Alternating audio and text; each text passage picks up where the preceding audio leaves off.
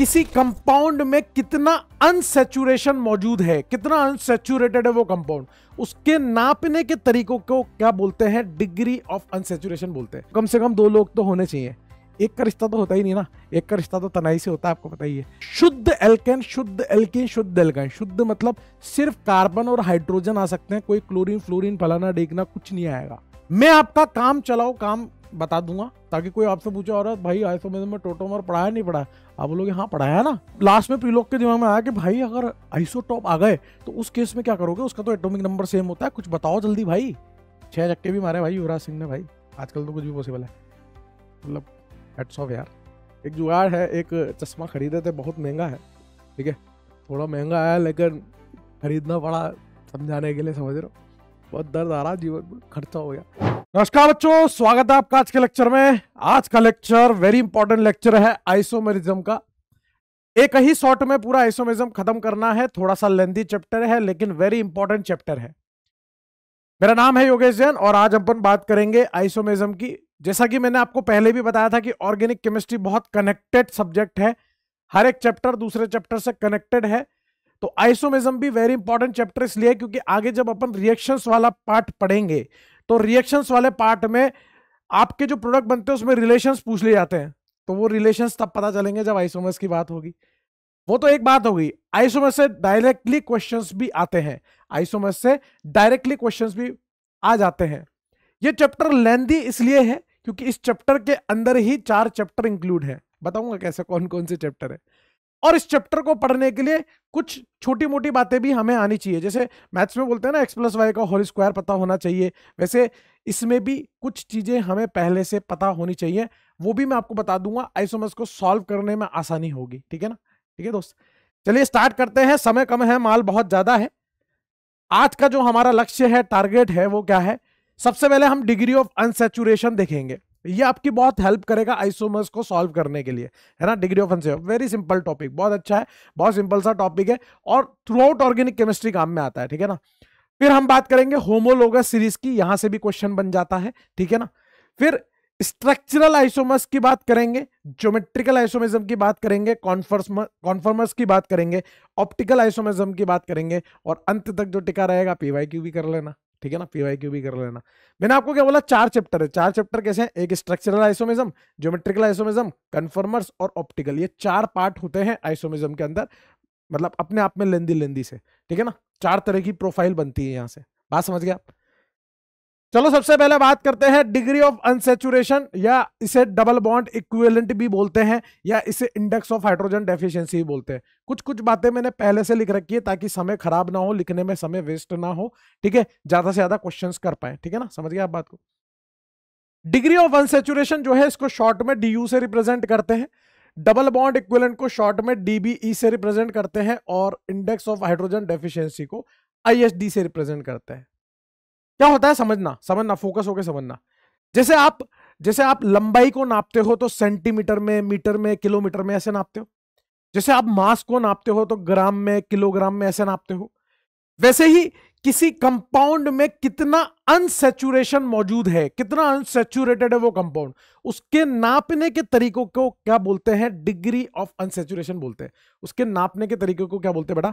Degree of unsaturation कहते हैं, या डबल बॉन्ड इक्विलेंट कहते हैं, या इंडेक्स ऑफ़ हाइड्रोजन डेफिशिएंसी कहते हैं। अब इसमें दो टर्म चलती है। एक चलता है सेचुरेटेड कंपाउंड और एक चलता है अनसेचुरेटेड कंपाउंड क्या होता है सर सेचुरेटेड बता रहे हैं ना भैया? बता रहे हैं, नाराज़ क्यों हो रहे हो? आइए जरा देखिए। एक होता है सेचुरेटेड कंपाउंड और दूसरा होता है माय डियर दूसरा होता है मेरे दोस्त, दूसरा होता है मेरे दोस्त अनसेचुरेटेड कंपाउंड क्या होता है?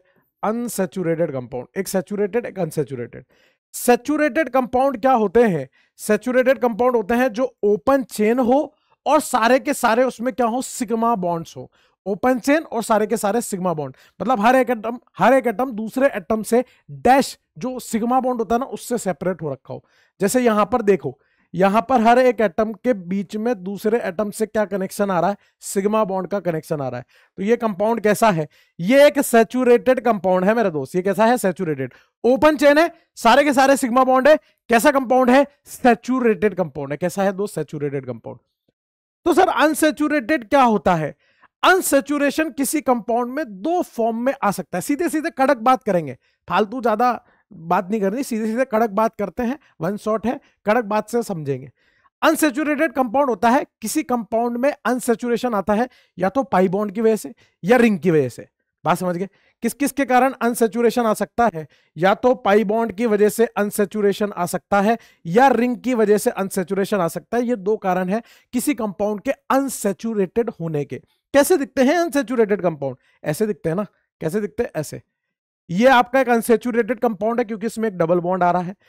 ये आपका एक अनसेचुरेटेड कंपाउंड है, इसमें भी पाई बॉन्ड आ रहे हैं। ये भी अनसेचुरेटेड कंपाउंड है।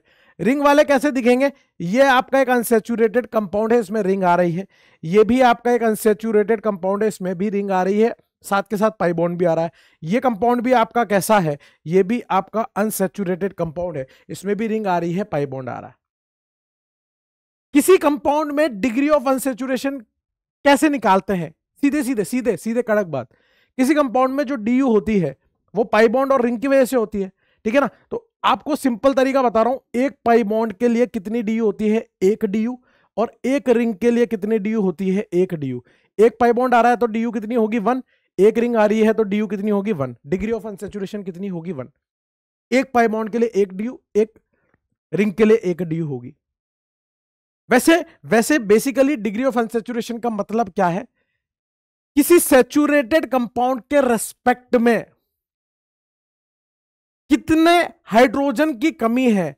वो अनसेचुरेशन कहलाता है। जैसे अगर मान लीजिए मेरे को इस कंपाउंड को सेचुरेटेड कंपाउंड में बदलना है तो मैं इसमें कितने हाइड्रोजन जोड़ूं कि इसमें सारे के सारे सिग्मा बॉन्ड आ जाएँ और ये ओपन चेन हो जाए? तो मेरे दोस्त, अगर मैं यहाँ पर एक H2 जोड़ देता हूँ, दो हाइड्रोजन जोड़ देता हूँ, यहाँ से पाई बॉन्ड जोड़ तोड़ा, यहाँ दो हाइड्रोजन जोड़े। तो पहले से दो सिग्मा बॉन्ड तो थे ही सही, ध्यान से देखना, पहले से दो सिग्मा बॉन्ड तो थे ही सही। पहले से, ये दो हाइड्रोजन दो हाइड्रोजन सिग्मा बॉन्ड तो थे ही सही। मैंने दो हाइड्रोजन और जोड़ दिए। अब आपको नज़र आ रहा होगा कि ये ओपन चेन है, साथ के साथ सारे के सारे सिग्मा बॉन्ड है। यानी कि कैसा बन गया? सेचुरेटेड पहले कैसा था? अनसेचुरेटेड इस अनसेचुरेटेड को सेचुरेटेड बनाने के लिए कितने हाइड्रोजन जोड़ने पड़े?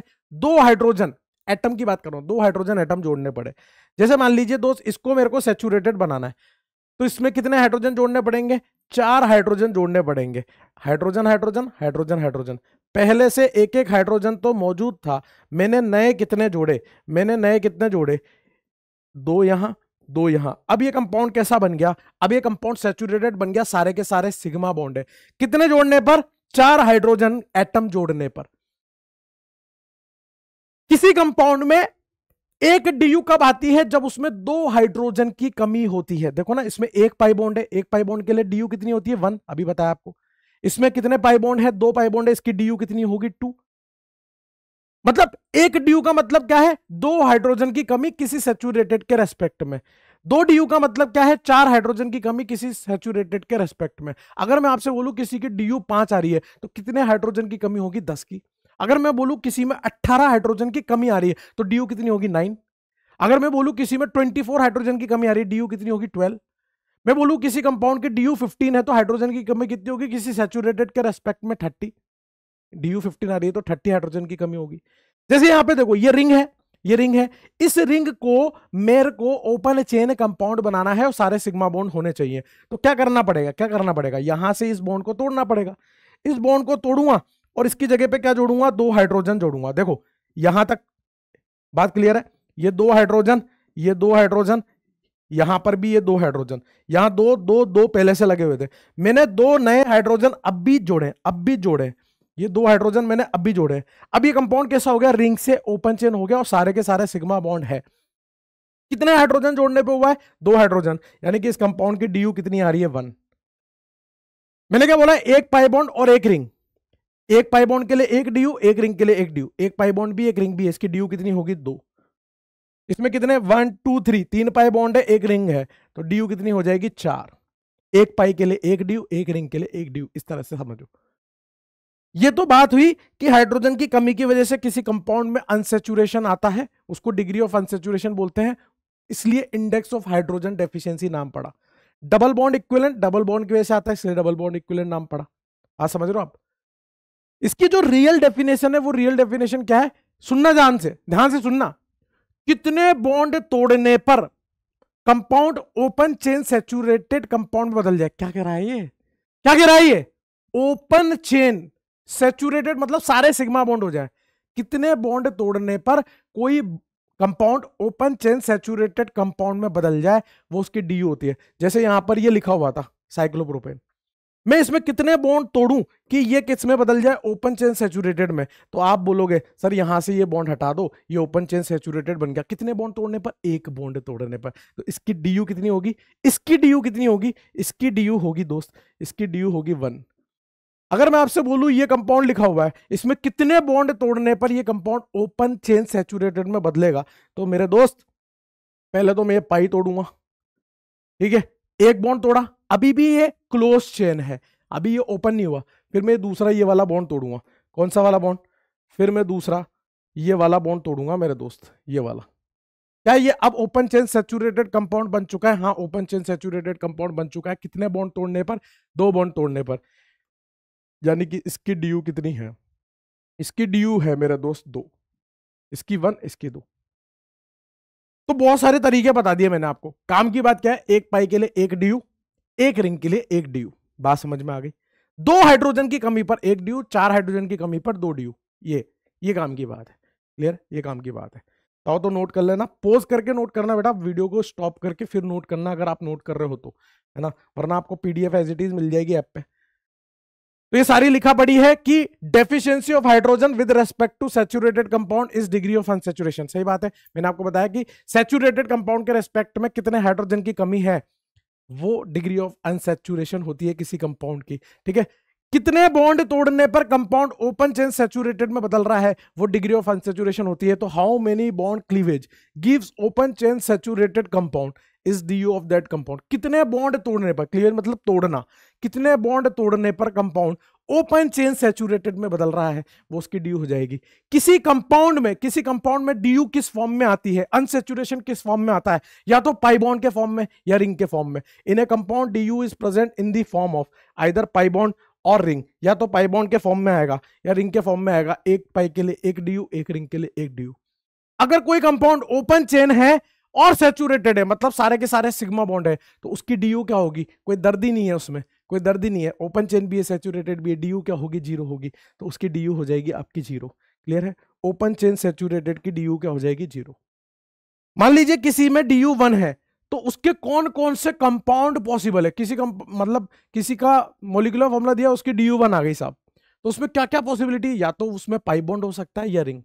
अगर किसी कंपाउंड की डी टू आ रही है तो उसमें क्या क्या पॉसिबिलिटी हो सकती है? हो सकता है उसमें दो डबल बॉन्ड हो, एक पाई, दो पाई समझ रहे हो? एक तो सिग्मा होता है ना दूसरा पाई होता है। हो सकता है दो डबल बॉन्ड मौजूद हो उसमें। अगर किसी कंपाउंड में ड्यू दो, दो आ रही है इसका मतलब क्या हो सकता है उसमें एक ट्रिपल बॉन्ड हो? भाई ट्रिपल बॉन्ड में भी तो दो पाई बॉन्ड मौजूद है ना। एक पाई के लिए एक ड्यू दो पाई के लिए दो ड्यू हो सकता है उसमें एक पाई बॉन्ड हो या एक रिंग हो। एक पाई के लिए एक ड्यू एक रिंग के लिए एक ड्यू समझ गए? हो सकता है उसमें दो रिंग हो। ऐसा भी तो हो सकता है कि उसमें दो रिंग हो तो उसकी भी तो ड्यू दो आ सकती है। तो ड्यू टू का मतलब क्या है? या तो उसमें दो पाई हो सकते हैं डबल बॉन्ड वाले। या एक ट्रिपल बॉन्ड हो सकता है, उसमें दो पाई बॉन्ड आ जाए। एक पाई बॉन्ड एक रिंग हो सकती है, दो रिंग हो सकती है। ये डीयू का मतलब है। बात समझ गए होंगे कि what is D U what is degree of unsaturation ये बहुत ज़्यादा हेल्प करेगा आपको आइसोमेजम में। जब अपन बहुत सारे कंपाउंड्स बनाएँगे आइसोमर्स बनाएँगे तो हमें पता ही नहीं चलेगा जैसे मोलिकुलर फॉर्मुला दे दिया, इसके क्या क्या बन सकते हैं। हम उसकी डी निकाल लेंगे।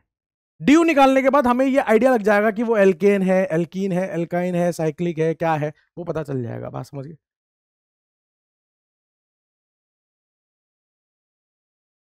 अब हमें डीयू निकालनी है, किस तरह के क्वेश्चंस देखने को मिलते हैं डिग्री ऑफ़ अनसेचुरेशन में। भाई, अगर साक्षात स्ट्रक्चर बना के दे दिया, शक्ल दे दी। शक्ल दे दी तो हम पता लगा लेंगे कि पाई बोन है या रिंग है। देख के पता लगा लेंगे, एक पाई बोन के लिए एक ड्यू रिंग के लिए एक ड्यू लफड़ा कहाँ है? लफड़ा है कि अगर इस तरह से मोलिकुलर फॉर्मूला लिख के दे दे, पता ही नहीं चल रहा सर इसमें पाइबोन है या रिंग है। पता ही नहीं चल रहा। बिल्कुल सही बात है, नहीं पता चल रहा। कोई नहीं बता सकता। सी फोर एच एट लिखा हुआ है कि कितने पाइबोन है, कितने रिंग है, ऐसे तो देख के तो पता नहीं चल रहा। तो उसके लिए एक जुगाड़ है। In molecular formula is given. अगर आपको मोलिकुलर फॉर्मूला दिया है इस तरह से तो उस केस में आप क्या करोगे? उस केस में आप ये फॉर्मूला लिखोगे C plus one minus H plus X minus N by two ये फॉर्मूला आपको बिल्कुल अच्छे से रटा हुआ होना चाहिए। क्या बात कर रहे हो सर? रटा रहे हो? मैं क्या कह रहा हूँ? नेतागिरी मत कर। नेतागिरी मत कर। रटा हुआ होना चाहिए। रात को दो बजे आपको ऐसे तक तक तक ड्यू का फॉर्मूला बोल ड्यू का फॉर्मूला बोल। Sir C plus one minus H plus X minus N by two कोई यहाँ से नस काट दे तो खून के साथ ड्यू का फॉर्मूला पहले बहे। ऐसा होना चाहिए बिल्कुल। सी मतलब कार्बन एच मतलब हाइड्रोजन एक्स मतलब हेलोजन एन मतलब नाइट्रोजन ये होल डिवाइड बाय टू है। इसके आगे माइनस लग रहा है। सी मतलब कार्बन एच मतलब हाइड्रोजन एक्स मतलब हेलोजन एन मतलब नाइट्रोजन देखो क्या क्या बताना पड़ रहा है। ये ड्यू का फॉर्मूला मेरे साथ साथ बोल। C plus one minus H plus X minus N by two ये फॉर्मूला है। जैसे ही हम इस मॉलिकुलर फॉर्मूले की चीज़ों को इसमें डालेंगे, हमें पता चल जाएगा उसमें कितनी डिग्री ऑफ़ अनसेचुरेशन मौजूद है। क्या बात कर रहे हो? सही में? हाँ। दिखाता हूँ। जैसे सी फोर एच एट लिखा हुआ है, इसकी ड्यू निकालनी है। कितने कार्बन है? चार प्लस एक माइनस हाइड्रोजन कितने? आठ। कोई हेलोजन है क्या? फ्लोरिन, क्लोरिन, ब्रोमिन, आयोडीन कुछ है क्या? नहीं है। नाइट्रोजन है क्या? नहीं है। तो eight plus zero minus zero divide by two. क्या हो जाएगा मेरे दोस्त? Five minus four. इसकी डी यू क्या आ रही है? वन। इस कंपाउंड की डी यू क्या आ रही है? वन। अब वन का मतलब क्या हो सकता है? कि सी फोर एच एट का सर हो सकता है कि कोई उसमें पाई बोन हो हो सकता है उसमें रिंग हो। देखो ना, अगर मैंने ये बना दिया, एक, दो, तीन, चार, यहाँ दो हाइड्रोजन, यहाँ दो हाइड्रोजन, यहाँ दो हाइड्रोजन, यहाँ दो हाइड्रोजन, ये भी सी फोर एच एट है। रिंग भी हो सकती है। और सी फोर एच एट क्या हो सकता है कि सब ये लिख दिया, एक कार्बन दो कार्बन तीन कार्बन चार कार्बन अब देखो, ध्यान से देखना, यहाँ पर कितने हाइड्रोजन है? तीन, यहाँ एक यहाँ एक, यहाँ तीन। तीन तीन, छह, सात, आठ। आठ हाइड्रोजन है सी फोर एच एट ये भी हो सकता है। एक पाइबोन या एक रिंग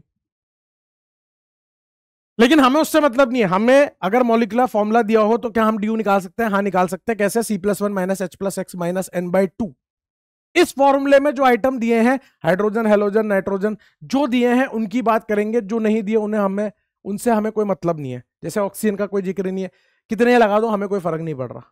अगर मेरी बात समझ में आ गई तो ये बाकी के क्वेश्चंस लिखे हुए हैं। प्लीज़ एक बार वीडियो को रोक के ट्राई करें, मज़ा आ जाएगा। वीडियो को रोक के ट्राई करें, मज़ा आ जाएगा दोस्त, आपके लिए ही है। हाँ भाई, कर लिया होगा आप लोगों ने, ठीक है? C six S six C six S six को इस फॉर्मूले में डालो ना, इस फॉर्मूले में डाल लो। कैसे करोगे six plus one minus six कोई हेलोजन नहीं है, कोई नाइट्रोजन नहीं है तो सीधे डिवाइड बाय टू कर दो ना। कितना आ गया? सेवन माइनस थ्री फोर आ गया। और अपने को तो पहले ही पता है सी सिक्स एस सिक्स क्या होता है? बेंजीन का मोलिकुलर फॉर्मूला होता है। और बेंजीन की डीयू कितनी आती है? चार। अरे यार, विश्वास ही नहीं हो रहा, बताओ यार। विश्वास ही नहीं हो रहा। इधर देखो, यहाँ पर एक, दो, तीन तो पाइबॉन्ड थे, एक रिंग थी, ये बेंजीन थी, इसकी DU कितनी थी? चार। अब तो मानोगे ना भाई, ये फॉर्मूला सही है। अब तो मानोगे ना फॉर्मूला सही है। बात समझ में आ गई? फिर C six S six O क्या इस फॉर्मूले में कोई ऑक्सीजन का ज़िक्र है? नहीं है। तो हमें भी मतलब नहीं है। जब ऑक्सीजन है ही नहीं तो हम, हमें कोई मतलब ही नहीं, कितने ऑक्सीजन लगा दो, एक लगा दो दो लगा दो, पंद्रह लगा दो, पैंतीस लगा दो, हमें कोई मतलब नहीं है। तो मतलब मतलब किससे? सिर्फ़ सी सिक्स और एस सिक्स के है। तो डी यू का फॉर्मूला जब लगाओगे तो यहाँ से डी यू कितनी निकल के आई होगी? आपकी चार निकल के आई होगी सिंपल है। सी एट एच एट जब आप यहाँ पे DU का फॉर्मूला लगाओगे तो यहाँ से कितनी निकल के आएगी? Eight plus one minus eight by two यानी कि नाइन माइनस फोर फाइव निकल के आएगी। ऑक्सीजन के आने से नहीं आने से कोई फ़र्क नहीं पड़ रहा तो यहाँ पर भी DU कितनी निकल के आई होगी? पाँच निकल के आई होगी। मेरे दोस्त, देखो जरा ध्यान से। यहाँ पे भी DU कितनी निकल के आई होगी? पाँच। अब ये फ्लोरीन क्लोरीन ब्रोमीन आयोडीन ये चारों हेलोजन है तो ऐसा नहीं अलग अलग लिख रहे सब इसी हेलोजन के अंदर काउंट होंगे, सारे के सारे इसी हेलोजन में काउंट होंगे तो क्या हो जाएगी डी यू यहाँ पर? यहाँ पर डी हो जाएगी ट्वेल्व प्लस वन कार्बन तो कितने हैं? बारह प्लस एक माइनस हाइड्रोजन कितने हैं? चार। हेलोजन कितने हैं? ये भी हेलोजन, ये भी हेलोजन, ये भी हेलोजन, ये भी हेलोजन। तो फोर प्लस फोर कोई नाइट्रोजन नहीं है तो नाइट्रोजन को नहीं लिखेंगे। कितना आएगा? Thirteen minus four plus four eight by two four होता है। ठीक है ना? तो थर्टीन माइनस फोर कितना हो जाएगा? नाइन इसकी डी आ रही है नाइन क्लियर है दोस्त? फिर अगला देखो अगला देखो। C seven H thirteen N C seven H thirteen N देख लो जरा। C seven H thirteen N देख लो जरा। यहाँ पर डी कैसे आएगी? यहाँ पर आएगी सेवन प्लस वन ये तो कार्बन की बात हो गई। हाइड्रोजन कितने हैं? तेरह हैं। हेलोजन नहीं है।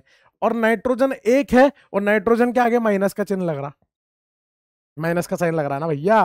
तो thirteen plus zero minus one divide by two ऐसे कर लोगे। क्या हो जाएगा? एट माइनस थर्टीन में से वन गया twelve twelve by two six तो एट माइनस सिक्स कितना आ गया? टू है ना? बारह बटे दो छः ठीक है। इसकी डी यू कितनी आ गई? टू आ गई। मेरे हिसाब से आप लोगों की भी यही आ रही होगी। इसमें कोई दर्द, दिक्कत, परेशानी, चिड़चिड़ापन, दुख, भय, पीड़ा, चिंता, हताश, उल्टी नहीं आ रही होगी। एवरीथिंग क्लियर हो गया होगा, ठीक है? ये तो था केस नंबर वन जब आपको स्ट्रक्चर बना के ना दिया हो मॉलिकुलर फॉर्मूला दिया हो तो आप कैसे करोगे? बात समझ में आ गई? अगर मान लीजिए आपको स्ट्रक्चर ही बना के दे दे इफ़ मॉलिक्यूल का स्ट्रक्चर इज़ गिवन अगर मॉलिक्यूल का स्ट्रक्चर ही बना के दे दे तो तो दर्द ही नहीं है ना? तो तो दर्द ही नहीं है, कैसे करोगे? Number of pi bond plus number of ring simple था। कैसे करोगे? नंबर ऑफ़ पाई बॉन्ड आपको पाई बॉन्ड गिनने हैं, और कितनी रिंग है वो गिननी है? क्योंकि एक पाई की वजह से एक डी एक रिंग की वजह से एक डी सीधे ये फॉर्मूला लगा और आपके आंसर आते चले जाएँगे। Number of pi bond plus number of ring से। बात समझ गए आप? जैसे एक मैं बता देता हूँ, यहाँ पर कितने पाई बॉन्ड है? एक, दो, तीन तो पाई बॉन्ड है। और रिंग कितनी है? एक रिंग है। यानी कि इसकी डीयू कितनी हो गई दोस्त? इसकी डीयू हो गई चार। इसकी डीयू हो गई चार। मैंने आपको आयुपीएससी के अंदर भी बताया था। आयुपीएससी के अंदर भी बताया था, इस गोले का मतलब क्या है? इस गोले का मतलब है, अपनी मर्ज़ी से कहीं पर भी एक पाई बॉन्ड खींच लीजिए। अपनी मर्ज़ी से। जहाँ आपकी मर्ज़ी बढ़े यहाँ ले, यहाँ खींच ले, यहाँ खींच ले, यहाँ खींच ले, यहाँ खींच ले, यहाँ कहीं भी खींच ले। ले, मैंने यहाँ खींच लिया। अब इसके ऑल्टरनेट पोजीशन पे खींचते चले जाना है, इसके ऑल्टरनेट पोजीशन पे। ठीक है? तो मतलब ये गोले हटा दूँ सर? हाँ ये गोले हटा दो। इन गोलों का काम खत्म है। यहाँ खींचूँगा, पाई, सिग्मा, पाई, फिर यहाँ नहीं खींचूँगा, यहाँ नहीं खींचूँगा, यहाँ खींचूँगा, फिर यहाँ नहीं खींचूँगा, यहाँ खींचूँगा, यहाँ नहीं खींचूँगा, यहाँ खींचूँगा। कितने? एक, दो, तीन, चार, पाँच। पाँच तो पाई बॉन्ड है और एक रिंग ये रही, दूसरी रिंग ये रही। कितनी रिंग है? दो रिंग है तो पाँच प्लस दो, सात। तो इसकी DU कितनी आ रही है? इसकी DU आ रही है सेवन। मेरे हिसाब से बात समझ में आ रही होगी। इसका नाम है नेफ्थलीन। इसका नाम क्या है? नेफ्थलीन नाम है। इसका कॉमन नेम होता है नेफ्थलीन। अगले वाले का कॉमन नेम है एंथ्रासीन। आपको बताना है, अब आप ही को बताना है। एक बार वीडियो को रोक लीजिए और बाकी के आइटम्स की डीयू निकाल लीजिए। Very simple number of pi bond plus number of ring थोड़ा साइड हो जाता हूँ, क्योंकि अगर मैं बीच में आ गया तो आधे से ज़्यादा बोर्ड में ही घेर लेता हूँ। मेरा सरफेस एरिया थोड़ा ज़्यादा है।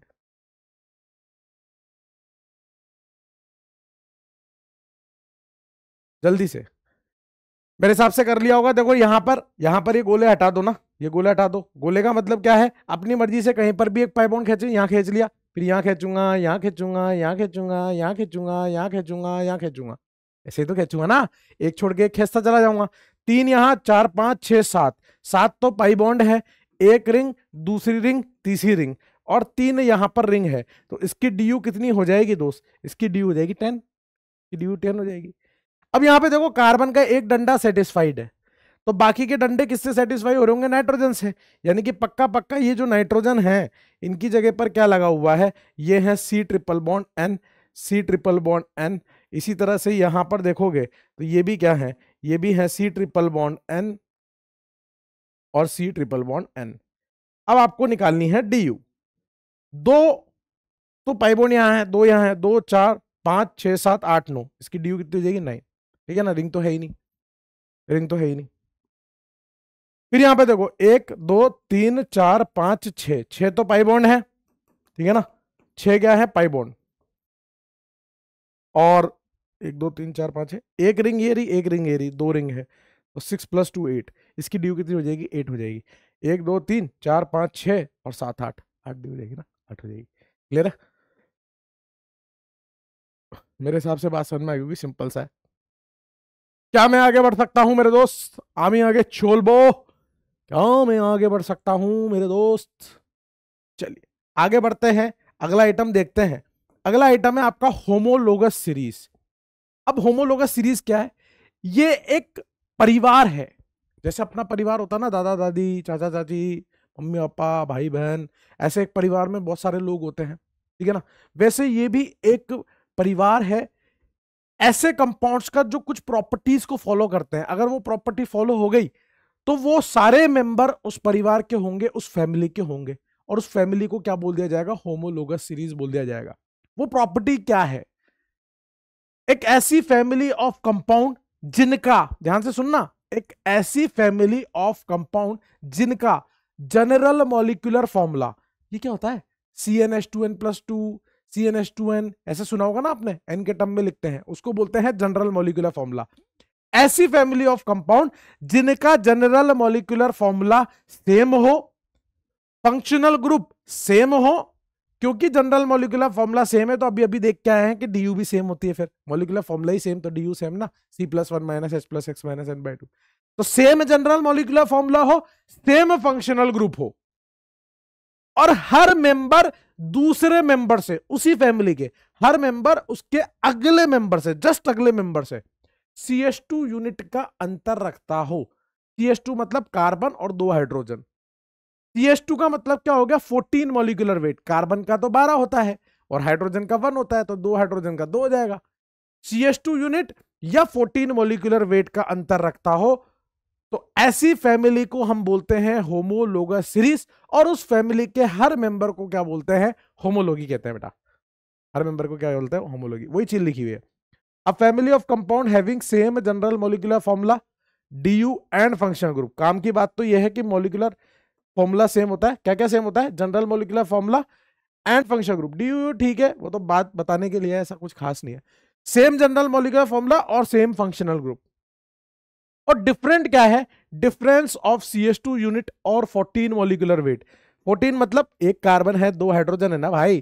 कार्बन का कितना होता है? बारह हाइड्रोजन का वन होता है, लेकिन दो हाइड्रोजन है तो दो तो बारह प्लस दो फोर्टीन हो जाएगा ना मेरा दोस्त? समझ गए? हर एक मेंबर दूसरे मेंबर से 14 मोलिकुलर वेट यानी कि सी यूनिट का अंतर रख रहा है। हर एक कॉन्जिक्यूटिव मेंबर कॉन्जिक्यूटिव बोले तो लगातार, इसके बाद इसका फिर अगला फिर अगला फिर अगला। फ़र्स्ट सेकंड थर्ड ऐसे। In each consecutive member then that series is known as homologous series and each member of this series is homologue each member of this series is homologue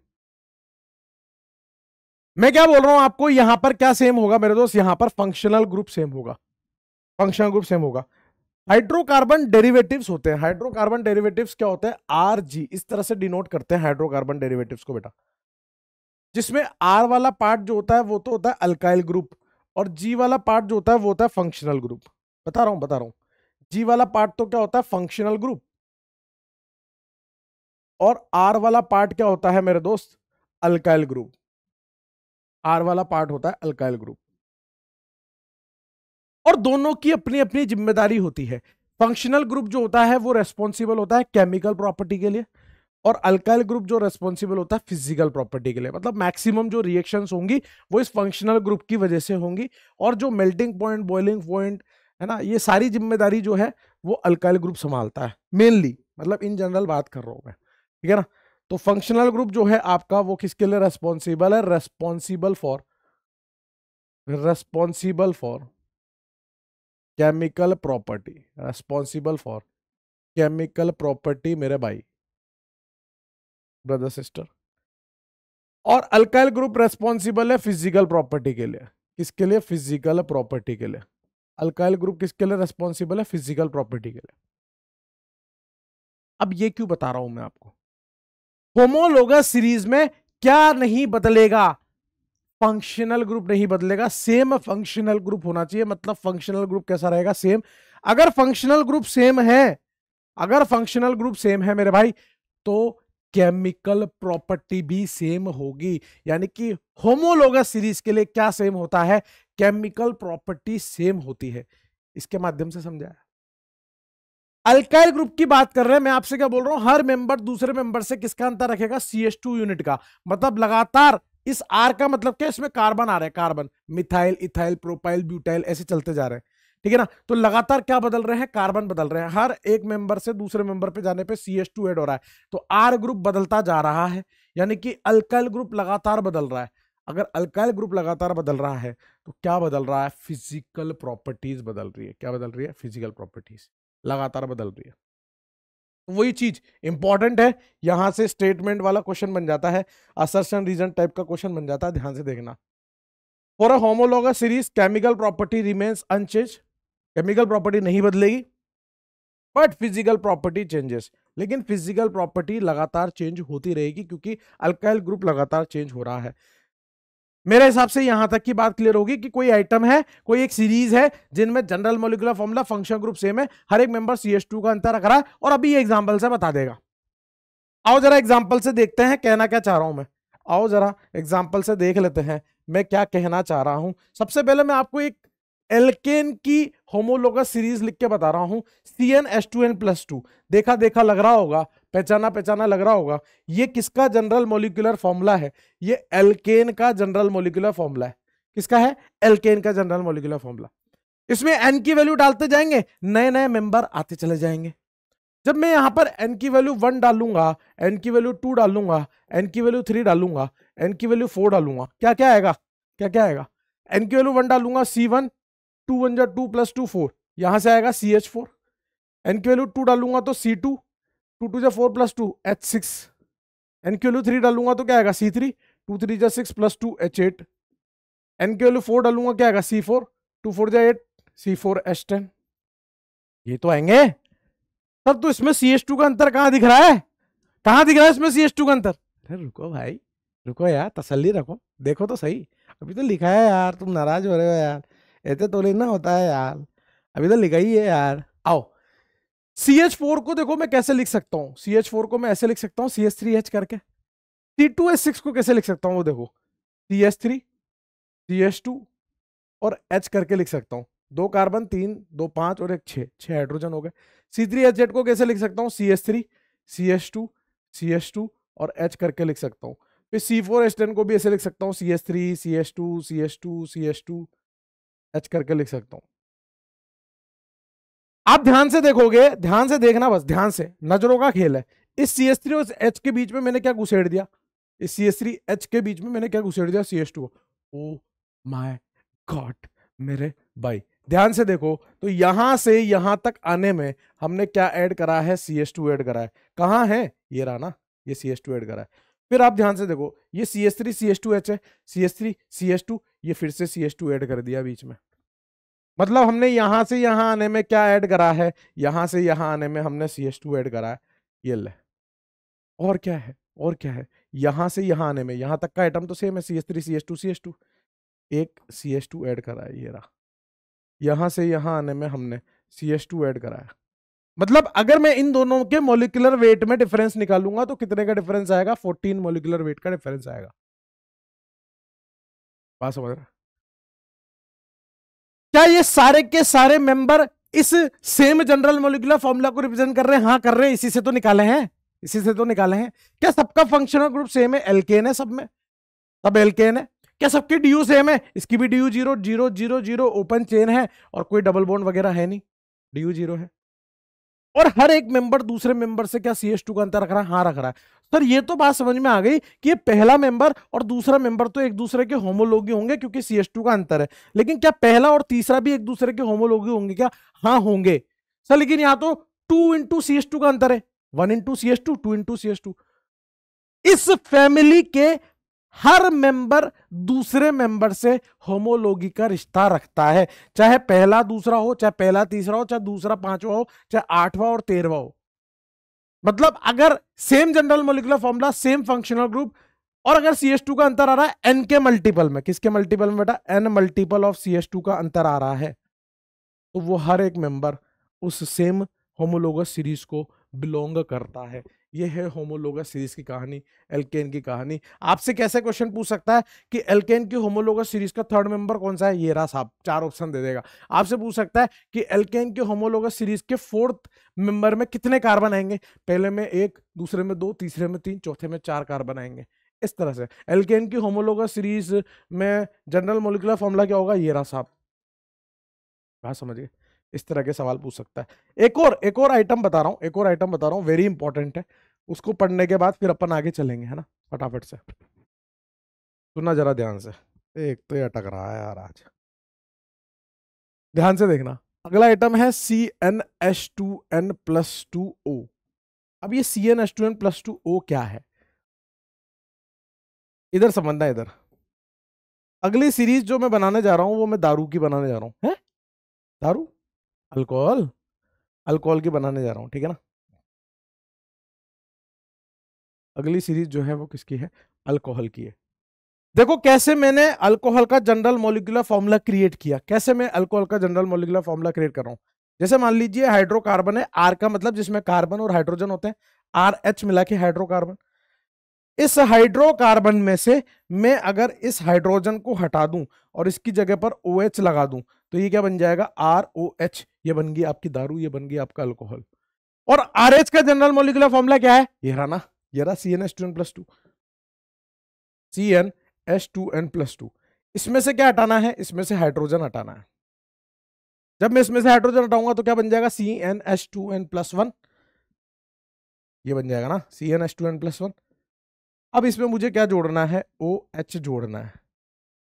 मतलब एच वापिस आया H वापिस आया तो क्या बन गया? C n H two n plus two और एक ऑक्सीजन और आया है। ऑक्सीजन और आया है, क्या बन गया? C n H two n plus two O बन गया। ये आपका किसका जनरल मोलिकुलर फॉर्मूला है? अल्कोहल का। लेकिन यहाँ एक ट्विस्ट है।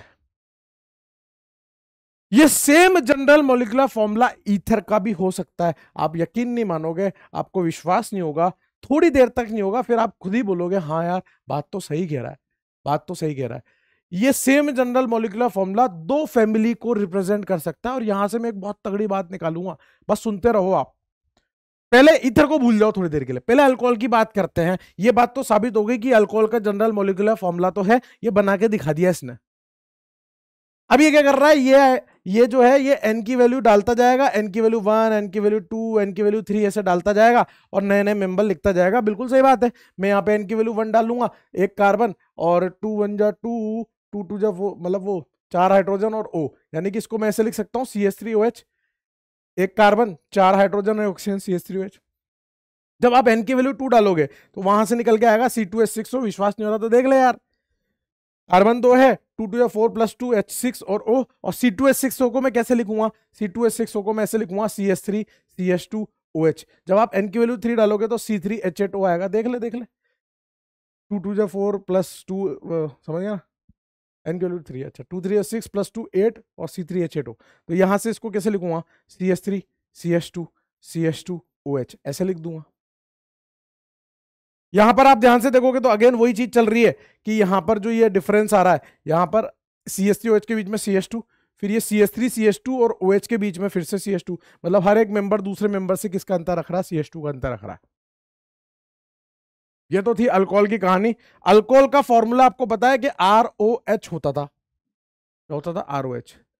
अब ईथर को, ईथर की इज़्ज़त देने के लिए ऑक्सीजन के दोनों तरफ़ कार्बन लगाना पड़ेगा। मजबूरी है। मजबूरी है ना? मतलब ईथर लिखना है तो कैसे लिखूँगा? R O R. एक भी तरफ़ आपने हाइड्रोजन लगाया तो फिर उसके नशे हो जाएँगे। मतलब वो दारू बन जाएगी। इथर को इथर की इज़्ज़त देने के लिए दोनों तरफ़ कार्बन लगाना पड़ेगा। तो अगर मतलब आपसे ये पूछ लिया जाए कि ईथर का पहला मेंबर लिखना है फ़र्स्ट मेंबर लिखना है तो कैसे लिखोगे? कितने कार्बन चाहिए? दो कार्बन चाहिए कम से कम, दो कार्बन मतलब एन की वैल्यू सीधे क्या डालनी पड़ेगी? टू पहला मेंबर लिखने के लिए। ईथर का पहला मेंबर लिखने के लिए कितने कार्बन चाहिए? दो कार्बन चाहिए। तब जाके ईथर लिखाई में आएगा। कैसे लिखाई में आएगा? C S three O C S three अब आप यकीन नहीं मानोगे। दो कार्बन है, तीन और तीन, छह हाइड्रोजन एक ऑक्सीजन ये रहा सी टू एस सिक्स और ये सी टू एस सिक्स को कहाँ से बनाया था? हमने इसी जनरल मोलिकुलर फॉर्मूले से बनाया था। अब इसका अगला मेंबर लिखना है। अगला मेंबर किससे लिखूँगा? अगला मेंबर लिखूँगा सी एस टू के डिफरेंस लगा के। एक, दो, तीन कार्बन तीन, चार, पाँच, छह, सात, आठ हाइड्रोजन एक oxygen C three H A two ये कहाँ से आया था? इसी से आया था। फिर अगला मेंबर आप चाहो तो इस तरफ़ भी सी एस टू बढ़ा सकते हो, आप चाहो तो इस तरफ़ भी सी एस टू बढ़ा सकते हो, किधर भी बढ़ा सकते हो, आपकी मर्ज़ी है। आपकी मर्ज़ी है, उसमें कोई रोक टोक नहीं है। आप चाहो तो इधर भी सी एस टू बढ़ा सकते हो। आप चाहो तो उधर भी सी एस टू बढ़ा सकते हो। ये देखो ना, यहाँ सी एस टू का अंतर आया, फिर सी एस टू का अंतर आया, ठीक है? बात को समझना। मैंने आपको लिखाया होमोलोगा सीरीज़ के अंदर कि जनरल मोलिकुलर फॉर्मूला सेम होना चाहिए, साथ के साथ फंक्शनल ग्रुप भी सेम होना चाहिए। चाहता तो मैं ये भी बोल सकता था ना कि सेम जनरल मोलिकुलर फॉर्मूला, बेवकूफ़ तो हूँ नहीं जो फ़ंक्शन ग्रुप की बात कर रहा हूँ। मैंने दोनों की बात करी है तो हर एक वर्ड कीमती है वहाँ, कि फंक्शनल ग्रुप और जनरल मोलिकुलर फॉर्मूला दोनों। अगर मैं सिर्फ़ सेम जनरल मोलिकुलर फॉर्मूला बोलता तो ये भी उसी जनरल मोलिकुलर फॉर्मूले से बने हैं, जिस जनरल मोलिकुलर फॉर्मूले से बने हैं। तो ऐसे तो फिर ये और ये दोनों एक दूसरे के क्या होने चाहिए? देख लो सी का अंतर आ रहा है। ये दोनों भी एक दूसरे के होमोलोगी हो जाने चाहिए थे। लेकिन ये दोनों एक दूसरे के होमोलोगी क्यों नहीं होंगे? क्योंकि ये अल्कोहल फंक्शनल ग्रुप है और ये ईथर फंक्शनल ग्रुप है। दोनों का फंक्शनल ग्रुप अलग अलग है और होमोलोगस होने के लिए फंक्शनल ग्रुप भी सेम होना चाहिए। ये है अल्कोहल की फैमिली ये है ईथर की family same general molecular formula सारे अल्कोहल है, DU सेम है। ये सब एक दूसरे के क्या है? अल्कोहल के होमोलोगी हैं। ये सब क्या है? ईथर के होमोलोगी हैं। लेकिन ये दोनों होमोलोगी नहीं है। ये दोनों का फंक्शनल ग्रुप अलग अलग है। मेरे हिसाब से बात समझ में आई होगी, कहना क्या चाह रहा हूँ मेरे दोस्त। अकेले सेम जनरल मोलिकुलर फॉर्मूला से काम नहीं चलेगा। साथ के साथ फंक्शनल ग्रुप भी सेम होना चाहिए। और मैं बोल रहा था ना तेरे से, मैं बोल रहा था ना कि केमिकल प्रॉपर्टी नहीं बदलती, केवल फ़िज़िकल प्रॉपर्टी बदलती है। क्यों बोल रहा था? देख, यहाँ भी ओ एच यहाँ भी ओ एच यहाँ भी O H function group change नहीं हो रहा तो केमिकल प्रॉपर्टी चेंज नहीं होगी। क्या चेंज होता है? ये अल्काइल ग्रुप चेंज होता है मिथाइल इथाइल प्रोपाइल केवल अल्काइल ग्रुप चेंज होता है और अल्काइल ग्रुप अगर चेंज होता है तो अल्काइल ग्रुप के चेंज होने से केवल फ़िज़िकल प्रॉपर्टी पर अंतर आता है। ठीक है तो फ़िज़िकल प्रॉपर्टी बदलेगी केमिकल प्रॉपर्टी नहीं बदलेगी। जनरल मोलिकुलर फॉर्मूला के साथ फ़ंक्शन ग्रुप भी सेम होना चाहिए, मेरे हिसाब से बात समझ में आ रही होगी। आपसे कोई पूछ ले, ईथर के पाँचवें मेंबर में कितने कार्बन होंगे? पहले में कितने हैं? दो, दूसरे में कितने हैं? तीन, तीसरे में कितने हैं? चार, चौथे में कितने होंगे? पाँच, पाँचवें में कितने होंगे? छह। बस इतना सा सोचना है। आपको पहला मेंबर अगर लिखना आता है तो आप कोई से भी मेंबर की कहानी बता सकते हो। मेरे हिसाब से बात समझ में आ गई होगी, नोट कर लीजिए। आगे बढ़ते हैं दोस्त। पोज करके नोट करिएगा। क्या मैं आगे बढ़ सकता हूँ, मेरे दोस्त मेरे दोस्त मेरे दोस्त। अब मैं आपको एक और थोड़ी सी बात बता देता हूँ, एक और बात बता देता हूँ, ताकि अभी मैं आपको क्वेश्चन कराऊँगा तो आपको दर्द नहीं आएगा, है ना? क्या होता है कि फ़ंक्शन ग्रुप के बारे में, वैसे तो मैंने आई में बता दिया होगा, लेकिन फिर भी मैं दोबारा बता देता हूँ, एक गहरी बात है, एक गहरी बात। गहरी बात क्या है? ध्यान से सुनना। बात गहरी है, इसलिए ध्यान से सुनेंगे। पहली गहरी बात यह है कि one degree two degree and three degree alcohol are same functional group one degree two degree और थ्री डिग्री अल्कोहल को सेम फंक्शनल ग्रुप माना गया है। तीनों के तीनों एक जैसे फ़ंक्शन ग्रुप होते हैं। काम आएगा अभी ये बात। ठीक है ना? दूसरी गहरी बात क्या है कि one degree two degree and three degree amine are considered as different functional group ये डिफरेंट फंक्शनल ग्रुप है। मतलब आपको सी एस टू का अंतर दिख रहा हो, लेकिन अगर एक वन डिग्री हो और एक टू डिग्री हो तो फ़ंक्शन ग्रुप अलग अलग है वो। और फ़ंक्शन ग्रुप अलग अलग है तो फिर वो होमोलोगी नहीं होंगे, ध्यान रखना। तो one degree two degree three degree amine को कैसा माना गया? डिफरेंट फ़ंक्शन ग्रुप तीसरी गहरी बात क्या है? Alcohol and phenol alcohol and phenol are different functional group alcohol और फिनॉल को अलग अलग फंक्शनल ग्रुप बोला गया है बेटा। अल्कोहल और फिनॉल को अलग अलग फंक्शनल ग्रुप बेंजीन से अगर डायरेक्टली ओएच जुड़ा है तो वो क्या होता है? फिनॉल। बेंजीन से डायरेक्टली ओएच जुड़ा तो वो फिनॉल है, और बाकी अल्कोहल तो आपने देखेंगे और अल्कोहल और फिनॉल अलग अलग फ़ंक्शन ग्रुप है। अभी क्वेश्चन करेंगे और क्लियरिटी आएगी। ये तीन स्टेटमेंट्स बहुत इंपॉर्टेंट है, इसलिए गहरी बात करके लिखा गहरी बात मतलब इंपॉर्टेंट पॉइंट कुछ क्वेश्चन है जो आपको ट्राई करने हैं। Which of the following are homology of each other आपको बताने हैं। यहाँ पे दस क्वेश्चन लिखे हुए हैं। कौन एक दूसरे के होमोलॉगी हैं? कैसे देखोगे? सेम फैमिली को बिलोंग करते हैं क्या? मतलब एल्केन है एल्कीन है। सी एच टू का अंतर है क्या? है ना? ज़रूरी नहीं है पहला दूसरा मेंबर ही हो, पहला तीसरा भी हो सकता है। Same general molecular formula same function group ठीक है ना? तो वो होमोलॉगी है। चलो करके दिखो करके दिखो। आप ही को करना है।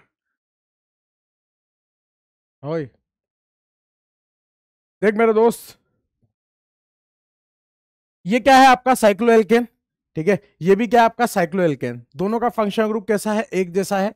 मतलब वो भी साइक्लोएल्केन है, ये भी साइक्लोएल्केन है, दोनों फ़ंक्शन ग्रुप एक जैसा है।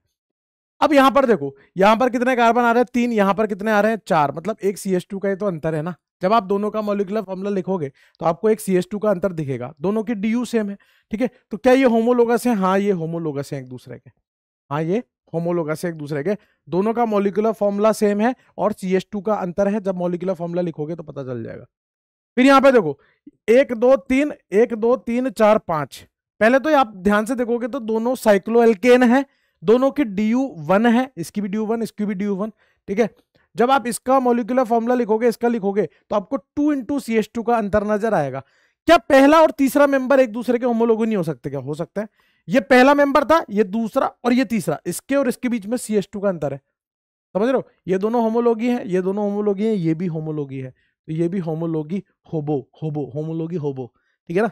फिर यहाँ पर देखो, यहाँ पर देखो, ये नाइट्रोजन से दो कार्बन डायरेक्टली अटैच है।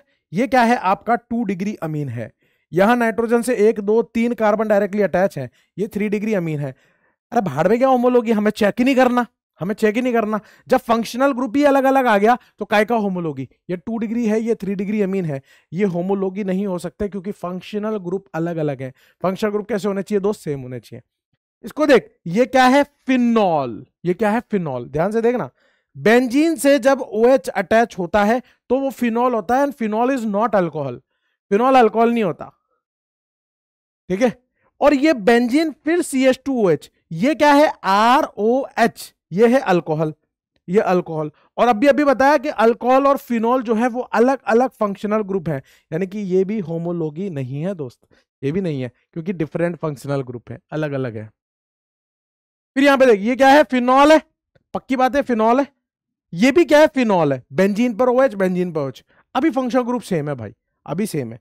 बस मुझे ये साबित करना है कि इन दोनों में कितने का अंतर है? सी यूनिट का अंतर है.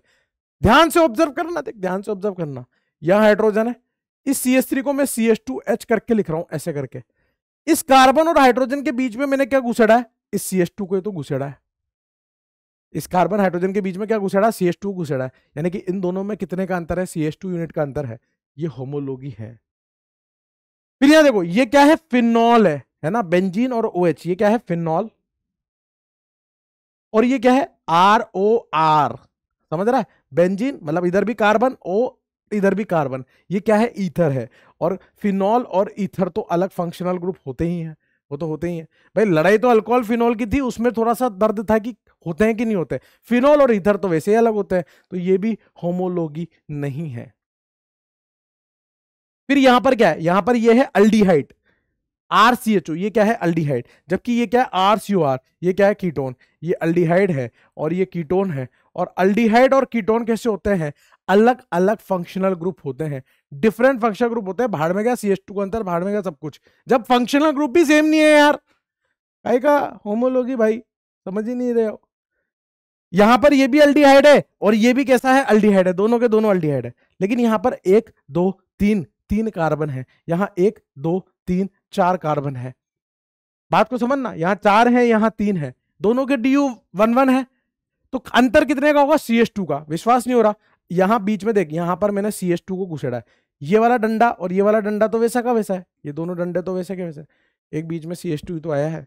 तो यानी कि ये क्या है? ये होमोलोगी है। सेम जनरल मोलिकुलर फॉर्मूला और फ़ंक्शन ग्रुप भी सेम है। ये क्या है? अल्कोहल है। ये भी क्या है? अल्कोहल है। लेकिन सर, ये तो एक कार्बन से जुड़ा है। ये तो वन डिग्री है और ये टू डिग्री है। तो मैंने आपको बताया था one degree two degree three degree alcohol same functional group होते हैं। अच्छी बात है। One degree two degree three degree same function group होते हैं। अच्छी बात। अब मुद्दे की बात क्या है कि क्या इसमें सी एस टू का अंतर है कि नहीं है? तो आप ध्यान से देखो, ये क्या है? C S three C S two O H ये क्या है? C S three C H C S three O H जब आप इन दोनों में मोलिकुलर फॉर्मूला अच्छे से लिख के देखोगे, एक कार्बन दो हाइड्रोजन का अंतर नज़र आएगा। ये भी एक दूसरे के होमोलोगी हैं हैं। फिर यहाँ देखो एल्कीन और एल्काइन इसकी ड्यू देखोगे, इसकी ड्यू देखोगे। एक, दो, तीन ड्यू एक, दो, तीन ड्यू इसमें भी एल्कीन एल्काइन है, इसमें भी एल्कीन एल्काइन है। अंतर कितने का आ रहा है? सी एस टू यूनिट का आ रहा है। कितने का आ रहा है? सी एस टू यूनिट का आ रहा है दोनों के अंदर। तो ये भी क्या है? आपके होमोलोगी हैं। फंक्शनल ग्रुप सेम होना चाहिए जनरल मोलिकुलर फॉर्मूला सेम होना चाहिए। अंतर कितने का होना चाहिए? सी एस टू का। तो वो क्या होते हैं? होमोलोगी होते हैं। टीप लो, छाप लो, देख लो। हाँ भाई, मेरे हिसाब से नोट कर लिया होगा आप लोगों ने। ठीक है? आगे बढ़ते हैं दोस्त। आगे बढ़ते हैं। अब जिसका आपको इंतज़ार था, वो टॉपिक आ चुका है, जो है आइसोमेजम ये जो पहले वाले टॉपिक है, वो इसलिए पढ़ा है क्योंकि इसमें बहुत बेहतरीन रूप से वो यूज़ होंगे। बिना डिग्री ऑफ़ अनसेचुरेशन के तो अपन आइसोमिज्म को खेलेंगे ही नहीं। और उससे सवाल चुटकियों में सॉल्व हो जाएँगे, अभी बताऊँगा कैसे। ठीक है? तो आइसोमेजम क्या है? आइसोमेजम दो वर्ड से मिलकर बना है। एक है आइसो और दूसरा है मर्स आइसो का मतलब होता है सेम आइसो का मतलब क्या होता है? सेम मर्स का मतलब होता है, मेरे दोस्त यूनिट सेम और यूनिट ठीक है? एक लाइन की डेफिनेशन है, बहुत छोटी सी डेफिनेशन है, क्योंकि छोटी सी डेफिनेशन है, इसलिए उसका हर एक वर्ड बहुत इंपॉर्टेंट है ध्यान से सुनना। आइसोमर्स क्या होते हैं? दो या दो से ज़्यादा कंपाउंड्स दो या दो से ज़्यादा डिफरेंट कंपाउंड्स कंपाउंड कैसे हैं? अलग अलग हैं डिफरेंट है। जिनका मोलिकुलर फॉर्मूला सेम होता है मोलिकुलर फॉर्मूला कैसा होता है, सेम होता है, उनको क्या बोलते हैं, आइसोमर। इतनी सी डेफिनेशन है। कंपाउंड कैसे है? डिफरेंट है। और मॉलिकुलर फॉर्मूला कैसा है? सेम है। उन कंपाउंड्स को क्या बोल देंगे? आइसोमस बोल देंगे। आइसोमस बेसिकली रिश्ता है। जैसे मतलब चाचा चाची का रिश्ता होता है दादा दादी का रिश्ता होता है पापा मम्मी का रिश्ता होता है भाई बहन का रिश्ता होता है। उसी तरह से आइसोमस भी रिश्ता है। दो कंपाउंड्स के बीच में, वो दो कंपाउंड्स आइसोमस कब होंगे? जब दो डिफरेंट कंपाउंड होंगे, लेकिन उनका मॉलिकुलर फॉर्मूला सेम होगा तो वो आइसोमस होंगे। बात समझ में आ गई। तो मतलब आइसोमर कभी भी एक नहीं हो सकता, कम से कम दो तो होंगे, क्योंकि जब रिश्ता डेवलप करते हैं तो ऐसा बोलते हैं ना, ये इसका ये है, ये इसका ये है तो कम से कम दो लोग तो होने चाहिए। एक का रिश्ता तो होता ही नहीं ना, एक का रिश्ता तो तनाई से होता है, आपको पता ही है, ठीक है ना? तो कम से कम दो लोग चाहिए। तो इंपॉर्टेंट क्या है? ये डेफिनेशन लिखी हुई है, टू और मोर, कंपाउंड कैसे है दोस्त? कंपाउंड है डिफरेंट डिफरेंट कंपाउंड्स जिनका क्या सेम है, जिनका मॉलिक्यूलर फॉर्मूला सेम है, उनको क्या बोलते हैं? आइसोमर्स बोलते हैं। आर नॉन को छोटे रूप में लिख रखा है के एन ओ डब्ल्यू एन होता है ना नॉन एज आइसोमर्स ठीक है? एक एग्ज़ाम्पल से समझते हैं, ये लिखा है C two S six O इस C two S six O को मैं दो तरीके से लिख सकता हूँ मेरे दोस्त। एक लिख सकता हूँ C S three C S two O H और दूसरे तरीके से लिख सकता हूँ C S three O C S three मेरे भाई। ध्यान से देख, यहाँ पे दो कार्बन है, तीन तो पाँच, एक छह हाइड्रोजन है, एक ऑक्सीजन है। सी टू एस सिक्स हो कि नहीं है? दो कार्बन है, तीन और तीन, छह हाइड्रोजन है, एक ऑक्सीजन है। C two S six O है कि नहीं है? लेकिन ये क्या है? ये है दारू, ये है अल्कोहल और ये है ईथर। इसके नशे होते हैं, इसके नशे नहीं होते। दोनों अलग अलग कंपाउंड है, लेकिन दोनों का मोलिकुलर फॉर्मूला कैसा है? सेम है। और अगर ऐसा है तो इन दोनों के बीच में रिश्ता क्या है? इन दोनों के बीच में रिश्ता है, ये है एक दूसरे के आइसोमर्स ऐसे इनफाइनाइट एग्जाम्पल्स हम लोग लिख सकते हैं। एक एग्ज़ाम्पल बताया, अभी बहुत सारे एग्जाम्पल्स आएँगे। तो ऐसा नहीं है कि ये रट के आए हैं तो ये लिख दिया। नहीं, बहुत सारे अनगिनत एग्जाम्पल्स हैं। इनफाइनाइट एग्जाम्पल्स हैं, जिनका मॉलिकुलर फॉर्मूला सेम होगा, लेकिन कंपाउंड कैसे होंगे? डिफरेंट होंगे। उनको क्या बोलेंगे? आइसोमस बोलेंगे। मेरे हिसाब से बात समझ में आ गई होगी नोट कर सकते हो आप इसको, ठीक है ना? पोज करके।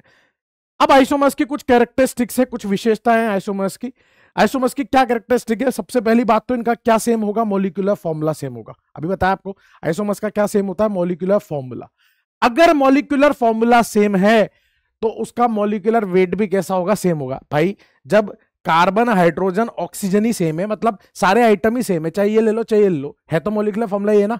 तो इसी का तो मोलिकुलर वेट निकालोगे ना? तो मोलिकुलर वेट भी कैसा होगा? मोलिकुलर वेट भी सेम होगा। मतलब आइसोमर्स का मोलिकुलर फॉर्मूला सेम होता है मोलिकुलर वेट सेम होता है। समझना बात को? इनका इंपेरिकल फॉर्मूला भी सेम होता है। सर इंपेरिकल फॉर्मूला क्या होता है? फ़िज़िकल केमिस्ट्री में आपने सुना होगा simplest ratio of molecular formula empirical formula क्या होता है? Simplest ratio of molecular formula empirical formula होता है आपका simplest ratio of molecular formula देखो देखो, यहाँ ये मॉलिकुलर फॉर्मूला लिखे हैं, इसके इंपेरिकल फॉर्मूला बना रहा हूँ। ध्यान से देखना मेरे दोस्त, ये सी सिक्स एस सिक्स है। इसको तब तक डिवाइड करूँगा, इसको मैक्सिमम डिवाइड करूँगा, जिससे कि ये इंटीजर फॉर्म में रह जाए। मैं किससे डिवाइड करूँगा? छह से डिवाइड करूँगा। क्या लिख सकता हूँ? सी एच लिख सकता हूँ।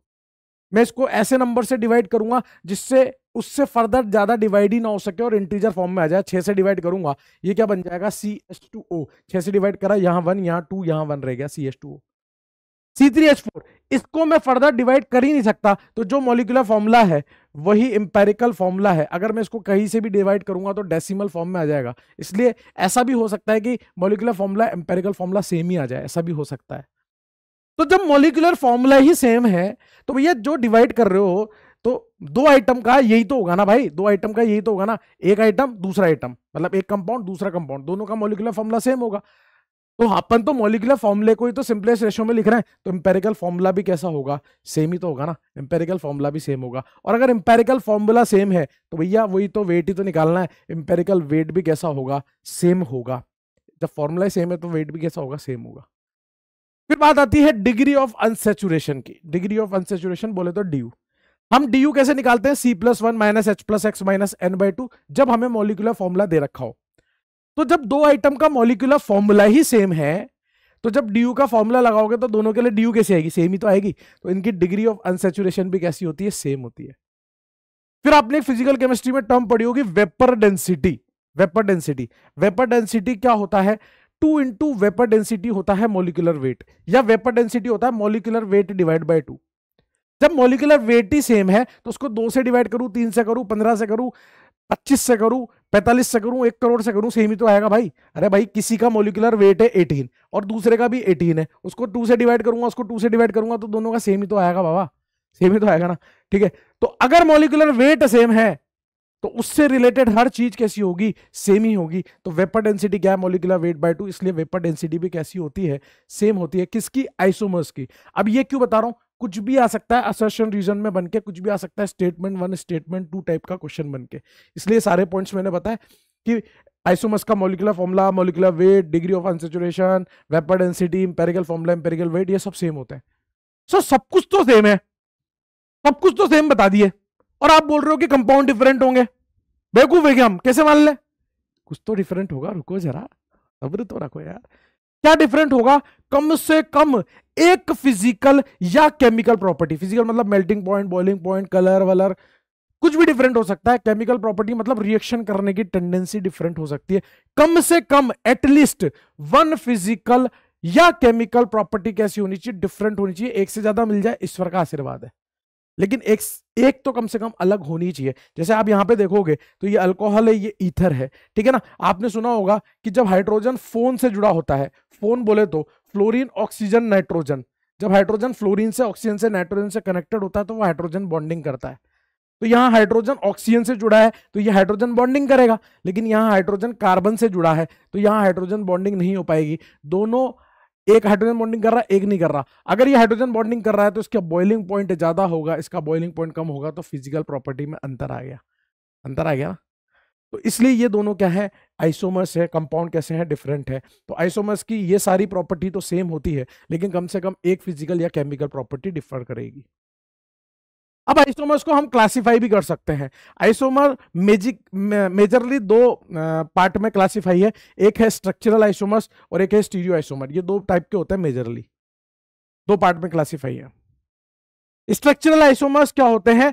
पहले तो पीछे आइसोमर लिखा है तो पूरी डेफिनेशन वही कि दो या दो से ज़्यादा डिफरेंट कंपाउंड जिनका मॉलिकुलर फॉर्मूला सेम होता है। लेकिन क्या डिफर करेगा? स्ट्रक्चर डिफर करेगा। जब शक्ल देखोगे, उसकी मतलब स्ट्रक्चर देखोगे तो वो डिफर करेगी।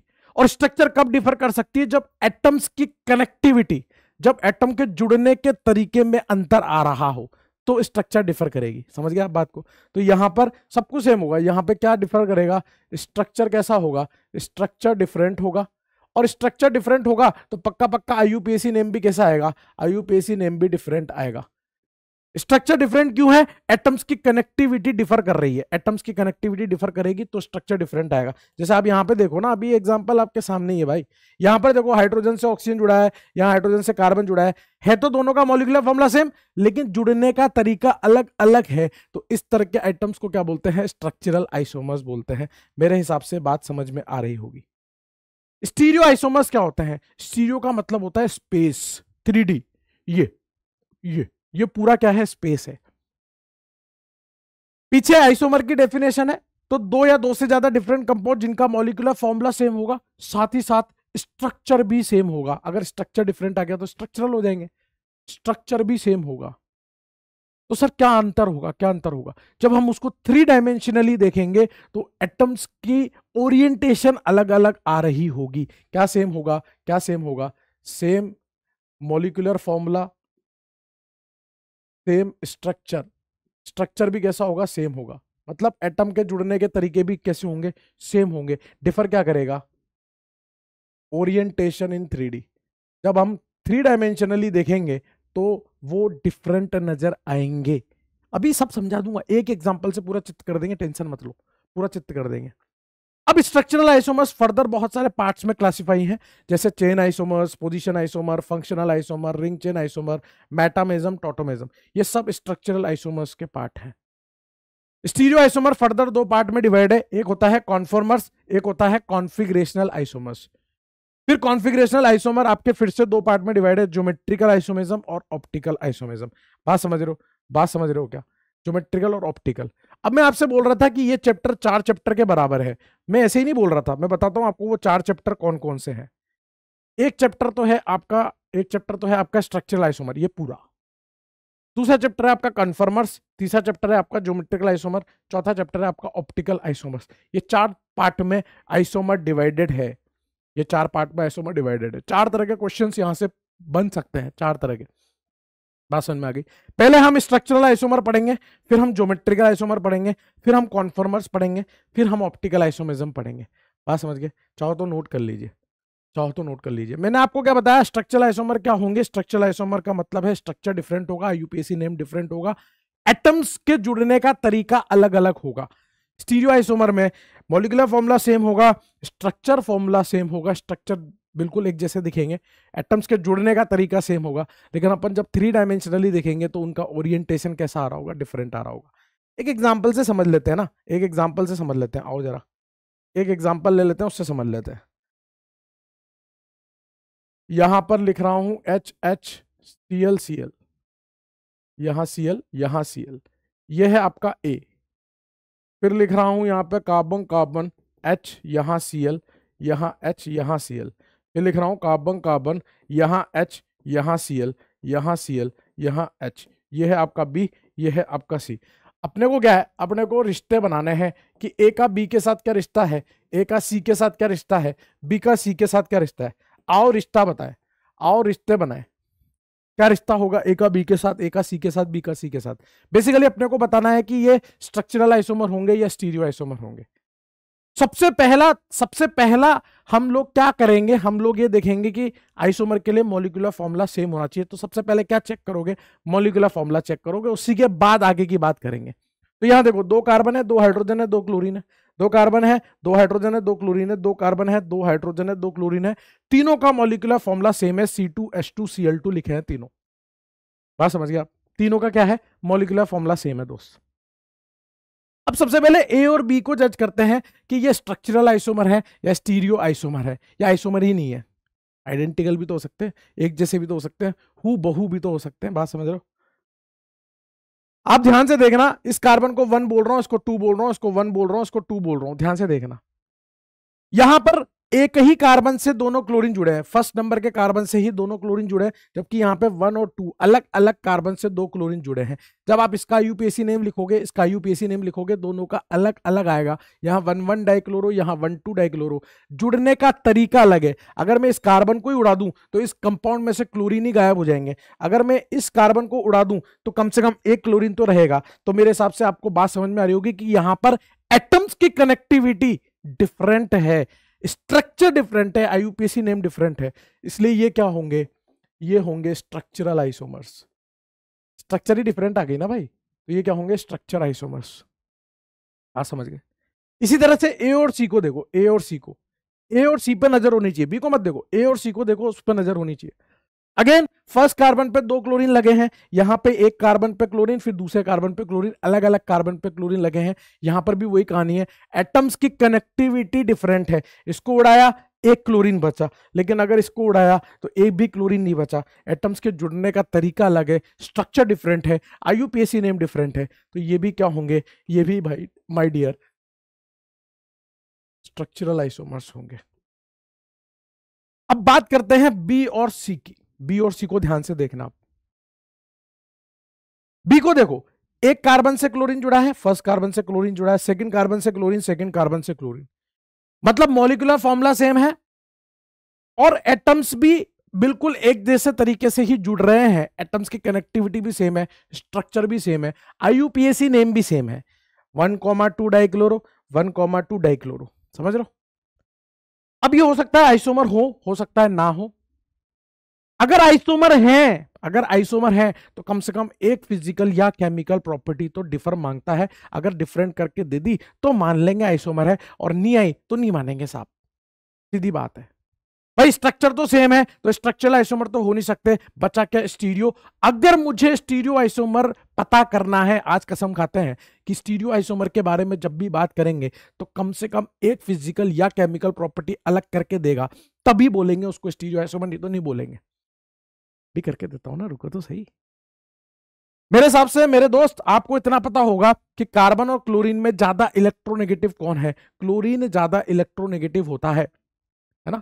क्लोरीन ज़्यादा। ये थोड़ा सा मतलब ये गरीब है, ये अमीर है इलेक्ट्रोनेगेटिविटी के मामले में। तो ये आपको पता ही है कि इस संसार का क्या रोल चल रहा है, कि अमीर और अमीर हुए जा रहा है, गरीब को चूस चूस के, गरीब की सारा धन खींच लेता है। ये जो इसका इलेक्ट्रॉन था, वो इसको क्लोरीन को खींच मतलब क्लोरीन उसका इलेक्ट्रॉन खींच लेगा तो जो डाइपोल मूवमेंट है, वो किसकी तरफ़ शिफ्ट हो जाएगा? क्लोरीन की तरफ़। इसी तरह से इस कार्बन क्लोरीन में भी किस तरफ़ शिफ्ट हो जाएगा? इस तरफ़। बात समझ गए? क्योंकि क्लोरीन ज़्यादा इलेक्ट्रोनेगेटिव है, वो कार्बन के इलेक्ट्रॉन्स को अपनी तरफ़ थोड़ा सा खींच लेगा। तो ओवरऑल आपको पता है कि डाइपोल मूवमेंट जो होता है, वो वेक्टर क्वांटिटी होती है तो ओवरऑल डाइपोल किस तरफ़ आएगा? नीचे की तरफ़ आ जाएगा, इस तरफ़ से, जब दोनों को आप ऐड करोगे, वो होता है ना mu one square plus mu two square ऐसे करके। मतलब इसका कुछ ना कुछ तो डायपोल है। इसका डायपोल मोमेंट ज़ीरो नहीं है। इंपॉर्टेंट बात यह है। इसी तरह से कार्बन है क्लोरीन है, इसका डायपोल मूवमेंट इस तरफ़ होगा। कार्बन है क्लोरीन है, इसका डायपोल मूवमेंट इस तरफ़ होगा। एक डायपोल इस तरफ़ जा रहा है, एक डायपोल इस तरफ़ जा रहा है। अपोजिट डायरेक्शन में जा रहे हैं। अपोजिट डायरेक्शन में जाते हैं तो डायपोल कैंसिल मतलब वेक्टर है तो वेक्टर कैंसिल हो जाएँगे। तो इसका डायपोल मूवमेंट कितना आ रहा है? ज़ीरो। और डायपोल मूवमेंट एक फ़िज़िकल प्रॉपर्टी होती है। मैंने आपको इन दोनों की एक फ़िज़िकल प्रॉपर्टी अलग करके बता दी। सर, और भी हो सकती है क्या? बिल्कुल हो सकती है। जो बॉइलिंग पॉइंट होता है बॉइलिंग पॉइंट वो directly proportional to dipole movement होता है। अब अगर इन दोनों के डायपोल मूवमेंट ही अलग अलग है तो पक्का पक्का बॉइलिंग पॉइंट भी कैसे होंगे? अलग अलग होंगे ना? अलग अलग होंगे ना बॉइलिंग पॉइंट भी। बॉइलिंग पॉइंट क्या होता है, सर? लिक्विड को गैस में ले जाने के लिए जो आग चाहिए होती है, जो टेम्परेचर चाहिए होता है लिक्विड के मॉलिक्यूल्स को गैस में ले जाने के लिए गैस मॉलिक्यूल में कन्वर्ट करने के लिए, उसको बॉइलिंग पॉइंट बोलते हैं, उस टेम्परेचर को। आपको पता है लिक्विड के मॉलिक्यूल जैसे सॉलिड के पार्टिकल बहुत पास पास होते हैं, फिर लिक्विड के पार्टिकल फिर गैस के पार्टिकल तो लिक्विड के जो मॉलिक्यूल होंगे जैसे मान लो कोई ए मॉलिक्यूल है तो उनके बीच में जो इंट्रैक्शन होगा, उनके बीच में जो इंट्रैक्शन होगा, ये लिक्विड के मॉलिक्यूल पास पास है। मुझे इसको गैस में तब्दील करना है। गैस के मॉलिक्यूल कैसे होते हैं? दूर दूर दूर दूर मतलब मुझे इस इंट्रैक्शन को तोड़ना है तो मुझे यहाँ पे आग लगानी पड़ेगी। यहाँ जो मोहब्बत चल रही है इस ए की, इस ए से, इसका तलाक कराना और इस तलाक को कराने के लिए बाहर से कोई फ़ूड डालने वाला होना चाहिए, बाहर से कोई समझ रहे हो ना? आग लगाने वाला होना चाहिए। तो वो जो आग है, इस मोहब्बत को दूर करने के लिए जो आग चाहिए, वही तो आपका बॉइलिंग पॉइंट है। वही तो आपका बॉइलिंग पॉइंट है। बात समझ में आ रही है ये बॉइलिंग पॉइंट की कहानी है। तो इनका बॉइलिंग पॉइंट भी कैसा होगा बेटा? अलग अलग होगा क्योंकि डायपोल मूवमेंट अलग है। एक नहीं, दो दो फ़िज़िकल प्रॉपर्टी अलग करके बता दी। अब तो मानना पड़ेगा कि ये कंपाउंड कैसे हैं? डिफरेंट है। लेकिन मोलिकुलर फॉर्मूला कैसा है? सेम है। Molecular formula same structural formula same compound different. अब कोई चारा नहीं है। ये तो पक्का है कि ये आइसोमर है। स्ट्रक्चर हो नहीं सकते। तो ये क्या है? स्टीरियो आइसोमर है। स्टीरियो मतलब स्पेस। स्टीरियो मतलब स्पेस।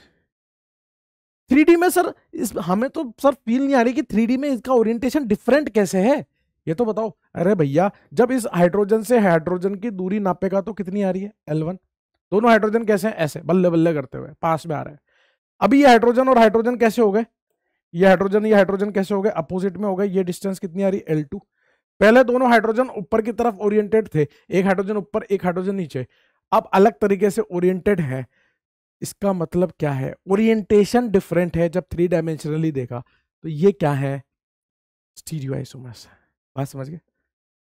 मेरे हिसाब से बात समझ में आ गई होगी स्ट्रक्चरल आइसोमर्स और स्टीरियो आइसोमर्स में क्या फ़र्क है? वो समझ में आ गया होगा। चलिए दोस्त, आगे बढ़ते हैं। स्ट्रक्चरल आइसोमर्स की बात करते हैं। हम ये समझ चुके हैं कि स्ट्रक्चरल आइसोमर क्या होते हैं स्टीरियो आइसोमर क्या होते हैं। अब पहले स्ट्रक्चरल आइसोमर को डील करेंगे एक एक सारे के सारे सारे के सारे। मैं आपको पहले ही बोल रहा हूँ, ये जो टोटोमेजम वाला पार्ट है, ये टोटोमेजम वाला पार्ट जीओसी के बाद में समझ में आता है। ये जीओसी के कॉन्सेप्ट से चलता है। इसमें जीओसी के बेहतरीन रूप से कॉन्सेप्ट यूज़ होंगे। तो इस वाले पार्ट को मैं हल्का सा आइडिया दूँगा। बाकी इसको जीओसी के बाद पढ़ेंगे अपन, है ना? जीओसी में पढ़ेंगे खेच के। बाकी क्या अभी डिस्कस करेंगे? इसको भी पढ़ाऊँगा, बस हल्का सा आइडिया दूँगा, क्योंकि ये बिना जीओसी के आपको समझ में नहीं आएगा, मैं फिर बोल रहा हूँ, ठीक है ना? जीओसी कॉन्सेप्ट यूज़ होता है ना भाई? आइए सबसे पहले चेन आइसोमर्स की बात करते हैं। चेन आइसोमर पहली बात तो स्ट्रक्चरल आइसोमर का पार्ट है। अब इसमें पीछे आ रहा है आइसोमिज्म मतलब आधी से ज़्यादा डेफिनेशन तो वही होगी टू और मोर डिफरेंट कंपाउंड जिनका मॉलिक्यूलर फॉर्मूला सेम होता है। अब अलग क्यों है? अलग क्यों है?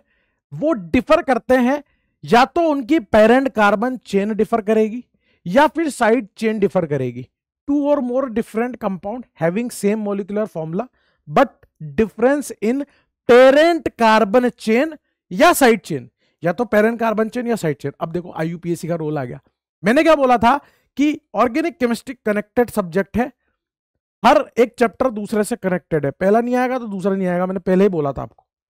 तो यहाँ आईयूपीएससी का रोल आएगा भयंकर रूप से। समझ गया आप बात तो यहाँ क्या सेम होगा बेटा? मॉलिकुलर फॉर्मूला सेम होगा। साथ के साथ फंक्शनल ग्रुप भी सेम होगा। अगर फंक्शनल ग्रुप डिफर कर गया तो फिर वो फंक्शनल आइसोमर की कैटेगरी में चले जाते हैं। इसलिए मॉलिकुलर फॉर्मूला और फ़ंक्शन ग्रुप सेम होना चाहिए। क्या डिफर करेगा? या तो पेरेंट कार्बन चेन या साइड कार्बन चेन जो सब्सटीट्यूएंट होता है ना, उसमें कार्बन डिफर कर सकते हैं। बात समझ गए आप? एग्ज़ाम्पल से समझते एग्ज़ाम्पल से। देखो, सबसे पहले आपको कोई भी पूछे कि भाई ये दोनों क्या है? चेन है पोजिशन है फंक्शनल है, क्या है? आइसोमर है, क्या है? क्या चेक करोगे? मोलिकुलर फॉर्मूला बिना मोलिकुलर फॉर्मूले के अगर आपने आइसोमर का क्वेश्चन उठाया, कोई मतलब नहीं है। हो सकता है मोलिकुलर फॉर्मूला डिफर कर जाए, बेटा तो वो डिफरेंट हो जाएँगे ना वैसे ही। आइसोमर ही नहीं रहेंगे, ठीक है? यहाँ देखो एक, दो, तीन, चार, पाँच कार्बन एक, दो, तीन, चार, पाँच कार्बन। अपने को सारे एटम्स को मैच करना है, सारे एटम्स को। अब हम यहाँ पे थोड़ी सी दिमाग लगाएँगे थोड़ा सा समझदारी रखेंगे। हम कार्बन, नाइट्रोजन, ऑक्सीजन, हाइड्रोजन को छोड़ के जितने एटम्स है, उनको तो गिन के ही चेक करेंगे दोनों में। लेकिन हाइड्रोजन को चेक नहीं करेंगे।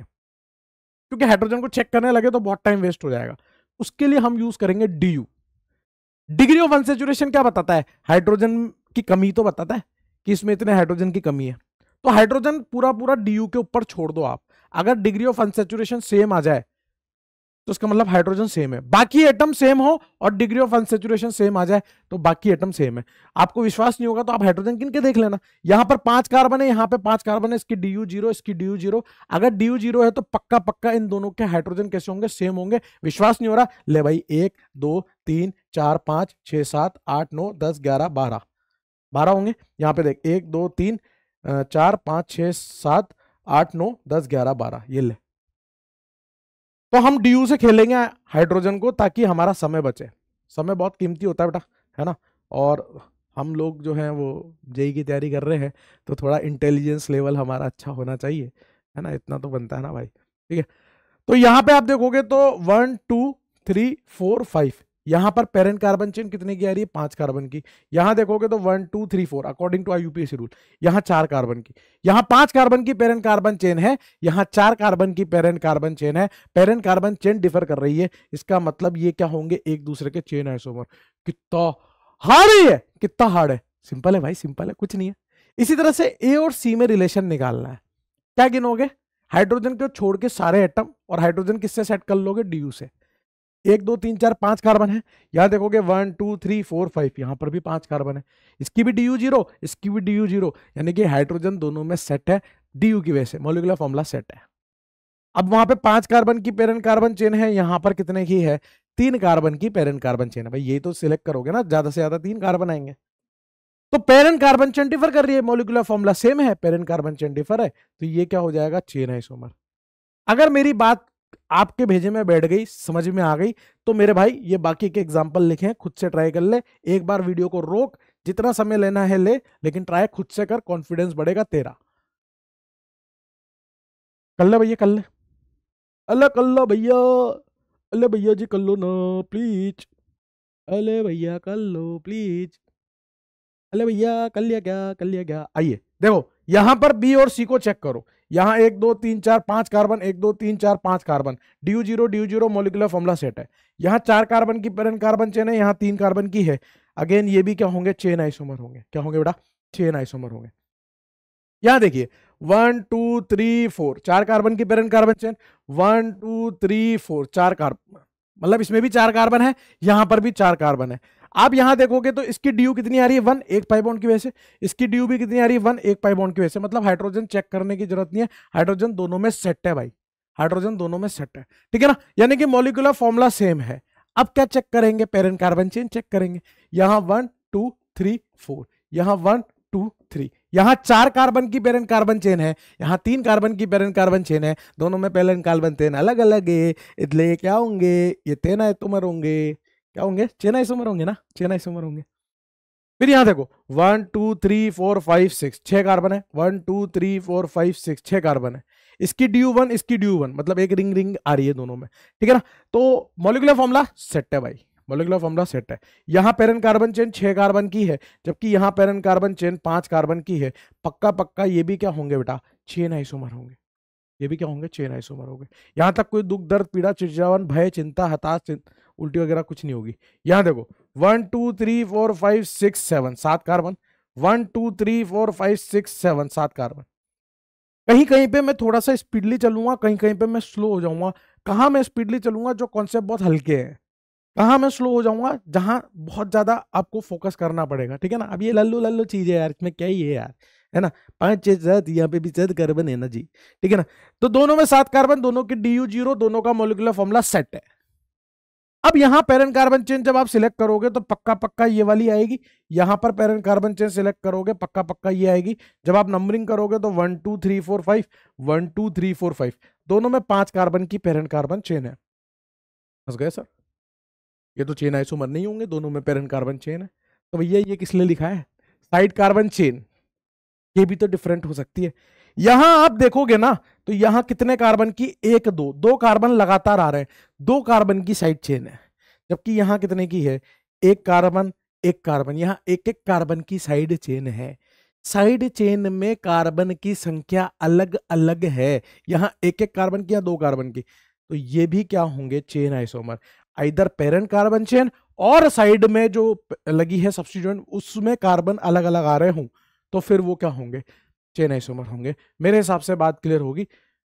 होनी चाहिए मतलब इसमें तो क्या ही दर्द है।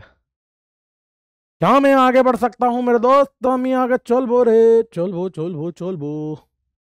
चलो, अगला आइटम देखो। नेक्स्ट है पोजीशन आइसोमर अगेन यहाँ पर पीछे क्या लिखा है? आइसोमेजम लिखा है। यानी कि आधी से ज़्यादा डेफिनेशन तो वही कॉपी पेस्ट होगी। पेस्ट मतलब पेस्ट है ना? टू और more different compound having same molecular formula दो या दो से ज़्यादा डिफरेंट कंपाउंड जिनका मोलिकुलर फॉर्मूला सेम होगा। लेकिन मल्टीपल बॉन्ड सब्सटीट्यूएंट या फंक्शनल ग्रुप सुनना, या तो मल्टीपल बॉन्ड या तो सब्सटीट्यूएंट या फंक्शनल ग्रुप इनकी पोजीशन अलग अलग होगी। इनकी पोजीशन अलग होगी। फ़ंक्शन ग्रुप चेंज नहीं हो रहा, उसकी पोजीशन चेंज होगी। समझ रहे हो? क्या सेम होगा? मोलिकुलर फॉर्मूला फंक्शनल ग्रुप और पेरेंट कार्बन चेन सेम होना चाहिए। मोलिकुलर फॉर्मूला तो इसलिए क्योंकि आइसोमर है। फ़ंक्शन ग्रुप इसलिए नहीं तो फंक्शनल आइसोमर की कैटेगरी में चल जाएँगे। पेरेंट कार्बन चेन वरना चेन आइसोमर की कैटेगरी में चल जाएँगे। ये तीन चीज़ें कैसी होनी चाहिए? ये तो आपकी सेम होनी चाहिए। क्या डिफरेंट होना चाहिए? क्या डिफरेंट होना चाहिए? पोजीशन ध्यान से पढ़ना। Position of functional group functional group नहीं चेंज कर रहा, उसकी पोजीशन चेंज कर रहा हूँ। पोजीशन ऑफ़ मल्टीपल बॉन्ड और पोजीशन ऑफ़ सब्सटीट्यूएंट इनमें से कुछ भी पोजीशन में डिफर करते हैं। तो वो पोजीशन आइसोमर होंगे बेटा, है ना? जगह बदल रहे हैं अगर तो। जैसे यहाँ पर देखो अगेन कैसे करेंगे? पहले मोलिकुलर फॉर्मूला चेक करेंगे। पहले मोलिकुलर फॉर्मूला चेक करेंगे भैया, समझ रहे हो? कैसे करेंगे? दिमाग से इंटेलिजेंट तरीके से प्रो तरीके से। वन टू थ्री फोर चार carbon one two three four चार कार्बन इसकी डी यू वन क्योंकि एक पाई बॉन्ड है, इसकी डी यू वन एक पाई बॉन्ड है। तो हाइड्रोजन वाइड्रोजन सब सेट है मोलिकुलर फॉर्मूला सेट है। यहाँ पर नंबरिंग करोगे वन टू थ्री फोर यहाँ नंबरिंग करोगे मिनिमम नंबर मल्टीपल बॉन्ड को देते हुए वन टू थ्री फोर यहाँ एल्कीन की पोजीशन आ रही है दो नंबर यहाँ एल्कीन की पोजीशन आ रही है वन नंबर यहाँ एल्किन दो नंबर पे आ रहा है। यहाँ एल्किन वन नंबर पे आ रहा है। यानी कि मल्टीपल बॉन्ड की पोजीशन अलग अलग आ रही है। तो ये क्या होंगे? ये पोजीशन आइसोमर होंगे। अगर मेरी बात समझ में आ गई, भेजे में बैठ गई तो बाकी के क्वेश्चन आप ट्राई करिए, आपका कॉन्फिडेंस बूस्ट करिए। चलिए पोज करके वीडियो को रोकिए टाइम लीजिए, करिए।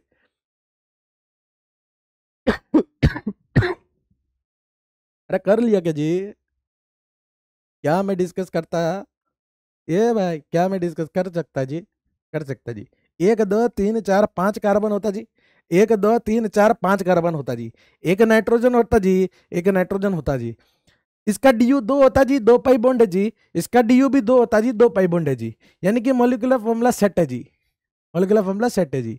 अगर आप अगर आप आई यू नहीं जानते तो आप यहाँ पे गलती करेंगे। आप पता है क्या करेंगे? स्टूडेंट यहाँ पे क्या कर देता है कि, सर, यहाँ पे पेरेंट कार्बन चेन ये हो जाएगी और यहाँ पेरेंट कार्बन चेन ही हो जाएगी। Sir one two three four sir one two three four sir यहाँ दो नंबर पे साइनाइड आ रहा जी। यहाँ एक नंबर पे साइनाइड आ रहा जी। सर ये पोजीशन आइसोमर होता जी। क्योंकि साइनाइड सर फंक्शनल ग्रुप होता तो ये वन नंबर पे टू नंबर पे सर पोजीशन आइसोमर सर हमारा सही हो गया जी। गलत है जी। ये दोनों कार्बन कंटेनिंग फंक्शनल ग्रुप है भैया साइनाइड तो यहाँ पेरेंट कार्बन चेन कैसी होगी? पेरेंट कार्बन चेन इसके कार्बन को शामिल करते हुए होगी ऐसे। यहाँ पेरेंट कार्बन चेन कैसी होगी? ऐसे होगी। तो जब आप नंबरिंग करोगे तो one two three four five यहाँ करोगे तो वन टू थ्री फोर यहाँ चार कार्बन की पेरेंट कार्बन चेन है। यहाँ पाँच कार्बन की पेरेंट कार्बन चेन है अंकल समझ रहे हो? तो पेरेंट कार्बन चेन अलग अलग है। तो ये चेन आइसोमर होगा जी। और सर अरे कोई बात नहीं यार, हो जाता है, हो जाता है। कोई बात नहीं, कोई बात नहीं। फिर यहाँ पे देखो, एक, दो, तीन, चार, पाँच, छह, सात, आठ। छह सात, आठ। D U one D U one, ठीक है ना? तो मोलिकुलर फॉर्मूला सेट है। जब आप नंबरिंग करोगे, one, two, three, four, five, six तो यहाँ पर पोजीशन क्या आ रही है? वन और वन आ रही है सब्सिट्यूएंट की। यहाँ पर one, two, three, four, five, six, यहाँ पर पोजीशन क्या आ रही है? वन और टू आ रही है। मतलब ये नंबर अलग आ रहे हैं, ये नंबर अलग आ रहे हैं। सब्सिट्यूएंट की पोजीशन चेंज है दैट्स वाई ए और बी भी क्या है? पोजीशन आइसोमर है। ये भी क्या है? पोजीशन आइसोमर फिर यहाँ पर देखो एक दो तीन चार पाँच, एक दो तीन चार पाँच। पाँच पाँच कार्बन है, एक सल्फ़र है, एक सल्फ़र है, इसकी डीयू इसकी डीयू सेम है, ठीक है? तो यहाँ पर कैसे करोगे? One, two, three, four, five, यहाँ one, two, three, four, five. यहाँ तीन नंबर पे थायो अल्कोहल फंक्शनल ग्रुप लगा है है ना? अल्कोहल होता है, ये थायो अल्कोहल है। यहाँ दो नंबर पे थायो अल्कोहल फंक्शनल ग्रुप लगा है, यानी कि फंक्शनल ग्रुप की पोजीशन चेंज हो रही है। तो ये भी क्या है दोस्त? पोजीशन आइसोमर है। They are also position isomer. मेरे हिसाब से बात क्लियर होगी और चेक भी कर लिया होगा आप लोगों ने। आगे चलते हैं दोस्त। इसमें एक टाइप का और क्वेश्चन बन जाता है पोजीशन आइसोमर्स में कि आपको इस तरह से कुछ भी दे देगा और पूछ लेगा इसके कितने पोजीशन आइसोमर होंगे। एक मैं करके बता रहा हूँ, बाकी आप करके देखोगे। एक मैं करके बता रहा हूँ। जैसे आपको ये आइटम दिया हुआ है। सबसे पहली चीज़ तो पोजीशन आइसोमर होना है तो फंक्शनल ग्रुप चेंज नहीं हो सकता पेरेंट कार्बन चेन चेंज नहीं हो सकती।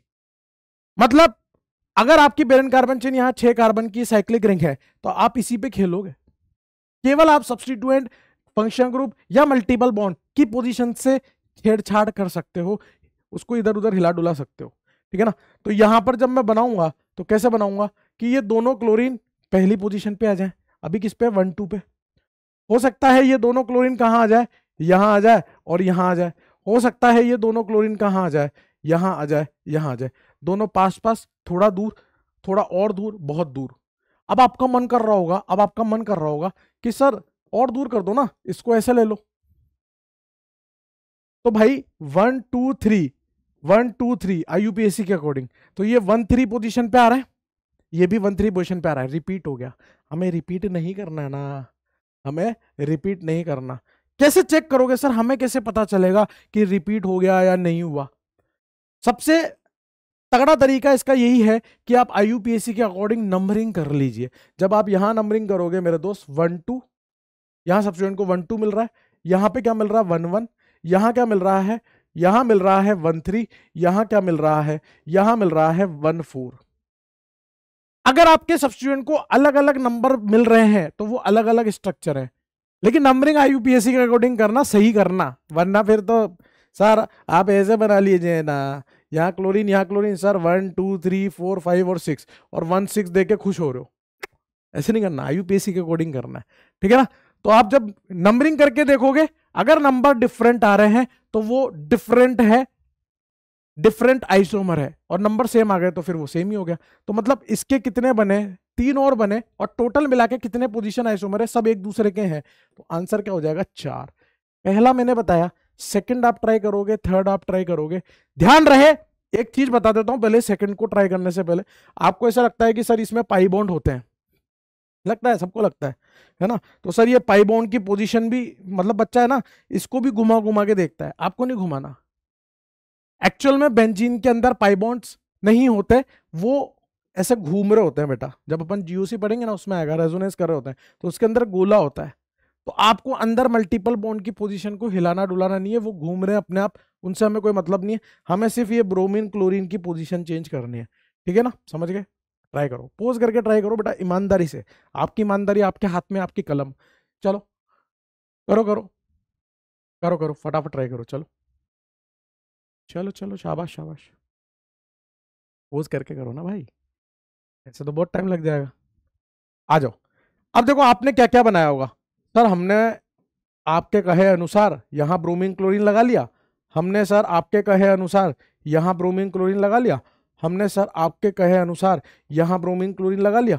फिर सर, आपने बोला कि यहाँ ब्रोमीन और यहाँ क्लोरीन मत लगाना, क्योंकि ये और ये तो सेम ही है। भाई, ये मेटा है, ये पेरा है, ये वापस मेटा है। तो सर, हमने यहाँ नहीं लगाया।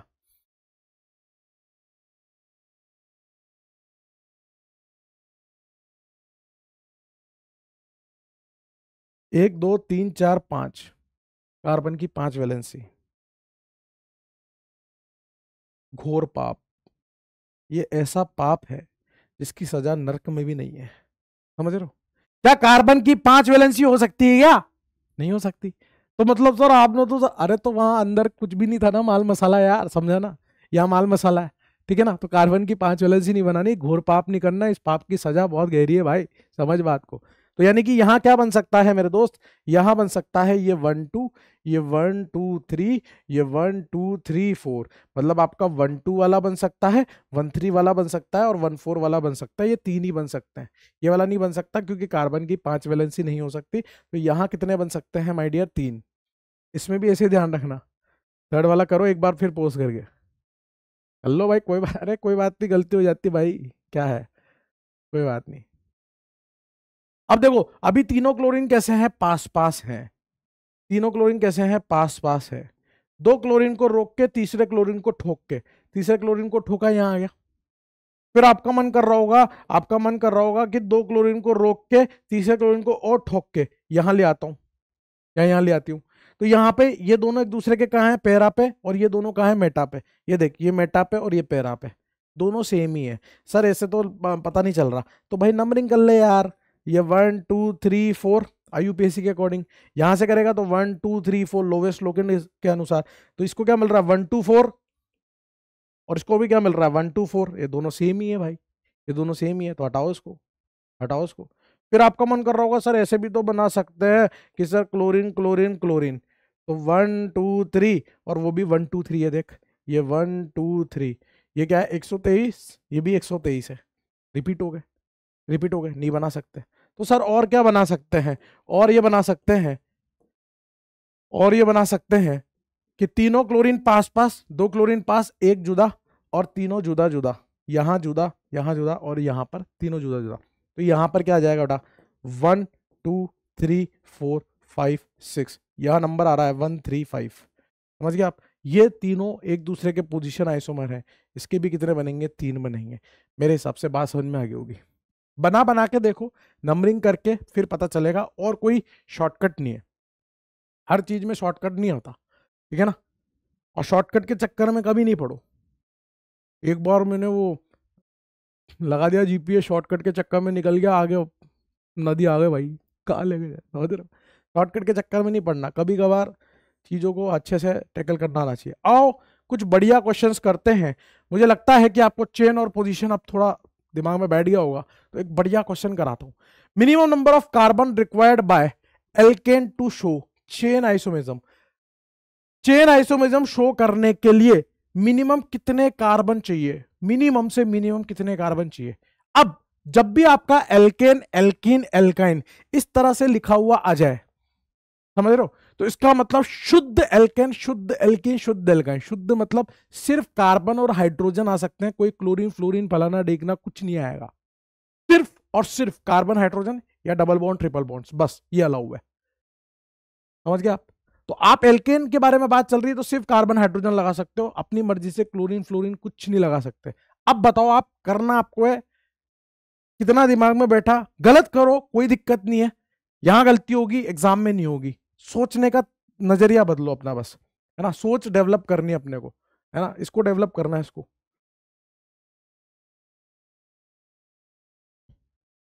हाँ भाई, अब देखो एल्केन की बात चल रही है। अगर मैं दो कार्बन पे खेलूँगा तो कोई चेन वेन तो बनेगी नहीं। अगर मैं मान लो तीन कार्बन पे खेलूँगा तो ये वन टू थ्री कर लूँगा, फिर दूसरा क्या बनाऊँगा? कुछ नहीं बना पाऊँगा। तो मतलब मुझे कितने पे खेलना पड़ेगा? चार कार्बन पे। ये चार कार्बन है ये चार कार्बन है। One two three four one two three four D U zero D U zero यहाँ पेरेंट कार्बन चेन कितने की है दोस्त? एक, दो, तीन, चार, यहाँ एक, दो, तीन की है। यानी कि आंसर आ गया।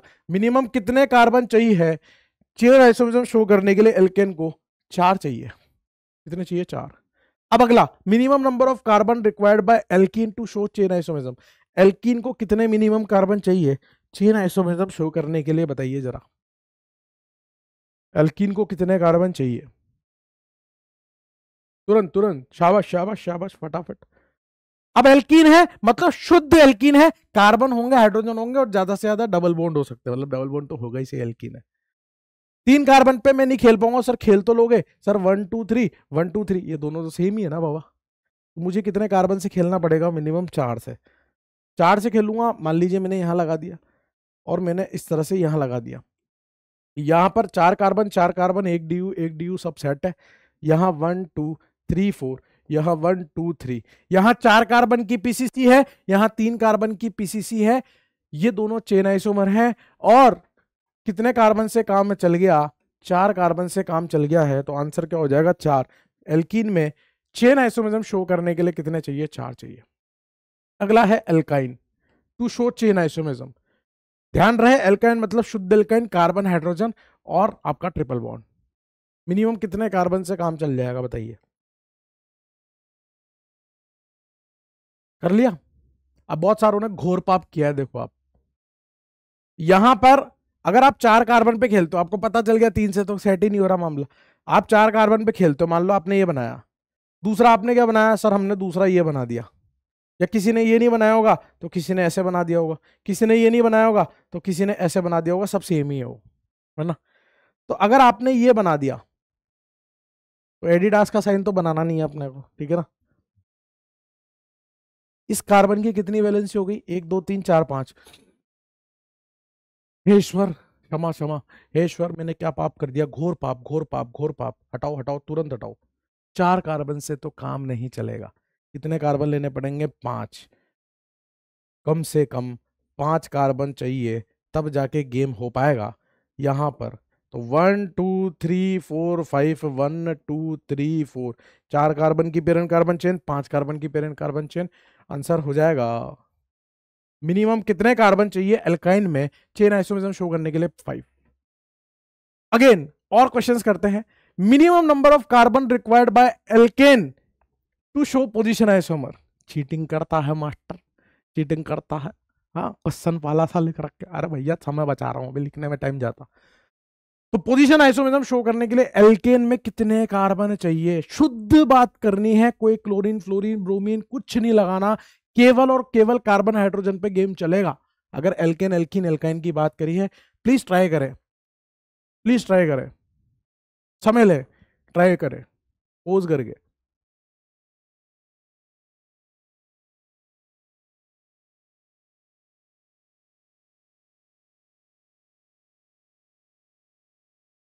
पोजीशन के लिए क्या है? पोजीशन के लिए पेरेंट कार्बन चेन सेम होनी चाहिए मोलिकुलर फॉर्मूला सेम होना चाहिए। तो देखिए जरा, अगर आप चार कार्बन पे खेलते हैं तो खेल ही नहीं पाएँगे, कहाँ पे क्या लगाएँगे मतलब? समझ में ही नहीं आ रहा कि कैसे क्या करेंगे। अगर यहाँ पर लगा दिया तो तीन कार्बन की पीसीसी है, चार कार्बन की नहीं, बैठ रहा भाई मामला चेन आइसोमर हो गए। सर, हम पाँच पे खेल लेते हैं, सर, हम यहाँ लगा लेते हैं। हम सब्सिट्यूएंट को, भाई हम क्या खेल सकते हैं? या तो हम सब्सिट्यूएंट या मल्टीपल बॉन्ड या फ़ंक्शन ग्रुप की पोजिशन चेंज कर सकते हैं। फंक्शनल ग्रुप एल्केन में आएगा ही नहीं। मल्टीपल बॉन्ड एल्केन में आएगा ही नहीं मतलब खेल खेल सकते हैं तो सब्सटीट्यूएंट का। अगर आपने ये बना लिया तो यहाँ नंबरिंग करोगे one two three four IUPAC के अकॉर्डिंग यहाँ करोगे, ये भी one two three four minimum number given to substituent ये भी टू मिथाइल ब्यूटेन ये भी टू मिथाइल ब्यूटेन ये भी नहीं हो सकता। और सर मतलब पाँच कार्बन में भी नहीं बैठ रहा। नहीं बैठेगा ना बाबा? अब बिठाते हैं छह कार्बन से, है ना? एक एक बढ़ाने एक एक बढ़ाने। ट्राई करते रहना है। ऐसे ही है, और कोई मतलब इसका और कोई तरीका नहीं है। आपको try hit and trial method से करना है। One two three four five तो ये पाँच कार्बन की पेरेंट कार्बन चेन है। ये one two three four five ये भी पाँच कार्बन की है। लेकिन यहाँ पे दो नंबर पे सब्सटीट्यूएंट है, यहाँ तीन नंबर पे सब्सटीट्यूएंट है। तो आपका अनसर कितना हो जाएगा जी? छः हो जाएगा जी। है ना? छः कार्बन से आपका काम चल जाएगा एल्केन में पोजीशन आइसोमिज्म शो करने के लिए। अब एल्कीन की बात है। एल्कीन में कितने कार्बन चाहिए पोजीशन आइसोमिज्म शो करने के लिए? एल्कीन मतलब शुद्ध एल्कीन सिर्फ़ कार्बन हाइड्रोजन और डबल बॉन्ड कोई क्लोरीन ब्रोमीन सल्फ़र वल्फर कुछ नहीं लगाना। बताओ। बताइए। बताइए। बता दो भैया। ओ भैया बता दो। अब देखो, मैंने क्या बोला? किस किस की पोजीशन हिला सकते हैं? मल्टीपल बॉन्ड की सब्सटीट्यूएंट की या फंक्शनल ग्रुप की। अब यहाँ मल्टीपल बॉन्ड आ गया तो उसकी पोजीशन हिला के भी काम चल सकता है। सर, इधर लगा लो, सर, इधर लगा लो। ये भी वन टू थ्री ये भी वन टू थ्री दोनों की पोजीशन सेम ही अंकल। ऐसे केस में हम क्या करेंगे? एक बार यहाँ लगाएँगे जी, यहाँ लगाएँगे। One two three four, one two three four. यहाँ फ़र्स्ट कार्बन पे एल्कीन आ रही है, यहाँ सेकंड पे आ रही है मतलब मल्टीपल बॉन्ड की पोजीशन चेंज हो रही है। तो ये कितने कार्बन से काम चल जाएगा? चार कार्बन से काम चल जाएगा। Minimum number of carbon required by alkyne alkyne alkyne position isomerism show करने के लिए। ट्राई करिए। एल्काइन बोले तो कार्बन हाइड्रोजन और ट्रिपल बॉन्ड खेलो। अरे सिंपल है बाबा। इसका करने का कॉपी इसी को करने का पे सेट और यहाँ पे यह लगाने का ट्रिपल बॉन्ड यहाँ लगाने का ट्रिपल बॉन्ड यहाँ फ़र्स्ट पोजीशन पे, यहाँ सेकंड पोजीशन पे। अगेन आंसर कितना हो जाएगा? चार। सर यहाँ तो घोर पाप हो गया। कहाँ हो गया भैया? इसकी चार वैलेंसी इसकी चार वैलेंसी सबकी चार वैलेंसी चल रही। कोई घोर पाप नहीं है। मेरे हिसाब से यहाँ तक कोई दर्द, दिक्कत, परेशानी, चिड़चिड़ापन, दुख, भय, पीड़ा, हताश नहीं होगा आपको। है ना? सिंपल है। आगे बढ़ते हैं दोस्त, आगे बढ़ते हैं। नेक्स्ट है हमारा फंक्शनल आइसोमर्स पीछे आइसोमिज्म लिखा है, यानी कि दो या दो से ज़्यादा डिफरेंट कंपाउंड जिनका मोलिकुलर फॉर्मूला सेम होगा। यहाँ डिफरेंट क्या होता है? फंक्शनल ग्रुप डिफर कर जाता है। सेम क्या है? सेम है मोलिकुलर फॉर्मूला डिफरेंट क्या है? डिफरेंट है फंक्शनल ग्रुप बिल्कुल शॉर्ट में क्रिस्प ठीक है ना? अब अल्कोहल और इथर कैसे कैसे फंक्शनल आइसोमर्स आपको देखने मिलेंगे? कैसे कैसे फंक्शनल ग्रुप डिफर कर सकते हैं? वो केसेस बना रखे हैं। जैसे अल्कोहल इथर एग्ज़ाम्पल से समझते हैं। C S three C S two O H ये है आपका alcohol C S three O C S three ये है आपका इथर दो कार्बन छह हाइड्रोजन एक ऑक्सीजन दो कार्बन छह हाइड्रोजन एक ऑक्सीजन दोनों का मोलिकुलर फॉर्मूला सेट है। ये अल्कोहल है इथर है अलग अलग फंक्शनल ग्रुप है। अल्डिहाइड और ketone C S three C S two C double H इस फंक्शनल ग्रुप को बोलते हैं अल्डिहाइड जिसमें एक तरफ़ हाइड्रोजन दूसरी तरफ़ कार्बन आते हो। और कीटोन कैसा दिखता है? C S three C O C S three C S three C O C S three इसमें भी तीन कार्बन इसमें भी तीन कार्बन एक ऑक्सीजन एक ऑक्सीजन एक डी यू एक D U molecular formula set है।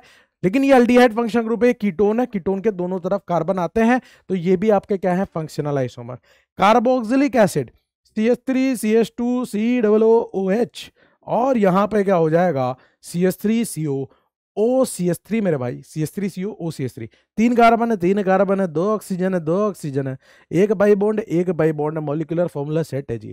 ठीक है ना? अब यहाँ पर ये फ़ंक्शन ग्रुप है कार्बोक्सिलिक एसिड, जिसमें ऑक्सीजन से हाइड्रोजन होता है।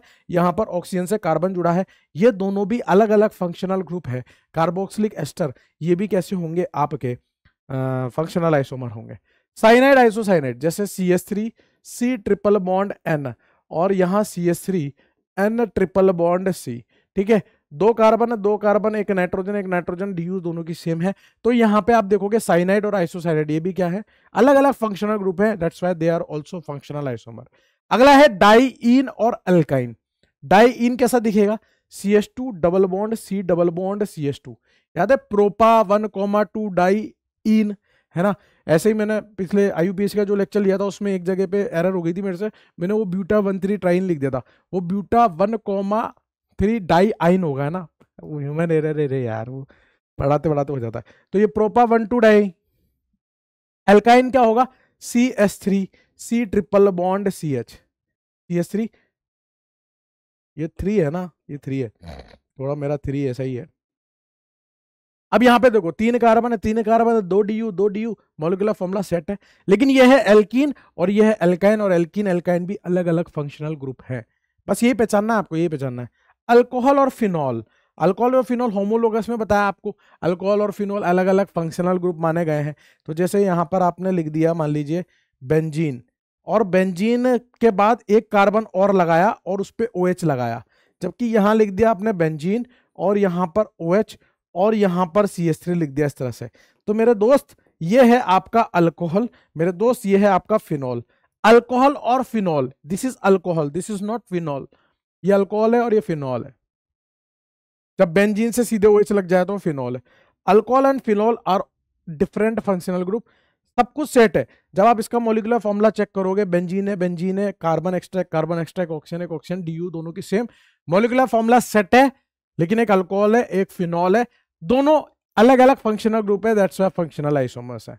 फिर one degree two degree three degree amine इनको भी अलग अलग फंक्शनल ग्रुप माना गया है, पहले ही बताया था। फिर मैं यहाँ पे एग्ज़ाम्पल लिख देता हूँ, फिर क्या हो गया? एग्ज़ाम्पल लिख देते हैं ना। नाइट्रोजन से अगर एक कार्बन जुड़ा हो तो वन डिग्री अमीन नाइट्रोजन के दोनों तरफ़ ही कार्बन हो तो टू डिग्री अमीन इधर भी कार्बन इधर भी कार्बन टू डिग्री अमीन अगर नाइट्रोजन से मेरे दोस्त तीन कार्बन डायरेक्टली अटैच हो इस तरह से तो ये थ्री डिग्री अमीन नाइट्रोजन से एक कार्बन, नाइट्रोजन से दो कार्बन, नाइट्रोजन से तीन कार्बन, ये one degree two degree three degree तीन कार्बन, एक नाइट्रोजन, तीन कार्बन, एक नाइट्रोजन, तीन कार्बन, एक नाइट्रोजन, सबके D same molecular formula same है, लेकिन फंक्शनल ग्रुप अलग अलग है। ये भी क्या होंगे? फंक्शनल आइसोमर होंगे। मेरे हिसाब से बात समझ में आ रही होगी। शक्ल अलग अलग मोलिकुलर फॉर्मूला सेम सीधी बात। शक्ल अलग अलग मोलिकुलर फॉर्मूला से मतलब फ़ंक्शन ग्रुप की शक्ल अलग दिख रही हो फंक्शनल आइसोमर है मेरे। हिसाब से नोट भी कर लिया होगा आप लोगों ने। नेक्स्ट है आपका ring chain isomer ring chain isomer क्या है? पहली बात तो आइसोमर दो या दो से ज़्यादा डिफरेंट कंपाउंड जिनका मोलिकुलर फॉर्मूला सेम होता है। लेकिन यहाँ पर क्या होगा? पेरेंट कार्बन चेन का नेचर अलग होगा। दो आइटम के बीच में रिश्ता आइसोमर होता है। एक की पेरेंट कार्बन चेन होगी ओपन चेन और दूसरे की पेरेंट कार्बन चेन होगी क्लोज्ड, यानी कि साइक्लिक चेन अलग अलग नेचर होगा। मोलिकुलर फॉर्मूला सेम है, लेकिन पेरेंट कार्बन चेन का नेचर अलग अलग है। One is open one is closed तो सेम क्या होगा? मोलिकुलर फॉर्मूला लेकिन पेरेंट कार्बन चेन का नेचर कैसा होगा? डिफरेंट एक होगी साइक्लिक दूसरी होगी ओपन चेन समझ गए आप बात को? यहाँ देखो वन टू थ्री तीन कार्बन है। वन टू थ्री तीन कार्बन है। इसकी डी यू वन इसकी D U one molecular formula set है। तो यहाँ पर तीन कार्बन की parent carbon chain open chain है, जबकि यहाँ तीन कार्बन की पेरेंट कार्बन चेन साइक्लिक है, रिंग में है। इसके कारण ए और बी क्या है? एक दूसरे के रिंग चेन आइसोमर है। साथ ही साथ, ये फंक्शनल आइसोमर भी है। हैं? मतलब एक से ज़्यादा रिश्ता भी हो सकता है। हाँ हो सकता है। तो सर, किस पे टिक करेंगे? थोड़ी सी देर में बता दूँगा कि क्या प्रायोरिटी होती है टिक करने की। अगर चार ऑप्शन में सिंगल करेक्ट पूछ ले तो। मल्टीपल करेक्ट आ जाए तो दोनों सही है। फंक्शनल कैसे है? ये है एल्कीन जबकि ये कैसा है? Alkane alkene and alkane are different functional तो इसलिए फंक्शनल आइसोमर ऑल्सो फिर यहाँ देखो यहाँ देखो चार कार्बन दो डीयू एक पाइबोन की वजह से, एक रिंग की वजह से। एक, दो, तीन, चार कार्बन दो डी है ना? अब बहुत सारे लोग ज्ञान लगाएँगे, सर, ये ट्रिपल बॉन्ड है, सर, ऐसा थोड़ी ना होता है, वो तो ऐसा होता है। ऐसा होता है। एक, दो, तीन, चार सर सीधा होना चाहिए। अरे यार, समझ रहे हैं ना चीज़ें समझने के लिए। अब इतना क्या ज्ञान लगाना है? पता है, सबको पता है, हमें भी पता है। हमने ही तो पता है फिर। वन तो ऐसे ज्ञान देने वाले लोगों से दूर रहें फ़िलहाल, है ना? काम की बात चल रही है तो काम की बात सुने। यहाँ चार कार्बन की पेरेंट कार्बन चेन रिंग है, यहाँ चार कार्बन की पेरेंट कार्बन चेन ओपन है। एक ओपन चेन एक ring that's why they are ring chain isomer because parent carbon chain का नेचर डिफरेंट है। ये फंक्शनल आइसोमर भी है, क्यों है? क्योंकि ये डबल बॉन्ड है ट्रिपल बॉन्ड है एल्कीन है एल्काइन है। Alkene and alkyne are different functional group that's why they are also function isomer ठीक है ना? मैं बता दूँगा किसको टिक करना है, अगर सिंगल करेक्ट आए। मल्टीपल आए तो दोनों सही है। अभी थोड़ी देर और रुक जाओ ना, थोड़ी देर रुक जाओ, बता दूँगा। समझ गया? मेरे हिसाब से बात समझ में आ गई होगी, रिंग चेन आइसोमर क्या होता है। नेक्स्ट है दोस्त, मेटामर्स। मेटामर समझने के पहले हमें यह समझना पड़ेगा कि मोनोवेलेंट फंक्शनल ग्रुप क्या होते हैं और पॉलीवेलेंट फंक्शनल ग्रुप क्या होते हैं। सुनते चलो आप कहानी की तरह, सुनते चलो बस। मोनोवेलेंट फंक्शनल ग्रुप वो होते हैं जो हमेशा कॉर्नर पे लगते हैं, जिसके एक ही तरफ़ कार्बन लगाए जा सकते हो। जैसे यहाँ पे मैं कार्बन सिर्फ़ इस तरफ़ ही लगा सकता हूँ ओ OH के इस तरफ़ नहीं लगा सकता क्योंकि अल्कोहल बिगड़ जाएगा फिर, नशे खत्म हो जाएँगे उसके। समझिए अल्कोहल हो गया वन डिग्री अमीन हो गया थायो अल्कोहल हो गया अल्डीहाइड हो गया कार्बोक्सिलिक एसिड हो गया अमाइड हो गया एसिड हेलाइड हो गया। ये सब कैसे हैं? ये सब कैसे हैं? जिसमें एक ही तरफ़ कार्बन आ सकते हैं, एक ही वैलेंसी फ्री है, ये होते हैं मोनोवेलेंट सिंगल वैलेंसी वाले फंक्शनल ग्रुप पॉलीवेलेंट क्या होते हैं जिसकी एक से ज़्यादा वैलेंसी फ्री हो, जिसमें हम दोनों तरफ़ या तीन तरफ़ या चार तरफ़ कार्बन लगा सकते हो। यहाँ पर हम इधर भी कार्बन लगा सकते हैं, इधर भी लगा सकते हैं। यह है ईथर। कैसा है? डाईवेलेंट है। यह है थायो ईथर यह है टू डिग्री अमीन, यह है कीटोन, यह है आपका एस्टर। एस्टर में दोनों तरफ़ कार्बन लगाए जा सकते हैं। ये पॉलीवेलेंट हो गया। यह है एनाइट्राइड दोनों तरफ़ लगाए जा सकते हैं आपके कार्बन। ठीक है ना? यह है आपका सल्फोनिक एसिड, है ना? तो कार्बन दोनों तरफ़ लगाए जा सकते हैं। सल्फोनिक एसिड का वो है, एस्टर, है ना?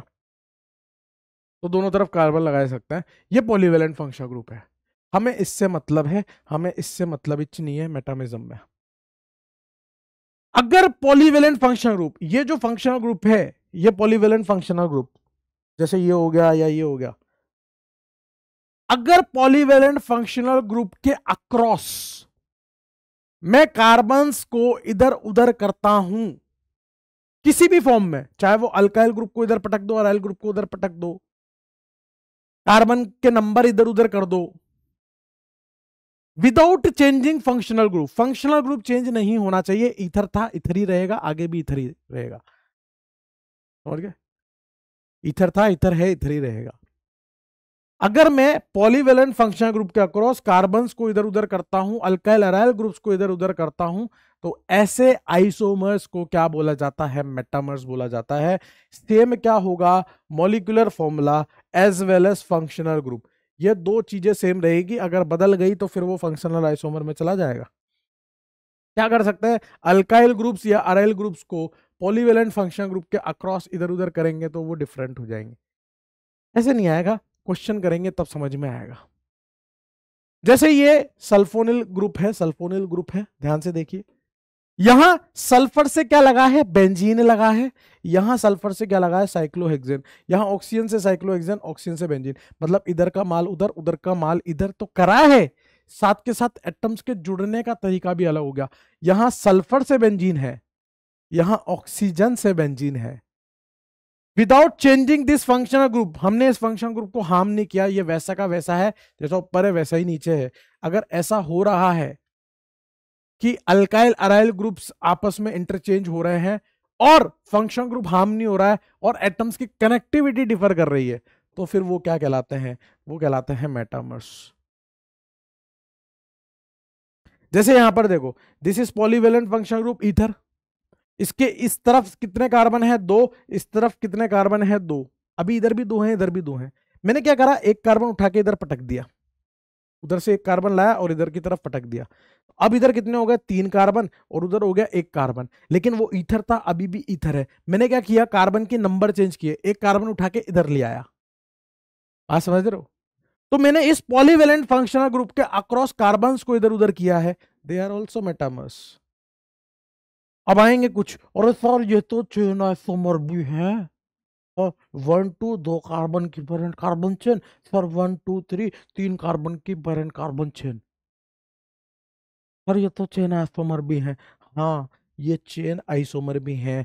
अगर मल्टीपल आता है तो दोनों करेक्ट हैं और अगर सिंगल करेक्ट आएगा तो मैं बता दूँगा अभी कि किसको प्रायोरिटी देनी है।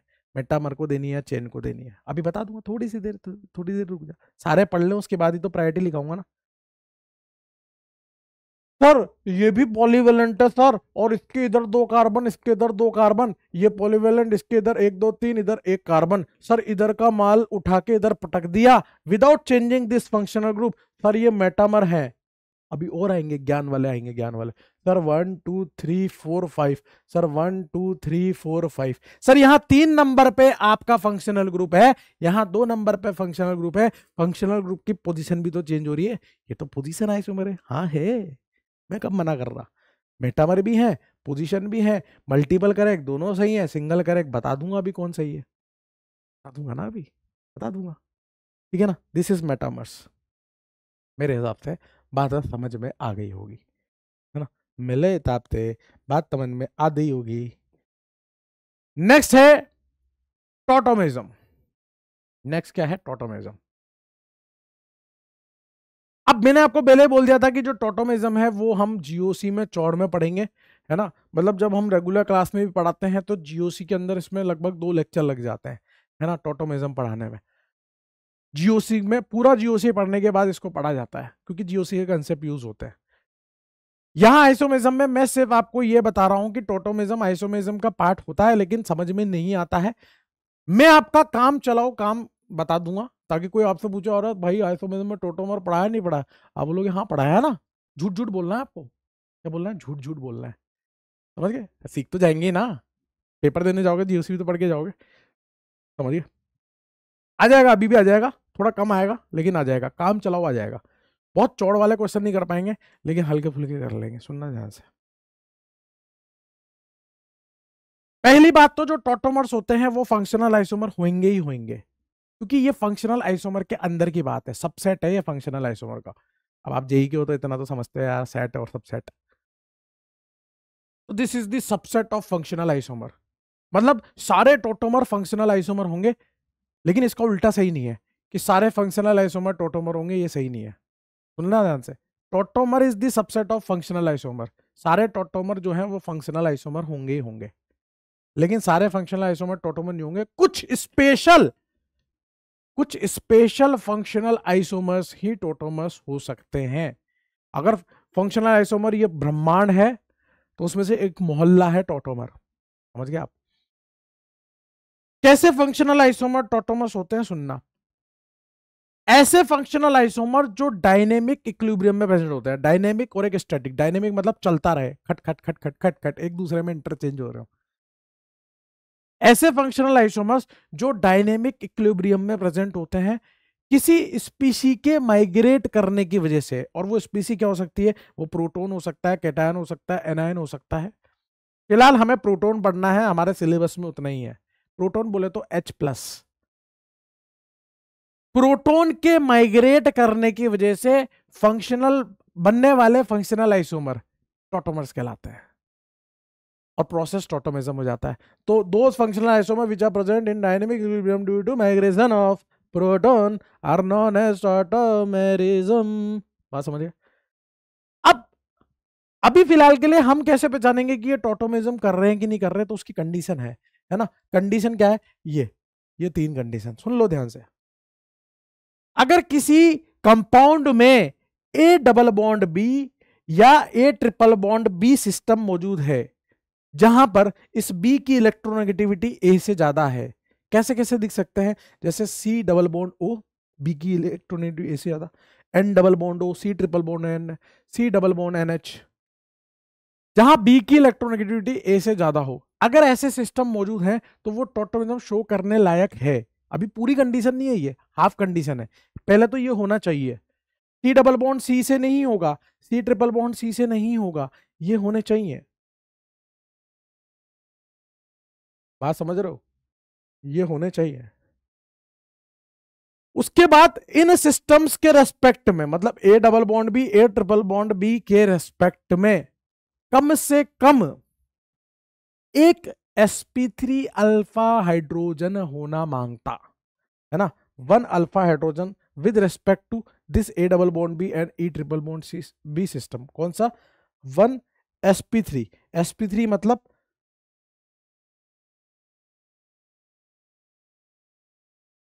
मतलब अल्फ़ा कार्बन से जुड़ा हुआ हाइड्रोजन अल्फ़ा हाइड्रोजन होता है sp3 कार्बन से जुड़ा हुआ हाइड्रोजन। Sp3 हाइड्रोजन हो जाएगा। या तो एक अल्फ़ा हाइड्रोजन हो sp3 वाला या फिर कॉन्जुगेटेड sp3 अल्फ़ा हाइड्रोजन है। कॉन्जुगेटेड में बता दूँगा क्या होता है। अभी थोड़ी सी देर रुक जाओ कॉन्जुगेटेड भी बता दूँगा। कम से कम एक sp3 अल्फ़ा हाइड्रोजन या कॉन्जुगेटेड sp3 अल्फ़ा हाइड्रोजन होना चाहिए तब जाके टोटोमिज्म हो पाएगा। ऐसे फील नहीं आती। फील आती क्वेश्चन से। जैसे कीटो इनॉल टोटोमिज्म। सबसे पहले तो क्या ये टोटोमिज्म शो करने लायक है? हाँ क्योंकि इसमें A double bond B type का सिस्टम है सी डबल बॉन्ड ओ है। क्या इसमें सर अल्फ़ा हाइड्रोजन है? सर अल्फ़ा हाइड्रोजन क्या होता है? सर, ये जो फंक्शनल ग्रुप है, सर, इससे जस्ट जुड़ा कार्बन अल्फ़ा बीटा गामा ऐसे चलता है ना बाबा। ठीक है ना? तो ये अल्फ़ा कार्बन दिखेगा होगा आपको। दिस इज़ अल्फ़ा कार्बन और इस अल्फ़ा कार्बन से क्या हाइड्रोजन अटैच है? हाँ है। अल्फ़ा हाइड्रोजन है। तो ए डबल बॉन्ड भी है और अल्फ़ा हाइड्रोजन है। मज़ा आया। मतलब ये टोटोमिज्म कर सकता है। कैसे करेगा? फ़िलहाल के लिए एक जुगाड़ बता रहा हूँ। फर्जीवाड़ा है। जीओसी में अच्छे से समझ में आएगा। फिर बोल रहा हूँ। है ना? फ़िलहाल के लिए जुगाड़ है। कुछ नहीं करना। इस हाइड्रोजन को उठा के यहाँ पटक दो। बी वाले पार्ट में और इस पाइबोन को यहाँ गिरा दो। इससे माल लिया, इस दूसरे को दिया, उससे माल लेके इधर। मतलब जो पाई बॉन्ड है, जहाँ है, वहाँ से बस यूँ गिर जाएगा या फिर यूँ गिर जाएगा। उसका एक पॉइंट तो वही रहेगा। ऐसे गिर जाएगा यूँ, बस, खट, वो गिर गया, ऐसे। और हाइड्रोजन वहाँ चला जाएगा ऑक्सीजन के पास। अब देखो, ये क्या था? कीटोन ये क्या है? एल्कीन और अल्कोहल एल्कीन का तो ले लिया इन और अल्कोहल का ले लिया ऑल और ओवरऑल क्या बन गया? इनॉल ई e और ओ दोनों वो वाले रिपीट नहीं करेंगे तो ये बन गया इनॉल दिस इज़ कीटो तो this is keto enol tautomerism कैसे होता है? आपसे क्या पूछेगा कौन टोटोमिज्म शो करता है कि नहीं करता? तो क्या टोटोमिज्म शो करता है? हाँ करता है। करता है। A double bond B system है। Nitroso oxime tautomerism this is N double bond O इसको नाइट्रोसो बोलते हैं। This is C double bond N O H इसको क्या बोलते हैं? इसको बोलते हैं oxime C double bond N O H को क्या बोलते हैं? ऑक्साइम कुछ नहीं है। पाई बॉन्ड को जस्ट बगल वाले पे गिरा दो। पाई को जस्ट बगल वाले पे गिराया था। और समझना समझना बीच वाले के मज़े होते हैं, बीच वाले के मज़े होते हैं। खेल इन दोनों का चल रहा है। इससे आइटम उठाया, इस ऑक्सीजन को दे दिया। बीच वाले का तो कुछ नुकसान हुआ ही नहीं ना, उसका पाइबोन तो वही है, उधर पटक दो, चाहे इधर पटक दो। स्पाइबोन को इधर डाल दिया और वो हाइड्रोजन को इधर डाल दिया। बात समझिए आप? ये है नाइट्रोसो ये है oxime amide imidol tautomerism amide iminol tautomerism, सुनना ध्यान से। अब यहाँ पे दो प्रकार के हाइड्रोजन है, ये भी हाइड्रोजन है और ये भी हाइड्रोजन है। अब कौन से हाइड्रोजन को माइग्रेट कराएँ, इस वाले को कराएँ या इस वाले को? यहाँ जीओसी का कॉन्सेप्ट यूज़ होगा, वो हाइड्रोजन माइग्रेट करता है जो ज़्यादा एसिडिक नेचर का होता है। जब आप यहाँ से H को रिमूव करोगे तो N पर माइनस आएगा, H निकला है तो दूसरे पे माइनस छोड़ के जाएगा। यहाँ से H प्लस को रिमूव करते तो C पे माइनस आता। और मोर इलेक्ट्रोनेगेटिव पे नेगेटिव चार्ज कैसा होता है? ज़्यादा स्टेबल होता है। तो nitrogen is more electronegative than carbon nitrogen is more electronegative than carbon ये ज़्यादा इलेक्ट्रोनेगेटिव है, इसका मतलब इसका हाइड्रोजन ज़्यादा कीमती है, ज़्यादा एसिडिक है। तो ये वाला हाइड्रोजन यहाँ जाएगा, ये पाइबोन्ड यहाँ गिर जाएगा तो ये इधर गिर जाता है, और ऐसे ओ एच आपसे अभी इतना नहीं पूछ रहा, मैं आपसे क्या पूछ रहा हूँ? क्या ये टोटोमिज्म शो कर सकता है? सी डबल बॉन्ड है अल्फ़ा हाइड्रोजन है। सी एन डबल बॉन्ड है अल्फ़ा हाइड्रोजन है। सी डबल बॉन्ड है अल्फ़ा हाइड्रोजन है। कर सकता है? हाँ कर सकता है। इतनी सी बात है। मैं नहीं कह रहा ना आपसे ये सब करो। मैं क्या कह रहा हूँ? कर सकता है या नहीं कर सकता? कर सकता है। जैसे ये ए है बी है सी है डी है, चार आइटम लिखे हैं। मैं आपसे क्या पूछ रहा हूँ? ए का बी से ए का सी से ए का डी से रिश्ता बताओ। मैंने आपको क्या बोला? जहाँ पे डबल बॉन्ड है, वो या तो यूँ गिर सकता है या यूँ गिर सकता है। ऐसे उछल के नहीं जाएगा कहीं और। बगल पे गिरेगा, अल्फ़ा हाइड्रोजन के पास ही गिरेगा, है ना? अल्फ़ा कार्बन वाले पे गिरेगा, ठीक है ना? क्या ए और बी टोटोमर्स हैं? देखना जरा, ये हाइड्रोजन है, ये हाइड्रोजन है, ये भी अल्फ़ा आला ये भी अल्फ़ा आला इधर भी गिर सकता है, इधर भी गिर सकता है, दोनों तरफ़ से टोटोमाइजम शो हो सकता है, समझ रहे इधर से भी हो सकता है और इधर से भी हो सकता है। सिंपल सी बात कर रहा हूँ मैं तो आपसे। ये क्वेश्चन कर लोगे ना कॉन्फिडेंस आ जाएगा। तो पाइबोन इधर भी गिर सकता है, इधर भी गिर सकता है। अगर इधर गिरा तो हाइड्रोजन ये वाला इधर आ जाएगा तो ये वाला हाइड्रोजन उठ के उधर आ गया पाइबोन इधर आ गया। क्या है? टोटोमर है। क्या है? ये टोटोमर है। ए और सी की बात करते हैं। क्या ये पाइबोन जस्ट इधर गिर सकता है? बिल्कुल। तो कौन सा हाइड्रोजन जाएगा? ये हाइड्रोजन इधर जाएगा। पाइबोन इधर गिर जाएगा। पाइबोन इधर आ गया, हाइड्रोजन उधर चल गया। ये भी क्या है? टोटोमर है। लेकिन क्या पाइबोन इतना दूर जाके गिर सकता है? या तो इधर गिर सकता था, या इधर गिर सकता था, इतना दूर जाके तो नहीं गिरेगा। यानी कि ए और डी टोटोमर नहीं है तो फिर क्या है? एक, दो, तीन, चार, एक, दो, तीन, चार, दोनों में चार कार्बन, एक डी यू एक डी यू एक ऑक्सीजन एक ऑक्सीजन मोलिकुलर फॉर्मूला सेट है। ये है कीटोन और ये है अल्कोहल और एल्कीन फंक्शनल ग्रुप अलग अलग है। ये है फंक्शनल आइसोमर तो सर, ये ऊपर वाले फंक्शनल नहीं क्या? हाँ है ना? ये टोटोमर भी है और ये फंक्शनल भी है। टोटोमर तो फंक्शनल होंगे ही होंगे, लेकिन क्या फंक्शनल भी टोटोमर हो सकते हैं? सारे फंक्शनल टोटोमर हो, ऐसा ज़रूरी नहीं है, लेकिन सारे टोटोमर फंक्शनल होंगे, ये ज़रूरी है। समझ में आ गई होगी ये बात। केवल इस एग्ज़ाम्पल पे फोकस करो। अगर ये नहीं भी आई ना बात समझ में, कोई दर्द नहीं है, कोई दिक्कत, परेशानी, चिड़चिड़ापन है ही नहीं। आपको केवल क्या आना चाहिए कि ये पाइबोन वाली बात समझ में आनी चाहिए। मेरे हिसाब से बात क्लियर होगी। कि जस्ट बगल में गिरेगा, या तो इधर, या तो इधर, या तो इधर, या तो इधर। दूर नहीं गिरेगा। ठीक है दोस्त, एक बार कोशिश करो, है ना, दिमाग में बैठाओ। हाँ जी, सेठ जी। मेरे हिसाब से बात समझ में आ गई होगी, ठीक है ना? अगर ये थोड़ा सा कम बैठा है दिमाग में, कोई दिक्कत नहीं है, आपको ये आना चाहिए, ठीक है ना? पाइबॉन्ड जस्ट बगल वाली पोजीशन पे गिराना है और अल्फ़ा हाइड्रोजन को उठा के उधर रख देना है। है ना? इसको ऐसे भी समझ सकते हो कि मतलब जैसे तीन आइटम के बीच में गेम चल रहा है, तीन आइटम के बीच में। पहला, दूसरा, तीसरा। दूसरे का कोई नुकसान नहीं होगा, जो होगा पहले और तीसरे का होगा। पहले का आइटम उठा के तीसरे पे डाल दो और जहाँ पाई बॉन्ड नहीं है, वहाँ पाई बॉन्ड बना दो। देख, पहला, दूसरा, तीसरा। पहले का आइटम उठा के तीसरे पे डाल दो, जहाँ पाई बॉन्ड नहीं है, वहाँ लगा दो। पहला, दूसरा, तीसरा। ठीक है ना? पहले का आइटम उठा के तीसरे पे डाल दो, जहाँ पाई बॉन्ड नहीं है, वहाँ लगा दो। ऐसे भी समझ सकते हो, ठीक है ना? शॉर्टकट थोड़ा सा। आ गई। तो फिर ये बता दो which of the following will show tautomerism कौन टोटोमिज्म शो कर सकता है? कंडीशन आपको बता दिया A double bond B A triple bond B alpha hydrogen है? तो खेल हो जाएगा। पोज करके ट्राई कर लो एक बार बेटा। है ना? जो हो, जो ठीक है, जहाँ पे गलती हो चेक कर लेना। ऐसे तो करते हैं। ऐसे करते हैं और क्या करेंगे? देखो भाई, यहाँ पर ये A double bond B system है मतलब सी डबल बॉन्ड ओ है। और इसके रेस्पेक्ट में यहाँ पर ये अल्फ़ा हाइड्रोजन भी नज़र आ रहा है। मतलब ये टोटोमिज्म शो कर सकता है कि हाँ कर सकता है, बिल्कुल कर सकता है। ये ए डबल बॉन्ड बी है और इसके रेस्पेक्ट में ये अल्फ़ा कार्बन ये अल्फ़ा कार्बन इस पे भी अल्फ़ा हाइड्रोजन है, इस पे भी अल्फ़ा हाइड्रोजन है, वो भी एसपी वाला, ये भी कर सकता है साहब, ये भी कर सकता है। ये ए डबल बॉन्ड बी है और इसके रेस्पेक्ट में ये भी अल्फ़ा कार्बन ये भी अल्फ़ा कार्बन इसमें भी अल्फ़ा हाइड्रोजन इधर भी अल्फ़ा हाइड्रोजन ये भी कर सकता है, बिल्कुल कर सकता है। ये ए डबल बॉन्ड बी है और यहाँ पर भी अल्फ़ा हाइड्रोजन अल्फ़ा हाइड्रोजन है। ये भी कर सकता है बेटा, ये भी कर सकता है। ये ए डबल बॉन्ड बी है, लेकिन यहाँ पर इधर भी carbon carbon carbon carbon hydrogen नहीं है। अल्फ़ा कार्बन पर अब की बार अल्फ़ा कार्बन पर मेरे दोस्त अल्फ़ा हाइड्रोजन नहीं है। इसका मतलब ये टोटोमेजम शो नहीं कर सकता। फिर ए डबल बॉन्ड बी है। इस अल्फ़ा कार्बन पे तो अल्फ़ा हाइड्रोजन नहीं है। मैंने एक कंडीशन बताई थी आपको या तो sp3 थ्री अल्फ़ा हाइड्रोजन या conjugated sp3 three alpha hydrogen अब कॉन्जुगेटेड क्या है? पाई सिग्मा पाई सिग्मा और ये वाला कार्बन भी अल्फ़ा कार्बन कहलाएगा। पाई सिग्मा पाई सिग्मा ये वाला कार्बन भी। लगातार pi sigma pi alternate position पे पाई पाई जहाँ तक आ रहे हो पाई सिग्मा पाई सिग्मा ये है कॉन्जुगेशन उसके जस्ट बाद वाला अल्फ़ा कार्बन भी मतलब उसका अल्फ़ा हाइड्रोजन भी काउंट कर सकते हैं।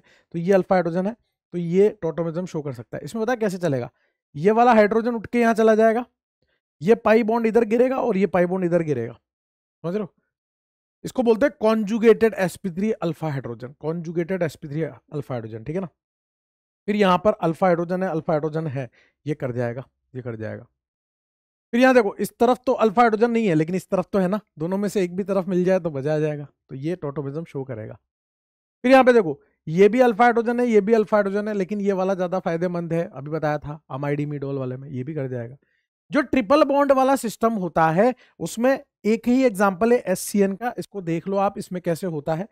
एचसीएन है, और इसका जो दूसरा टोटोमर बनेगा, वो कैसा बनेगा? H N triple bond C ये साइनाइड और ये आइसोसाइनाइड ये टोटोमिज्म शो करता है। अभी फ़िलहाल के लिए इसको ध्यान रख लो। मैं आपको फिर कह रहा हूँ, ये सब कंसेप्ट जो है वो जीओसी से निकल के आएँगे बेटा, इसलिए मैं आपको ज़्यादा चौड़ में नहीं बता पा रहा हूँ। अभी फ़िलहाल के लिए ध्यान रख लो, है ना? अभी फ़िलहाल के लिए ध्यान रख लो।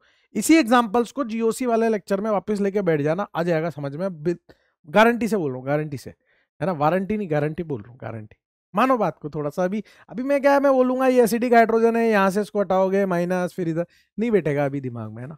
ठीक है ना? लेकिन अब वो एक एग्ज़ाम्पल के चक्कर में भी छोड़ना नहीं चाह रहा हूँ ठीक है ना? ये जो कॉन्जुगेटेड वाली बात है, ये रेजोनेंस का कंसेप्ट है यार। तो वो वहाँ समझ में आएगा।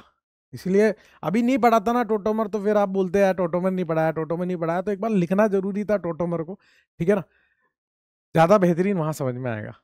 ठीक है ना भाई यार? थोड़ा सा मतलब एडजस्ट यार यार, ऐसे भी क्या मतलब? ठीक है। फिर यहाँ पे देखो, ये A double bond B system तो है, लेकिन इसमें कोई भी कार्बन जो है, वो अल्फ़ा कार्बन मतलब sp3 नहीं है, कोई भी कार्बन sp3 नहीं है। और अगर sp3 नहीं है तो हमारे लिए यहाँ टोटोमिज्म संभव ही नहीं है। Sp3 होगा तो ही संभव है तो ही संभव है, ठीक है ना? मैंने आपको बताया था, एक से ज़्यादा तरीके से भी आपके आइसोमिज्म शो हो सकते हैं। जैसे कहीं पे देखा था टोटोमर भी आ रहा था फंक्शनल भी आ रहा था रिंग चेन भी आ रहा था फंक्शनल भी आ रहा था मेटावर भी आ रहा था चेन भी आ रहा था। हमें कैसे पता चलेगा सिंगल करेक्ट में कि किस पे टिक लगाए तो ये ट्रिक है ना। Ring chain tautomer functional metamer chain फिर position Radio City Top FM near Connaught Palace career point जो भी आपकी मर्ज़ी हो। आपकी मर्ज़ी से भी आप यहाँ पे ट्रिक बना सकते हो। ये है ring chain RC tautomerism functional metamer chain position जैसे कोई रिंग चेन भी आ रहा है और फंक्शनल भी आ रहा है। सिंगल करेक्ट है तो रिंग चेन पे टिक लगाएँगे। टोटोमर भी है फ़ंक्शन भी है तो टोटोमर पे टिक लगाएँगे। मेटामर भी है चेन भी है तो मेटामर पे टिक लगाएँगे, ऐसे करके। और अगर मल्टीपल करेक्ट है तो सब पे लगाएँगे, ठीक है ना? ये ट्रिक थोड़ी सी मतलब ये प्रायोरिटी ऑर्डर आपको ध्यान रखना है। मेरे हिसाब से बात समझ में आई होगी। अब नेक्स्ट जो क्वेश्चन बनते हैं, वो बनते हैं ड्रॉ स्ट्रक्चरल आइसोमर मतलब आपको मॉलिक्यूलर फॉर्मूला दे दिया जाएगा और बोला जाएगा कि इसके कितने स्ट्रक्चरल आइसोमर्स बनेंगे। उसको पढ़ने से पहले, उसको पढ़ने से पहले, इस गहरी बात को जानने से पहले हमें कुछ अल्काइल ग्रुप की जानकारी निकालनी पड़ेगी। उसके बाद चुटकियों में सवाल होंगे, चुटकियों में। ये जो ट्रिक है ना, ये ट्रिक वेरी इंपॉर्टेंट है, बहुत इंपॉर्टेंट है। लेकिन ये ट्रिक कैसे आई, वो बता रहा हूँ। ये ट्रिक कैसे आई, वो बता रहा हूँ। कॉमन नेमिंग होती है ऑर्गेनिक कंपाउंड्स के अंदर, है ना? तो उसमें कैसे अल्काइल ग्रुप्स बनते हैं? वो आपने सुना होगा ना normal butyl secondary butyl iso butyl tertiary butyl वो कैसे बनते हैं वो बता रहा हूँ। उससे वो ट्रिक निकल के आएगी और उससे वो स्ट्रक्चरल आइसोमर के क्वेश्चन तुरंत तुरंत सॉल्व होने लगेंगे। देखो अल्काइल रेडिकल कैसे बनता है? जैसे ये है आपका hydrocarbon this is hydrocarbon R H है ना? इसमें से मुझे हाइड्रोजन को रिमूव करना है और क्या बनाना है? अल्काइल ग्रुप या अल्काइल रेडिकल बनाना है। मिथाइल इथाइल प्रोपाइल वो वाली बात है। खेल किस बात का है कि हमें कितने तरह के डिफरेंट हाइड्रोजन मिल रहे हैं? और वो डिफरेंट हाइड्रोजन कैसे मिलेंगे? अभी देख लो, अभी देख लो। जैसे ये सी एच फोर लिखा है। इस सी एच फोर से मैं कितने तरह से सब्सटीट्यूएंट बना सकता हूँ? कितने तरह से इसको अल्काइल ग्रुप बना सकता हूँ? इसमें चार हाइड्रोजन है। लेकिन चारों हाइड्रोजन मेरे दोस्त एक जैसे हैं। आप कोई सा भी हाइड्रोजन हटाओ। ट्रिक बता रहा हूँ, कोई सा भी हाइड्रोजन हटाओ। मान लो आपने एक हाइड्रोजन हटा दिया। उसकी जगह पे आपने सीएल लगा के देखा। आपका आईयूपीएसी नाम अगर अलग अलग आ रहा है अलग अलग हाइड्रोजन को हटाने पे अगर आपका आईयूपीएसी नेम डिफरेंट डिफरेंट आ रहे हैं तो वो अलग अलग हाइड्रोजन है, वरना सेम है। मतलब आप इसमें कोई सा भी हाइड्रोजन हटा के सीएल लगाओगे, नाम क्या आएगा? One chloromethane one chloromethane one chloromethane मतलब इसमें कितने तरह के डिफरेंट हाइड्रोजन है? एक ही हाइड्रोजन है इसमें। इसमें डिफरेंट हाइड्रोजन ही नहीं, एक ही हाइड्रोजन है। इसलिए मैं इसमें से हाइड्रोजन निकाल के कितने तरह के अल्काइल ग्रुप बना सकता हूँ? केवल एक, और वो क्या है? आपका मिथाइल तो मैं सी एस थ्री को कितने तरीके से लिख सकता हूँ? एक तरीके से लिख सकता हूँ। कितने तरीके से? एक तरीके से। फिर है आपका C two S six ethane. इसमें मुझे पता चलाना है कि कितने तरीके से मैं इसको अल्काइल ग्रुप बना सकता हूँ। इसमें से हाइड्रोजन निकालोगे तो आपका सी टू एच फाइव बनेगा। अब मुझे यह देखना है कि इसमें मैं कितने तरह से डिफरेंट अल्काइल ग्रुप बना सकता हूँ। इसको कैसे लिखूँगा? C S three C S three मान लीजिए मैंने यहाँ से हाइड्रोजन को हटा के यहाँ पे क्लोरीन लगाया। नाम क्या हो जाएगा? वन क्लोरो इथेन ठीक है? अगर मैं इसी जगह से कोई दूसरा हाइड्रोजन हटाता, तब भी वन क्लोरोथेन वन क्लोरोथेन अगर मान लीजिए मैं यहाँ से हटाता, यहाँ से हाइड्रोजन को रिमूव करता और यहाँ पे क्लोरीन लगा देता, तब भी नाम क्या हो रहा है? वन क्लोरोथेन मतलब चाहे ये वाला हो, चाहे ये वाला हो, दोनों हाइड्रोजन कैसे हैं? एक जैसे हैं। कोई सा भी हटा लो, एक ही बात है। चाहे आप क्लोरीन को यहाँ लगा लो, चाहे आप क्लोरीन को यहाँ लगा लो, चाहे आप ओएच को यहाँ लगा लो, चाहे आप ओएच को यहाँ लगा लो, किसी को भी लगा लो सेम ही बनेगा। यानी कि C2H5 को मैं कितनी तरीके से लिख सकता हूँ? एक तरीके से, जो है इथाइल C2H5 को भी एक तरीके से इथाइल लिख सकते हैं। फिर आपका C3H8 C3H8 में से हाइड्रोजन निकाला, आपका बना C3S7 ये जो C3S7 है, इसको मैं कितनी तरीके से बना सकता हूँ? जैसे इसको तो एक एक तरीके से बना सकते थे। इसको कितनी तरीके से बना सकता हूँ? सी थ्री एच एट को लिखा मैंने CS3 CH2 CS3 क्या लिखा? CS3 CH2 आप सिर्फ़ इधर फोकस करोगे। कुछ लिखना लिखना कुछ नहीं है। इधर फोकस करो सिर्फ़। CS3 CH2 CS3 मुझे इसमें पता करना है कि कितने तरह के डिफरेंट हाइड्रोजन है। कितनी जगह से मैं हाइड्रोजन निकाल के उसकी जगह क्लोरीन लगा के अलग अलग आईयूपीएसी नेम लिख सकता हूँ। अगर मान लीजिए मैंने यहाँ से हाइड्रोजन हटा के क्लोरीन लगाया, नाम क्या होगा? वन क्लोरोप्रोपेन मान लीजिए मैंने यहाँ से हाइड्रोजन हटा के क्लोरीन लगाया one two three one chloropropane मतलब चाहे मैं यहाँ से हाइड्रोजन निकाल लू, चाहे मैं हाइड्रोजन यहाँ से निकाल लू, क्या सेम बात है क्या? हाँ सेम बात है। लेकिन अगर मैं यहाँ से हाइड्रोजन हटा के क्लोरीन लगा रहा हूँ वन टू थ्री इसका नाम है टू क्लोरोप्रोपेन मतलब यहाँ पे मैं दो तरह के डिफरेंट हाइड्रोजन देखने को मिल रहे हैं, एक तो ये वाला और एक ये वाला। ये और ये सेम है। ये वाला और ये वाला। मतलब मैं यहाँ पे कितने तरह से हाइड्रोजन रिमूव करके अल्काइल ग्रुप बना सकता हूँ दो तरीके से। एक तो कॉर्नर वाले से, वो हो जाएगा सीधा सीधा नॉर्मल प्रोफ़ाइल और एक बीच वाले से, एक बीच वाले से। तो मछली जल की रानी है, पीछे से उसकी ऐसी कहानी है आइसो ग्रुप ये होता है आइसोप्रोपाइल यहाँ क्लोरीन लगाऊँगा आइसोप्रोपाइल क्लोराइड यहाँ ओ OH लगाऊँगा आइसोप्रोपाइल अल्कोहल यहाँ NH2 लगाऊँगा आइसोप्रोपाइल अमीन ऐसे चलता है। और ये क्या होगा? Normal propyl chloride normal propyl alcohol ऐसे चलेगा। मतलब C3H7 को मैं कितने तरीके से लिख सकता हूँ? दो तरीके से लिख सकता हूँ। कितने तरीके से? दो। ये सीख ले बेटा। अगर ये सीख लिया तो स्ट्रक्चरल आइसोमर कितने बनेंगे? वो सवाल एक एक लाइन में सॉल्व होंगे, चुटकियों में सॉल्व होंगे। बहुत सारा मेहनत बच जाएगा तेरा। बहुत मेहनत बच जाएगा। सीख ले सीख ले। आजा। फिर बात करते हैं मेरे दोस्त, फिर बात करते हैं मेरे दोस्त, फिर बात करते हैं। नेक्स्ट है आपका C four H ten C four H ten में से हाइड्रोजन निकाला। क्या बना? C four H nine C four H को मैं कितने तरीके से लिख सकता हूँ? चार तरीके से। कैसे सर? कैसे? सी फोर टेन को मैं एक तो लिख सकता हूँ C S three C S two C S two C S three जो नॉर्मल ब्यूटेन है, और एक C S three C S C S three C S three मछली जल की रानी है, पीछे से उसकी ऐसी कहानी है। ये क्या है आपका? Iso isobutane this is normal butane this is iso isobutane अब पहले तो नॉर्मल ब्यूटेन में देखता हूँ कि मैं कितनी तरह से हाइड्रोजन हटा के क्लोरीन लगा के डिफरेंट बना सकता हूँ। मैं आपको ये क्लोरीन नहीं लगाना, मैं तो आपको ट्रिक बता रहा हूँ। कि आपको कैसे पता चलेगा कि ये डिफरेंट है? क्लोरीन लगाओ आईयूपीसी नेम डिफरेंट तो वो डिफरेंट हाइड्रोजन है। देख दोस्त, अगर तेने यहाँ से हाइड्रोजन हटा के क्लोरीन लगाया वन क्लोरोब्यूटेन यहाँ से हाइड्रोजन हटा के क्लोरीन लगाया वन क्लोरोब्यूटेन मतलब तू चाहे यहाँ से निकाल ले हाइड्रोजन चाहे यहाँ से निकाल ले सेम बात है क्या? हाँ। फिर यहाँ से निकाला, यहाँ क्लोरीन लगाया टू क्लोरोब्यूटेन यहाँ से निकाला, यहाँ क्लोरीन लगाया one two three four two chlorobutane मतलब ये वाला और ये वाला सेम है क्या? हाँ।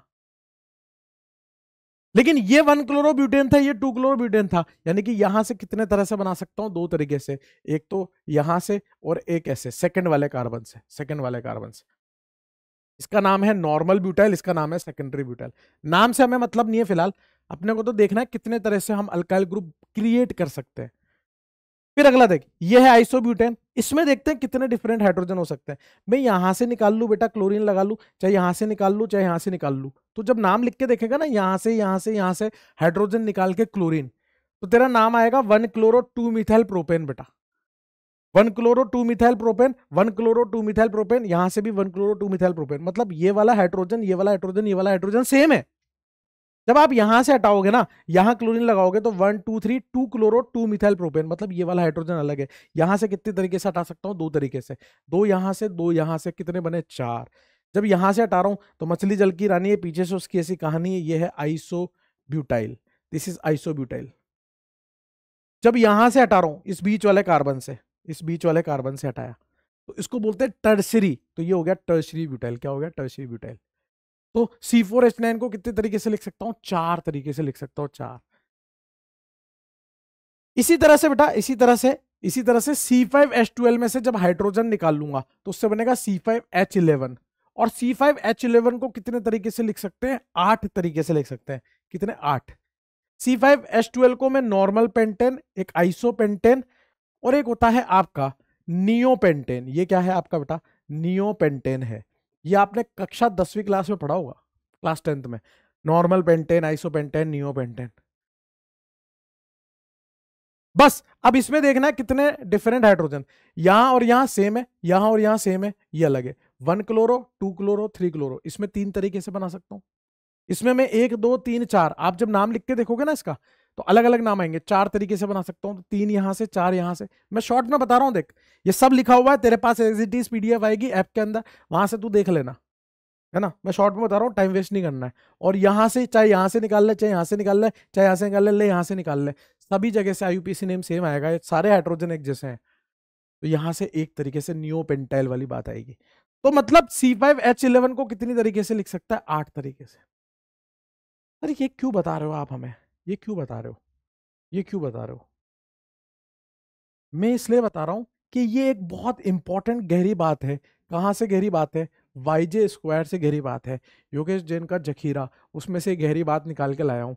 क्या गहरी बात है कि सी एस थ्री को मैं एक तरीके से लिख सकता हूँ सी टू एच फाइव को मैं एक तरीके से लिख सकता हूँ सी थ्री एच सेवन को मैं दो तरीके से लिख सकता हूँ सी फोर एच नाइन को चार तरीके से और सी फाइव एच इलेवन को आठ तरीके से। रट लेस को रट लेस को। रटे सर, हम तो जे के हैं, हम क्यों रटेंगे? मैं क्या कह रहा हूँ? रट ले इसको। तेरा समय बचेगा और क्लासिक तरीके से क्वेश्चन को सॉल्व करेगा, प्रो तरीके से, प्रो तरीके से क्वेश्चन को सॉल्व करेंगे। पता है क्यों? तेरे से मान ले, तेरे से भूल गया C four H nine C L के कितने आइसोमर बनेंगे? बना के नहीं देखना है। सी फोर एच नाइन को कितने तरीके से लिख सकते हैं? चार तरीके से। तो C four H nine C L के कितने बनेंगे? चार। Normal butyl chloride secondary butyl chloride iso butyl chloride tertiary butyl chloride. कौन बनाएगा? सीधे चार।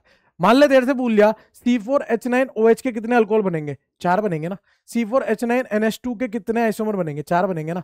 C four H nine C H O के कितने बनेंगे? चार बनेंगे ना। C four H nine C O H के कितने बनेंगे? चार बनेंगे ना। C four H nine C O N H two के कितने बनेंगे? चार बनेंगे ना। ओ भाई, ये है क्या कहानी? ओ भाई, तेरे से भूल गया C five H eleven C L के कितने आइसोमर बनेंगे? सी फाइव एच इलेवन को कितने तरीके से लिख सकते हैं? आठ। C five H eleven O H के कितने बनेंगे? आठ। C five H eleven N H two के कितने बनेंगे? आठ। ओ भाई, आठ बनाने की ज़रूरत नहीं है, सीधे ट्रिक लगाओ और क्वेश्चन सॉल्व लेकिन ये ट्रिक कब लगेगी? जब आइटम फंक्शनल ग्रुप वाला होगा, जैसे ओ एच आ रहा हो एन एच टू आ रहा हो। सिंपल हाइड्रोकार्बन में हम ट्रिक से नहीं करेंगे, वो हमें सॉल्व ही करने पड़ेंगे। लेकिन सौ सवाल में से नब्बे सवाल तो हमारे सॉल्व हो जाएँगे ना ट्रिक से। दस सवाल अपन मेहनत करके कर लेंगे। कुछ तो बचा, कुछ तो बचा। केवल इन वैल्यूज़ को याद करके, केवल इन वैल्यूज़ को याद करके बेटा। आइए क्वेश्चन करते हैं, किस तरह से ये स्ट्रक्चरल आइसोमर के ड्रॉ करने वाले क्वेश्चन करते हैं वो बता रहा हूँ। एक मैं करके बता रहा हूँ हाइड्रोकार्बन का किस तरह से सॉल्व करोगे? हाइड्रोकार्बन मतलब जिसमें केवल कार्बन होगा और हाइड्रोजन होगा। फिर बाकी आप ट्राई करेंगे, ईमानदारी से, वीडियो को रोक के। सी फाइव एस ट्वेल्व सबसे पहले इस तरह के क्वेश्चंस को सॉल्व करने के लिए हम डी यू की मदद लेंगे। पता है क्यों? पता है क्यों? सी फाइव एस ट्वेल्व है, अभी तो चलो छोटा सा लिखा हुआ है। कोई बड़ा सा फॉर्मूला लिख के दे दिया, पता ही नहीं चल रहा कि उसका एल्केन बनेगा एल्कीन बनेगा एल्काइन बनेगा साइक्लिक कंपाउंड बनेगा बेंजीन बनेगी, क्या बनेगा? पता ही नहीं चल रहा। वो पता चलेगा, वो मदद हमें मिलेगी DU से। पता है क्यों? डीयू होता है C plus one minus H plus X minus N by two यहाँ से क्या निकल के आएगा? कार्बन कितने हैं? Five plus one minus hydrogen कितने हैं? बारह. कोई हेलोजन नाइट्रोजन नहीं है। तो ये कितना आ गया? Six minus six zero D कितनी आ रही है? ज़ीरो आ रही है। मतलब जो बनेगा ओपन चेन बनेगा और सारे सिग्मा बॉन्ड होंगे। नहीं बनाना एल्किन नहीं बनाना एल्काइन नहीं बनाना साइक्लिक कंपाउंड नहीं बनानी बेंजीन है। इतने बड़े ब्रह्मांड में से निकल के आ गए। और सिर्फ़ एल्केन बनाना है। कितना आसान हो गया हमारे लिए। सोचना कहाँ है? सिर्फ़ एल्केन पे सोचना है। अब कैसे सोचना है? अब कैसे सोचना है? सबसे पहले जो मैक्सिमम कार्बन है, आप उसी कार्बन को पकड़ो। हम चालू करेंगे पाँच कार्बन की पेरेंट कार्बन चेन के साथ। कैसे बना के सॉल्व करेंगे ताकि कोई छूट ना जाए। हम एक केस को तब तक नहीं छोड़ेंगे जब तक उसकी सारी पॉसिबिलिटीज खत्म नहीं हो जाती। पाँच कार्बन की पेरेंट कार्बन चेन कैसे बनेगी? One two three four five क्या मैं पाँच कार्बन की पेरेंट कार्बन चेन लेते हुए और कुछ बना सकता हूँ? नहीं। तसल्ली से सुनते जाना। नेतागिरी मत करना। जैसे बता रहा हूँ, वैसे करना। है ना? कुछ बात है जब बोल रहा हूँ। मेरे क्या फ़र्क पड़ रहा है वरना? मतलब एज ए स्टूडेंट आपको कैसे सॉल्व करना है वो बता रहा हूँ। है ना? चार कार्बन की पेरेंट कार्बन चेन और एक कार्बन का सब्सिट्यूएंट पाँच कार्बन पे खेल लिया, अब एक कार्बन कम कर लिया पेरेंट कार्बन चेन में।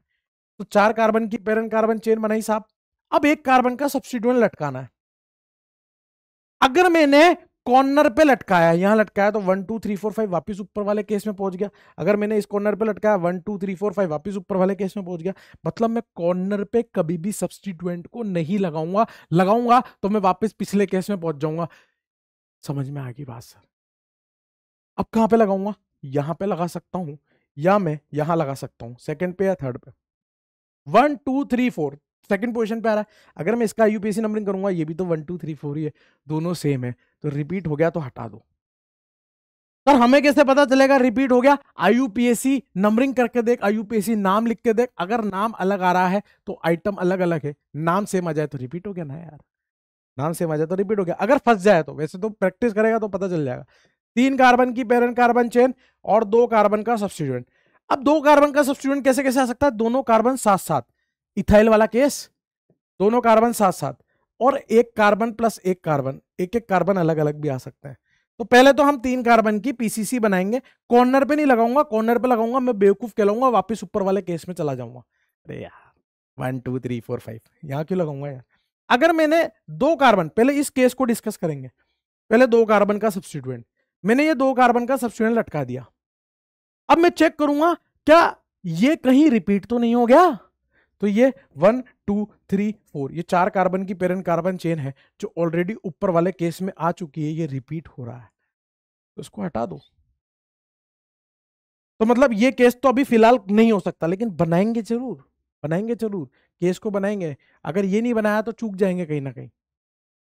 फिर वन प्लस वन पे है तीन कार्बन की पेरेंट कार्बन चेन कॉर्नर पे सब्सिट्यूएंट लगाऊँगा नहीं, एक कार्बन को लगाया, अब दूसरे कार्बन को कहाँ लगाऊँ, यहाँ तो लगा नहीं सकता कॉर्नर पे, यही लगा दूँगा। अब इससे कम की पेरेंट कार्बन चेन बनाना तो बेवकूफ़ी है, अगर दो कार्बन की पेरेंट कार्बन चेन बनाई तो वो कॉर्नर पे ही आएँगे, बाकी सब स्टूडेंट तो कॉर्नर पे आते ऊपर वाले केस में पहुँच जाएँगे मतलब इसके अलावा और कुछ नहीं बन सकता, कितने बने? तीन बने। इनमें आपस में क्या रिलेशन है? ये दोनों चेन आइसोमर है, ये दोनों चेन आइसोमर है, ये दोनों चेन आइसोमर है। हाँ भाई। कैसे करना है? पहले डी निकालेंगे डी आपकी मदद करेगा, फिर सबसे बड़ी पेरेंट कार्बन चेन फिर एक एक कार्बन कम करते जाओ केसेस बना के। अगर ये बात समझ में आई तो अगला सवाल, दोस्त आपको करना है सी सेवन एस सिक्सटीन दबा पोज का बटन वीडियो को रोक और क्वेश्चन का ट्राई कर, ईमानदारी से। तेरी ईमानदारी तेरे हाथ में, तेरा पेन। चल ट्राई कर ले बेटा। शाबाश। वेरी गुड शाबाश शाबाश, जल्दी से ट्राई कर। सबसे पहले आपने क्या करा होगा? सबसे पहले आपने यहाँ डी निकाली होगी। डीयू क्या आएगी? Seven plus one minus sixteen by two यानी कि एट माइनस एट डीयू कितनी आ रही है? ज़ीरो मतलब जो बनेगा ओपन चेन बनेगा सेचुरेटेड बनेगा, सारे सिग्मा बॉन्ड वाला। कहाँ से चालू करेंगे? सात कार्बन की पीसीसी से। क्या क्या केस बनेंगे देख? एक तो बनेगा सात कार्बन की पेरेंट कार्बन चेन फिर क्या बनेगा? छह कार्बन की पेरेंट कार्बन चेन प्लस एक कार्बन का सब्सिट्यूएंट फिर क्या बनेगा? पाँच कार्बन की पेरेंट कार्बन चेन प्लस दो कार्बन का सब्सिट्यूएंट दो कार्बन संग संग, एक कार्बन प्लस एक कार्बन ये बनेगा। फिर चार कार्बन की पेरेंट कार्बन चेन तीन कार्बन का सब्सिट्यूएंट तीनों कार्बन संग संग प्रोपाइल वाला, दो कार्बन एक साथ, एक कार्बन अकेला, और एक एक कार्बन सब अकेले ये मिथाइल मिथाइल मिथाइल, ये इथाइल, मिथाइल वाला। ये केसेस बनेंगे। और बनेंगे तो और बना लेंगे। मतलब मोटे मोटे केस तो बना दिया अपन ने। सबसे पहले सात कार्बन की पेरेंट कार्बन चेन बनाई। One two three four five six और ये सेवन इसके अलावा कुछ और नहीं बन सकता। फिर बनाएँगे छह कार्बन की parent carbon chain one two three four five six corner पे नहीं लगाऊँगा, इस सब्सिट्यूएंट को लगाऊँगा, ऊपर वाले केस में पहुँच जाऊँगा और बेवकूफ़ कहलाऊँगा। अब मैं एक कार्बन का सब्सिट्यूएंट कहाँ कहाँ लटका सकता हूँ? मैं यहाँ लटका सकता हूँ? मैं यहाँ लटका सकता हूँ? अब मैं तेरे से पूछ रहा हूँ, तू यहाँ लगा ले, चाहे यहाँ लगा ले, एक ही बात है क्या? टू मिथाइल हेक्सेन यहाँ लगाएगा, टू मिथाइल हेक्सेन मैं तेरे से पूछ रहा हूँ, तू यहाँ लगा ले, चाहे यहाँ लगा ले, एक ही बात है क्या? One two three one two three three methyl hexane three methyl hexane मतलब तू यहाँ लगा सकता है या यहाँ लगा सकता है? यहाँ से दो पॉसिबिलिटी है। दिमाग लगा के करना है भाई। समझ रहा है? इस ब्रेन का यूज़ करते हुए करना है। प्रैक्टिस अपने को वैसे ही करनी है प्रो तरीके से। मतलब आप यहाँ लगा सकते हो बेटा, और आप कहाँ लगा सकते हो, इसको करके कॉपी इसको पैंसठ, यहाँ से इसको हटाया, और आप यहाँ लगा सकते हो। सर, हम तो यहाँ भी लगा सकते हैं। वन, टू, थ्री, हम तो यहाँ लगाएँगे। तो one, two, three, one, two, three, दोनों सेम है। सर, यहाँ मत लगाओ, यहाँ लगा लो, वन, टू, वो वन, टू वाला हो रहा। रिपीट हो गया ना भाई रिपीट हो गया। नाम लिख के देख लो, पता चल जाएगा रिपीट हो गया। पाँच कार्बन की पेरेंट कार्बन चेन और दो कार्बन का सब्सटीट्यूएंट ये पाँच कार्बन की पेरेंट कार्बन चेन है। अब स्टूडेंट यहाँ पे क्या गलती करता है? वो रेंडमली चलता है रेंडमली वो मास्टर ने उसको सिखाया, नहीं सुनेगा। नहीं सुनेगा मास्टर की। मास्टर ने बोला कि, भाई, ऐसे केस बना के कर। क्यों बोला? क्योंकि वो इस केस को भूल जाता है। दोनों कार्बन साथ साथ भी आ सकते हैं। मैं कॉर्नर पे तो नहीं लगाऊँगा। मैं कहा लगाऊँगा? यहाँ। तो one, two, three, four, five, six, ये तो ऊपर वाला केस हो गया, छह कार्बन की। मतलब ये नहीं बन सकता। लेकिन ये वाला बन सकता है। One, two, three, four, five, one, two, three, four, five, one, two, three, four, five, पाँच कार्बन की पीसीसी है। थ्री इथाइल पेंटेन नाम है, इसको भूल जाता है।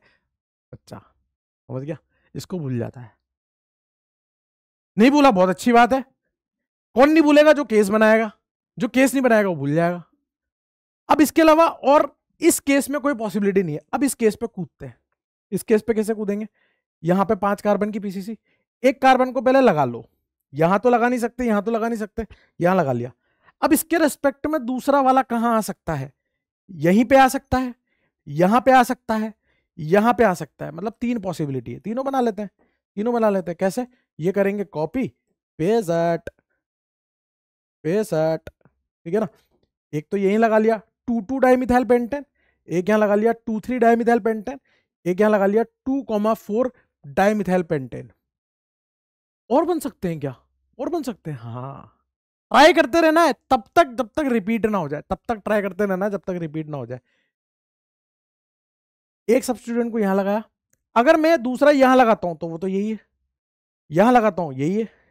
लेकिन मैं यहीं लगा दूँ तो three three dimethyl pentane ऐसा एक भी नहीं है इसमें से। ये भी भूल जाते हैं अपन, ये भी भूल जाते हैं। ये और ये जनरली भूल जाते हैं, बाकी सब तो बना लेता है आदमी। ये और ये भूल जाता है। समझ रहा बात को? फिर खेलते हैं चार कार्बन की पेरेंट कार्बन चेन, ये चार कार्बन। अगर तेने तीन कार्बन इकट्ठा वाला मतलब प्रोपाइल सब्सिट्यूएंट लिया, यहाँ और यहाँ तो लगा नहीं सकता। या तो यहाँ लगा सकता है या यहाँ लगा सकता है। तो मान ले तेने यहाँ लगा दिया। एक, दो, तीन तो one, two, three, four, five, six, ऊपर वाले केस में पहुँच गया।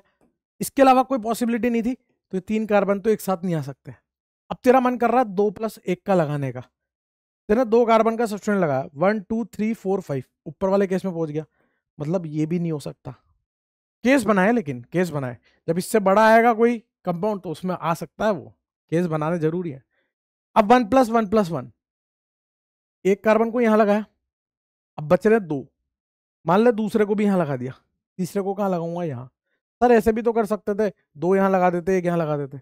वो सेम ही तो है, सेम ही तो है। अब तेरा मन कर रहा होगा, सर, तीन कार्बन की पीसीसी ले लो साहब। अगर आपने तीन कार्बन की पीसीसी ले ली, अब बचे कितने? चार कार्बन बचे हैं एज ए सब्सटीट्यूएंट तो चार को यहीं लगा सकता है। यहाँ तो लगा ही नहीं सकते, क्या इतना गुच्छा थोड़ी ना बनाना झाड़ थोड़ी ना उगाना भाई। कार्बन की इतनी वैलेंसी हो ही नहीं सकती। तो लास्ट केस यही था। कितने बने? एक, दो, तीन, चार, पाँच छः सात, आठ, नौ। सर, कैसे? कैसे? प्रैक्टिस प्रैक्टिस हाइड्रोकार्बन वालों के लिए प्रैक्टिस चाहिए। इस तरह से केस बनाओगे तो थोड़ा इजी पड़ता है, थोड़ा इजी पड़ता है, बस यही है। मेरे हिसाब से बात क्लियर होगी। आगे चलते हैं। अगला आइटम है C five western very famous बहुत बार पूछा जा चुका है और बहुत बार पूछे जाने की फिर से मतलब गुंजाइश है। सी फाइव वेस्टर्न में मैं बताऊँगा, आप बस देखते रहो। सबसे पहले तो डी निकालोगे। बिना डीयू के तो हम बढ़ ही नहीं सकते। डी हमारी सारी मदद कर रहा है। वही बता रहा है कि एल्केन बनेगा एल्किन बनेगा डबल आएगा ट्रिपल आएगा रिंग आएगी, क्या आएगी, वही बता रहा है। कितने कार्बन है? पाँच प्लस एक माइनस टेन बाई टू यानी कि सिक्स माइनस फाइव यानी कि वन अब एक डी का मतलब क्या हो सकता है? एक DU की वजह से क्या क्या आ सकता है मेरे दोस्त? एक DU की वजह से आ सकता है। एक DU की वजह से। या तो एक डबल बॉन्ड आ सकता है, एक पाई बॉन्ड की वजह से डी आ सकती है, या एक रिंग की वजह से डी आ सकती है। गलत तो नहीं कह रहा। ये तो पाई की वजह से रिंग की वजह से। मतलब सी फाइव एस्टेन के क्या बन सकते हैं? या तो डबल बॉन्ड वाले कंपाउंड्स बन सकते हैं, या रिंग वाले कंपाउंड बन सकते हैं।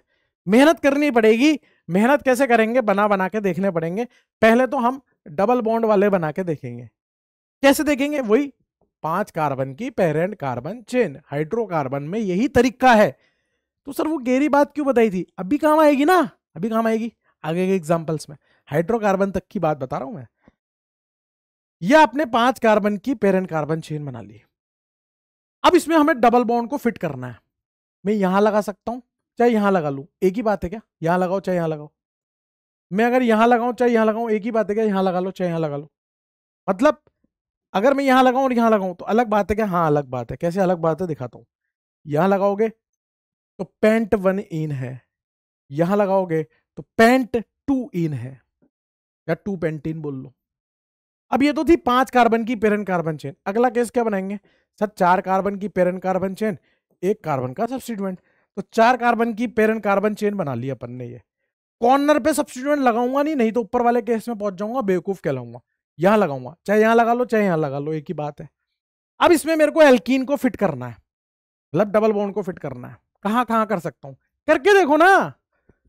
करके देखो। गलत होएगा, काटो।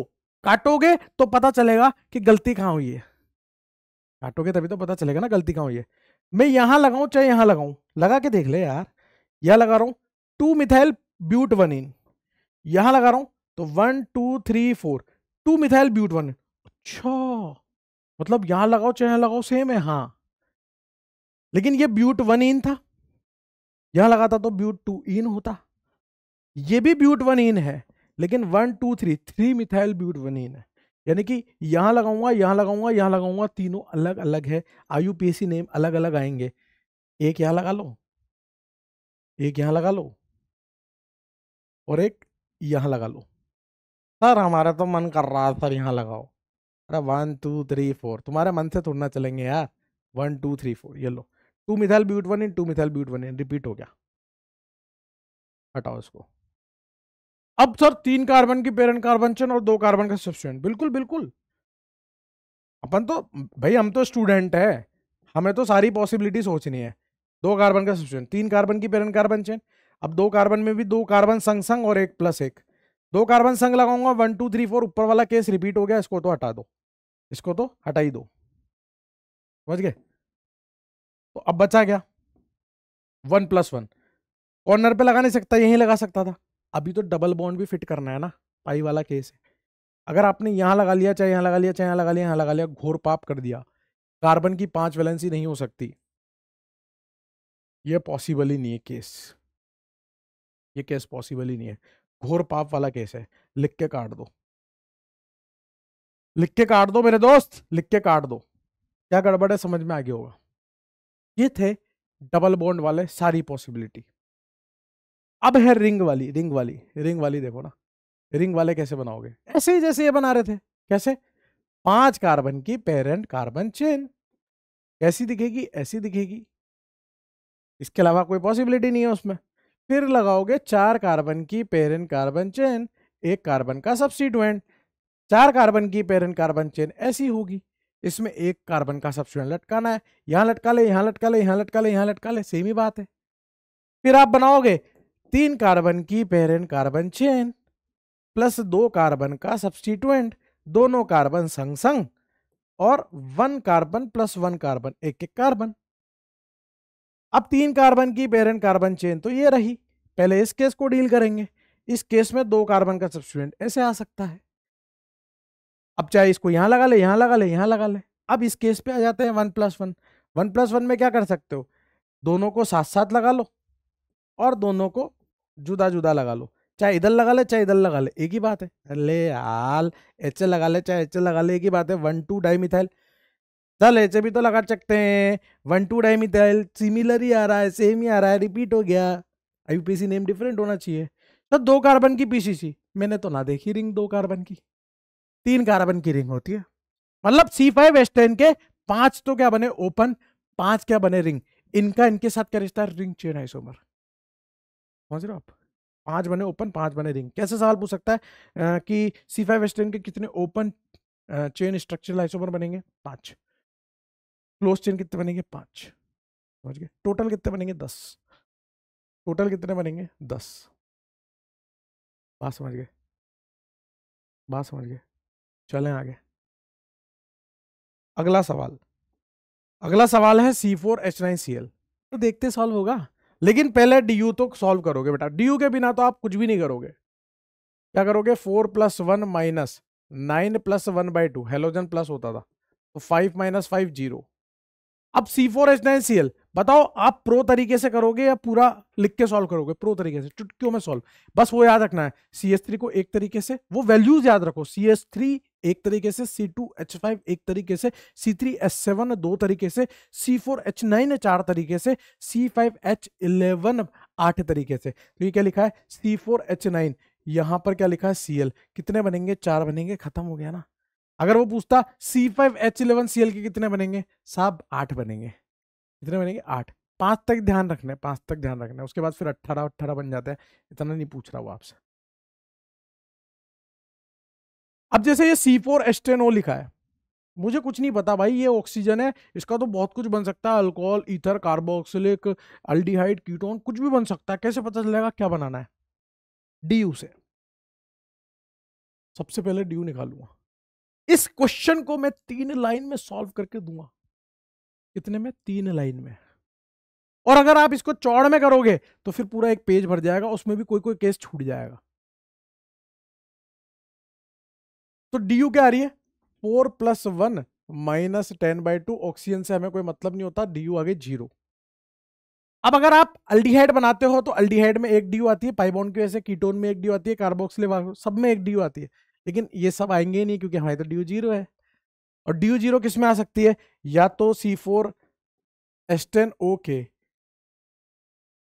अल्कोहल बन सकते हैं, या ईथर जिसमें डी यू ज़ीरो आ सकती है.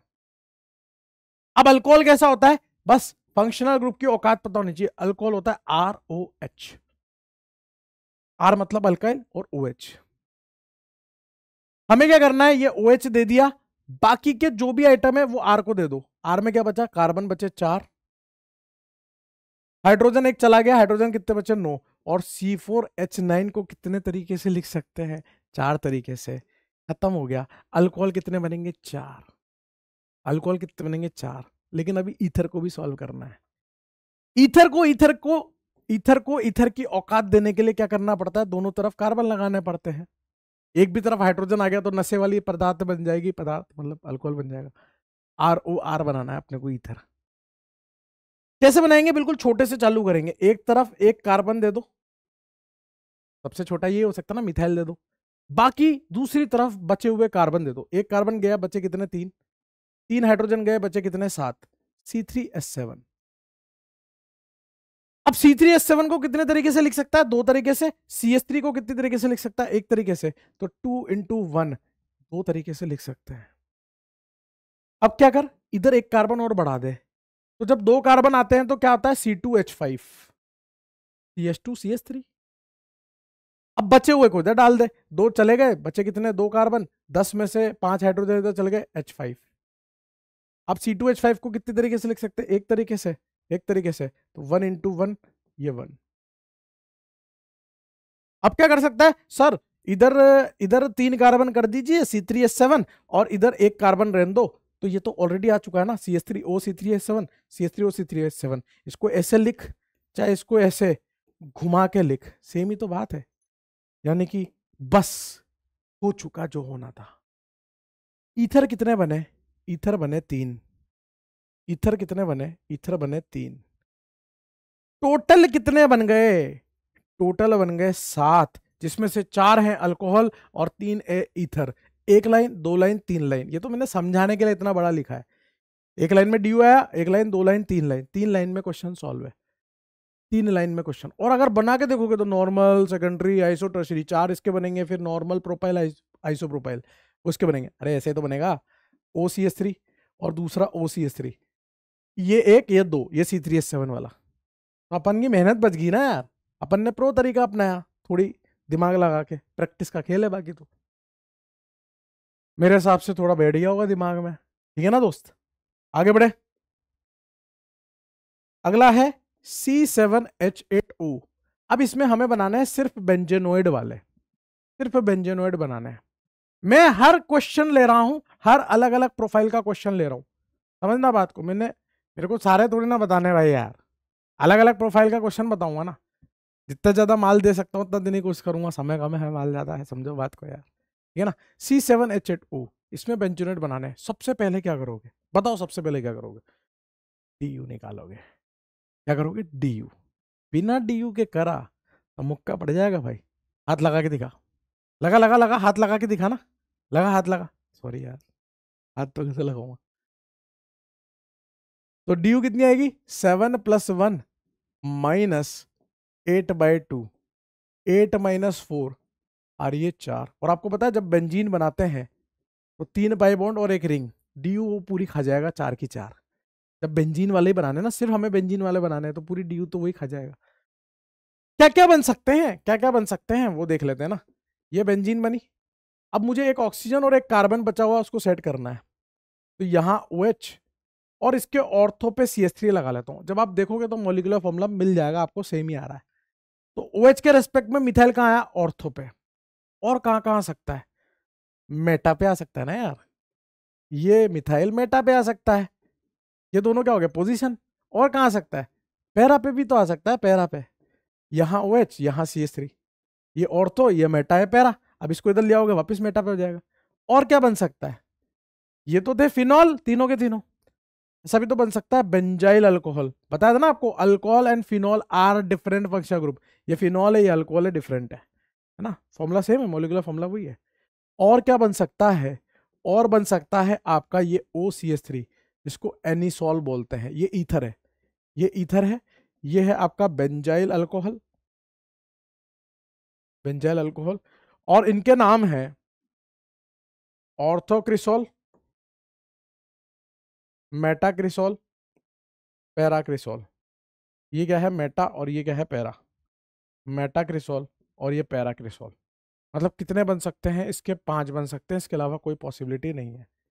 कितने बनेंगे? पाँच। C seven H eight okay मेरे हिसाब से बात क्लियर होगी। नोट कर लीजिए पोज करके नोट करते रहिए। नेक्स्ट है दोस्त T6H10 और इसका सिर्फ़ और सिर्फ़ अल्काइन बनाना है। प्रो तरीके से करेंगे दिमाग लगा। सर, ये तो हाइड्रोकार्बन है। मैं फिर कह रहा हूँ आपसे, एक बार दिमाग लगाओ, ये प्रो तरीके से हो सकता है, वो वाले तरीके से, गहरी बात वाले से। माना ये हाइड्रोकार्बन है, लेकिन फिर भी हो सकता है प्रो तरीके से। बस दिमाग लगाने की दूरी है।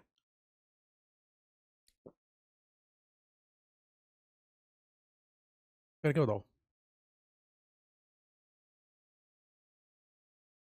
आपको पता है, सबसे पहले आपने DU निकाला ही नहीं।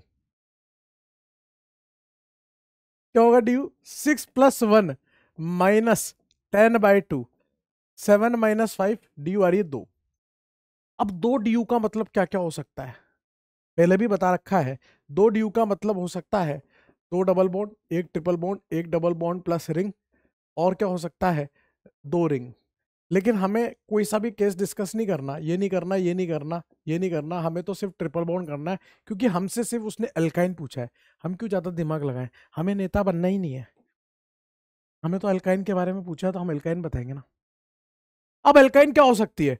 हो सकती है अल्काइन ऐसी, जिसमें एक ही तरफ़ कार्बन आ रहे हो कॉर्नर पे अल्काइन आ रही हो, या फिर अल्काइन क्या हो सकती है? ऐसी भी तो हो सकती है R C triple bond C R dash दोनों तरफ़ कार्बन आ रहे हो, बीच में अल्काइन आ रही हो। ये बिल्कुल अभी अल्कोहल ईथर वाला सॉल्व किया था ना, बिल्कुल वैसा हो गया, तीन लाइन में सॉल्व होने वाला। याद है तेने, याद है तेने वहाँ पे क्या किया था?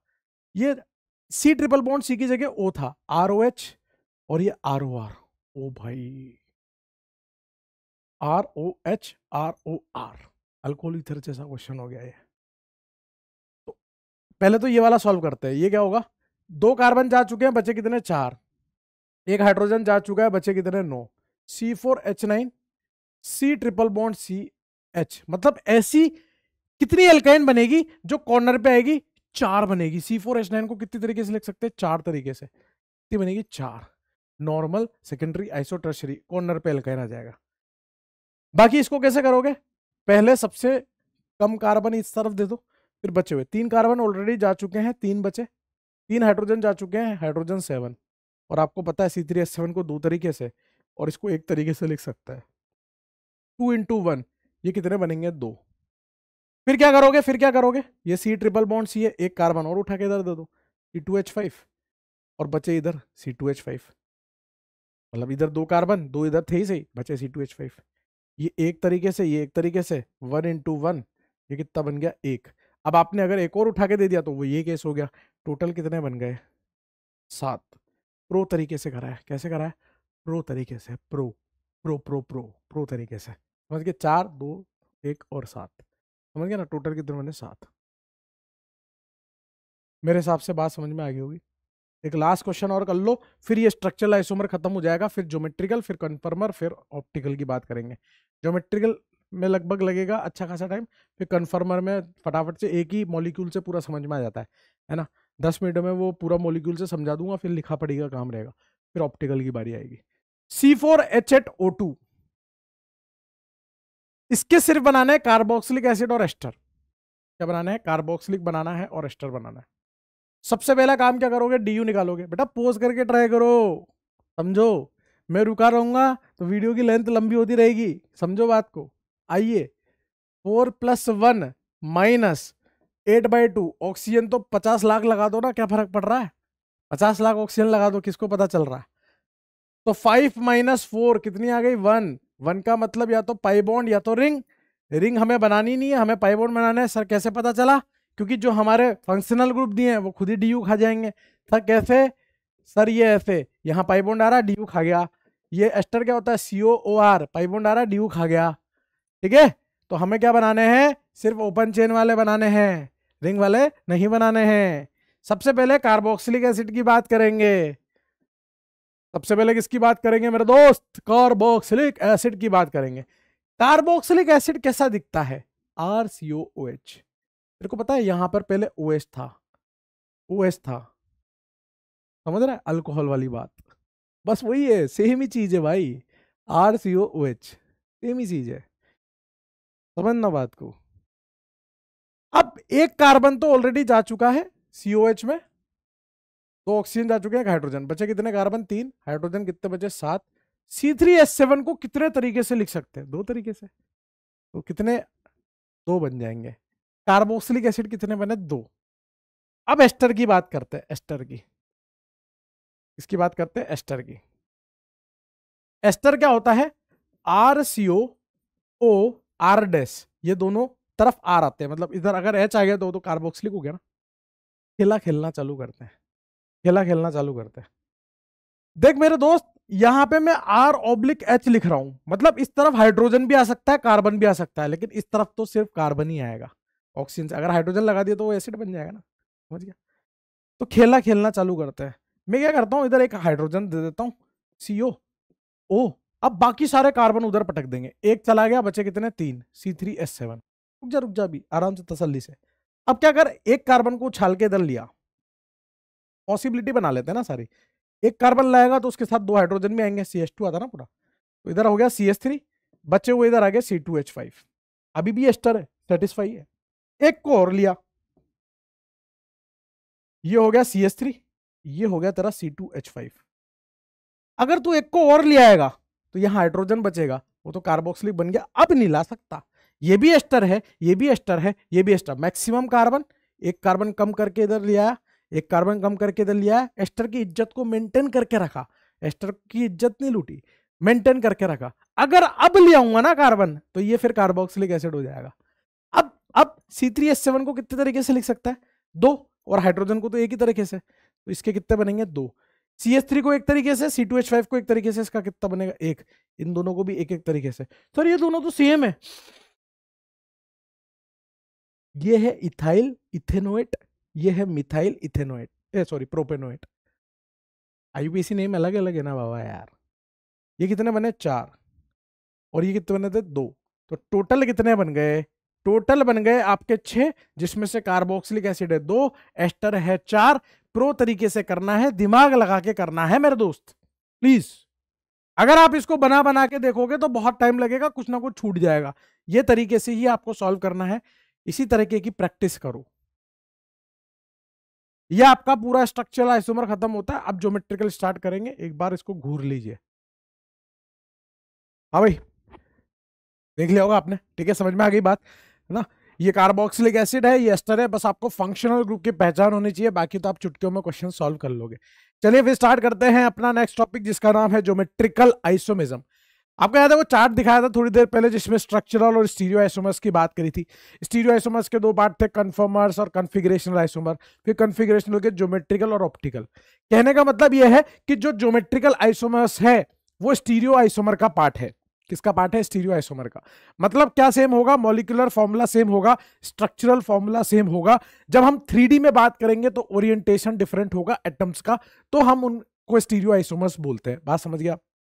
अब इधर उधर की बात नहीं करेंगे, काम की बात करेंगे, कड़क बात करेंगे, कब ज्योमेट्रिकल आइसोमर्स होंगे, सीधे कंडीशन की बात करते हैं ज्योमेट्रिकल आइसोमिज्म के लिए क्या कंडीशन होनी चाहिए? तो ये तीन कंडीशन है, अगर कोई ये तीन कंडीशन को सेटिस्फाई कर रहा है तो ज्योमेट्रिकल आइसोमर होगा ना? तो ज्योमेट्रिकल आइसोमर होगा, ठीक है? तीन कंडीशन क्या है? पहली कंडीशन है रेस्ट्रिक्टेड रोटेशन यूनिट होनी चाहिए। बहुत सारे बहुत सारे सिस्टम्स के अंदर हमें देखना है कि वो कैसे ज्योमेट्रिकल आइसोमिज्म मतलब जीआई शो करते हैं। तो जैसे जैसे मैं सिस्टम्स बताता जाऊँगा, उसमें किस तरह से रेस्ट्रिक्टेड रोटेशन यूनिट आ रही है, वो भी बताता चलूँगा ना। फिर टर्मिनल वैलेंसी डिफरेंट जैसे जैसे मैं सिस्टम बताता जाऊँगा, वैसे वैसे मैं टर्मिनल वैलेंसी डिफरेंट कैसे होती है, वो भी बताता चलूँगा। फिर एरियल डिस्टेंस डिफरेंट मतलब L1 not equal to L2 होना चाहिए, सबसे इंपॉर्टेंट कंडीशन ही यही है रेस्ट्रिक्टेड रोटेशन के बाद। थोड़ी देर पहले अपन जब स्टीरियो आइसोमस की बात कर रहे थे स्टार्टिंग में, थोड़ी देर नहीं मतलब दो तीन घंटे पहले जब स्टीरियो आइसोमस की बात कर रहे थे, तब मैंने आपको एक जगह पे L one not equal to L two करके दिखाया था कि देखो यहाँ पे ये दोनों हाइड्रोजन सेम साइड है, ये दोनों हाइड्रोजन अपोजिट साइड है, ये एल वन डिस्टेंस है एल टू डिस्टेंस है। वैसे हमें यहाँ पे एरियल डिस्टेंस डिफरेंट करनी है। सबसे पहले तो हम रेस्ट्रिक्टेड रोटेशन यूनिट की फील लेते हैं कि रेस्ट्रिक्टेड रोटेशन यूनिट होता क्या है? क्या होता है रेस्ट्रिक्टेड रोटेशन फ्री रोटेशन क्या होता है? रेस्ट्रिक्टेड रोटेशन क्या होता है? इसकी फील लेते हैं। आइए दो कार्डबोर्ड ले लेते हैं, दो गत्ते ले लेते हैं और उन दो गत्तों के माध्यम से समझने की कोशिश करते हैं कि रेस्ट्रिक्टेड रोटेशन यूनिट होती क्या है। ये रहा आपका एक गत्ता। गत्ता देखा है ना आपने? गत्ता कार्टून कार्डबोर्ड जो भी बोलना चाहो। ये एक आपका गत्ता है। एक और गत्ता लिया जो इस पर हल्का सा ओवरलैप कर रहा हूँ, है ना? एक गत्ता और ले रहा हूँ जो इस पर इस तरह से हल्का सा ओवरलैप है। दिख गया आपको? एक गत्ता लिया, फिर दूसरा गत्ता लिया जो हल्का सा ऐसे ओवरलैप है, हल्का सा ओवरलैप है। उसमें एक ऐसे कील ठोक रहा हूँ, ऐसे कील ठोक रहा हूँ। इन दोनों के बीच में क्या कर रहा हूँ, यहाँ पर एक कील ठोक रहा हूँ। एक कील। अब मैं आपसे क्या पूछ रहा हूँ, अब मैं आपसे क्या पूछ रहा हूँ, आप मुझे इतना सा बता दो, अगर मैंने एक गत्ते पे दूसरा गत्ता रखा और बीच में एक किल ठोकी एक किल, ये ठोक देना यार, एक किल ठुक गई, ये कील ठुक गई, एक ही तो कील है। तो क्या ये गत्ता दूसरे गत्ते पे रोटेट कर सकता है, मस्त रोटेट करेगा ना, ऐसा रोटेट करेगा ना, ये जर्दा नहीं मसल रहा हूँ। रोटेशन कर ये मस्त रोटेट करेगा। कैसे रोटेट करेगा? फ्रीली रोटेट करेगा। मस्त फ्री रोटेशन होगा। फील करनी है फील की बात है, देख। एक कील है तो इस गत्ते पे गत्ता मस्त रोटेशन करेगा। यानी कि रोटेशन कैसा है? ये रोटेशन है आपका फ्री रोटेशन ये रोटेशन है फ्री रोटेशन अगेन इसी आइटम को ले रहा हूँ। एक गत्ता लिया, दूसरा गत्ता लिया। अब मैं कितनी, अब मैं कितनी कील ठोक रहा हूँ मेरे दोस्त? ध्यान से देखना। अब मैं यहाँ पर दो कील ठोक रहा हूँ। एक कील दो कील पहले मैंने एक किल ठोकी थी, इसलिए रोटेशन संभव था। अब मैंने दूसरी एक और कील ठोक दी। तो क्या अब रोटेशन हो पाएगा? अंदर से सोच, अंदर से फील कर। क्या अब रोटेशन हो पाएगा? अब रोटेशन नॉर्मल कंडीशन में तो नहीं हो पाएगा रूम टेम्परेचर पे नहीं हो पाएगा। ज़बरदस्ती करोगे तो या तो कील टूट जाएगी, या कत्ता टूट जाएगा, या वो घुमाने वाला हाथ टूट जाएगा। लेकिन नॉर्मल कंडीशन में घूमेगा तो नहीं। बात समझ में आ गई? तो इस तरह का रोटेशन क्या होता है? इस तरह का रोटेशन होता है।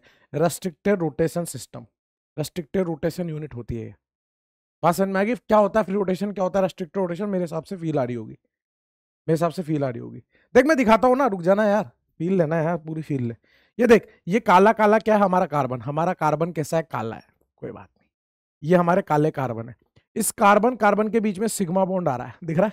ये सिग्मा बॉन्ड आ रहा है, देख। ये सिग्मा ये मस्त घूम रहा रे ये देखिए घूम रहा, ये घूम रहा, ये मस्त ऐसे घूम सकता है, इसमें कोई दर्द ही नहीं है। मस्त घूम रहा है मस्त घूम रहा है सिग्मा बॉन्ड कैसे बनता है? सिग्मा बॉन्ड बनता है इस तरह से, ये कार्बन है, ये कार्बन है, ये अपना वो लेके आएगा, ये अपना वो लेके आएगा, इसका इलेक्ट्रॉन इसका इलेक्ट्रॉन, यहाँ ओवरलैपिंग होगी, यहाँ मोहब्बत चल रही होगी। यहाँ जो मोहब्बत चल रही है, एक किल ठुकने की वजह से चल रही है, एक जगह पे चल रही है। अब ये जो रीजन है, सुनते जाओ बस आपका काम सुनने का है। ये रीजन है सिलेंड्रिकल रीजन। इस ओवरलैपिंग रीजन में, जहाँ ये ओवरलैपिंग हो रही है इन ऑर्बिटल्स के बीच में, वहाँ रोटेशन करने से, यहाँ अगर मैं रोटेशन दूँ तो वहाँ रोटेशन करने से ये सिलेंड्रिकल रीजन में कोई फ़र्क नहीं पड़ रहा। कहाँ पड़ रहा? देखना, मस्त घूम रहा है, मस्त घूम रहा है। ये सिलेंड्रिकल रीजन है, देख बीच वाला, ये बीच वाला, मस्त घूम रहा है है ना? इसलिए यहाँ पर सिग्मा बॉन्ड में रोटेशन फ्री हो सकता है। एक किल ठुकेगी तो रोटेशन कैसा हो जाएगा? फ्री। लेकिन इसी बजाय इसी के बजाय अगर मैं डबल बॉन्ड बना दूँ पाई बॉन्ड बना दूँ पाई बॉन्ड कैसे बनता है? Sideways overlapping of P orbital ये एक पी ऑर्बिटल है, ये दूसरा पी ऑर्बिटल है कार्बन है कार्बन है। यहाँ मोहब्बत यहाँ मोहब्बत। पाई बॉन्ड ऐसे तो बनता है। अब कितनी किल ठुक गई दोस्त? एक किल, दो किल दो किल ठुक गई। अब अगर मैं रोटेट करना चाह रहा हूँ, मान ले यहाँ पर एच लगा है बी आर लगा है, यहाँ एच लगा है, यहाँ बी आर लगा है। मैं चाहता हूँ बी आर ऊपर आ जाए एच नीचे आ जाए। बी आर ऊपर आ जाए एच नीचे आ जाए। अगर मैं इसको रोटेट करना चाह रहा हूँ तो मुझे ये बॉन्ड तोड़ना पड़ेगा और अगर ये बॉन्ड टूट सकता होता नॉर्मल कंडीशन में मतलब रूम टेम्परेचर पे तो बनता ही क्यों? कभी पाई बॉन्ड होता ही नहीं यार अगर टूट सकता होता तो। है ना? कभी पाई बॉन्ड होता ही नहीं अगर टूट सकता होता तो। कहना क्या चाह रहा हूँ, कहना क्या चाह रहा हूँ, ध्यान से देखना है, ये काले काले कार्बन है, ये सफ़ेद सफ़ेद हाइड्रोजन है, ये मोटे मोटे हरे हरे ब्रोमीन है। मैं क्या चाह रहा हूँ, मैं क्या चाह रहा हूँ, ये हरा वाला ऊपर आ जाए, सफ़ेद वाला नीचे आ जाए, मैं रोटेट करना चाह रहा हूँ, उसको रोटेट करना चाह रहा हूँ। ये ये ये देख, एक किल ऊपर ठुक रही है, एक किल नीचे ठुक रही है, पाई बॉन्ड ऐसा होता है, ठीक है ना? मैं इसको रोटेट करना चाह रहा हूँ, ये ये। ये, आवाज़ आई? ये बॉन्ड टूट गया, अब ये रोटेट हो पाया है, अब ये रोटेट हो पाया है, ताकत लगी नॉर्मल कंडीशन में तो वो नहीं घूम पा रहा था, जैसे वो सिग्मा बॉन्ड घूम पा रहा था, बात ही नहीं समझ में आई, आगे आगे। ये हरा वाले को ऊपर और सफ़ेद वाले को नीचे लाना चाह रहा हूँ, घुमाना चाह रहा हूँ, लेकिन घूम नहीं रहा। तो इस तरह के सिस्टम को क्या बोलते हैं? रेस्ट्रिक्टेड रोटेशन सिस्टम बोलते हैं। रेस्ट्रिक्टेड रोटेशन यूनिट बोलते हैं। अब टर्मिनल वैलेंसी किसे बोलते हैं? टर्मिनल वैलेंसी टर्मिनल वैलेंसी बोलते हैं जैसे ये कार्बन है कार्बन है पाइबोंड आ रहा है। एक कार्बन से जुड़ी दो वैलेंसी अलग अलग नहीं, इस कार्बन से जुड़ी ये वैलेंसीज जो है, ये अलग अलग होनी चाहिए। Hydrogen bromine hydrogen chlorine methyl bromine methyl ethyl कुछ भी हो सकता है। ये अलग होनी चाहिए। इसी तरह से ये टर्मिनल वैलेंसी भी अलग होनी चाहिए। ये दोनों नहीं, ये दोनों ये दोनों। अगर मैं इसको ऐसे कर दूँ तो ये दोनों ये दोनों। बात समझ में आ रही है क्या? इन दोनों की बात नहीं कर रहा, इन दोनों की बात कर रहा हूँ। ये टर्मिनल वैलेंसीज कैसी होनी चाहिए, डिफरेंट होनी चाहिए। अब एरियल डिस्टेंस की बात करते हैं। एरियल डिस्टेंस क्या होती है? अभी सफ़ेद के सामने सफ़ेद आ रहा है। इनके बीच की जो दूरी है, इनके बीच की जो दूरी है, ये क्या है? L1 है। क्या है? L1 इनके बीच की दूरी L1 है। अगर मैं यहाँ से इसको तोड़ दूँ और यहाँ लगा दूँ, अब ये, वही सफ़ेद हरा सफ़ेद हरा पाइबोन, दो कार्बन, सब मोलिकुलर फॉर्मूला सेट है। अब ये सफ़ेद और सफ़ेद इस तरह से आ रहे हैं। पहले सफ़ेद सफ़ेद दोनों सेम साइड थे, अब सफ़ेद सफ़ेद दोनों अपोजिट साइड है। थ्री में ओरिएंटेशन डिफरेंट है। पहले सफ़ेद से सफ़ेद की दूरी L1 थी, अब सफ़ेद से सफ़ेद की दूरी L2 है। और वो L1 और ये L2 अलग अलग नज़र आ रही है भाई, नज़र आ रही है, नज़र आ रही है भाई, नज़र आ रही है। L1 और L2 अलग अलग है। इस तरह का सिस्टम अगर है तो लंबाई क्या होती है? ज्योमेट्री तो होती है। लंबाई, चौड़ाई, हाइट, ये सब क्या होती है? ज्योमेट्री होती है। इस तरह का सिस्टम है। अगर किसी रेस्ट्रिक्टेड रोटेशन यूनिट के about if we are getting different geometries मतलब L1 L2 डिफरेंट आ रहे हैं तो वो क्या होगा? आपका ज्योमेट्रिकल आइसोमर होगा। मतलब जब दोनों सफ़ेद सेम साइड थे और दोनों सफ़ेद अपोजिट साइड है, ये दोनों आइटम एक दूसरे के क्या है? ज्योमेट्रिकल आइसोमर है। फिर से बोल रहा हूँ आइसोमर दो होते हैं, एक नहीं हो सकता मिनिमम दो तो होंगे दो के बीच का रिश्ता है। तो मेरे हिसाब से बात समझ में आई होगी रेस्ट्रिक्टेड रोटेशन यूनिट क्या है टर्मिनल वैलेंसी डिफरेंट क्या है एरियल डिस्टेंस डिफरेंट क्या है, ये बात समझ में आई आइए एल्कीन में जीआई को झांकते हैं, किस तरह से डबल बॉन्ड वाले सिस्टम में जीआई होता है उसको देखते हैं। मैंने आपको क्या बोला था, मैंने आपको क्या बोला था कि ये पाई बॉन्ड है पाई बॉन्ड का मतलब क्या है, इसमें रेस्ट्रिक्टेड रोटेशन यूनिट है due to pi bond due to pi bond दो किल ठुकरी। मैंने क्या बोला इस एटम से जुड़ी मतलब इस कार्बन से जुड़ी, दोनों वैलेंसी कैसी होनी चाहिए डिफरेंट इधर दोनों डिफरेंट इधर भी दोनों डिफरेंट लेकिन यहाँ पर क्या आ गया? बी आर और बी आर सेम आ गया। और अगर सेम आ गया टीवीडी टीवीडी बोले तो टर्मिनल वैलेंसी डिफरेंट नहीं आ पा रहा है। आगे क्यों जाएँगे? यहाँ जीआई होएगा ही नहीं। यहाँ जीआई होएगा ही नहीं। टर्मिनल वैलेंसी डिफरेंट आनी चाहिए थी दोस्त। फिर यहाँ देख, फिर यहाँ देख। एक सेकंड फिर यहाँ देख। यहाँ पर ये डबल बॉन्ड दिख रहा है, ये रेस्ट्रिक्टेड रोटेशन यूनिट है, ठीक है? फिर यहाँ इस कार्बन से एच है अलग अलग है, इस कार्बन से क्लोरीन आयोडीन है अलग अलग है। यानी कि यहाँ टर्मिनल वैलेंसी डिफरेंट भी है, इन, ये अलग है और ये अलग है। मतलब इन दोनों की कंपैरिजन चल रही है, ये दोनों अलग होनी चाहिए। इसी प्रकार से ये दोनों भी अलग होने चाहिए। समझ रहा बात को? इसलिए यहाँ जीआई हो जाएगा। अगर अलग आ गई ना तो एल्किन में आपको L one not equal to L two check करने की ज़रूरत नहीं है। जब सीएल के सामने एच आ रहा है तो ये L1 है। अगर मैं H को नीचे बी आर को ऊपर लिख दूँ Cl के अपोजिट में H आ रहा है तो ये L2 होगी। यानी कि L1 not equal to L2 भी आ रहा है। ये Gi करेगा। करेगा भाई, करेगा। ये भी Gi करेगा। रेस्ट्रिक्टेड रोटेशन यूनिट है। दिख ही रहा है ना? Restricted rotation unit terminal valency different है। कैसे डिफरेंट है? एच बी आर अलग है एच बी आर अलग है। फिर L1 not equal to L2 आ जाएगा। कैसे आएगा? अभी दोनों हाइड्रोजन सेम साइड है L1 अगर एच को नीचे बी आर को ऊपर लगाऊँ, किसी दूसरे से कंपेयर करना है ना?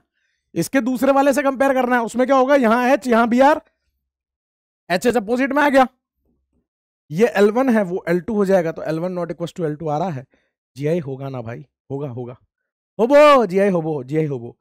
अच्छा अगर मान लीजिए मैं ऐसे लिख दूँ सी डबल बॉन्ड एन यहाँ लोन पेयर यहाँ एच यहाँ पर मान लीजिए मैंने एच और यहाँ बी आर लिख दिया। क्या ये जी आई करेगा क्या? क्या ये जी आई करेगा क्या? देखते हैं ना। रेस्ट्रिक्टेड रोटेशन यूनिट है। लोन पेयर को भी एक अलग ग्रुप माना गया है। माना गया है भाई। लोन पेयर को एक अलग ग्रुप माना गया है। ठीक है ना? Lone pair is also considered as a group तो लोन पेयर और हाइड्रोजन अलग अलग है। हाइड्रोजन और बीआर अलग अलग है। एच और एच अपोजिट में आ रहे हैं। एल टू है। एच ऊपर आ जाता तो एल वन हो जाती। L one not equal to L two आ रहा है। मतलब टीवीडी भी है। L one not equal to L two भी है। मतलब जी आई होबो होगा होगा जी आई होगा होगा। होगा जी आई होगा। अगर मैं एन डबल बॉन्ड एन और यहाँ लोन पेयर यहाँ लोन पेयर यहाँ हाइड्रोजन यहाँ हाइड्रोजन लिख दूँ, क्या इसमें यही होगा क्या मेरे दोस्त? देखना मेरे दोस्त रेस्ट्रिक्टेड रोटेशन तो है। लोन पेयर है चलक लोन पेयर है चलक टर्मिनल वैलेंसी डिफरेंट भी है। L1 not equal to L2 भी आ रहा है। दोनों हाइड्रोजन सेम साइड L1 ऊपर होता तो L2 आ जाता। यानी कि ये भी जीआई करेगा। जीआई कब नहीं करेगा? एल्कीन के अंदर या डबल बॉन्ड सिस्टम में कब जीआई नहीं करेगा? जब टर्मिनल वैलेंसी सेम आ जाएगी सिंपल सा है। अगर एक जैसी वैलेंसी आ जाए आ गई तो फिर नहीं करेगा। मेरे हिसाब से एल्कीन में रेस्ट्रिक्टेड रोटेशन क्या होता है? कैसे जीआई करता है? वो समझ में आ गया होगा। क्या मैं आगे बढ़ सकता हूँ, दोस्त? आमी आगे। छोल बो रे। चोल बो चोल बो। अब बात करते हैं जीआई इन साइक्लो एल्केन की। साइक्लो एल्केन में जीआई का कैसे पता चलेगा? बिल्कुल बिल्कुल वैसे ही है जैसे एल्कीन में देखा था। बिल्कुल वैसे ही है जैसे एल्कीन में देखा था। यहाँ पे हमें क्या चाहिए? एक साइकिल के अंदर, एक रिंग के अंदर दो, सबसे पहले तो दो डिफरेंट sp3 एटम ढूँढने हैं, जिन पर दो डिफरेंट ग्रुप लगे हों। ज़रूरी नहीं है कि वो डिफरेंट sp3 एटम बगल बगल वाले हों, आसपास वाले हों दूर दूर वाले भी चलेंगे। वन टू भी चलेगा वन थ्री भी चलेगा वन फोर भी चलेगा, सब अलग है। मतलब ये दोनों भी चलेंगे, वो वही रह गया।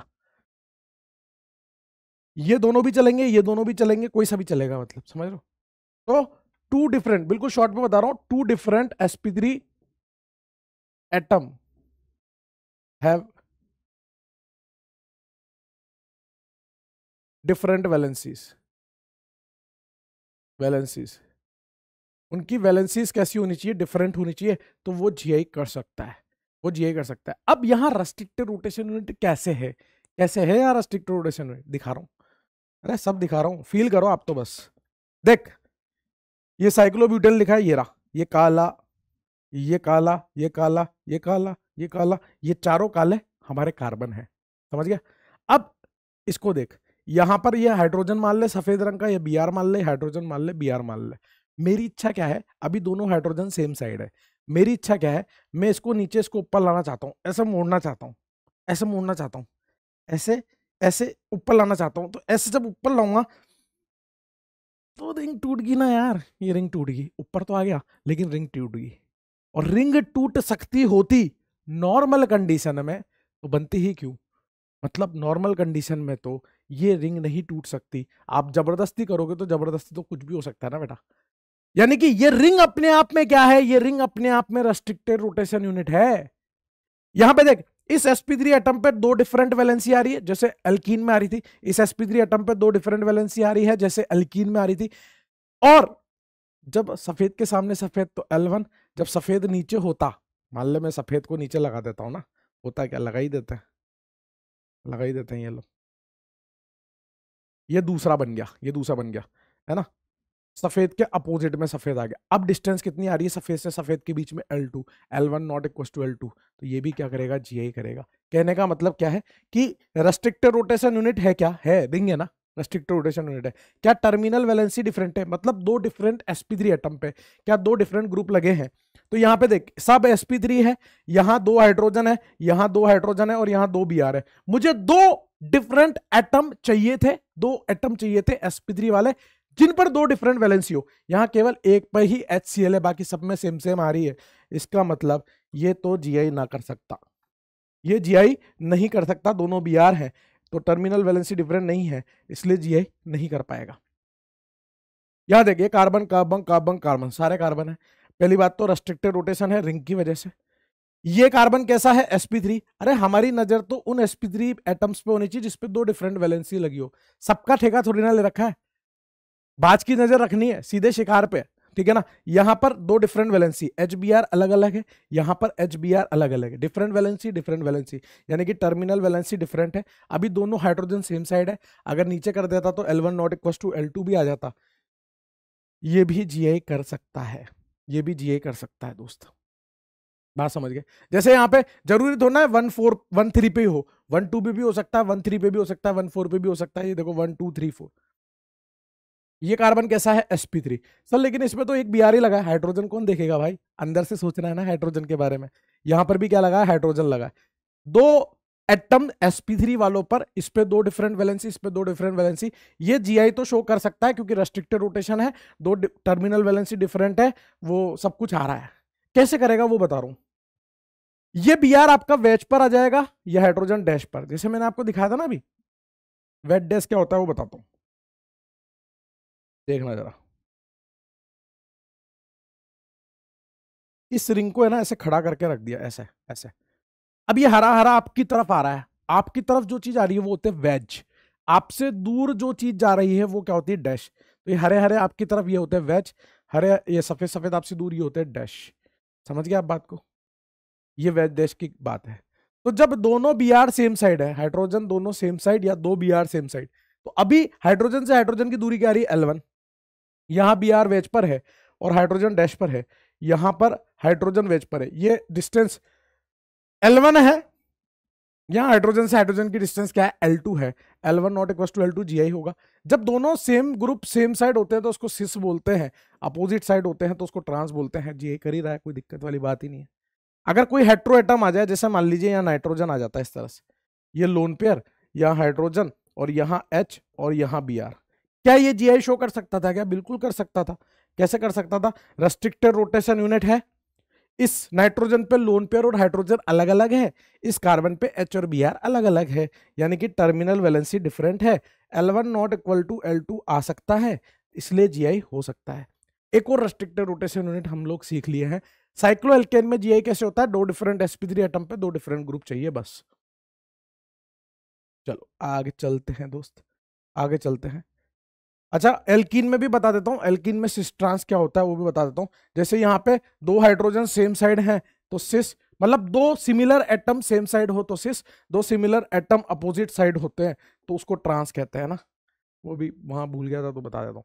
दो सिमिलर एटम सेम साइड तो सिस दो सिमिलर एटम अपोजिट साइड तो उसको ट्रांस बोलते हैं।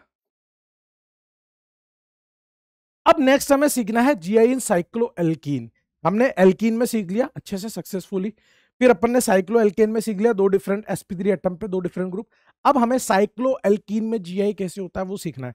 लेकिन उससे पहले उससे पहले अंकल बेयर की थ्योरी पढ़नी पड़ेगी। अंकल बेयर मतलब Baeyer angle strength theory uncle Baeyer बहुत तनाव वाले व्यक्ति थे, उन्होंने कोण में तनाव ढूंढ लिया एंगल में ही तनाव ढूंढ लिया। समझ रहे हो आप?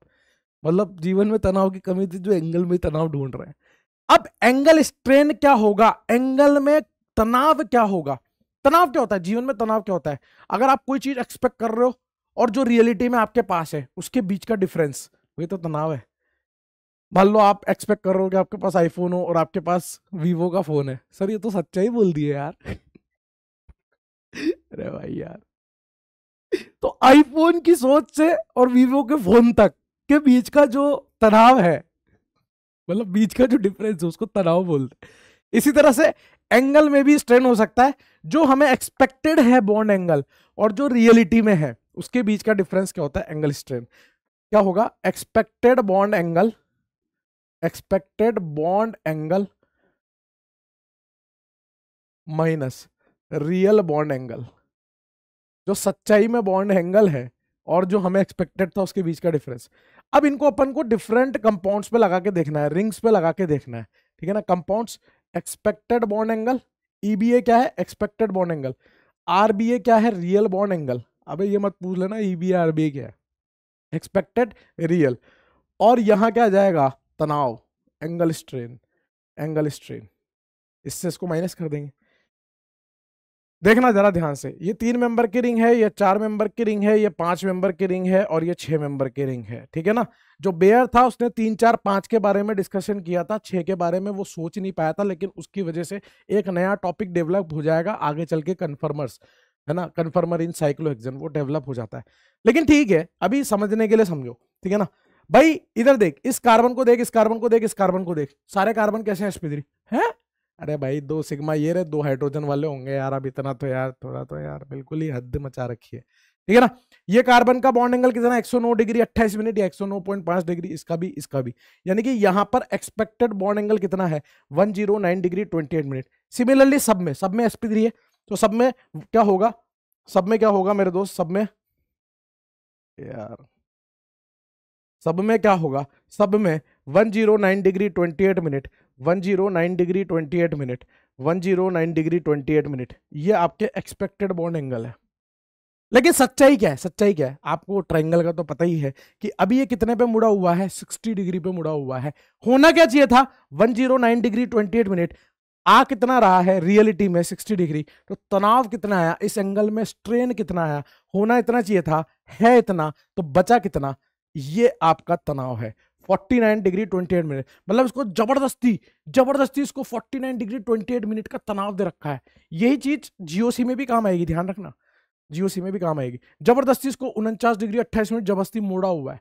मतलब ये क्या है, ये क्या है, ऐसा हो रहा है कि मेरे को कोई मौका दे दे मतलब खुल जाऊँ। इतना तनाव आ रहा है उसकी ज़िंदगी में। यहाँ पर कितना आ रहा है? Ninety degree. तो कितना हो गया? Nineteen degree twenty eight minute का तनाव है इसके जीवन में। यहाँ पर 108 डिग्री होता है रियल बॉन्ड एंगल तो इसमें एक डिग्री 28 मिनट का तनाव है। और यहाँ पे लगभग लगभग 109 डिग्री हो जाता है, इसमें लगभग लगभग ज़ीरो डिग्री का तनाव है। मस्त है इसके जीवन में तनाव ही नहीं है।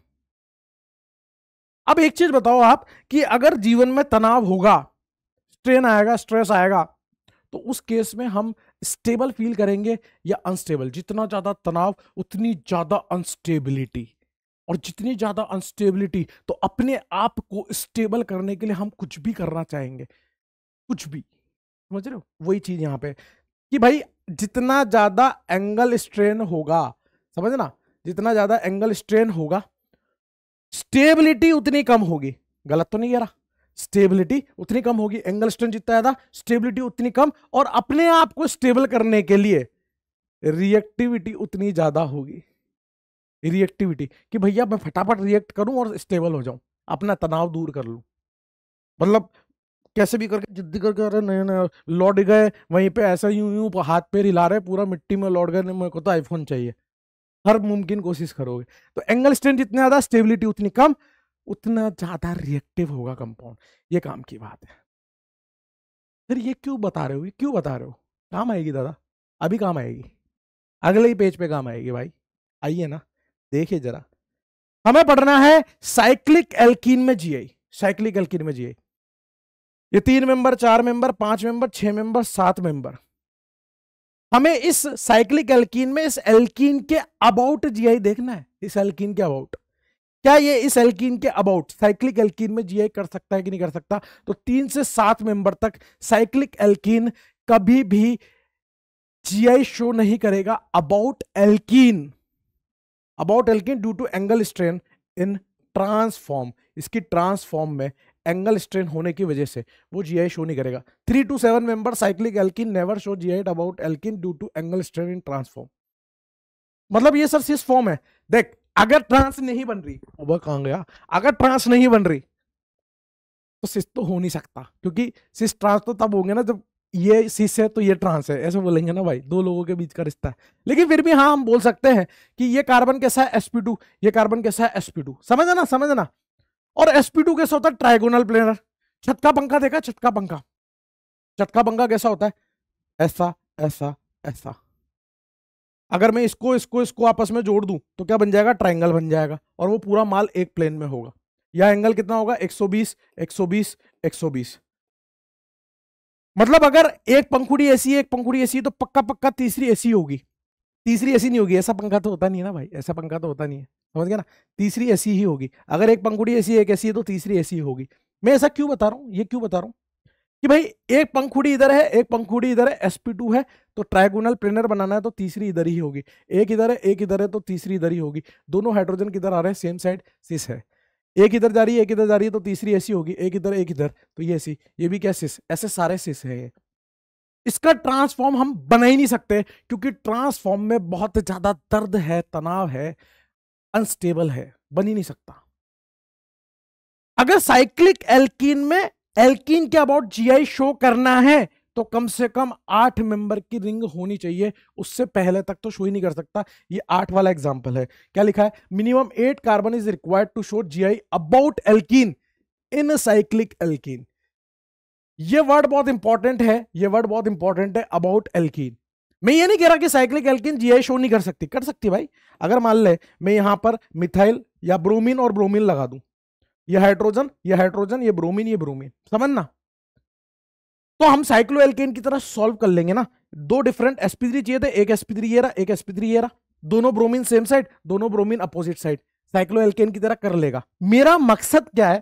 इस एल्किन के अबाउट कर रहा है या नहीं कर रहा? अगर साइक्लिक एल्किन में एल्किन के अबाउट शो करवाना है तो कितने कार्बन चाहिए? आठ कार्बन चाहिए, आठ कार्बन ये sp2 है, ये sp2 एक, दो, तीन, चार, पाँच, छह, सात, आठ। यहाँ पे हाइड्रोजन किधर होगा? इस तरफ़। यहाँ हाइड्रोजन किस तरफ़ होगा? इस तरफ़। ये कौन सी फॉर्म लिखी है? सिस फॉर्म अब इधर देख इधर देख। एक, दो, तीन, चार, पाँच, छ, सात, आठ। ये आठ कार्बन है। ये तेरे को बीच में डॉट डॉट डॉट डॉट दिख रहा है? ये बेसिकली ऐसे पीछे से जाता हुआ है थ्री स्ट्रक्चर है। इस कार्बन से इस कार्बन के बीच में डबल बॉन्ड है। मतलब इसको ऐसे तोलिए की तरह निचोड़ दिया। एक वैलेंसी इधर जा रही है, एक वैलेंसी इधर जा रही है तो तीसरी किधर होगी, पंखे की तरह, इधर, पंखे की तरह इधर। इस डबल बॉन्ड के एक हाइड्रोजन तो उस तरफ़ है, एक इस तरफ़ है अपोजिट में है। ये कौन सी है? ट्रांस ये सिस थी, दोनों हाइड्रोजन सेम साइड ये अपोजिट में ट्रांस तू सोच तू सोच मेरे भाई, क्या पाँच मेंबर की रिंग में या चार मेंबर की रिंग में तनाव था, इससे पहले बताया? बताया था ना? तनाव था? छह मेंबर में नहीं था? तो ये एक, दो, तीन, चार. चार मेंबर जैसी तो रिंग है। पाँच की मान ले, पाँच की मान ले। दर्द तो इसमें भी है। कम है, लेकिन है। आठ मेंबर की ट्रांसफॉर्म में भी दर्द है। मतलब इसका कौन सा फॉर्म ज़्यादा स्टेबल होगा? सिस फॉर्म ट्रांस बन पा रहा है दर्द के साथ।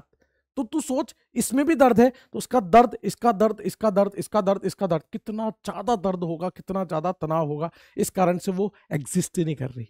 इसलिए थ्री से सेवन तक एल्किन के अबाउट इंपॉर्टेंट क्या है? एल्किन के अबाउट जीआई शो नहीं होगा। मिनिमम आठ कार्बन चाहिए। आठ कार्बन से लेकर ग्यारह कार्बन तक फॉर्म जो है वो ट्रांसफॉर्म से ज़्यादा स्टेबल होती है और ग्यारह कार्बन के बाद ट्रांसफॉर्म जो है, वो सिस फॉर्म से ज़्यादा स्टेबल होती है। ये स्टेबिलिटी का क्राइटेरिया बता दिया। आठ कार्बन से लेकर ग्यारह कार्बन तक की जो रिंग होगी, उसमें साइक्लिक एल्कीन में, एल्कीन के अबाउट जे करने पर सिस फॉर्म ट्रांसफॉर्म से ज़्यादा स्टेबल होगी, ग्यारह कार्बन से ज़्यादा पर ट्रांस वाली सिस से ज़्यादा स्टेबल होगी। ये साइक्लिक एल्कीन की कहानी है। साइक्लो एल्केन पढ़ लिया, साइक्लिक एल्कीन पढ़ लिया, एल्कीन पढ़ लिया। साइक्लिक एल्कीन में minimum number of carbon required to show GI in cycloalkene कितने? आठ। अबाउट एल्कीन आठ, ठीक है ना? चलिए नोट करते रहना उठा है ना? पोज करके। अगला सिस्टम देखो, अगला सिस्टम देखो। GI in cumulated and spiran system cumulated system क्या होता है? जिसमें लगातार पाई बॉन्ड आते हैं। पाई पाई पाई पाई पाई पाई पाई पाई ऐसे आते जाते हैं। यहाँ पे देखो, एक पाई फिर दूसरा पाई ये कैसा क्यूमुलेटेड सिस्टम है? ये है इवन क्यूमुलेटेड सिस्टम इवन और ऑड कैसे डिसाइड होता है? नंबर ऑफ़ पाई बॉन्ड से एक पाई बॉन्ड दूसरा पाई बॉन्ड यहाँ कितने पाई बॉन्ड है दोस्त? एक और दो। अभी और कहीं मत देख, और कहीं मत देख। कहीं नज़र मत डाल। सिर्फ़ इसको देखता जा, जो बता रहा हूँ।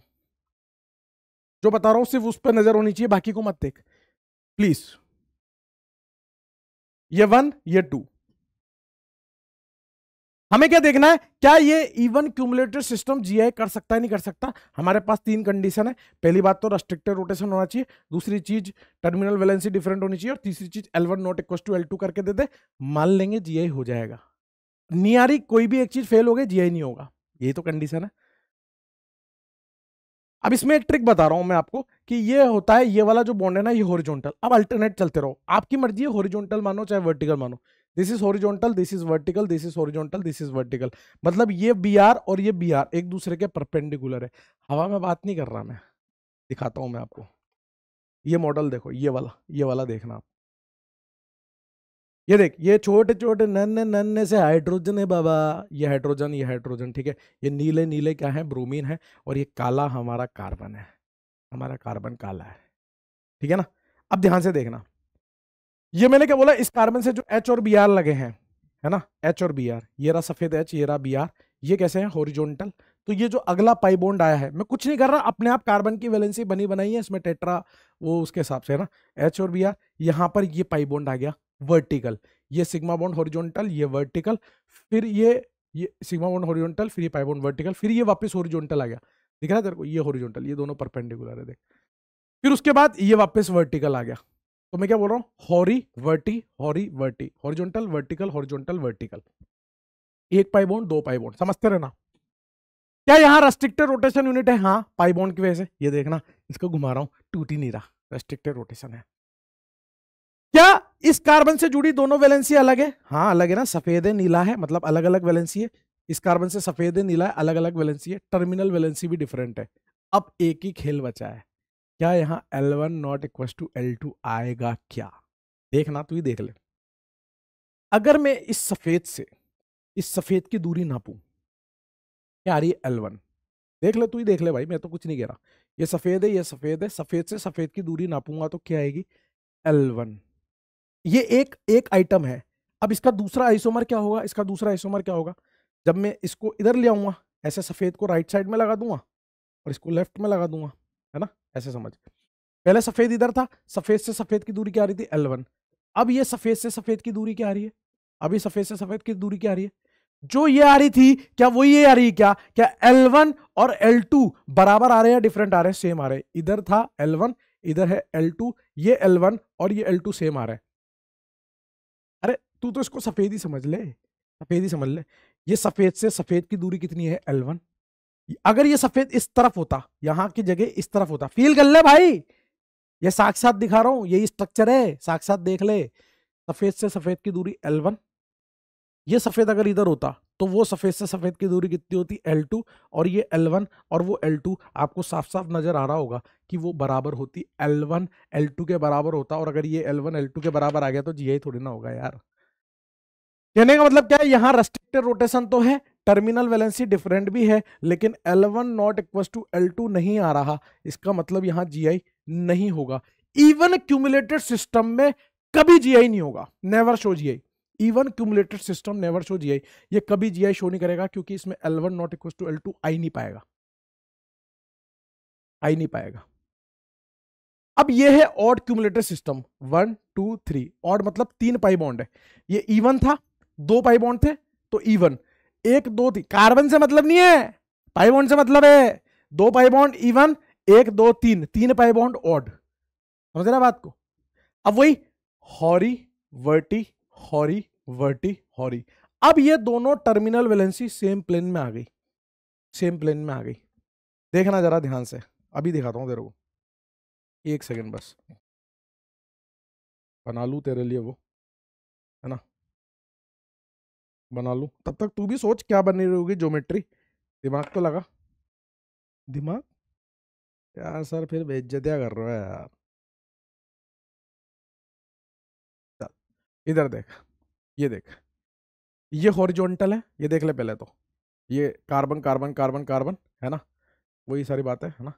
ये हाइड्रोजन है ब्रोमीन है, ये हाइड्रोजन है ब्रोमीन है है ना? ये ये जो है ना, ये ये हॉरिजॉन्टल है। फिर ये पाइबोन वर्टिकल फिर ये हॉरिजॉन्टल फिर ये वर्टिकल और फिर ये हॉरिजॉन्टल आ गया। दिख गया तेरे को? दिख गया? हॉरी, वर्टी हॉरी वर्टी, हॉरी। दिख गया? अब देख, यहाँ रेस्ट्रिक्टेड रोटेशन है पाइबोन की वजह से रेस्ट्रिक्टेड रोटेशन है।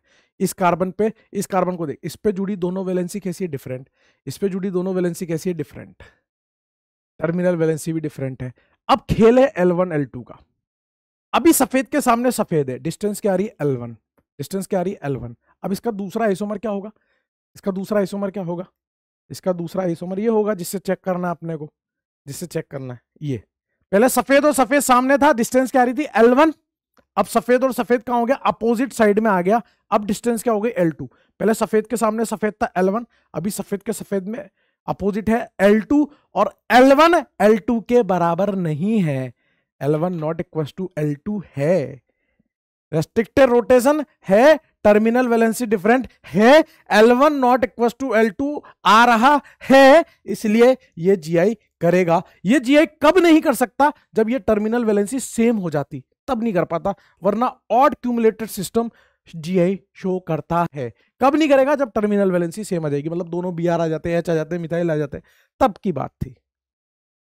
दोनों में कंपैरिजन समझ में आ गया होगा।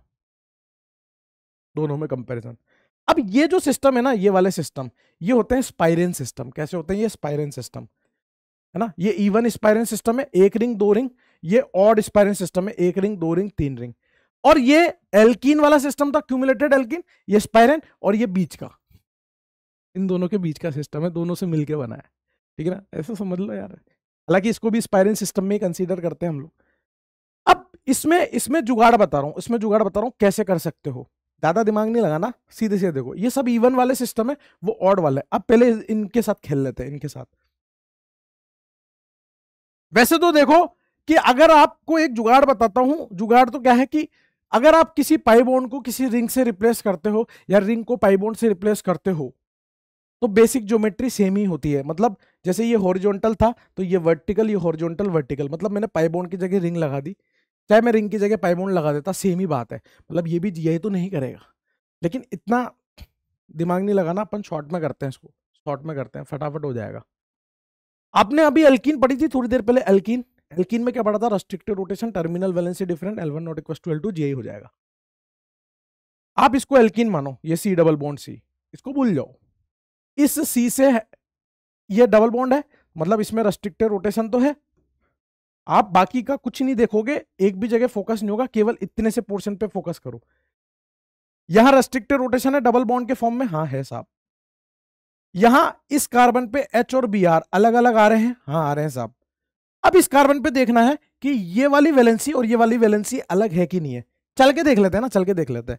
इधर चला हेलो कार्बन इधर चला हलो कार्बन इधर चला हलो कार्बन इधर चला हलो कार्बन इधर चला हलो कार्बन इधर चला हलो कार्बन दोनों एक साथ बोलेंगे हाय ब्रोमीन मतलब मैं इस रास्ते पे चलूँ चाहे मैं इस रास्ते पे चलूँ दोनों रास्ते सेम है halo carbon halo carbon halo carbon high bromine halo carbon halo carbon halo carbon high bromine दोनों रास्ते सेम है मतलब इस कार्बन से जुड़ी दोनों वैलेंसी कैसी है सेम है टर्मिनल वैलेंसी डिफरेंट नहीं है इसलिए जीआई नहीं होगा इसमें इतना आसान है इतना आसान है।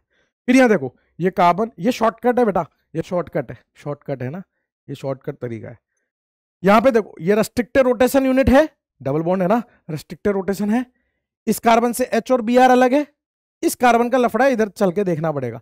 हेलो इधर चला हेलो कार्बन इधर चला हेलो कार्बन फिर ये हेलो कार्बन ये बोलेगा हेलो कार्बन ये वापस क्या बोलेगा? हेलो कार्बन ये क्या बोलेगा? हाय ब्रोमीन मतलब ये रास्ता और ये रास्ता अलग अलग है, यानी कि टर्मिनल वैलेंसी यहाँ डिफरेंट है। तो L one not equal to L तो आई जाएगा जी आई हो ही जाएगा जी आई हो ही जाएगा। रास्ते अलग अलग हो गए ना जी आई हो ही जाएगा। इसी तरह से इस वाले कंपाउंड को देखो, इस वाले कंपाउंड को।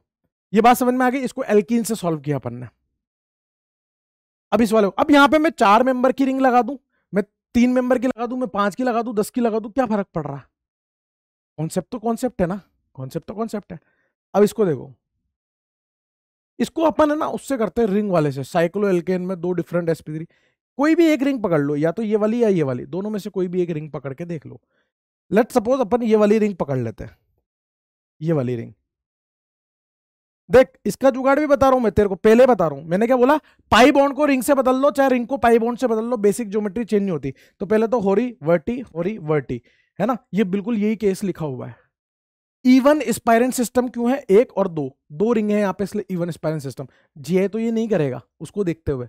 लेकिन वहाँ पे ऐसे देखते हुए देखते हुए तो नहीं आएगा, वहाँ तो एकदम से आ जाएगा। तो इस तरह के क्वेश्चन को कैसे सॉल्व करेंगे? शॉर्टकट तरीका बता रहा हूँ। ये एक साइक्लिक एल्केन मान लिया अपन ने।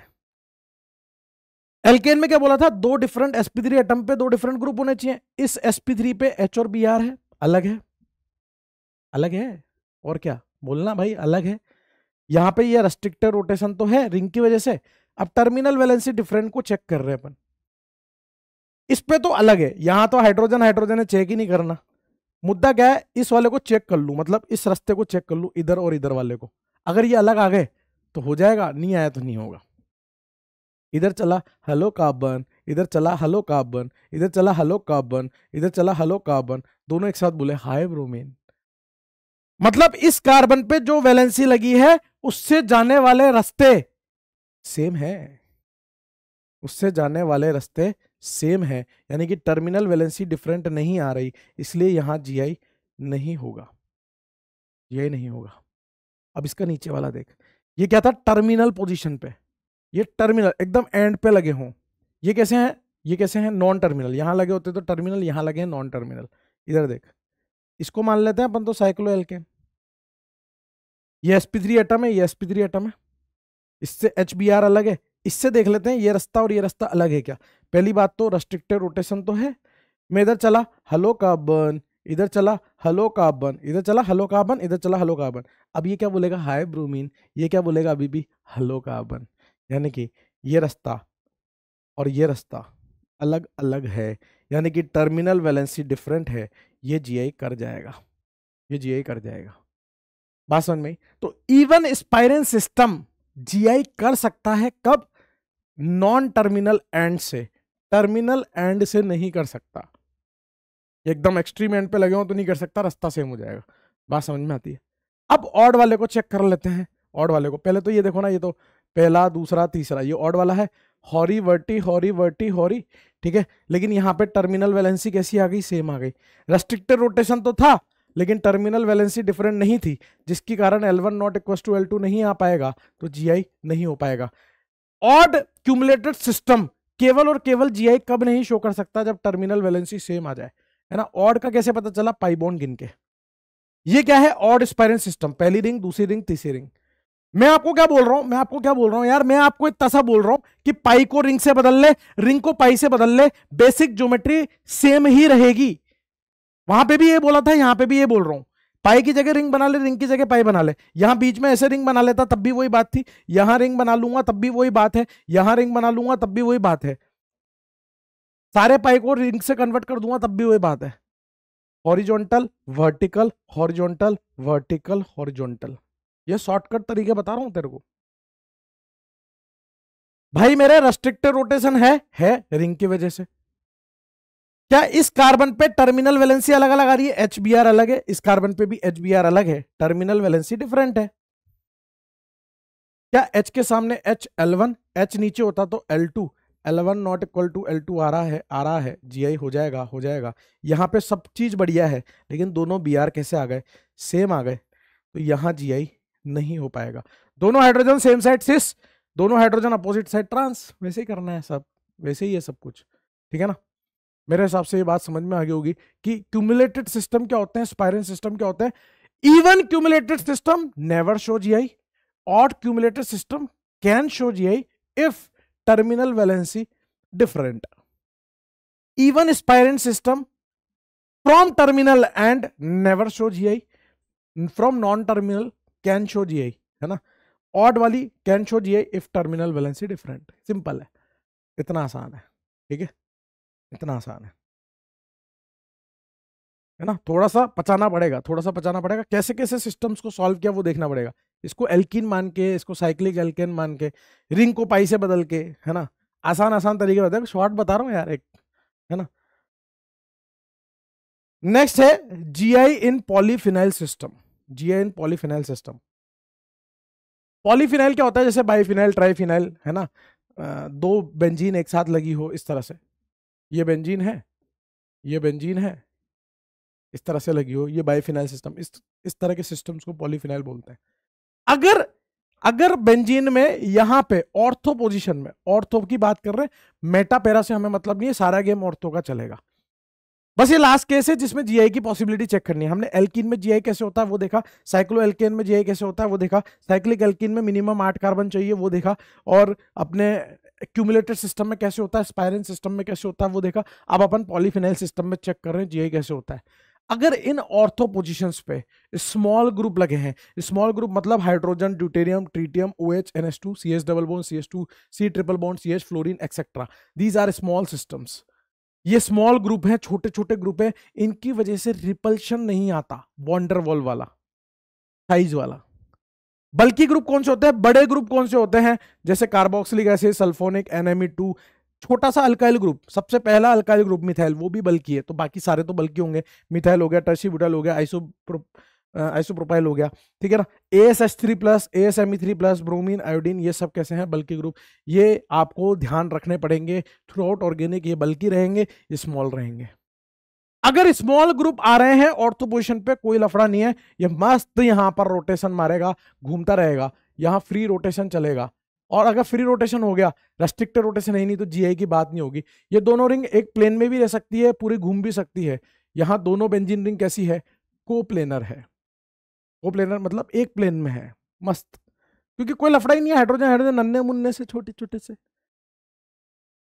लेकिन अगर मैं इसी सिस्टम में, ध्यान से समझना दोस्त, यहाँ बेंजीन और यहाँ बेंजीन मैंने यहाँ लगा दिया ए यहाँ लगा दिया बी यहाँ लगा दिया ए यहाँ लगा दिया बी जहाँ पर ए बी आपके बल्कि ग्रुप है। बल्कि ग्रुप मतलब इनमें से कोई एक। ये सब बल्कि ग्रुप है, इनमें से कोई है। अगर ये बेंजीन और ये बेंजीन दोनों सेम प्लेन में रही, एक ही प्लेन में रही, बोर्ड के प्लेन में तो ए और ए आमने सामने होंगे और दोनों कैसे हैं? बड़े बड़े ग्रुप है। ये बड़ा ये बड़ा, दोनों बड़े बड़े ग्रुप पे पास में आ रहे हैं तो एक दूसरे को रिपेल कर रहे हैं साइज़ की वजह से। साइज़ की वजह से। है ना? ये और ये तो साइज़ की वजह से रिपेल कर रहे हैं। छोटे छोटे से हैं, दूर हैं, टकरा ही नहीं रहे, यहाँ पे ये टकरा रहे हैं। साइज़ की वजह से। तो ये इस दर्द को खत्म करना चाहते हैं, इस रिपल्शन को खत्म करना चाहते हैं, उस रिपल्शन को खत्म करने के लिए ये क्या करते हैं? एक रिंग हॉरिजॉन्टल हो जाती है और दूसरी वर्टिकल हो जाती है। एक रिंग हॉरिजॉन्टल हो जाती है, दूसरी वर्टिकल हो जाती है। अब मैं इसको समझा रहा हूँ, है ना? एक बार इसमें थोड़ा सा जुगाड़ लगाना पड़ेगा, है ना? दो मिनट रुको, दो मिनट रुको, मैं वो मॉडल से समझाता हूँ। हाँ भाई। देखना जरा। एक मिनट भैया, ना। अकेले मैं नहीं बता पाऊँगा तो मैंने साथ में जो सर है है ना?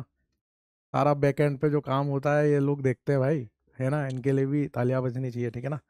तो एक मिनट पकड़ना सर इसे एक फिनाइल रिंग है, एक फिनाइल रिंग अब दूसरी फिनाइल रिंग भी है, देखो। सर, एक मिनट, इसको भी पकड़ना, एक हाथ से, इसको एक हाथ से।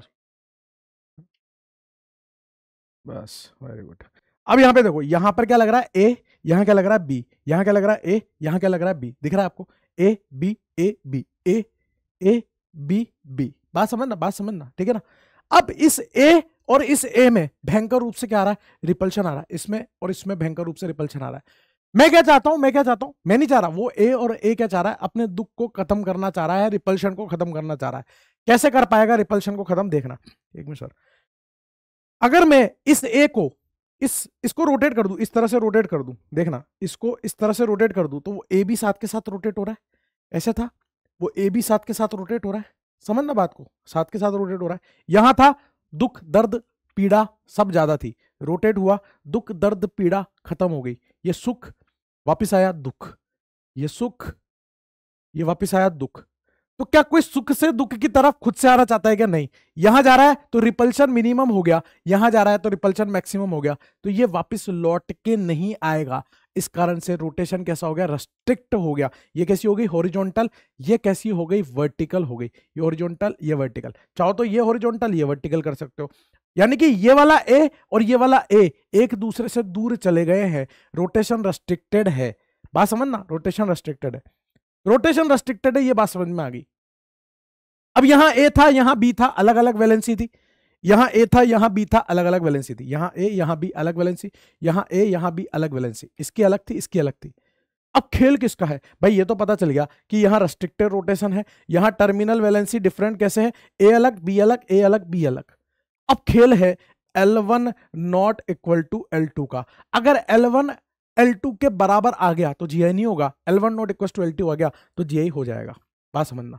L1 not equal to L2 आ गया तो जी होगा। ठीक है सर यूँ, टेढ़ा हो जाओ सर ऐसे करके। थोड़ा सा ऊपर, है ना? हाँ ऐसे कर लेते, ऐसे कर लेते। वेरी गुड यहाँ पर देखो, इस तरह से, भैया को भी आता है। पहले भी भैया को मैंने यूज़ मतलब पहले भी सर के साथ किया हुआ तो यहाँ पे ये ए है, ये ए है यहाँ पर, और दूसरा ए कहाँ है यहाँ पर? अगर इस ए से इस ए की दूरी नापूँगा ध्यान समझना, इस ए से इस ए की दूरी नापूँगा एल वन आ रही है एल वन आ रही है। अब मैं इसको ऐसे कर रहा हूँ, दूसरा एसोमर कैसे होगा? ए इधर आ गया ए इधर आ गया ए इस तरफ़ आ गया, ठीक है ना? अगर मैं इस ए से इस ए की दूरी नापूँगा एल टू आ रही है ए से ए की दूरी ए से इधर वाले ए की दूरी ए से ए की दूरी, जब मैं दूसरा एसोमर देखूँगा तो उस तरफ़ ए होगा ए से ए की दूरी कैसी आ रही है? सेम आ रही है। एल वन एल टू ये वाला एल वन और ये वाला एल टू कैसा आ रहा है? सेम आ रहा है। आ रहा है कि नहीं आ रहा भाई? जैसे वो था ना क्यूमुलेटेड सिस्टम है ना? परपेंडिकुलर आते थे। ए से ए की दूरी, इस ए से इधर वाले ए की दूरी, जब दूसरा वाला है तो सेम आ रही है। L one not equal to L two नहीं आ पा रहा जी नहीं हो पाएगा। क्या लगता है सर? दिख गया होगा इनको? हाँ एक बार एक बार L one not equal to L two नहीं आ रहा तो जीआई नहीं होगा। जब इवन फिनाइल सिस्टम है, कैसी है? इवन दो फिनाइल है तो अभी जीआई नहीं हो पा रहा है। ये हॉरिजॉन्टल ये वर्टिकल क्योंकि L one not equal to L two नहीं आ रहा। अब दोस्त, ध्यान से देखना मैं एक बेंजीन बना रहा हूँ, दूसरी बेंजीन बना रहा हूँ और ये तीसरी बेंजीन बना रहा हूँ। यहाँ लगाया ए यह लगाया बी यह लगाया ए यह लगाया बी यहाँ जी जी लगा दिए। जी जी जी जी और ये ए बी और जी ये सब बल की ग्रुप है। ये सब बल की ग्रुप है। अब अगेन वही बात अगेन वही बात। ये कैसी होगी? हॉरिजॉन्टल ये कैसी होगी? वर्टिकल ये कैसी होगी? हॉरिजॉन्टल ठीक है? अब तीन रिंग पकड़ लो। आ जाओ सर एक ऐसे पकड़ लो। और एक ऐसे। हाँ। ठीक है ठीक है चलेगा। ऐसे। यहाँ ए है तो थोड़ा ऊपर है ना? ये ए है ये बी है यहाँ जी जी जी जी लगा है यहाँ ए है यहाँ बी है। समझना? अरे ये ये वर्टिकल ये हॉरिजॉन्टल ये वर्टिकल चाहे ये हॉरिजॉन्टल वर्टिकल हॉरिजॉन्टल एक ही बात है। कोई सा भी कुछ भी मान लो अगर वर्टिकल मान रहे हो तो ये हॉरिजॉन्टल है वर्टिकल। ये वापस इस प्लेन में क्यों नहीं आ रही? वही वाली बात है क्यों नहीं आएगी? रिपल्सन आ जाएगा रिपल्सन आ जाएगा वो बता दिया मैंने आपको। ये रोटेशन सिस्टम रेस्ट्रिक्टेड है पहली चीज़। दूसरी चीज़, यहाँ ए यहाँ बी यहाँ ए यहाँ बी इस रिंग और इस रिंग की बात चल रही है।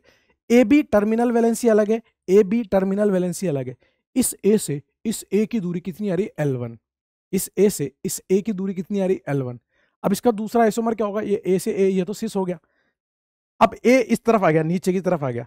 ए से ए की दूरी कितनी आ रही एल टू दूसरा वाला ए से ए की दूरी कितनी आ रही एल टू वो एल वन थी, वो एल टू है और एल वन एल टू के बराबर नहीं आ रहा। जी हो जाएगा। Thank you sir thank you sir okay sir मतलब मतलब ये हॉरिजॉन्टल वर्टिकल हॉरिजॉन्टल ये टर्मिनल वैलेंसी ए और बी अलग, ये टर्मिनल वैलेंसी ए और बी अलग। रेस्ट्रिक्टेड रोटेशन है टर्मिनल वैलेंसी डिफरेंट है और L1 not equal to L2 भी आ रहा है। इस A से A की दूरी L1 दूसरा वाला क्या होगा? दूसरा वाला क्या होगा? दूसरा वाला होगा जब यहाँ पर बी आ जाएगा और यहाँ पर ए आ जाएगा इस जगह पे तो ए से ए की दूरी क्या आ जाएगी? एल टू मेरे हिसाब से बात समझ में आ रही होगी। जीआई हो जाएगा। ऑड फिनाइल सिस्टम में जीआई होगा इवन फिनाइल सिस्टम में जीआई नहीं होगा, क्योंकि ये दोनों रिंग सेम प्लेन में आ गई, चाहे होरी वर्टी होरी कर लो, चाहे वर्टी होरी वर्टी कर लो। एक ही बात है। कोशिश करिए यार, अगर विजुअलाइज हो गया होगा तो अच्छी बात है। ठीक है ना? बस ये बल्कि ग्रुप का ध्यान रखना है स्मॉल ग्रुप क्या है, बल्कि ग्रुप क्या है। अब अपन ने ये देख लिया कि कहाँ कहाँ से जीआई हो सकता है एल्कीन से कैसे होता है साइक्लो एल्केन से कैसे होता है साइक्लिक एल्कीन में कैसे होता है पॉलीफिनाइल में कैसे होता है क्यूमुलेटेड में कैसे होता है स्पायरन में कैसे होता है, सारे सिस्टम पढ़ लिए, जहाँ जहाँ से जीआई पॉसिबल या नॉट पॉसिबल था।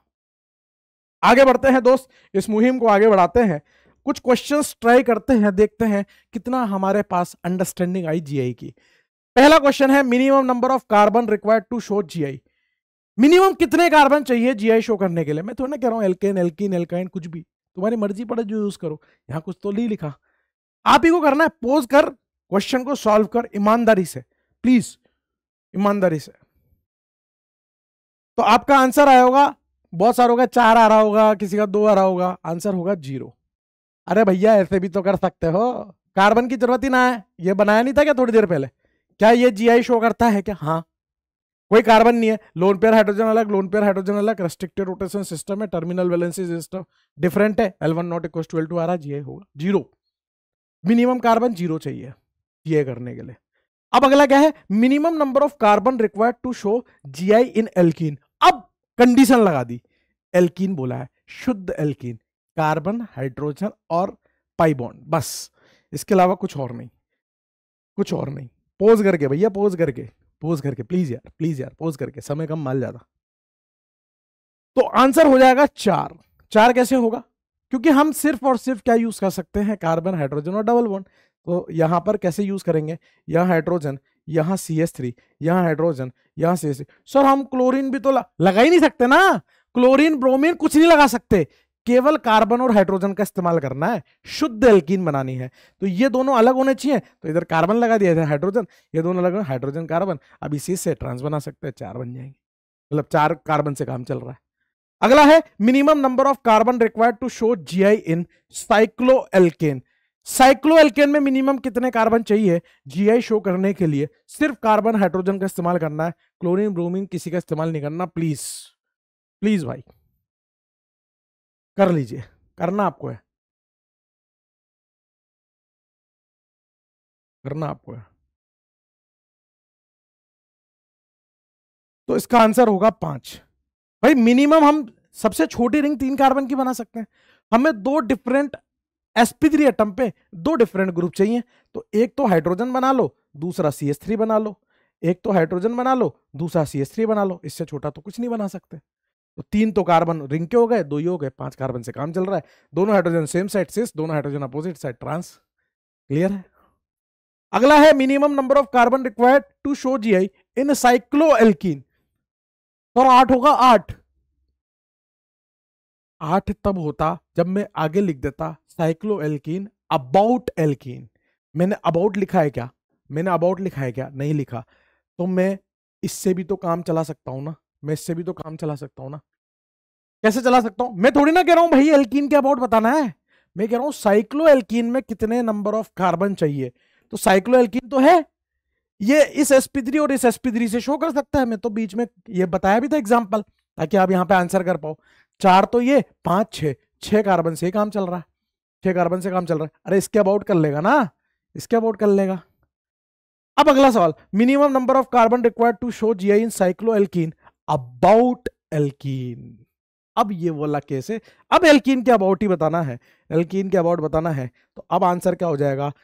आठ कार्बन चाहिए। वो याद है ना? अभी आठ कार्बन। ऑक्टेन, ऑक्टीन वाला बनाया था। ठीक है ना? आठ से ग्यारह सेस वो वाली बात बताई थी। आठ कार्बन चाहिए। इस तरह के क्वेश्चंस भी आपसे पूछ सकता है। इसमें प्योर आईक्यू का खेल है। प्योर आईक्यू का खेल है। आईक्यू मतलब आईक्यू मतलब सर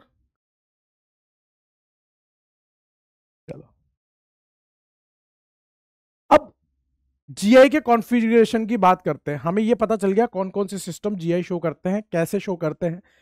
अगर दो आइटम लिखे हुए हैं तो उनके बीच में क्या रिश्ता होगा, क्या कॉन्फ़िगरेशन देना है, उसकी बात है यहाँ पे। कि भाई ये क्या है, ये सिस है, ये ट्रांस है। तो किस तरह से दे सकते हैं? एक होता है सिस ट्रांस एक होता है ईजेड एक होता है सिनेंटी ये तीन तरह के सिस्टम चलते हैं। सबसे पहले सिस ट्रांस जहाँ ये फेल हो जाएगा, वहाँ से ईजेड आता है। ईजेड तो सब जगह ही लगता है सिस ट्रांस लिमिटेड जगह पर ही लग पाता है। सिस ट्रांस क्या है? जब दो सिमिलर ग्रुप सेम साइड पे आ रहे हो रेस्ट्रिक्टेड रोटेशन सिस्टम के। जैसे ये रेस्ट्रिक्टेड रोटेशन सिस्टम है, इसके रेस्पेक्ट में दोनों हाइड्रोजन सेम साइड ये क्या होगा सिस दोनों हाइड्रोजन अपोजिट साइड ये क्या होगा ट्रांस कितना हार्ड है ये! कितना हार्ड है! सिंपल है भाई, ये तो इसमें क्या है? है ना? ये रेस्ट्रिक्टेड रोटेशन सिस्टम है, इसमें दोनों हाइड्रोजन सेम साइड ये क्या है? सिस है। दोनों हाइड्रोजन अपोजिट साइड ये क्या है? ट्रांस है। आपकी नज़र सिर्फ़ दो सेम एटम्स पे होनी चाहिए, उसको सिस ट्रांस देख लो आप। ये पूरा रेस्ट्रिक्टेड रोटेशन सिस्टम है। दो हाइड्रोजन सेम साइड ये क्या है? सिस है। दोनों हाइड्रोजन अपोजिट साइड ये क्या है? ट्रांस है। यहाँ पर देखोगे तो ये रेस्ट्रिक्टेड रोटेशन सिस्टम है। दोनों हाइड्रोजन सेम साइड है। सर, लेकिन यहाँ तो बी आर सी एल है। हमें क्या करना है? हमें क्या मतलब है? हमें तो दो एक जैसे एटम चाहिए। दो एक जैसे एटम हाइड्रोजन है, वो सेम साइड है सिस अगर ये हाइड्रोजन नीचे होता तो वो ट्रांस हो जाता। पंगा कहा है? पंगा यहाँ है। पंगा यहाँ है। अब यहाँ सिस ट्रांस सिस्टम डिफाइन नहीं है, क्योंकि कम से कम दो एटम तो एक जैसे होते जैसे यहाँ दो हाइड्रोजन तो सेम थे, तब जाके तो उसको सिस बोल पा रहे थे कि दो सेम एटम या दो सेम ग्रुप रेस्ट्रिक्टेड रोटेशन के सेम साइड तो सिस। यहाँ तो सेम साइड वाली बात ही नहीं है। यहाँ तो सारे ही अलग है ना फ्लोरिन क्लोरिन ब्रोमिन आयोडीन तो इस जगह पर सिस ट्रांस नहीं बोल सकते। सिस ट्रांस नहीं बोल पाते। तो यहाँ से ईजेड सिस्टम चालू होता है। इसके लिए ईजेड सिस्टम बना है। यहाँ से ट्रांस वाला कॉन्फ़िगरेशन नहीं दे पाएँगे। जब दो सेम ग्रुप ही सेम साइड वाली बात नहीं आ रही तो कैसे दे पाएँगे? मेरे हिसाब से सिस्ट्रांस समझ में आएगा और कहाँ जाके उसके में रेस्ट्रिक्शन लग जाती है, यहाँ जाके, जब सारे ग्रुप अलग हो जाए। अब बात करते हैं ईजेड सिस्टम की। ईजेड कॉन्फ़िगरेशन की बात करते हैं। ई e मतलब एंटीजीजन जेड मतलब जूसामन। नाम है। नाम है, ऐसे ही रख दिए। अजीब से नाम है, एंटीजन, जूसामन, पता नहीं क्या है है ना? उससे हमें कोई लेना देना नहीं है। ई e और जेड कैसे डिफाइन करेंगे, उससे लेना देना है। अगर सेम प्रायोरिटी पहले क्या बोल रहे थे? सेम ग्रुप अब क्या बोल रहे हैं? सेम प्रायोरिटी के ग्रुप सेम साइड होंगे। तो वो होगा जेड सेम प्रायोरिटी के ग्रुप अपोजिट साइड होंगे तो ई e. एक बार एक बार इसको रीड करो, फिर मैं आपको बताता हूँ, है ना? एक बार इसको रीड करो। हाँ भाई। मैं क्या बोल रहा हूँ? सेम प्रायोरिटी के ग्रुप सेम साइड किसके सेम साइड रेस्ट्रिक्टेड रोटेशन के सेम साइड पे अगर सेम प्रायोरिटी प्रायोरिटी मतलब हायर प्रायोरिटी लोअर प्रायोरिटी वो प्रायोरिटी कैसे डिसाइड करेंगे वो बताएँगे अभी। अगर सेम प्रायोरिटी के ग्रुप सेम साइड है तो क्या होगा आपका? जेड होगा। सेम प्रायोरिटी के ग्रुप अगर अपोजिट साइड आ रहे हैं तो वो क्या होगा? ई e होगा। और ये प्रायोरिटी कैसे डिसाइड करेंगे? ये तीन लोगों ने बैठ के डिसाइड करी थी। माहौल बनाया पूरा। एंजॉय करते हुए। समझ रहे हो ना? ऑर्गेनिक केमिस्ट्री की बात चल रही है, माहौल होना चाहिए एंजॉय होना चाहिए। सारे तामझाम लेके बैठे और अपने मज़े करते करते कुछ रूल्स देके चले गए। और वो तीन मेरे बहुत गहरे दोस्त थे, जिनका नाम था कैन इनगोल्ड और प्रीलोग। कैन इनगोल्ड प्रीलोग, उन्हीं के नाम से पढ़ा C I P rule Cahn Ingold Prelog. उन्होंने प्रायोरिटी ऑर्डर बताया हमें कि कैसे प्रायोरिटी डिसाइड करेंगे। पूरी प्रायोरिटी जो है वो एटॉमिक नंबर के बेसिस पे मास के बेसिस पे नहीं एटॉमिक नंबर सबसे पहली बात क्या बोली उन्होंने? ऐसे मज़े मज़े में बोल दी कि अरे सिस्टांस तो फेल हो गया भैया, चलो कुछ नया मिला है है ना? करते हैं कुछ, है ना? अब जो पहले बोल देता है वो उसकी माननी पड़ती है बात। उन्होंने बोला, जिसका एटॉमिक नंबर ज़्यादा होगा, उसकी प्रायोरिटी ज़्यादा होगी, खत्म बात। हमने कह दी तो कह दी। तुम्हारे पास कुछ हो बोलने का तो तुम कह दो। तो उन्होंने बोला higher atomic number higher will be the priority जैसे प्रायोरिटी किसके बीच में डिसाइड करनी है? इन दोनों के बीच में। टर्मिनल वैलेंसी के बीच में प्रायोरिटी डिसाइड करनी है। इनके बीच में नहीं करनी, इनके बीच में करनी है। तो ब्रोमीन और आयोडीन में ज़्यादा हायर प्रायोरिटी का कौन है? आयोडीन एटॉमिक नंबर किसका ज़्यादा? आयोडीन का यार एटॉमिक नंबर तो अरे यार। एटॉमिक नंबर तो पैदा होता है ना भाई। क्लोरीन और क्लोरीन में ज़्यादा एटॉमिक नंबर किसका है? क्लोरीन का है। तो दोनों हायर प्रायोरिटी के एटम्स सेम साइड आ रहे हैं। सेम प्रायोरिटी सेम साइड या तो हायर प्रायोरिटी या लोअर प्रायोरिटी हायर प्रायोरिटी के कैसे आ रहे हैं? सेम साइड या लोअर प्रायोरिटी के कैसे आ रहे हैं? सेम साइड तो ये क्या हो जाएगा? जेड अगला वाला तो आप ही बता दोगे फिर अब। सर फ्लोरिन क्लोरिन में क्लोरिन ज़्यादा होगा तल। आयोडीन ब्रोमीन आयोडीन का एटॉमिक नंबर ज़्यादा होगा तल। और ये दोनों अपोजिट साइड में आ ले तर। सेम प्रायोरिटी के ग्रुप अपोजिट साइड में आएँगे तर। तो ई होगा ना तर। ये जेड होगा, ये होगा सिंपल है। सर, लेकिन मान लीजिए, अगर पहला कनेक्टिंग एटम कौन बोल रहा है तेरे को, सर? भाई, ठीक है यार, इज़्ज़त कर लो। अगर फ़र्स्ट कनेक्टिंग एटम सेम आ जाए, जैसे देखो, इससे ये कार्बन है, ये भी कार्बन है, फंस गए। अगर फ़र्स्ट कनेक्टिंग एटम सेम आ जाए तो अगला देख लो ना। अगला देख लो। सर, वो भी सेम है अगला देख लो। सर, वो भी से अगला देख लो। वो भी अगला देख लो। कब तक देखना है? जब तक पहला पॉइंट ऑफ़ डिफरेंस ना आ जाए। सर अगर सारे सेम आ जाए। जी ये शो ही नहीं करेगा, क्योंकि वो सेम ही हो जाए। अच्छा हाँ अंतर तो आएगा। आएगा भाई, आएगा। जैसे यहाँ पे देखो ओ और ओ सेम है, लेकिन यहाँ एच है, यहाँ कार्बन है। ओ के बाद कार्बन आगे क्या लगा है? आगे मुझे लगा दे। आगे मुझे लगा दे, कोई फ़र्क नहीं पड़ रहा। जहाँ पहला पॉइंट ऑफ़ डिफरेंस आ जाए, वहीं खत्म हो जाएगी बात। आगे कुछ भी लगाते कोई फ़र्क नहीं पड़ रहा। तो यहाँ कौन जीतेगा? ओ के बाद हाइड्रोजन था ओ के बाद कार्बन है। कार्बन का एटॉमिक नंबर ज़्यादा, ये जीतेगा। सी सी, फिर यहाँ पे एन है, यहाँ ओ है तो ओ जीतेगा। जीतेगा भाई, जीतेगा, हमारा ऑक्सीजन जीतेगा, उसका एटॉमिक नंबर ज़्यादा है तो ये क्या हो गया? जेड हो गया। ये क्या हो गया? जेड हो गया। सेम प्रायोरिटी के सेम साइड जैसे मान लो, जैसे मान लो, मैं यहाँ पे दे रहा हूँ ओ OH और यहाँ लगा रहा हूँ सी एच टू आई और यहाँ दे रहा हूँ ओ यहाँ पे ओ यहाँ पर एन है, यहाँ पर K O minus K plus O minus N A plus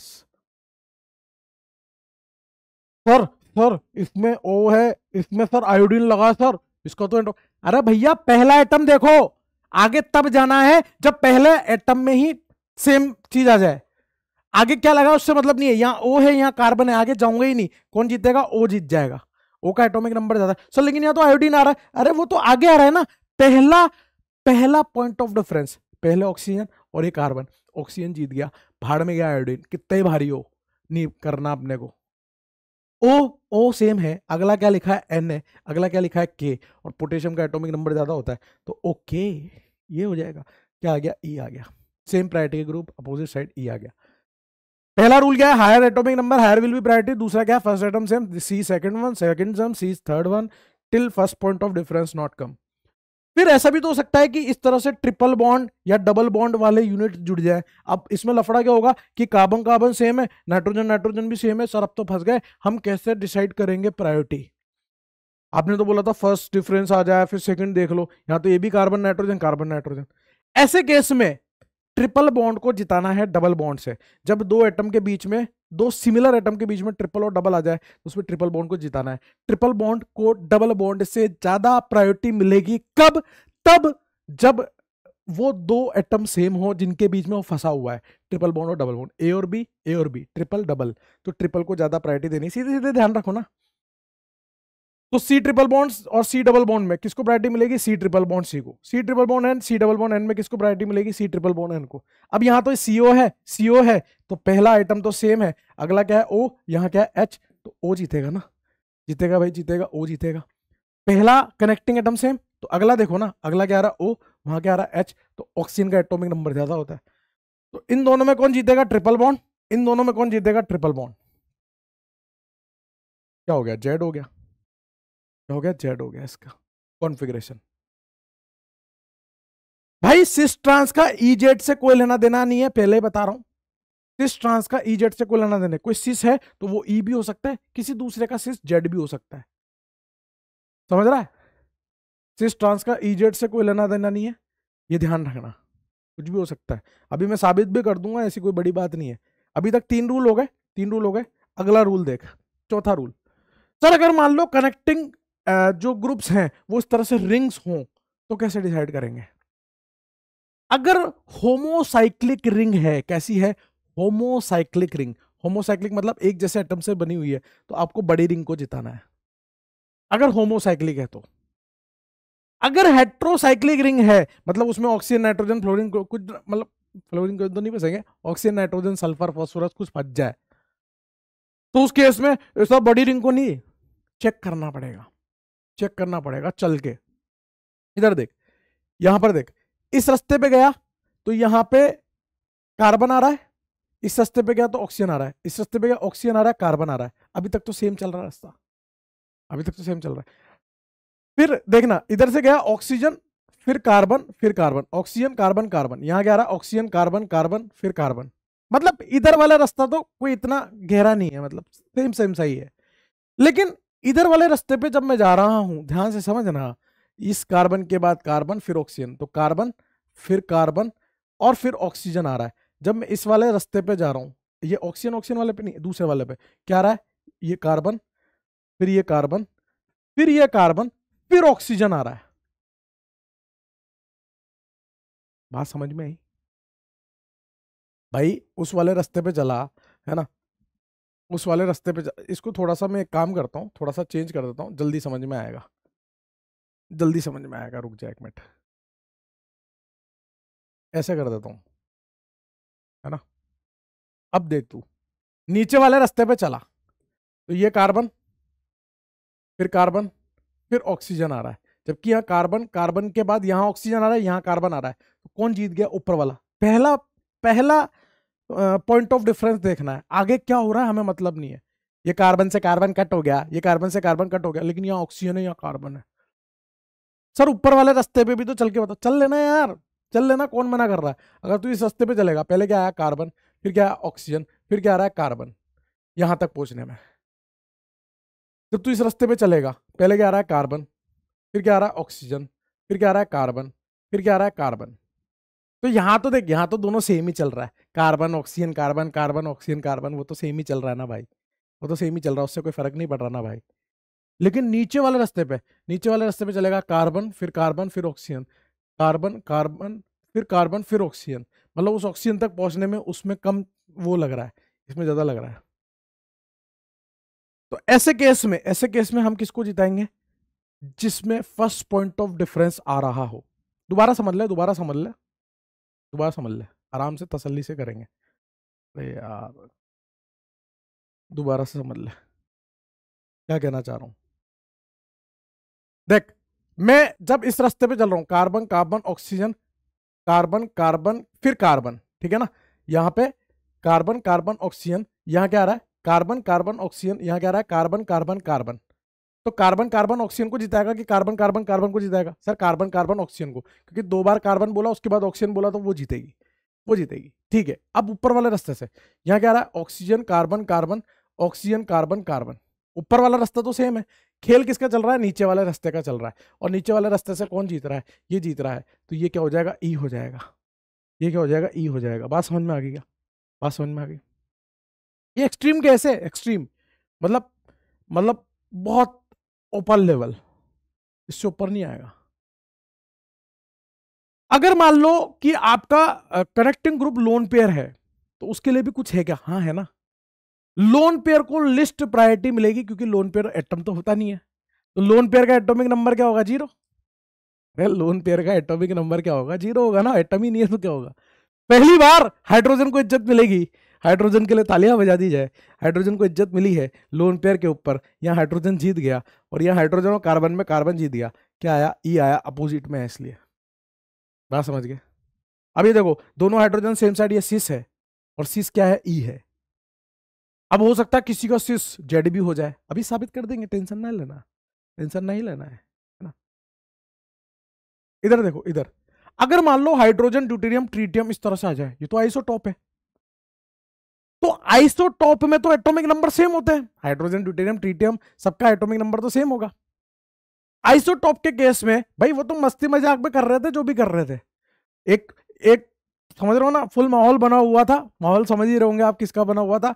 एक के बाद एक जा रहे थे अंदर और नए नए रूल निकल के आ रहे थे। कुछ भी कुछ भी बोल रहा कैन ने बोला इन गोल ने बोला प्रिलोक ने अपनी अपनी बातें रख रहे हैं कि यार ऐसा होगा तो क्या होगा, ऐसा होगा तो क्या होगा, ऐसा होगा तो क्या होगा। और मुझे साइड में बिठा रखा है, मैं सीधा साधा सा प्राणी, मैं नोट करता जा रहा हूँ उनकी बातें। समझ रहे बात को? तो एक मतलब लास्ट में प्रीलोक के दिमाग में आया कि भाई अगर आइसोटॉप आ गए तो उस केस में क्या करोगे? उसका तो एटॉमिक नंबर सेम होता है। कुछ बताओ जल्दी भाई। तो कैन बोलता है, अरे यार, क्यों टेंशन ले रहा है? इतना सारे एटॉमिक नंबर से कर दिया। उसको एटॉमिक मास से खेल लेंगे। उसको एटॉमिक मास से खेल लेंगे। किसको पता चल रहा? अपनी तो सारी गेम चल रही है। जो अपन बोलेंगे, वही सबसे सही है। तो in case of isotope isotope के केस में एटॉमिक नंबर सेम होगा तो फिर जिसका एटॉमिक मास ज़्यादा होगा, उसको ज़्यादा इज़्ज़त मिलेगी। हाइड्रोजन ड्यूटेरियम में ड्यूटेरियम का एटॉमिक मास ज़्यादा होता है। ट्रीटियम ड्यूटेरियम में ट्रीटियम का एटॉमिक मास ज़्यादा होता है। दोनों अपोजिट वाले हैं, क्या होगा? ई e. ये क्या होगा? ई e. ये भी सिस है। ड्यूटेरियम ड्यूटेरियम सेम साइड ये भी सिस है है ना? मेरे हिसाब से बात समझ में आ गई होगी कि आइसोटॉप में क्या देखते हैं? एटॉमिक मास और बाकी जगह पे क्या देख रहे हैं अपन? एटॉमिक नंबर है ना? बाकी जगह पे एटॉमिक नंबर होमोसाइक्लिक है तो बड़ी रिंग को जिताना है हेट्रोसाइक्लिक है तो रास्ते पे चल चल के देखना पड़ेगा कि कौन पहले जीत रहा है फ़र्स्ट कनेक्टिंग एटम वाली बात से। ठीक है ना? चलो। ये था ईजेड और ये जो रूल बता रहा हूँ ना, ये अभी फिर से काम आएँगे जब कायरल सेंटर की बात करेंगे ना तो कायरल सेंटर में भी सीआईपी का रूल काम में आएगा कि किसको प्रायोरिटी देंगे? तो यही सारे रूल काम में आएँगे तो प्लीज़ इसको ध्यान रखें। एटॉमिक नंबर जिसका ज़्यादा, उसकी प्रायोरिटी ज़्यादा। ये बहुत काम की चीज़ है है ना? दो तरह के कॉन्फ़िगरेशन अपन ने सीख लिए हैं। एक कॉन्फ़िगरेशन है सिस्ट्रांस दूसरा कॉन्फ़िगरेशन है हमारा ईजेड कॉन्फ़िगरेशन तीसरा कॉन्फ़िगरेशन है हमारा सिन एंटी सिस्टम जो सिर्फ़ नाइट्रोजन कंटेनिंग कंपाउंड्स के लिए ही एप्लीकेबल है। जैसे C double bond N H या C double bond N O H या एन डबल बॉन एन इसको बोलते हैं आईमीन इसको बोलते हैं ऑक्साइम इसको बोलते हैं azo azo compound nitrogen containing system के लिए हम सीनेंटी लगा सकते हैं। कैसे बना होगा? ये जो ऑक्साइम है ना, ये कैसे बना होगा? जैसे कोई कीटोन है या कोई अल्डीहाइड है, ये कार्बोनिल कंपाउंड है अल्डीहाइड भी हो सकता है, कीटोन भी हो सकता है। इसकी रिएक्शन किससे करा दी? इसकी रिएक्शन करा दी साहब हाइड्रोक्सिल अमीन से NH2OH से हाइड्रोक्सिल अमीन अपने को क्या है? अपने को पानी निकालना है दोस्त। अपना जन्म किस लिए हुआ है? पानी निकालने के लिए। जहाँ मौका मिलेगा, जब मौका मिलेगा, जैसे मौका मिलेगा, पानी निकाल देंगे। और यहाँ से क्या बन गया? C double bond N O H C double bond N O H इसी तरह से अगर आईमीन बनाना है तो आईमीन कैसे बनता है? सी डबल बोन एन और इसकी रिएक्शन करा दो अमोनिया से। एन एच टू और ये एच एन एच थ्री होता है ना तो मैंने इसको एन एच टू एच करके लिख दिया। अपने को क्या अपने को पानी निकालना है। क्या बन गया? C double bond N H C double bond N H आ गया। अच्छा बन गया। यार, उससे कोई इतना खास मतलब है नहीं। कैसे सिन एंटी देते हैं, आपके ऑक्साइम आइमीन और एजो में वो बता रहा हूँ।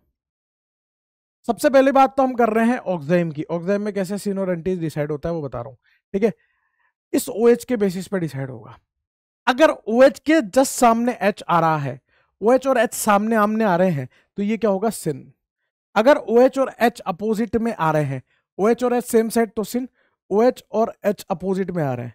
ओ OH और एच कहाँ आ रहे हैं? अपोजिट में। तो ये होगा एंटी ये क्या होगा एंटी ये तो था अल्डीहाइड हो तो क्या होगा? ये क्या है? एल्डोक्साइम ये भी क्या है? एल्डोक्साइम क्यों? क्योंकि जब आप पानी निकाले थे, वैसे ही पानी जोड़ दो ना यहाँ पे इस तरह से तो ये क्या बन जाएगा? एच सी डबल बॉन्ड और सी एस थ्री अल्डीहाइड बन जाएगा, वो भी अल्डीहाइड बन जाएगा।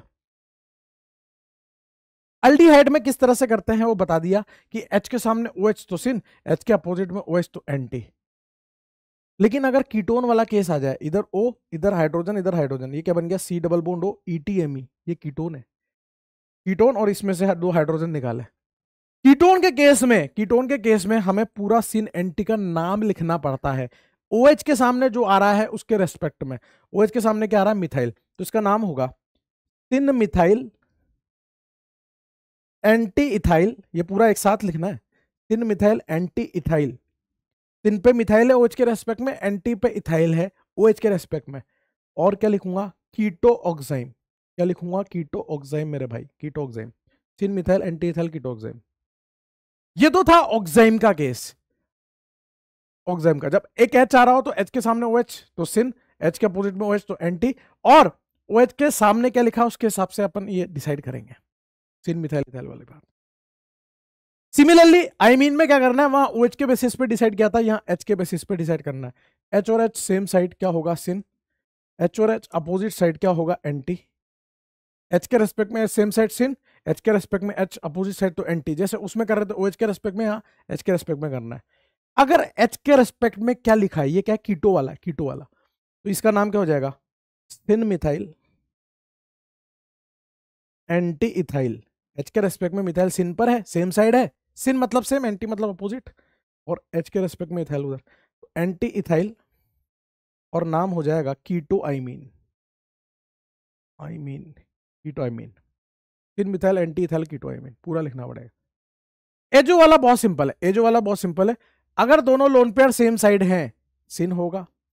अगर दोनों लोन पेयर अपोजिट साइड हैं, क्या होगा? Anti lone pair same side syn lone pair opposite side anti simple cis trans E Z syn anti इनका आपस में कोई संबंध नहीं है, ये बता देता हूँ।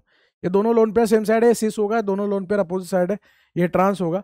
लेकिन सिस ट्रांस का सिन का इजेड का कोई एक आपस में रिलेशन नहीं है।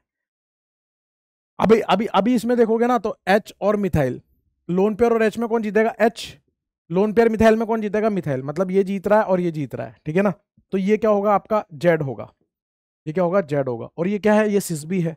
ये सिस भी है। तो मैंने अभी आपको बोला था थोड़ी देर पहले, थोड़ी देर पहले बोला था। देख, ये क्या है? ई e है और ये सिस भी था। सिस वाला ई e भी हो सकता है और सिस वाला जेड भी हो सकता है है ना? इसलिए बोल रहा हूँ, cis trans, E Z syn anti आपस में कनेक्टेड नहीं है। सबके अपने अपने नियम, कायदे हैं, उनको फॉलो करें, उसके हिसाब से आंसर करें। एक बार यहाँ तक नोट कर लो, थोड़ा पानी वानी पी लेता है। फिर कैलकुलेशन ऑफ़ जी की बात करेंगे बेटा।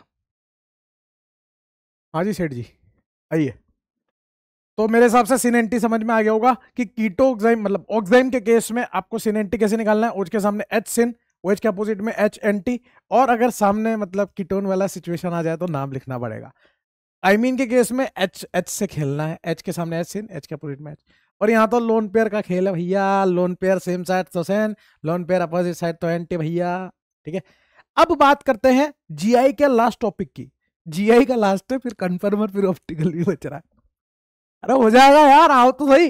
अरे एनर्जी एनर्जी आओ जाए हो जाए हो जाएगा हो जाएगा, शाबाश। कैलकुलेशन ऑफ़ जीआई यहाँ पर मैं एक एन डिफाइन कर रहा हूँ। एन क्या है? एन क्या है? Number of GI unit N क्या है? नंबर ऑफ़ जीआई यूनिट जहाँ जहाँ से ज्योमेट्रिकल आइसोमिज्म पॉसिबल है। वो सब अपन देख चुके हैं। एल्कीन से पॉसिबल था साइक्लो एल्किन से पॉसिबल था साइक्लिक एल्किन में आठ कार्बन से पॉसिबल था। है ना? फिर वो क्यूमुलेटेड सिस्टम में ऑड वाली से पॉसिबल था इवन से नहीं था। स्पाइरन में ऑड वाली से पॉसिबल था इवन से नहीं था, वो सब पढ़ चुके हैं अपन। वो सब एन है, वो सब एन है, वो सब एन है एन की वैल्यूज़ है। यहाँ पर तीन केस बनेंगे। पहला केस क्या है? अगर मॉलिक्यूल आपका कैसा है? अनसिमेट्रिकल है। If your molecule is unsymmetrical unsymmetrical बोले तो जब मैं उसको दोनों तरफ़ से देखूँगा तो वो अलग अलग दिशा में जा रहा हूँ। मतलब इस तरफ़ जा रहा है तो कुछ और चीज़ें आ रही है, इस तरफ़ जा रहा है तो कुछ और चीज़ें आ रही है। वो अनसिमेट्रिकल होता है। उस केस में आप total number of geometrical isomers कैसे निकालोगे? टू की पावर एन लगा के। एन क्या है? जहाँ जहाँ से जीआई पॉसिबल है। बस आपको यहाँ पर जीआई यूनिट ही ढूंढनी है। बाकी तो बहुत सिंपल होता है। जैसे यहाँ पर ये वाली यूनिट जो है, वो जीआई यूनिट है। कैसे? कैसे? इस कार्बन से एक तो इस कार्बन से एक हाइड्रोजन है, एक ये मिथाइल है। डबल बॉन्ड इस कार्बन से एक हाइड्रोजन है और ये पूरा गुच्छा। ये पूरा गुच्छा। ये गुच्छा। इस डबल बोन की बात कर रहा हूँ, है ना? इस डबल बोन की बात कर रहा हूँ। तो एक तो यूनिट ये रही और दूसरी यूनिट ये रही। ये कैसे दूसरी यूनिट है? एक एच और ये पूरा गुच्छा, एक एच और एक इथाइल समझ गया अब देखो मैं इधर जा रहा हूँ तो मुझे मिथाइल नज़र आ रहा है, इधर जा रहा हूँ तो इथाइल नज़र आ रहा है। तो दोनों एंड पर जाते जाते चीज़ें चेंज होती जा रही है, यानी कि ये कैसा है? अनसिमेट्रिकल सिस्टम है। और अनसिमेट्रिकल सिस्टम के लिए यहाँ एन की वैल्यू कितनी है? टू तो यहाँ टू की पावर टू हो जाएगा। टू की पावर एन में डालूँगा ना, टू की पावर टू तो वो कितना आएगा? फोर। फोर का मतलब क्या है? ये दोनों सिस हो सकते हैं। फोर का मतलब क्या है? दोनों ट्रांस हो सकते हैं। ये सिस हो सकता है, ट्रांस हो सकता है। ये ट्रांस हो सकता है, सिस हो सकता है। ये चार पॉसिबिलिटी है। ये चार पॉसिबिलिटी है। फॉर्मूले से निकाल लिया अपन ने, सिंपल सा। दूसरा केस क्या है कि इफ़ मॉलिक्यूल इज़ सिमेट्रिकल, आपका मॉलिक्यूल सिमेट्रिकल हो।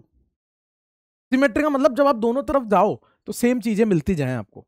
सेम चीज़ें मिलती जाए।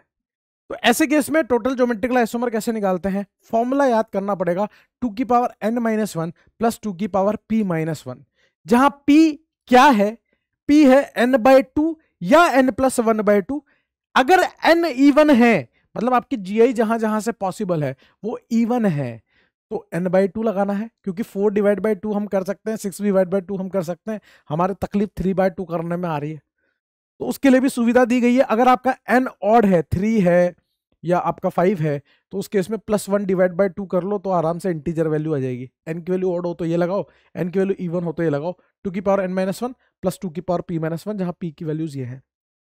बस आपको कहाँ कहाँ से जीआई पॉसिबल है वो ढूंढना है। ये देखना है सिमेट्रिकल है अनसिमेट्रिकल है। बाकी तो ये ऐसे सवाल चुटके गए हैं, कुछ ना है। सिंपल है। देख, यहाँ पर जीआई कहाँ से पॉसिबल है? एक तो यहाँ से पॉसिबल है और दूसरा कहाँ से पॉसिबल है? यहाँ से पॉसिबल है। सर कैसे? इस कार्बन से हाइड्रोजन अलग मिथाइल अलग हाइड्रोजन अलग, ये पूरा गुच्छा अलग। इस कार्बन से। इस कार्बन से हाइड्रोजन अलग, ये पूरा गुच्छा अलग।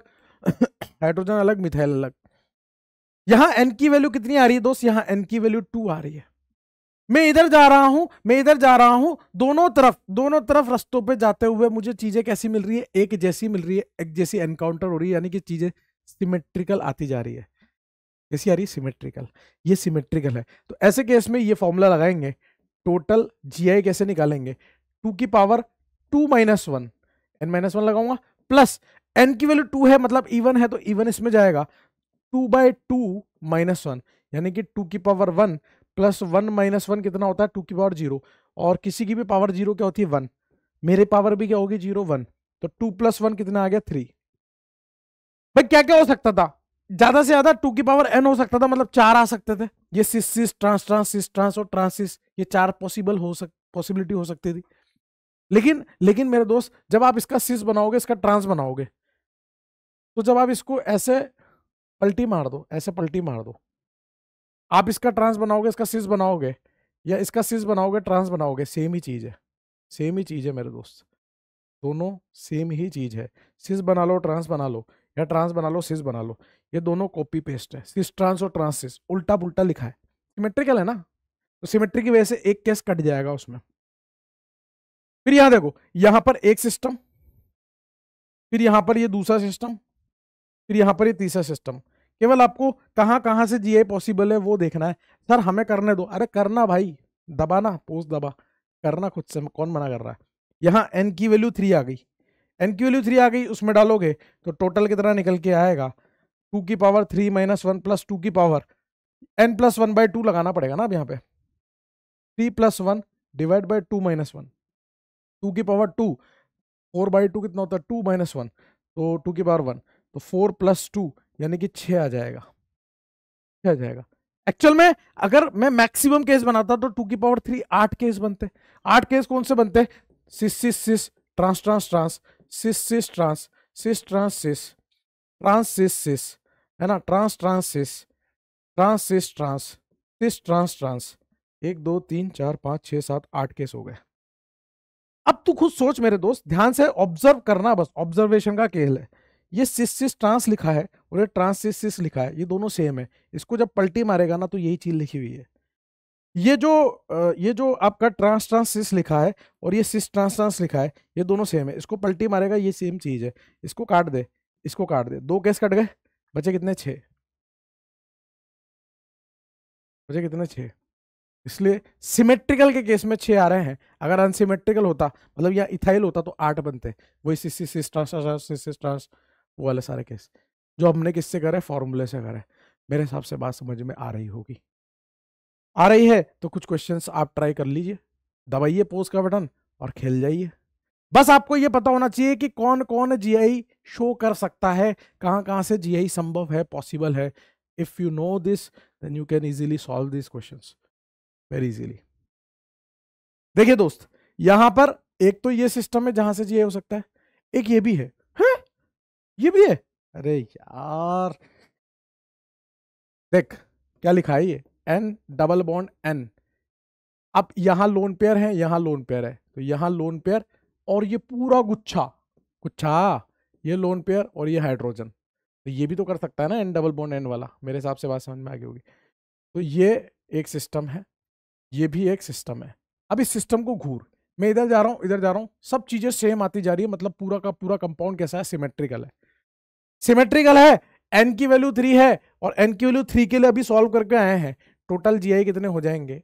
छह हो जाएँगे। सिमेट्रिकल है, इसलिए छह हो जाएँगे। अभी तो सॉल्व करा है पीछे।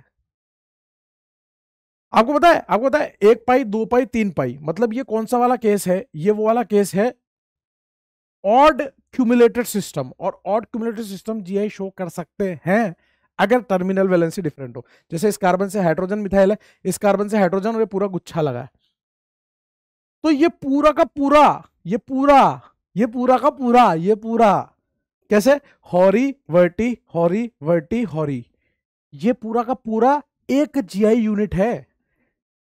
अब समझे बात को? ये पूरा जीआई यूनिट है और एक जीआई यूनिट ये है। तो यहाँ एन की वैल्यू कितनी आ गई? टू और ये तो देख के पता चल रहा है कि इधर जा रहा हूँ, उधर जा रहा हूँ, चीज़ें सेम मिल ही नहीं रही है। अनसिमेट्रिकल है। तो टोटल जीआई कैसे निकालोगे? टू की पावर टू चार हो जाएँगे। Cis cis trans trans cis trans trans cis यहाँ पर ये देखो, यहाँ पर ये देखो, ये पूरा एक जीआई यूनिट है। ये पूरा क्या है? एक जीआई यूनिट है। ये पूरा एक जीआई यूनिट है। तो एन की वैल्यू कितनी आ जाएगी? वन तो टोटल जीआई कितने हो जाएँगे आपके? टू की पावर वन टू अब दो से कम तो हो ही नहीं सकते ना। मैंने क्या बताया था? आइसोमर रिश्ता है दो लोगों का। दो से कम तो हो ही नहीं सकते। एक तो हो ही नहीं सकता ना। दो होंगे। कैसे होंगे? दोनों वेज पर, एक वेज पर, एक डैश पर। फिर यहाँ पे बस जीआई यूनिट ढूंढनी है। एक, दो, तीन, चार, पाँच, छह, सात, आठ। एक तो ये एल्कीन साइक्लिक एल्कीन की एल्कीन आठ कार्बन आ गए ना? एक ये यूनिट ये कार्बन और ये कार्बन अरे यहाँ बी आर होता, यहाँ सी एल होता तो अभी देखना अभी चुन क्या है। तो वैसे यहाँ पे भी तो अलग अलग वैलेंसी है ना। यहाँ से नहीं हो सकता क्योंकि दोनों हाइड्रोजन है। ये दोनों कैसे आ गए? हाइड्रोजन आ गए।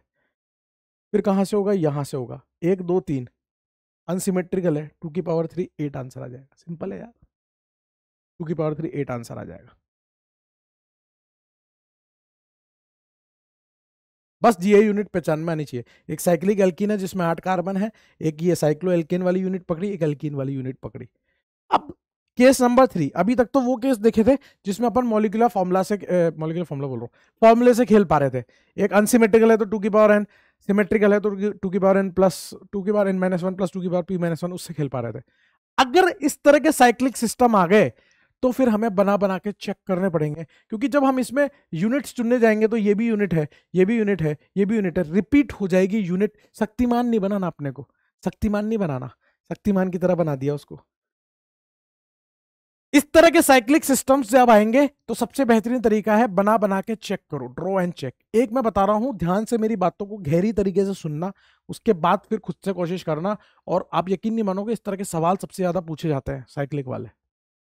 इसलिए प्लीज़ फोकस आपको पता है, आपको पता है कि जो ज्योमेट्रिकल आइसोमर्स होते हैं, वो बेसिकली क्या होते हैं? L one not equal to L two three D में ओरिएंटेशन डिफरेंट यही तो होते हैं। यहाँ हमें कैसे खेलना है? यहाँ हमें खेलना है कि ये तीन ए लगे हैं। मैंने ए लगाए आपके पास क्वेश्चन कैसे आ सकता है? तीनों मिथाइल तीनों क्लोरीन तीनों ब्रोमीन तीनों फ्लोरीन कुछ भी आ सकता है ना यार? मैं आपको एक जनरल केस बना के बता रहा हूँ। एक जनरल केस बना के बता रहा हूँ। क्या कर सकते हो आप? तीनों को वेज पर ले जा सकते हो। तीनों ए कहाँ चल गए? वेज पर। ए से ए की दूरी L one L one L one फ़िलहाल। और क्या बना सकते हो? आप किसी एक ए को डैश पर ले जाओ, बाकी को वेज पर रहने दो। अब ये देख, ये दोनों ए सिस पे थे, अब ये दोनों ए ट्रांस पे हो गए। ये दोनों सिस पे थे ट्रांस पे हो गए। ये अभी भी सिस पे ही है। लेकिन है तो दोनों ज्योमेट्रिकल आइसोमर जब इनके बीच की दूरी नापेगा L1 इनके बीच की दूरी नापेगा L2 और L1 not equal to L2 GI है। थ्री में ओरिएंटेशन डिफरेंट है साहब जीआई है। तो हम क्या कर रहे हैं? हम क्या कर रहे हैं? सुनना। सारे के सारे वेज पर, फिर किसी भी एक को डैश पर, अब चाहे इसको ले जा, चाहे इसको ले जा, चाहे इसको ले जा, क्योंकि तीनों ए हैं, किसी को भी डैश पे ले जा, एक ही बात है। अरे सर, हमारी तो अच्छा है, हमारे तो क्या अच्छा कि हम तो इस ए को ले जाना चाह रहे हैं तो भैया ले, तू इस ए को ले जा, ये ले, तू इस ए को ले जा। सर, हमारे तो अच्छा कि हम इस ए को ले जाना चाह रहे हैं, ले, तू भी ले जा, ये ले। तू भी खुश रह, तू इस ए को ले जा। ठीक है? तेरी इच्छा पूरी हो गई? वैसे भी ए को ले जाओ, क्योंकि तीनों ए हैं, इसलिए कोई फ़र्क नहीं पड़ रहा। सर, सारे वेज पे ले लिए, कोई एक को डैश पे ले लिया, अब सर किसी दो को डैश पे ले लो। ले लो ले लो ले लो। ये मान लीजिए हमने ये दो डैश पर ले लिए और एक वेज पर ले लिया। ये दोनों सेम है। पता है कैसे? पता है कैसे? जब आप यहाँ से इस तरह से, इसको पकड़ के जैसे बचपन में वो घुमाते थे ना, ऐसे ऐसे घुमाते थे फिरक नहीं ऐसे इसको घुमाओगे ना, ऐसे 180 डिग्री टर्न करोगे। तो ये दो ए अभी कहाँ जा रहे पीछे की तरफ़। जैसे मैं 180 डिग्री टर्न करूँगा दो ए आपकी तरफ़ आ जाएँगे। तो ये तो बन जाएगा। और ये ए जो आपकी तरफ़ आ रहा है, ऐसे करते हुए, वो कहाँ चला जाएगा? 180 में पीछे चला जाएगा।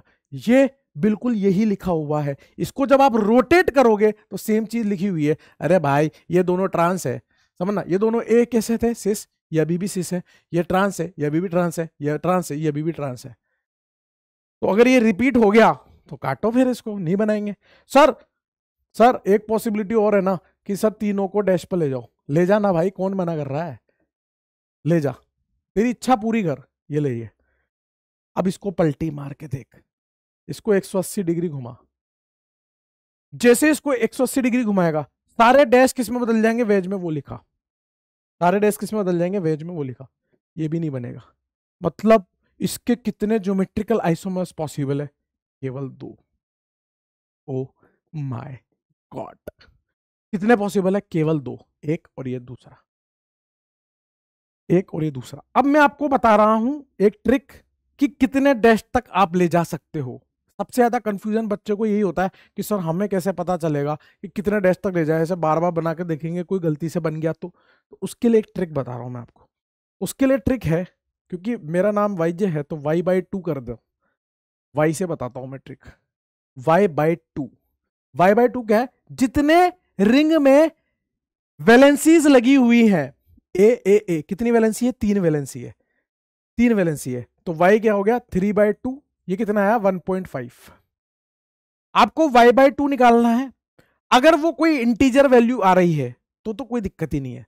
अगर वो इंटीजर नहीं आ रही, इस तरह की डेसिमल आ रही है तो उससे जस्ट छोटा नंबर ले लो। बड़ा नहीं लेना, छोटा लेना है। तो 1.5 से छोटा क्या? है वन। तो आप कहाँ तक डैश पे ले जा सकते हो? एक डैश तक ले जा सकते हो। अगर मान ले वाई बाई टू की वैल्यू टू आ जाती तो दो डैश तक ले जा सकते थे। 2.5 आ जाती, तब भी दो। 3.5 आती तो तीन। तीन आती तो तीन।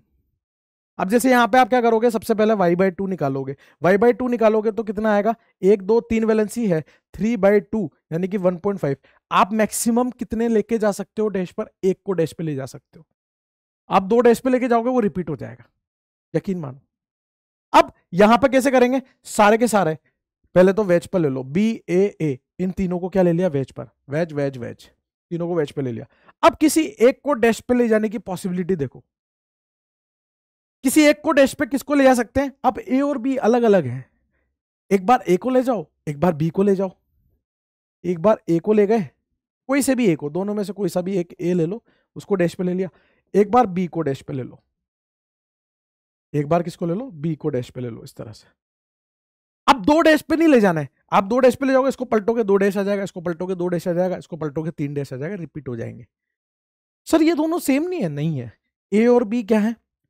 ट्रांस है ये वाले ए और बी क्या है? सिस है। ये वाले ए और बी सिस है। अरे ए और बी सेम साइड आ रहा है ना। ये ए बी ट्रांस ये ए बी बी ट्रांस यहाँ दोनों ए कैसे हैं? सिस यहाँ दोनों ए कैसे हैं? ट्रांस अच्छा। समझ आ गया। कितने बने? तीन। कितने बने? तीन। अगर ए बी सी होता तो एक बार ए को डैश पे ले जाते एक बार बी को, एक बार सी को। मतलब ये केस कैसे है? दो मिथाइल लगे हुए एक ब्रोमीन लगाओ, दो मिथाइल लगे हुए एक इथाइल लगाओ, दो क्लोरीन लगे हुए एक ब्रोमीन लगाओ। इस तरह के केसेस बन सकते हैं। अगला क्वेश्चन देखिए। चार ए लगे हैं। सबसे पहला क्या करोगे? वाई बाई टू उससे क्या पता चलेगा कितने तक डैश पे ले जा सकते हैं? कितने तक डैश पे ले जा सकते हैं? पोज करके कर ले भाई यार। वाई बाई टू करेगा। Four by two Y by two कितना है? फोर बाई टू यानी कि टू मतलब इंटीजर आ रहा है सीधे सीधे दो डैश तक जा सकता हूँ। सबसे पहले तो क्या करूँगा? सारे वेज पर। इस तरह से सारे वेज पर, ये ए ये ए ये ए ये ए। फिर क्या करूँगा? कोई एक डैश पर, अपनी मर्ज़ी से कोई सा भी एक ए ले ले जो तेरे को अच्छा लग रहा। हो क्योंकि किसी भी ए को डैश पर ले जाएगा, घुमाएगा तो सब सेम ही है है ना? इसको घुमा ले भाई यार, कोई फ़र्क नहीं पड़ रहा है यार। तेरे मर्ज़ी है, किसी ने नीचे वाला लिया होगा, ये ले, किसी ने इधर वाला लिया होगा, ये ले, किसी ने ये वाला लिया होगा, ये ले। सब सेम है वो। कोई एक ए को डैश पर ले गए। अब कोई दो ए को डैश पर ले जाना है, क्योंकि वाई की वाई बाई टू की वैल्यू टू आ रही है। तो दो ए कौन से हो सकते हैं? बगल बगल वाले। अब ये वाले भी हो सकते हैं और ये वाले भी हो सकते हैं। किसी ने ये वाले लिए होंगे, किसी ने वो वाले लिए होंगे तो वो वाले ये रहे। सेम ही बात है। सेम ही बात है है ना? अगर ये जैसे कार चलाते हैं ना, कार के स्टेयरिंग की तरह घुमाने पर अगर चीज़ें सेम आ जाए तो वो सेम ही है। और कौन से हो सकते हैं? और कौन से हो सकते हैं? और हो सकते हैं डायगनली अपोजिट वाले। ये डायगनली अपोजिट वाले। ये डायगनली अपोजिट वाले डायगनल अपोजिट वाले दो डैश पे। इसके अलावा और कोई पॉसिबिलिटी नहीं है। तीन डैश पे ले जा नहीं सकते। तीन डैश वाला ये रहा, इसको पलट लो, चार डैश वाला ये रहा। कितने बनेंगे चार टोटल कितने बनेंगे चार। मेरे हिसाब से बात समझ में आ गई हो गई अगला एग्ज़ाम्पल देखो। ये है वो एग्ज़ाम्पल जिसके लिए सारी तिगड़मबाजी करी। सारी जगह पे क्लोरीन लगा हुआ है, इसका नाम है गामाक्सिन इसी का नाम है ट्रिपल सिक्स तीन चक्का मतलब है ना? लिंडेन और इसी को बोलते हैं बेंजीन हेक्सा है ना? गामाक्सिन ट्रिपल सिक्स, लिंडेन और बेंजीन हेक्सा है ना? लगातार तीन छक्के मारते हुए, है ना? छह छक्के भी मारे भाई युवराज सिंह ने भाई, आजकल तो कुछ भी पॉसिबल है। मतलब हेड्स ऑफ़ यार।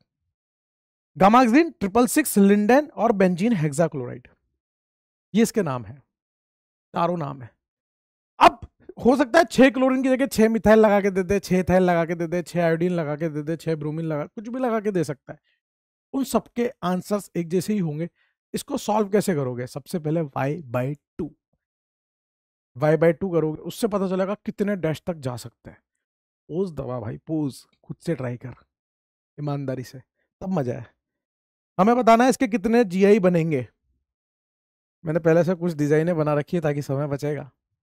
देखो मैं क्या कर सकता हूँ? सारे के सारे वेज पर। क्लोरीन नहीं लिख रहा है यार, अब तुम लिख लेना वो, फिर उसमें टाइम वेस्ट होता है। सारे के सारे एक जैसे है ना? अब कोई एक डैश पर कोई सा भी ले लो, ये ले लो, ये ले लो, ये ले लो, कोई सा भी ले लो, एक डैश पर जाने की पॉसिबिलिटी यही है। एक डैश पर जाने की पॉसिबिलिटी यही है। फिर कोई दो डैश पर जाने की पॉसिबिलिटी क्या है? कोई दो डैश पर जाने की पॉसिबिलिटी है वन टू वन थ्री और one four one two one three one four one two वाला डैश पे जा सकता है, वन थ्री वाला वन फोर पोजिशन हो गया ना।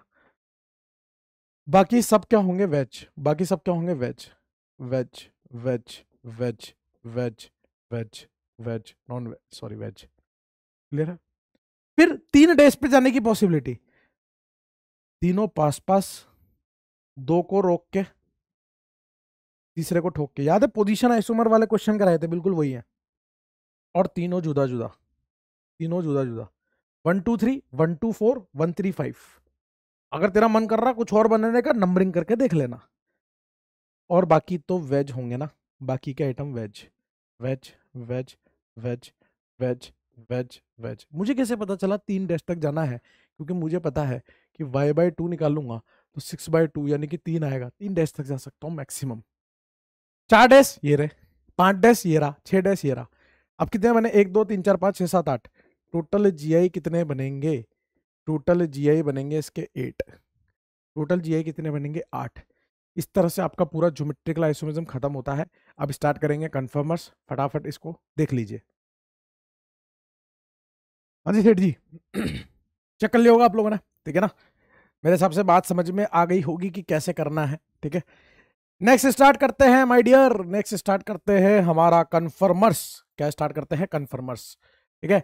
अब कन्फर्मर पढ़ने के पहले पहले दो आइटम बता रहा हूँ, वो सुन लो। और उसके बाद एक ही मॉडल से पूरा कन्फर्मर खत्म कर देंगे। अगले दस पंद्रह मिनट आप बहुत मतलब फोकस होकर सुनेंगे मेरी बात।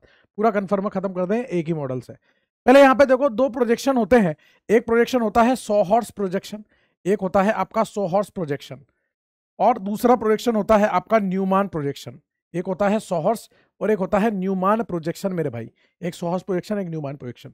सोहर्स प्रोजेक्शन कैसा दिखता है? एक ऐसे टेडी लाइन खींचते हैं, ऐसे स्लांट लाइन खींचते हैं उस पर आगे की तरफ़ ऐसे सीधा वाय और पीछे की तरफ़ भी ऐसा सीधा वाय बना हुआ होता है। आगे की तरफ़ सीधा वाय, पीछे की तरफ़ सीधा वाय। ठीक है? देखो, ये है कार्बन, एक वैलेंसी, दो वैलेंसी, तीन वैलेंसी और चौथी वैलेंसी ये डंडा ही है। इसी तरह से यहाँ पर भी चार वैलेंसी है। इसी तरह से आप एक और तरह से सोर्स बना सकते हो, ऐसी टेडी लाइन खींच के आगे की तरफ़ सीधा वाय और पीछे की तरफ़ आप इस तरह से उल्टा वाई बना सकते हो। दोनों सीधे वाई भी हो सकते हैं, एक सीधा, एक उल्टा भी हो सकता है। यह है आपका सोहर्स प्रोजेक्शन।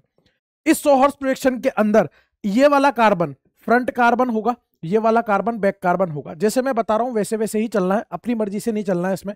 आप इसको फ्रंट, इसको बैक मत मानना, नहीं तो सारे आंसर उलट पुलट होने लग जाएँगे अब आगे के। तो हम लेफ़्ट वाले को फ्रंट कार्बन, राइट वाले को बैक कार्बन मानेंगे। अगर मेरे दोस्त, मैं एक आँख बंद करके, एक आँख बंद करके, ऐसे ऐसे, है ना, एक आँख बंद करके इस बॉन्ड को देखूँगा और इस बॉन्ड को देखूँगा। तो जब मैं एक आँख बंद करके इस बॉन्ड को देखूँगा तो ये वाला बॉन्ड मुझे नज़र नहीं आएगा। मैं इस तरफ़ से देख रहा हूँ, इस तरफ़ से देख रहा हूँ। तो पीछे वाला बॉन्ड नज़र नहीं आएगा। इसको देखूँगा तो ये नहीं आएगा, इसको देखूँगा तो ये वाला बॉन्ड नज़र नहीं आएगा। बात समझना। तो इस तरह के, इस तरह के प्रोजेक्शन को बोलते हैं इक्लिप्स्ड फॉर्म क्या बोलते हैं? इक्लिप्स फॉर्म जैसे आपने सुना होगा ना, सूर्य ने चंद्रमा को ग्रहण लगाया सन इक्लिप्स दी मून है ना? ग्रहण लगा दिया। वैसे ही आगे वाले ने पीछे वाले बॉन्ड को ग्रहण लगा दिया, वो दिख नहीं रहा है, वो दिख नहीं रहा है। फिर यहाँ पर आप देखोगे तो इसके, जब आप इसको देखोगे ना तो इनके जस्ट बीच में आपको ये वाला बॉन्ड नज़र आएगा। इनके बीच में ये वाला, इन दोनों के बीच में ये वाला, इन दोनों के बीच में ये वाला नज़र आएगा। जस्ट बीच में नज़र आएगा। इसको बोलते हैं स्टैगर्ड फॉर्म क्या बोलते हैं? स्टैगर्ड फॉर्म बोलते हैं इसको। स्टैगर्ड फॉर्म ये है आपका सोहर्स प्रोजेक्शन एक होता है न्यूमान प्रोजेक्शन एक क्या होता है? न्यूमान प्रोजेक्शन जिसमें फ्रंट कार्बन जो है, आगे वाला कार्बन उसको डॉट से दिखाते हैं। तरीका है तरीका है। तरीका है, सुनना पड़ेगा, तरीका तो तरीका है। फ्रंट कार्बन को डॉट से दिखाते हैं और बैक कार्बन को किससे दिखाते हैं? बैक कार्बन को दिखाते हैं गोले से। इस तरह से सर्कल से दिखाते हैं बैक कार्बन को। अगर मान लीजिए फ्रंट कार्बन पे आपका एक्स वाई जेड लगा है बैक कार्बन पे आपका X dash Y dash Z dash लगा है इस तरह से। X Y dash X dash Y dash Z dash तो फ्रंट कार्बन से आप एक्स वाई जेड बना लीजिए एक्स वाई जेड अब बैक कार्बन जो है बैक कार्बन की बाउंड्री यहाँ से स्टार्ट हो रही है। कहाँ से स्टार्ट हो रही है? ये सर्कल से स्टार्ट हो रही है बैक कार्बन की। अगर मैं इस इक्लिप्स फॉर्म का न्यूमान प्रोजेक्शन बनाऊँगा, इस इक्लिप्स फॉर्म का न्यूमान प्रोजेक्शन बनाऊँगा, सुनना, ध्यान से सुनना, ध्यान से सुनते रहना, ठीक है ना? जैसे ये ये आपका ये आपका, ये काला ये काला कार्बन है, इनके बीच में सिग्मा बॉन्ड है, मस्त ऐसे रोटेट कर सकता है, मस्त तरीके से, है ना? ये जो प्रोजेक्शन है, ये है सोहर्स प्रोजेक्शन, देख, ऐसा। आगे वाई, पीछे भी वाई, आगे वाई, पीछे भी वाई, है ना? इस तरह से साइड व्यू जो होता है ना साइड व्यू। ये काले से काला टेढ़ी लाइन और ये आगे वाई पीछे वाई ये आपका सोहर्स प्रोजेक्शन है। इसी का जब मैं फ्रंट व्यू देखता हूँ फ्रंट व्यू तो आगे वाले कार्बन को डॉट और पीछे वाले कार्बन को गोले से दिखाते हैं सर्कल से दिखाते हैं। तो जब ये इक्लिप्स फॉर्म है, जिसमें आगे वाले कार्बन की ये जो वैलेंसी है, देख रहा है, इसने पीछे वाले को ढक लिया। नज़र नहीं आ रही होगी तेरे को। थोड़ा सा ऐसे देखेगा, नज़र आ जाएगी। तो पीछे आगे वाले ने पीछे वाले को पूरी तरह से ढक लिया। ठीक है ना? तो क्या इस न्यूमान प्रोजेक्शन में, जब मैं इसको फ्रंट से देख रहा हूँ, ऐसे, इसको न्यूमान प्रोजेक्शन बोलते हैं, आगे से देखना। यहाँ फ्रंट से फ्रंट से देखना तो आगे वाले ने पीछे वाले को ढक लिया तो दिखेगी नहीं। लेकिन लेकिन हम हमारी सहूलियत के लिए थोड़ी सी दिखा देंगे। ऐसे साइड में हल्का सा एक्स डैश हल्का सा वाई डैश हल्का सा जेड डैश सिर्फ़ हमारी सहूलियत के लिए, वो दिखेगा नहीं। जस्ट चिपका के बना दिया X dash Y dash Z dash ये किसका बनाया है न्यूमान? ये बनाया है इक्लिप्स का। ये किसका बनाया है? इक्लिप्स फॉर्म का बनाया है। अब स्टेगर्ड फॉर्म का बनाने जा रहा हूँ, ध्यान से देखना। आगे वाला कार्बन किससे डॉट से। और पीछे वाला कार्बन किससे है? गोले से। आगे वाला कार्बन डॉट से, पीछे वाला गोले से। आगे वाले कार्बन पे तीन वैलेंसी लगी हुई है इस तरह से। एक, दो, तीन। मान लीजिए एक्स वाई जेड है, और ये है जेड डैश ये है वाई डैश और ये एक्स डैश मान लेना यार, मान लेना। उसका बना रहा हूँ ना। फ्रंट कार्बन पे क्या लगा है दोस्त? एक्स वाई जेड अब बैक कार्बन पे क्या लगा है? इन दोनों के जस्ट बीच में जेड डैश दिखेगा। बाउंड्री कहाँ है? बाउंड्री यहाँ से। इस पीछे वाले कार्बन की बाउंड्री यहाँ से तो ये दिखेगा जेड डैश, ये दिखेगा वाई डैश और ये दिखेगा एक्स डैश। ये किसका बनाया? मैंने स्टैगर्ड फॉर्म का न्यूमान प्रोजेक्शन बनाया। स्टैगर्ड फॉर्म का न्यूमान प्रोजेक्शन बनाया। अगले दस मिनट बस सुन लेना मेरे को, पूरा का पूरा कन्फर्मर इससे खत्म कर दूँगा इससे। बस सुनते रहना, है ना? सुनने का खेल है सारा। सुनने का खेल है। आ जाए बेटा। ये सोहर्स और न्यूमान हो गया, ठीक है ना? समझने के लिए था, ठीक है? काम आएँगे मतलब बार बार यूज़ होंगे इसलिए बता दिया कि सोहर्स न्यूमान आपको नया नहीं लगे। सुनना बेटा ध्यान से। पहली बात तो यहाँ लिखा है कन्फर्मर्स कन्फर्मर्स क्या होते हैं? ऐसे आइसोमर्स जो सिग्मा बॉन्ड के अबाउट रोटेशन से बनते हैं। ये सिग्मा बॉन्ड है, इस काले काले के बीच में सिग्मा बॉन्ड है। इस सिग्मा बॉन्ड के अक्रॉस रोटेशन करने से, फ्री रोटेशन फ्री रोटेशन होता है, एक कील वाली बात, फ्री रोटेशन करने से बनने वाले आइसोमर्स क्या कहलाते हैं? कन्फर्मर्स कहलाते हैं। अब इस सिग्मा बॉन्ड के अक्रॉस में कितने, कितना रोटेट कर सकता हूँ? कितनी रोटेशन कर सकता हूँ? देख लेते हैं ना, देख लेते हैं। ये देख, ये है सिग्मा बॉन्ड बीच में। है ना? देखते रहना देखते रहना। ये मैंने हल्का सा घुमा दिया, एक नया फॉर्म बन गया। ये मैंने हल्का सा घुमा दिया, एक नया फॉर्म बन गया। हल्का सा घुमा दिया, नया फॉर्म बन गया। हल्का सा घुमा दिया, नया फॉर्म जितने छोटे एंगल से अपन सोच सकते हैं, उससे भी छोटे एंगल से अपन घुमा सकते हैं। घुमा दिया, नया बन गया, घुमा दिया, नया बन गया, नया नया नया नया नया नया नया। मतलब मैं अगर इसको पूरा घुमा के वापस यहाँ तक लाऊं तो कितने फॉर्म बना सकता हूँ? इनफाइनाइट फॉर्म बना सकता हूँ। यहाँ से लेकर पूरा यहाँ तक, ये 360 डिग्री पूरा घुमा के ले आया, कितने फॉर्म बना सकता हूँ? इनफाइनाइट फॉर्म बना सकता हूँ। तो सिग्मा बॉन्ड के अबाउट रोटेट करने से बनने वाली डिफरेंट फॉर्म्स क्या कहलाती हैं? कन्फर्मर्स कहलाती हैं और किसी सिग्मा बॉन्ड के अबाउट रोटेशन करने से कितने कन्फर्मर्स बन सकते हैं? इनफाइनाइट कन्फर्मर्स बन सकते हैं। तो isomer form by free rotation across sigma bond वो कन्फर्मर्स कहलाते हैं और कन्फर्मर्स कितने होते हैं? इनफाइनाइट होते हैं। यहाँ तक की बात समझ में आ गई होगी। सुनते रहे, उधर ध्यान मत दे, इधर सुनते रहे बस। अब बात करते हैं, एक टर्म होती है, बहुत सारी टर्म डिफाइन करने जा रहा हूँ। Bond angle bond length dihedral angle ये सब डिफाइन करने जा रहा हूँ, सुनते रहना। इक्लिप्स स्टैगर्ड कब इक्लिप्स बनेगा कब स्टैगर्ड बनेगा टॉर्शनल स्ट्रेन वॉन्डरवॉल स्ट्रेन, सब इससे समझेंगे, है ना, अगले दस मिनट के अंदर अंदर, ठीक है ना, इधर देखते रहे। बॉन्ड एंगल क्या होता है? ध्यान सुनना, बॉन्ड एंगल। ये दिख रहा है तेरे को, ये काला ये काला ये काला, ये सफ़ेद ये सफ़ेद। किसी एक एटम से जुड़ी दो वैलेंसी ये एक एटम है काले रंग का, इससे जुड़ी ये दो वैलेंसी काला सफ़ेद काला सफ़ेद। किसी एक एटम से जुड़ी दो वैलेंसी के बीच का एंगल क्या कहलाता है? बॉन्ड एंगल सफ़ेद, काला, सफ़ेद. ये बॉन्ड एंगल है। सफ़ेद, काला, नीला. ये बॉन्ड एंगल है। नीला, काला, सफ़ेद, ये बॉन्ड एंगल है। किसी एक एटम से जुड़ी दो वैलेंसी के बीच का एंगल क्या कहलाता है? बॉन्ड एंगल कहलाता है। पहली चीज़ बॉन्ड एंगल कहलाता है। अगली चीज़ बोल रहा हूँ bond length bond length bond length क्या होती है? जैसे काले और नीले के पीछे ये जो डंडा है ये काले नीले के बीच में जो डंडा है, इसको बोलते हैं बॉन्ड लेंथ ये काले सफ़ेद के बीच में जो डंडा है, इसको बोलते हैं बॉन्ड लेंथ ये काले सफ़ेद के बीच में जो डंडा है, इसको बोलते हैं बॉन्ड लेंथ अब सुन, जब मैं जब मैं इस सिग्मा बॉन्ड के अबाउट रोटेशन कर रहा हूँ, ये रोटेट किया रोटेट किया रोटेट किया रोटेट किया, क्या ये सफ़ेद, काला, नीला, इसके बीच का जो एंगल है, वो चेंज हो रहा है क्या? देख तो ये चेंज हो रहा है क्या? ये चेंज हो रहा है क्या? कोई चेंजेस नहीं है। इस एटम से जुड़ी दो वैलेंसी के बीच में जो एंगल है, वो चेंज हो रहा है क्या? नहीं हो रहा है। तो यहाँ पे कोई चेंजेस नहीं हो रहे कोई चेंजेस नहीं हो रहे क्या ये ये लंबाई चेंज हो रही है देख तो ये लंबाई चेंज हो रही है रोटेट करने से रोटेट ये मस्त घूम रहे ला ये मस्त घूम रहे ला क्या कोई चेंजेस आ रहे क्या नहीं आ रहे तो ड्यूरिंग रोटेशन ड्यूरिंग रोटेशन क्या बॉन्ड एंगल या बॉन्ड लेंथ चेंज होती है क्या नहीं होती कंफर्मेशन के दौरान प्री रोटेशन के दौरान आपका बॉन्ड एंगल और बॉन्ड लेंथ चेंज नहीं होता है ये क्वेश्चन है ये क्वेश्चन है ऐसा क्वेश्चन पूछ सकता है आपसे असर्शन रीजन में स्टेटमेंट में इसलिए बोल रहा हूँ बहुत सारे और एग्ज़ाम्स में ये क्यूज में आ चुके हैं, इसलिए सुन लो। Bond angle bond length never changes during free rotation across sigma bond clear है? अब अगले टर्मिनोलॉजी सुन, अगली टर्मिनोलॉजी एक होता है डाईहेड्रल एंगल एक होता है डाईहेड्रल एंगल डाईहेड्रल एंगल क्या होता है? ये आगे वाला कार्बन है फ्रंट कार्बन ये पीछे वाला कार्बन है आपका, देखना।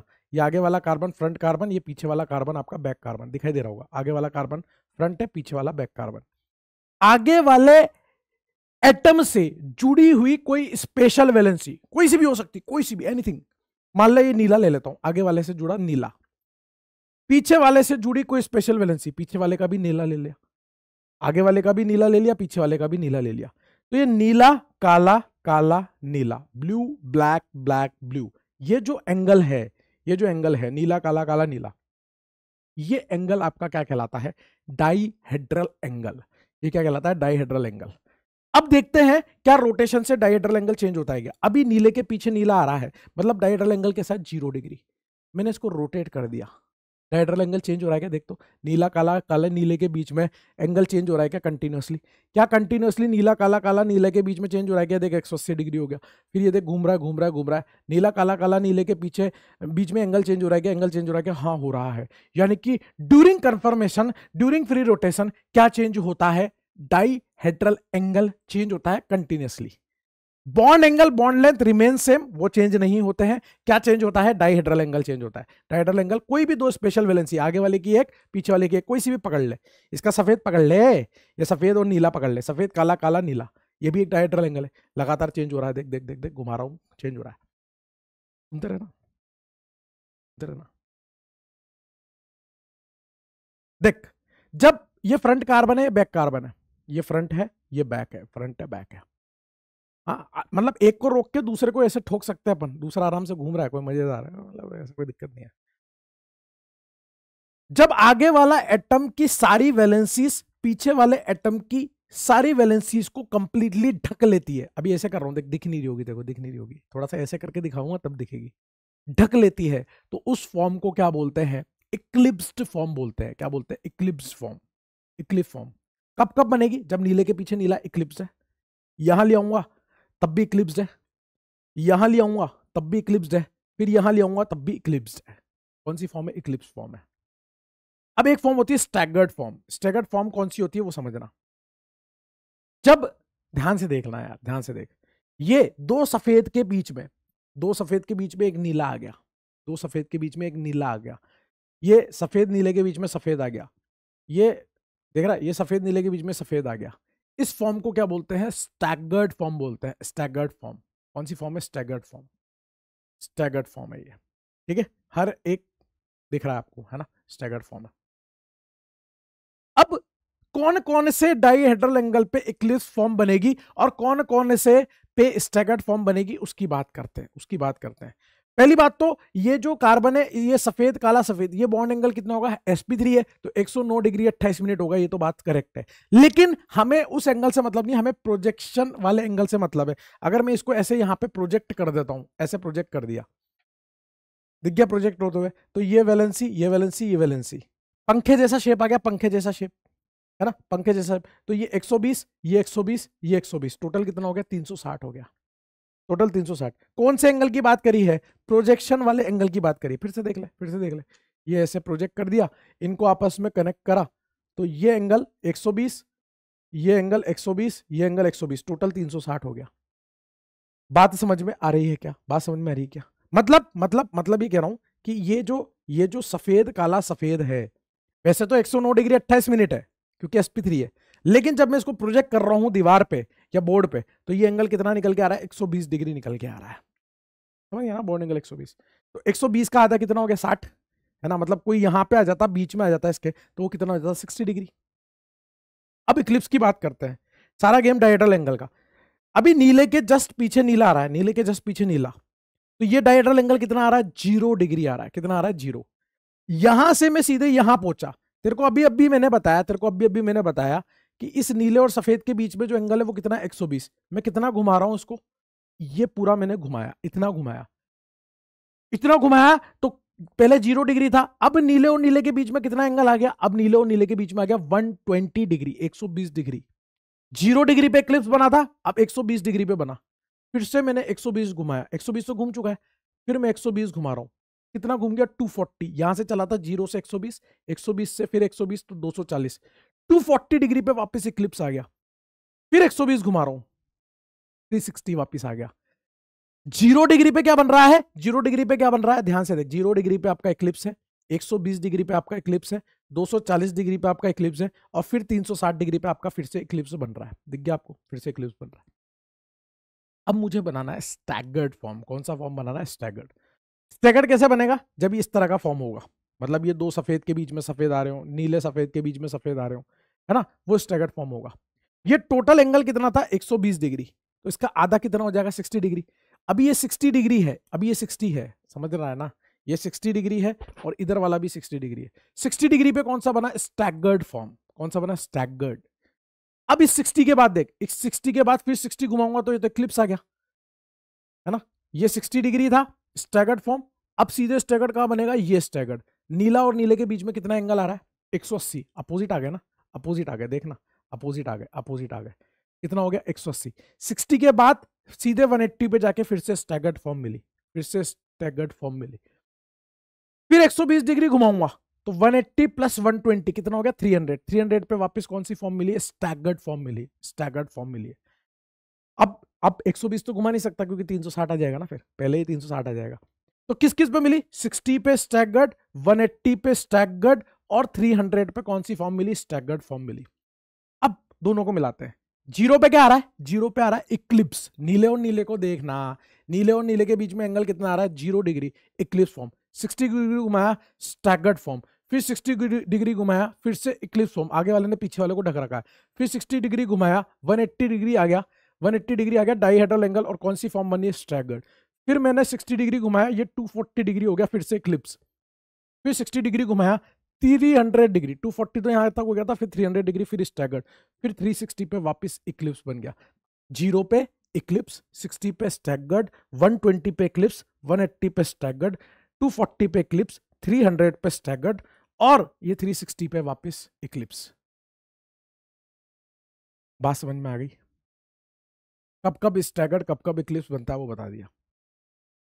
मैंने आपको बताया बॉन्ड एंगल क्या होता है, मैंने आपको बताया बॉन्ड लेंथ क्या होता है, मैंने आपको बताया डायड्रल एंगल क्या होता है, मैंने आपको बताया इक्लिप्स फॉर्म क्या होती है, मैंने आपको बताया स्टैगर्ड फॉर्म क्या होती है, कब इक्लिप्स बनती है, कब स्टैगर्ड बनती है कौन कौन से डायड्रल एंगल पे वो बता दिया। सर, ये पता चल गया कि सर, ये जब ज़ीरो डिग्री है, तब ये कौन सी फॉर्म है? ये क्लिप्स फॉर्म है। जब ये सिक्सटी डिग्री हो गया ये 60 डिग्री हो गया तो स्टैगर्ड फॉर्म है, ये 120 हो गया, फिर इक्लिप्स है, ये 180 हो गया, फिर स्टैगर्ड है, ये आपका 240 हो गया, फिर से इक्लिप्स है, ये 300 हो गया, फिर से स्टैगर्ड है, और ये 360 पे वापस इक्लिप्स है। लेकिन सर, ये ज़ीरो से लेकर ये 60 के बीच का क्या मामला है? ये भी तो डाउट है ना भाई। ये ज़ीरो डिग्री है और ये 60 डिग्री इसके बीच वाले आइटम को क्या बोलोगे? इसको तो एक्लिप्स बोल दिया, इसको स्टैगर्ड बोल दिया। इसके बीच में पहले तो ये बता कितने कन्फर्मर्स बन सकते हैं। ज़ीरो अब तू point zero zero zero zero zero zero zero जितने सो सकता है, फिर वन लगा के डिग्री लिख दे। वो एक अलग फॉर्म है, फिर एक अलग फॉर्म फिर एक अलग फॉर्म फिर कितने बन सकते हैं? इनफाइनाइट तो ज़ीरो से सिक्सटी के बीच में ही इनफाइनाइट बन जाएँगे। और वो ज़ीरो और सिक्सटी को छोड़ के बीच के जितने बने, उनको बोलते हैं स्क्यू फॉर्म क्या बोलते हैं? Skew S K E W skew form zero पे इक्लिप्स सिक्सटी पे स्टैगर्ड और बीच वाले सारे क्या है? स्क्यू फॉर्म स्क्यू फॉर्म अब यहाँ पे दो तरह के दर्द आते हैं। एक होता है टॉर्शनल दर्द, टॉर्शनल रिपल्शन। एक होता है वॉन्डरवॉल रिपल्शन। एक टॉर्शनल और एक वॉन्डरवॉल रिपल्शन। सुनते रहे? वॉन्डरवॉल रिपल्शन जो होता है वो साइज़ की वजह से आता है। भारी होगा बल्कि होगा तो वॉन्डरवॉल रिपल्शन ज़्यादा आएगा। अब मेरा दोस्त ये बता, ये नीले के जस्ट पीछे नीला, मोटे के पीछे मोटा। और ये 60 डिग्री पे चल गए तो मोटे मोटे दूर हो गए। तो इक्लिप्स में वॉन्डरवॉल रिपल्शन ज़्यादा होगा या स्टैगर्ड में वॉन्डरवॉल रिपल्शन ज़्यादा होगा? जल्दी बता जल्दी बता। खुद ही बताएगा तो खुद ही बताएगा। वॉन्डरवॉल रिपल्शन होता है ड्यू टू साइज़ अभी ये ज़ीरो डिग्री है पास पास आ रहे हैं। ये सिक्सटी डिग्री हो गए, दूर चले गए। तो पास में है तो ज़्यादा दर्द है, ज़्यादा रिपल्शन है, दूर चले गए, कम दर्द है। इक्लिप्स में वॉन्डरवॉल रिपल्शन ज़्यादा है स्टैगर्ड में कम है। ये है वॉन्डरवॉल किसमें ज़्यादा है? इक्लिप्स में ज़्यादा है? स्टैगर्ड में कम है। रिपल्शन दर्द। अगला है टॉर्शनल रिपल्शन टॉर्शनल रिपल्शन क्या होता है? आगे वाले बॉन्ड के इलेक्ट्रॉन और पीछे वाले बॉन्ड के इलेक्ट्रॉन बॉन्ड में क्या होते हैं? इलेक्ट्रॉन एक बॉन्ड में दो इलेक्ट्रॉन होते हैं ना। आगे वाले बॉन्ड के इलेक्ट्रॉन पीछे वाले बॉन्ड के इलेक्ट्रॉन इन इलेक्ट्रॉन्स के बीच का जो रिपल्शन होता है, उनको बोलते हैं टॉर्शनल रिपल्शन अब ये इक्लिप्स है। आगे वाले बॉन्ड के जस्ट सामने पीछे वाले बॉन्ड के इलेक्ट्रॉन आ रहे हैं। पास पास आ रहे हैं दोनों इलेक्ट्रॉन यहाँ रिपल्शन लग रहा है। फिर मैंने स्टैगर्ड बनाया। आगे वाले बॉन्ड के दूर चले गए इलेक्ट्रॉन स्टैगर्ड फॉर्म में। यहाँ रिपल्शन लग रहा है। कहाँ रिपल्शन ज़्यादा है? कौन सा टॉर्शनल रिपल्शन ज़्यादा है? इक्लिप्स में ज़्यादा है या फिर स्टैगर्ड में ज़्यादा है? सर इक्लिप्स में ज़्यादा है क्योंकि इलेक्ट्रॉन पास है टॉर्शनल और स्टैगर्ड में कम है क्योंकि यहाँ पे इलेक्ट्रॉन दूर चले गए। सही बात है। मतलब दोनों तरह के दर्द किसमें ज़्यादा है? इक्लिप्स में ज़्यादा है स्टैगर्ड में कम है। Van der Waals repulsion due to size आमने सामने आ गए। Torsional repulsion due to electron आमने सामने आ गए। दोनों ही दर्द, दोनों ही रिपल्शन किसमें ज़्यादा है? इक्लिप्स में ज़्यादा है स्टैगर्ड में कम है। अगर इक्लिप्स में रिपल्शन ज़्यादा है तो ऑब्वियस है कि इक्लिप्स कम स्टेबल होगा। स्टैगर्ड ज़्यादा स्टेबल होगा तो स्टेबिलिटी भी आ गई कि staggered is more stable than eclipse staggered is more stable than eclipse आपसे इसे पूछ सकता है, किसमें इलेक्ट्रॉन के डिस्टेंस ज़्यादा है? तो यहाँ पे इलेक्ट्रॉन पास है, यहाँ इलेक्ट्रॉन दूर है तो इंटर इलेक्ट्रॉनिक डिस्टेंस किसमें ज़्यादा है? आपके स्टैगर्ड में ज़्यादा है। इंटर इलेक्ट्रॉनिक रिपल्शन किसमें ज़्यादा है? इक्लिप्स में ज़्यादा है। रिपल्शन तो ज़्यादा इसमें आ रहा है ना? रिपल्शन इसमें ज़्यादा है। स्टेबिलिटी किसकी ज़्यादा है? स्टैगर्ड की, इक्लिप्स से ज़्यादा है। मेरे भाई, बॉन्ड एंगल क्लियर है, बॉन्ड लेंथ क्लियर है, वो चेंज नहीं होती डायड्रल एंगल कंटिन्यू चेंज होता है। कौन कौन से डायड्रल एंगल पे इक्लिप्स बनती है, स्टैगर्ड बनती है बता दिया, ज़ीरो, साठ एक सौ बीस, दो सौ चालीस पे फिर से स्टैगर्ड, दो सौ सॉरी, एक सौ अस्सी पे फिर से स्टैगर्ड, दो सौ चालीस पे क्लिप्स तीन सौ पे स्टैगर्ड और ये तीन सौ साठ पे वापस क्लिप्स ये पूरा कन्फर्मर खत्म हो गया। क्या बात कर रहे हो? हाँ भाई, यही मेजर मेजर टर्म थी। फिर जहाँ यूज़ होगा वहाँ वापस उठा लेंगे। ये मेजर मेजर, क्या बात कर रहे हो? हाँ भाई, यही थी यही थी भाई। तो पहली बात तो इतने सारे कन्फर्मर्स बन रहे हैं और ये इतने रैपिडली बनते हैं कि हम इनको सेपरेट नहीं कर सकते और अगर हम इनको सेपरेट नहीं कर सकते, इसलिए हम इसे ट्रू आइसोमर्स नहीं बोलते। ट्रू आइसोमर्स वो होते हैं जिनको हम सेपरेट कर पाए। Conformers are not true isomers conformation के दौरान bond length bond angle does not change अभी बताया आपको bond angle bond length change नहीं होता। है क्या चेंज होता है? डाईहेड्रल एंगल चेंज होता है। एक बार बहुत पहले इथेन के बारे में पूछ लिया था कि इथेन में सिग्मा बॉन्ड के रोटेशन के लिए कितनी एनर्जी चाहिए रूम टेम्परेचर पे, इथेन में। मतलब इथेन समझ रहे हो ना? C S three C S three तो इसके अबाउट रोटेट कराने के लिए कितनी एनर्जी चाहिए? तो थ्री किलो कैलोरी पर मोल या साढ़े बारह किलो जूल पर मोल चाहिए। वही चार का फैक्टर लगा के। ठीक है ना? ये याद करने वाली चीज़ है यार तो। क्या बताएँ इसमें? अब सबसे पहले हम इथेन के अंदर कंफर्मेशन देखते हैं। मैंने आपको पूरा मॉडल दिखा दिया, वही का वही मॉडल इसमें चलेगा, कोई दर्द नहीं आना चाहिए। है ना? बस सुनते रहो। इथेन के अंदर कंफर्मेशन देखना है, इस बॉन्ड के अक्रॉस इस कार्बन कार्बन बॉन्ड के अक्रॉस रोटेट करा करा के डिफरेंट फॉर्म्स बनाएँगे। और कौन कौन सी बनाएँगे? इक्लिप्स और स्टेगर्ड वाली, इस इसक्यू नहीं बनाएँगे? काम काम की फॉर्म काम काम की फॉर्म बनाएँगे। ये आपका फ्रंट कार्बन है, ये बैक कार्बन है। ये फ्रंट कार्बन ये बैक कार्बन ये बना हुआ है आपका इक्लिप्स फॉर्म ये बना है स्टेगर्ड इक्लिप्स में बताया था, आगे वाले ने पीछे वाले को ढक रखे, हल्का सा अपन ने दिखा रखा था कि पता लगे कि क्या है, क्या नहीं है। और यहाँ पे इस वाई के जस्ट बीच में आएगा ऐसे। ये आपका कौन सा फॉर्म है? ये आपका इक्लिप्स फॉर्म है।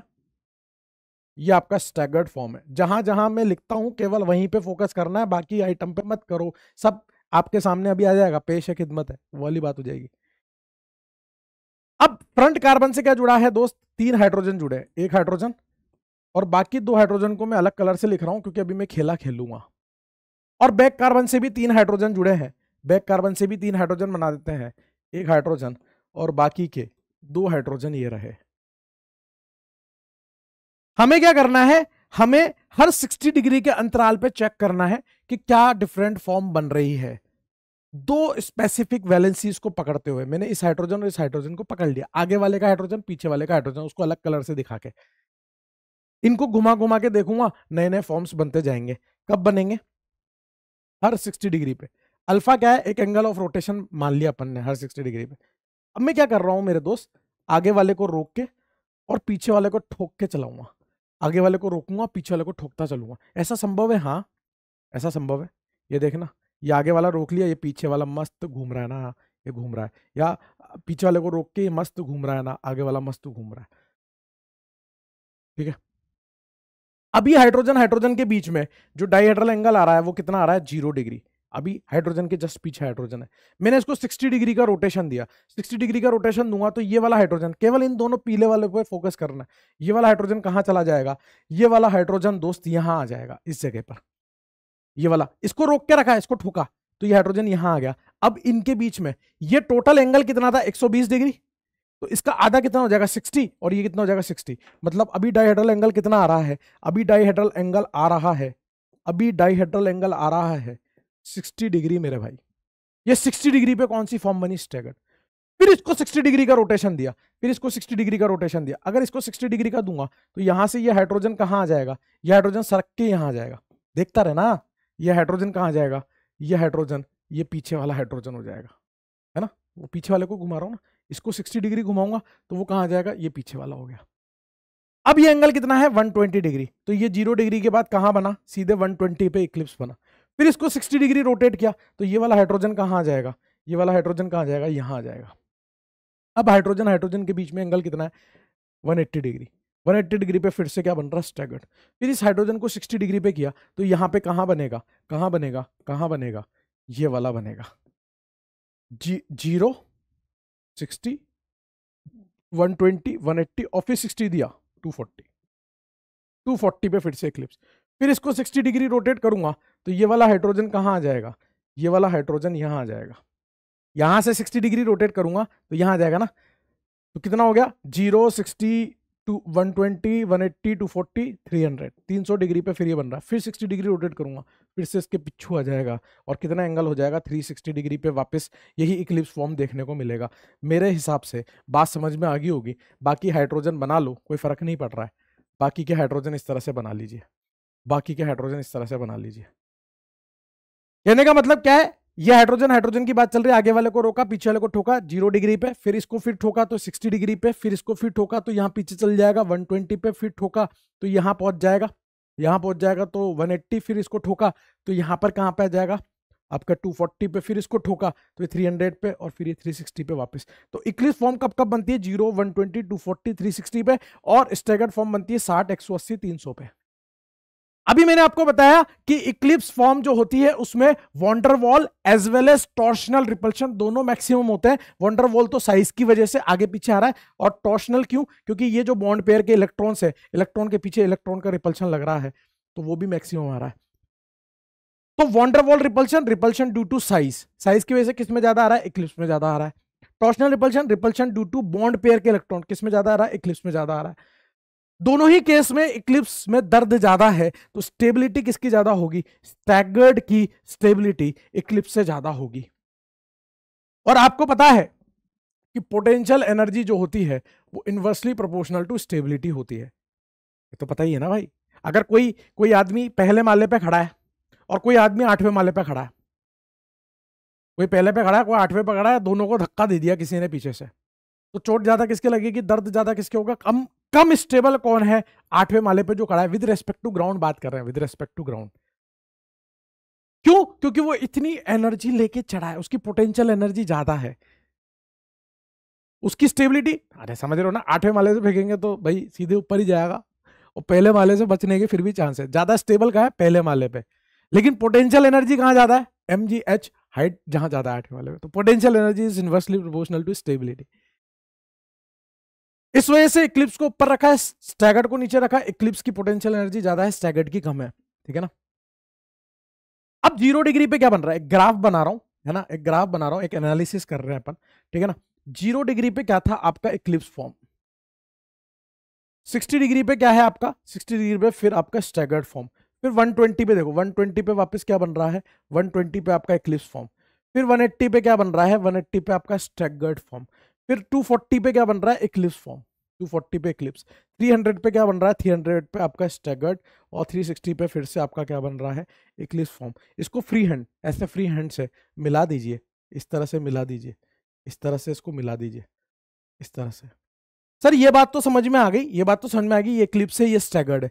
ये जो बीच के हैं, ये जो बीच के हैं इतने सारे, भाई डॉट डॉट डॉट डॉट मिलके ही तो ये कर्व बना होगा यहाँ से लेकर यहाँ तक कितने डॉट बने होंगे? इनफाइनाइट ये जो बीच के हैं, यही तो आपके स्क्यू हैं। ये सब क्या है? आपके स्क्यू फॉर्म है दोस्त। ये क्या है? स्क्यू फॉर्म ये था इथेन का कंफर्मेशन इसमें जितने मैक्सिमम क्वेश्चंस हो सकते थे, इस स्लाइड में मौजूद है। कौन से डायड्रल एंगल की बात चल रही है वो? वॉन्टरवॉल टोशनल रिपल्शन की बात एनर्जी और स्टेबिलिटी की बात और ये ग्राफ वाली बात। ठीक है दोस्त? सारी चीज़ मौजूद है। नेक्स्ट देखो नेक्स्ट नेक्स्ट बात करते हैं।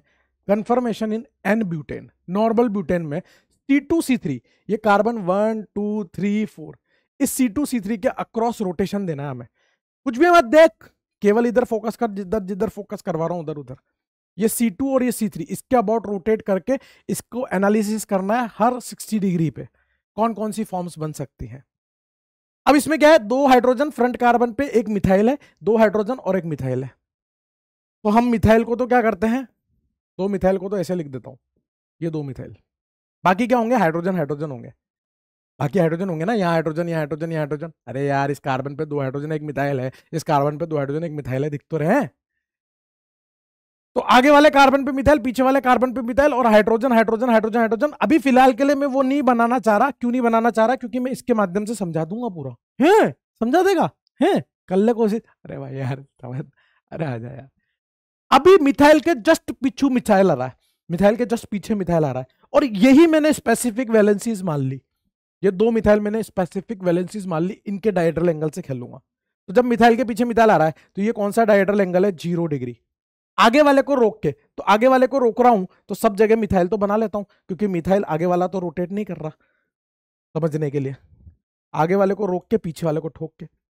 जब मैं यहाँ पर अल्फ़ा बराबर 60 डिग्री दूँगा 60 डिग्री रोटेट करूँगा तो पीछे वाला कहाँ पहुँच जाएगा? मिथाइल यहाँ। फिर मैं अल्फ़ा बराबर 60 और दूँगा तो ये मिथाइल कहाँ पहुँच जाएगा? पीछे वाला है तो ये मिथाइल यहाँ पहुँच जाएगा। फिर मैं 60 डिग्री रोटेट करूँगा, अल्फ़ा बराबर 60 डिग्री, ये मिथाइल कहाँ पहुँच जाएगा? यहाँ पहुँच जाएगा। फिर मैं अल्फ़ा बराबर सिक्सटी डिग्री रोटेट करूँगा, ये मिथाइल कहाँ पहुँच जाएगा? ये मिथाइल यहाँ पहुँच जाएगा। फिर मैं अल्फ़ा बराबर 60 डिग्री रोटेट करूँगा, ये मिथाइल कहाँ पहुँच जाएगा? ये मिथाइल यहाँ पहुँच जाएगा। फिर मैं 60 डिग्री रोटेट करूँगा, वापस पीछे आ जाएगा। अब, अभी ये आगे पीछे थे तो डायड्रल एंगल ज़ीरो अभी यहाँ डायड्रल एंगल कितना है दोस्त? यहाँ डायड्रल एंगल अरे यार, बोल ही नहीं रहा यार अरे, बोलेगा कैसे? सॉरी डायड्रल एंगल कितना है? यहाँ पर 60 डिग्री है। यहाँ ज़ीरो है। यहाँ कितना है? 60 डिग्री यहाँ कितना है? 60 डिग्री दोनों मिथाइल के बीच में 60 अरे यार टोटल 120 है तो बीच का कितना हुआ? 60 हुआ ना भाई। फिर अब मिथाइल मिथाइल के बीच का एंगल कितना है? अब मिथाइल मिथाइल के बीच का एंगल है 120 डिग्री यहाँ मिथाइल मिथाइल के बीच का एंगल कितना है? 180 डिग्री। यहाँ मिथाइल और मिथाइल के बीच का एंगल कितना है? यहाँ से काउंट करना है। 120 240 पूरा 240 है यहाँ से। तो ये डायड्रल एंगल कितना है? 240 फिर यहाँ मिथाइल मिथाइल के बीच में कितना है? 300 और ये वापस लौट के आ गया। तो ज़ीरो के अलावा कितना है? 360 डिग्री भी है। ज़ीरो और 360 पे ये कहानी है। बाकी क्या हाइड्रोजन आप भर लो अब। कोई दिक्कत नहीं है hydrogen hydrogen hydrogen hydrogen hydrogen hydrogen hydrogen hydrogen hydrogen hydrogen hydrogen hydrogen hydrogen hydrogen hydrogen kabaddi kabaddi kabaddi kabaddi kabaddi kabaddi kabaddi kabaddi kabaddi kabaddi kabaddi kabaddi kabaddi kabaddi ये लो सारे हाइड्रोजन भर लिए हमारा मुद्दा तो दो मिथाइल को घुमाने का था अब यहाँ पे ये देखना है कौन सी इक्लिप्स फॉर्म है और कौन सी स्टैगर्ड फॉर्म है ये फॉर्म कैसी है आगे और पीछे समझ रहे इक्लिप्स फॉर्म है। ये कौन सी फॉर्म है? स्टैगर्ड ये कौन सी इक्लिप्स ये कौन सी स्टैगर्ड ये इक्लिप्स ये स्टैगर्ड अब पंगा देखो।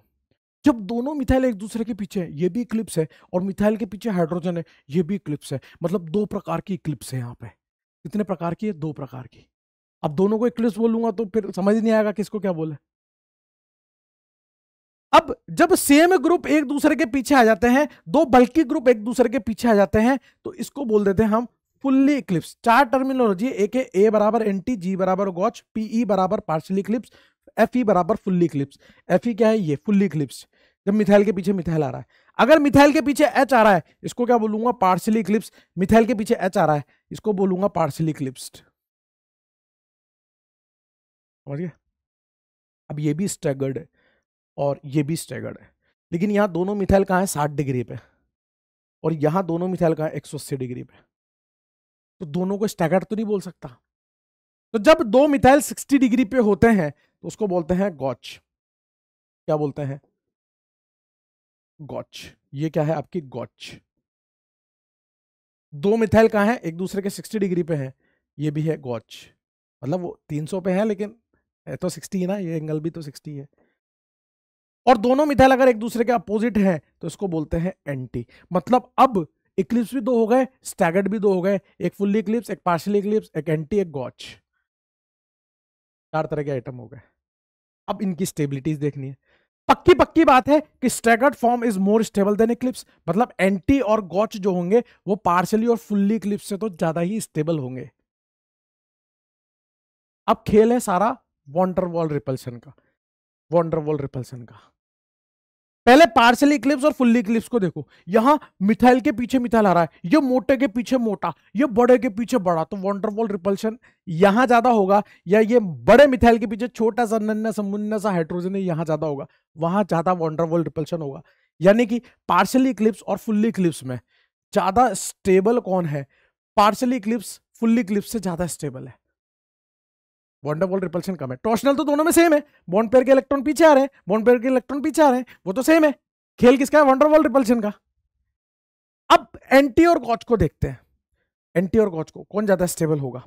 एंटी में दोनों मिथाइल अपोजिट पे हैं और गॉच में ये मिथाइल आजू बाजू है। मतलब दूर है, लेकिन इनसे तो पास है।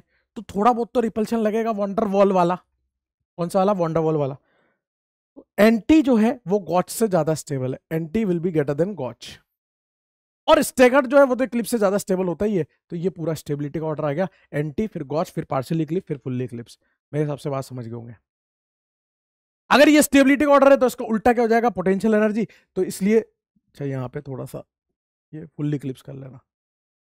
सबसे ज़्यादा पोटेंशियल एनर्जी किसकी होगी? फुल्ली क्लिप्स की, फिर पार्शली फिर गॉच फिर एंटी अब ज़ीरो डिग्री पे क्या बन रहा है, दोस्त? बस मार्किंग करनी है। अब आ जाओ। मार्किंग करनी है। ज़ीरो डिग्री पे क्या बन रहा है? फुल्ली क्लिप्स फिर सिक्सटी डिग्री पे क्या बन रहा है? गॉच। फिर 120 पे क्या बन रहा है? पार्शली क्लिप्स फिर 180 पे क्या बन रहा है? एंटी। फिर 240 पे क्या बन रहा है? 240 पे फिर से पार्शियल इक्लिप्स। फिर 300 पे क्या बन रहा है? 300 पे आपका गॉच। और 360 पे वापस से फुल्ली इक्लिप्स। और इनको फ्री हैंड से मिला लो। फ्री हैंड से। ऐसे ऐसे ऐसे ऐसे ऐसे ऐसे मिला लिया। तो सर ये बीच वाले क्या है? ये बीच वाले सब क्या है मेरे दोस्त? ये बीच वाले सब क्या है? ये है स्क्यू फॉर्म। ये सब बीच वाले क्या है? Skew form. इन्फाइनाइट है। इन्फाइनाइट है। तो स्टेबिलिटी का ऑर्डर क्या है? एंटी, फिर गॉच, फिर पार्शियली क्लिप फिर फुल्ली क्लिप्स मेरे हिसाब से बात समझ गए होंगे। वंडर वॉल से हमने स्टेबिलिटी का ऑर्डर निकाला है। क्लियर है? क्या सर हमेशा एंटी गॉच से ज़्यादा स्टेबल होगा? कुछ ऐसे केसेस होते हैं जहाँ गॉच एंटी से ज़्यादा स्टेबल हो जाता है। इसको नोट कर लिया हो तो आगे बढ़े। कुछ ऐसे केसेस होते हैं जहाँ गॉच एंटी से ज़्यादा स्टेबल हो जाता है। Gauche will be stable than anti कब? जब हाइड्रोजन बॉन्डिंग हो रखी हो। हाइड्रोजन बॉन्डिंग कब होती है? जब हाइड्रोजन फ़ोन से कनेक्टेड हो। फ्लोरीन ऑक्सीजन नाइट्रोजन अगर हाइड्रोजन इससे कनेक्टेड है तो हाइड्रोजन बॉन्डिंग हो सकती है। इस आइटम को देखो, ये है ग्लाइकोल है ना? दो कार्बन का ना? ग्लाइकोल ये फ्रंट कार्बन ये बैक कार्बन मैं इसके दो फॉर्म्स बना रहा हूँ। फ्रंट कार्बन से क्या क्या लगा रहा हूँ? दोस्त, ध्यान से देखना। यहाँ पर मैं लगा रहा हूँ O H O H front carbon से लगाना है ना? ओ एच है और दो हाइड्रोजन है। ये दो हाइड्रोजन बैक कार्बन पे क्या दो हाइड्रोजन एक ओ एच दो हाइड्रोजन एक ओ एच मेरे को पार्शियली क्लिप फुल्ली क्लिप से मतलब नहीं, मैं एंटी गोच की लड़ाई करा रहा हूँ। अभी इससे पहले वाले केस में anti will be greater than gauche क्यों? क्योंकि वहाँ रिपल्शन आ रहा था। वहाँ रिपल्शन आ रहा था। अभी देखता चल देखता चल। आगे वाले कार्बन पे एक ओ OH है दो हाइड्रोजन है। तो ये दो हाइड्रोजन एक ओ OH, ये एंटी फॉर्म ये कौन सी फॉर्म है? Gauche form this is gauche form दो ओ OH कहाँ है? सिक्सटी डिग्री पे। एंटी फॉर्म बना रहा हूँ। बैक कार्बन ये आपका बैक कार्बन है और बैक कार्बन पे दो हाइड्रोजन एक ओ OH लगा है। तो ये दो हाइड्रोजन और एक ओ OH दोनों ओ OH कहाँ गए? अपोजिट में ये कौन सी फॉर्म है? एंटी फॉर्म है। This is gauche this is anti अब यहाँ पे हाइड्रोजन किससे कनेक्टेड है? फ्लोरीन ऑक्सीजन नाइट्रोजन मतलब ऑक्सीजन से कनेक्टेड है और दूसरा ऑक्सीजन भी मौजूद है। तो यहाँ क्या हो जाएगा? यहाँ एक मोहब्बत जनरेट होगी और उस मोहब्बत का नाम होगा हाइड्रोजन बॉन्डिंग यहाँ रिपल्शन नहीं आ रहा है, यहाँ अट्रैक्शन आ रहा है, मोहब्बत चल रही है। इसलिए gauche will be more stable than anti तो गॉच एंटी से कब ज़्यादा स्टेबल होगा? जब कोई फोर्स ऑफ़ अट्रैक्शन लग रहा हो फोर्स ऑफ़ समझ गया ना? रिपल्सन नहीं लगना चाहिए अट्रैक्शन हाइड्रोजन बॉन्डिंग हो रही हो, या फिर वो केटाइन एनायन में अट्रैक्शन वाली बात हो रही हो, समझ गए? तब गॉच जो है वो एंटी से ज़्यादा स्टेबल हो जाएगा दोस्त। Gauche will be more stable than anti. मेरे हिसाब से बात समझ गए होंगे। क्लियर है? मेरे हिसाब से बात समझ गए होंगे दोस्त।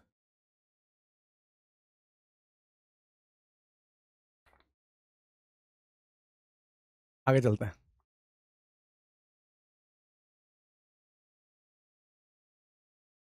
हम इसमें डायपोल मूवमेंट का केस भी डिस्कस कर सकते हैं कंफर्मेशन में। डायपोल मूवमेंट भी डिस्कस कर सकते हैं, उसके भी क्वेश्चंस आ जाते हैं। अब देखो डायपोल मूवमेंट कैसे जनरेट होता है? जैसे मान लो मैं किसी सॉल्यूशन में चार पाँच मोलिक्यूल फेंक के मार दूँ। तो उस सॉल्यूशन का डायपोल मूवमेंट कैसे आएगा? जैसे पाँच मोलिक्यूल एक का नाम है वन टू दूसरे का टू तीसरे का तीन, चौथे का चार, पांचवे का पाँच। ऐसे नाम रख दिए one two three four five तो वन की वजह से डायपोल मूवमेंट टू की वजह से डायपोल मूवमेंट थ्री की वजह से फोर की वजह से फाइव की वजह से, फिर उनका ऐड करोगे तो ओवरऑल सोल्यूशन का निकल के आएगा। हर एक इंडिविजुअल का डायपोल मूवमेंट ऐड करने के बाद सोल्यूशन का निकल के आएगा। समझ गए? अब हमारे सॉल्यूशन में जब कन्फर्मर की बात आएगी तो उसमें क्या है? Partially clips fully clips anti और गोच चार तरह के आइटम पड़े हुए हैं। इन चार की वजह से क्या निकल के आएगा? डायपोल मोमेंट निकल के आएगा। अब मेरे दोस्त, मैंने देखो बताया कि पार्शियली क्लिप्स और फुल्ली क्लिप्स की तो हालत ही गंभीर है। Conformer partially clip fully clips में तो रहना ही नहीं चाहता। वो किसमें रह सकता है? एंटीओ गॉच में। क्यों? क्योंकि पार्शियली क्लिप्स फुल्ली क्लिप्स में van der Waals as well as torsional दोनों रिपल्सन मैक्सिमम है। तो यानी कि अगर मैं बात करूँ, एक मोल में anti gauche partially clip fully clip सब मौजूद हैं, एक मोल में। अब मैं इनके मोल फ्रैक्शंस देखूँ, इनके मोल फ्रैक्शंस देखूँ। समझ ना? इनके मोल फ्रैक्शन तो किसके ज़्यादा होंगे? जो ज़्यादा स्टेबल होगा। यानी कि एंटी और गॉच का मोल फ्रैक्शन ज़्यादा होगा पार्शियली क्लिप्स और फुल्ली क्लिप्स तो बनना ही नहीं चाहता। वो तो होंगे ही नहीं। तो यानी कि पार्शियली क्लिप्स को नेग्लिजिबल और फुल्ली क्लिप्स को नेग्लिजिबल मान सकता हूँ। मज़ा आया। फॉर्मूला छोटा होएगा ना भाई? फॉर्मूला छोटा होएगा। इतना बड़ा फॉर्मूला था। कुछ था अभी मैंने डिस्कस नहीं किया। मैं तो आपको सीधे बता रहा हूँ कि मोल फ्रैक्शन ये एक्स जो है ना, ऐसे मोल फ्रैक्शन के लिए यूज़ करते हैं। तो मोल फ्रैक्शन पार्शियली क्लिप्स और फुल्ली क्लिप्स का तो नेग्लिजिबल हो गया। किसके रेस्पेक्ट में? गॉच और एंटी के रेस्पेक्ट में। गॉच और एंटी के रेस्पेक्ट में पार्शियली क्लिप्स और फुल्ली क्लिप्स तो गए। फॉर्मूला छोटा हो गया। फॉर्मूला सिर्फ़ गॉच और एंटी का रह गया। अब ये म्यू जी और म्यू ए क्या है? मैंने आपको क्या बताया? कि अगर किसी सॉल्यूशन में पाँच आइटम रखे हैं तो पहले की वजह से कुछ आएगा, दूसरे की वजह से डायपोल मूवमेंट कुछ आएगा, तीसरे की वजह से कुछ आएगा। और वो है कितना? है कितना क्वांटिटी में? मान ले कि ए बी सी और डी ये चार आइटम है। ये भाई साहब, ये सौ ग्राम है, ये पचास ग्राम है, ये तीस ग्राम है और ये दस ग्राम है। ये सौ ग्राम है, इसका डायपोल मूवमेंट मल्टीप्लाई बाय इसके ग्राम से मल्टीप्लाई करोगे ना भाई। ये कितना मौजूद है, उसकी वजह से उसका डायपोल आएगा ना। तो बस वही चीज़ है, वही चीज़ है, वही चीज़ है। ये तो क्या है कि वो कितना है, वो सॉल्यूशन में कितना है और ये क्या है, उसकी वजह से डायपोल मूवमेंट कितना है। मल्टीप्लाई करोगे तो ओवरऑल उसकी वजह से डायपोल निकल के आ जाएगा कि भैया गॉच हमारे पास इतना है और उसका डायपोल मूवमेंट खुद का इतना है तो गॉच की वजह से डायपोल मूवमेंट क्या आएगा? Mu gauche into X gauche. Anti की वजह से क्या आएगा? Mu anti into X anti overall dipole movement solution का क्या आ जाएगा? ये आ जाएगा। ओवरऑल डायपोल मूवमेंट ये आ जाएगा। बात समझ रहे सुनते रहना। अरे यार भाई, किसी घर में चार भाई हैं। एक भाई कमा दो लाख रुपए, एक भाई कमा रहा एक लाख रुपए और बाकी के दो कमा रहे हज़ार रुपए, दो हज़ार रुपए महीना। सोच के देख। तो यार जब वो अगर उस घर में अगर कभी चर्चा होगी कि भाई इस घर का खर्चा कौन उठा रहा है तो वो हज़ार, दो हज़ार वाले को गिना जाएगा क्या? हालाँकि वो भी कंट्रीब्यूट कर रहे हैं, लेकिन उस दो लाख और एक लाख वाले के कंपैरिजन में वो क्या है? नेग्लिजिबल है। तो भाई ये गॉच और एंटी क्योंकि ज़्यादा स्टेबल है तो इनकी मात्रा ज़्यादा है सॉल्यूशन के अंदर, इस फॉर्म में ज़्यादा रहना चाहता है तो इनके रेस्पेक्ट में ये तो ज़ीरो हो गया ना तो ये दो टर्म तो गई, आपके तो मज़े है ना भाई, आप तो मज़े करो ना, ये दो टर्म तो गई, बची दो, ये दो। अब ये भाई कितना दे रहा है? ये इतना दे रहा है। ये भाई कितना दे रहा है? ये इतना दे रहा है। तो ये भाई उसका कंट्रीब्यूशन ये भाई उसका कंट्रीब्यूशन ओवरऑल घर में खर्चा कितना आ रहा है? इतना आ रहा है। ऐसे निकालो यार। और क्या है? सिंपल यूनिटरी मेथड से ठीक है ना? तो mole fraction of gauche multiply by dipole movement of gauche mole fraction of anti multiply by dipole movement of anti ऐसे करके।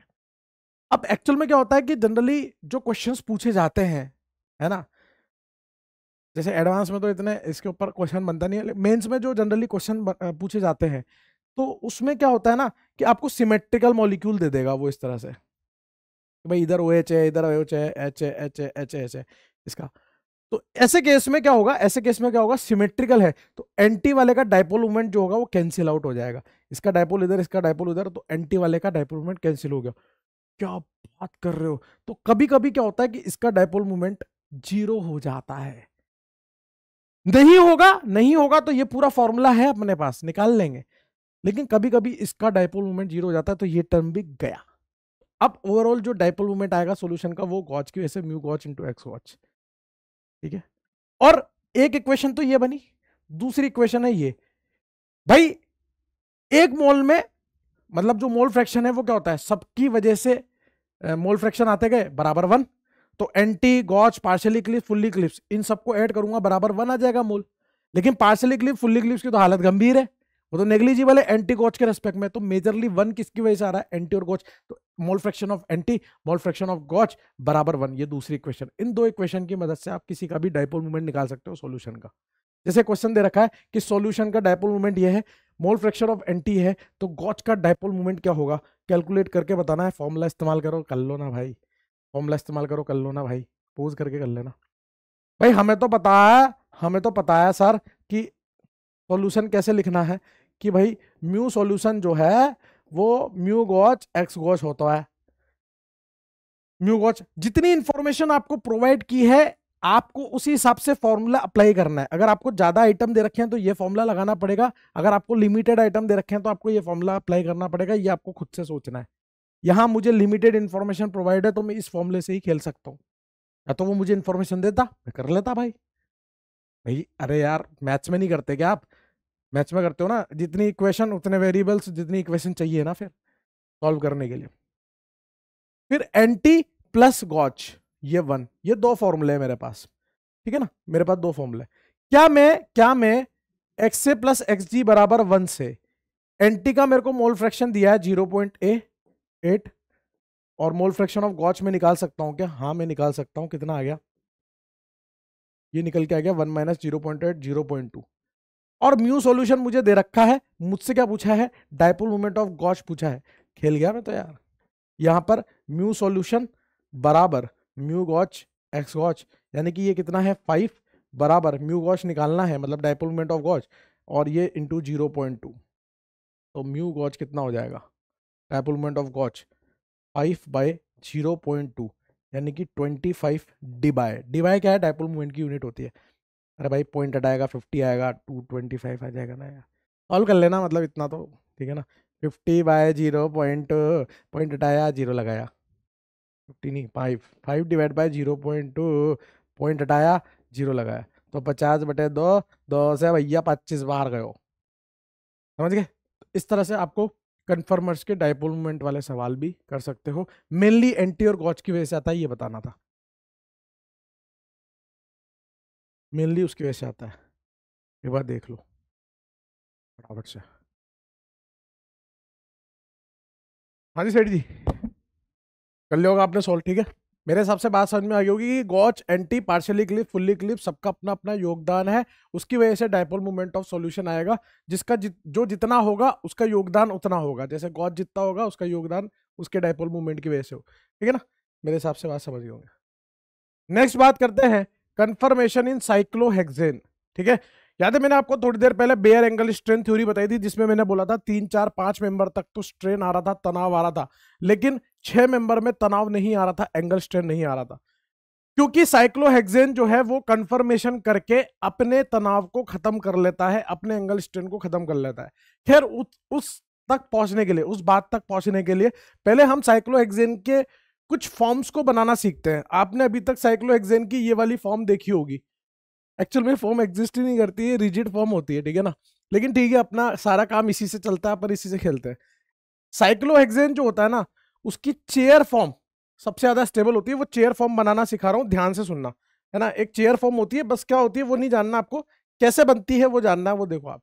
आपको क्या करना है दोस्त, आपको इस तरह से दो पैरेलल लाइन खींचनी है, इस तरह से आपको दो पैरेलल लाइन खींचनी है, दिख गई आपको? दो पैरेलल लाइन एक वी बनाना है, आगे की तरफ़ टिल्टेड इस तरह से आपको एक वी बनाना है, आगे की तरफ़ टिल्टेड ये वी बनाया आपने, आगे की तरफ़ झुका हुआ.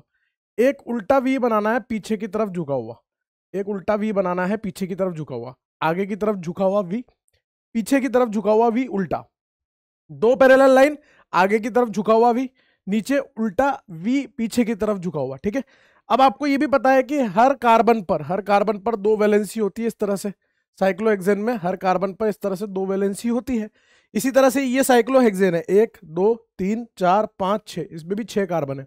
हर कार्बन पर दो वैलेंसी होगी, ठीक है ना? सुनते रहो, बस आपका काम सुनने का है। एक वैलेंसी, यहाँ जो दो वैलेंसी होगी, वो दो वैलेंसी का नाम होता है। वो नाम क्या होता है? एक होती है एक्सियल और दूसरी होती है आपकी इक्विटोरियल।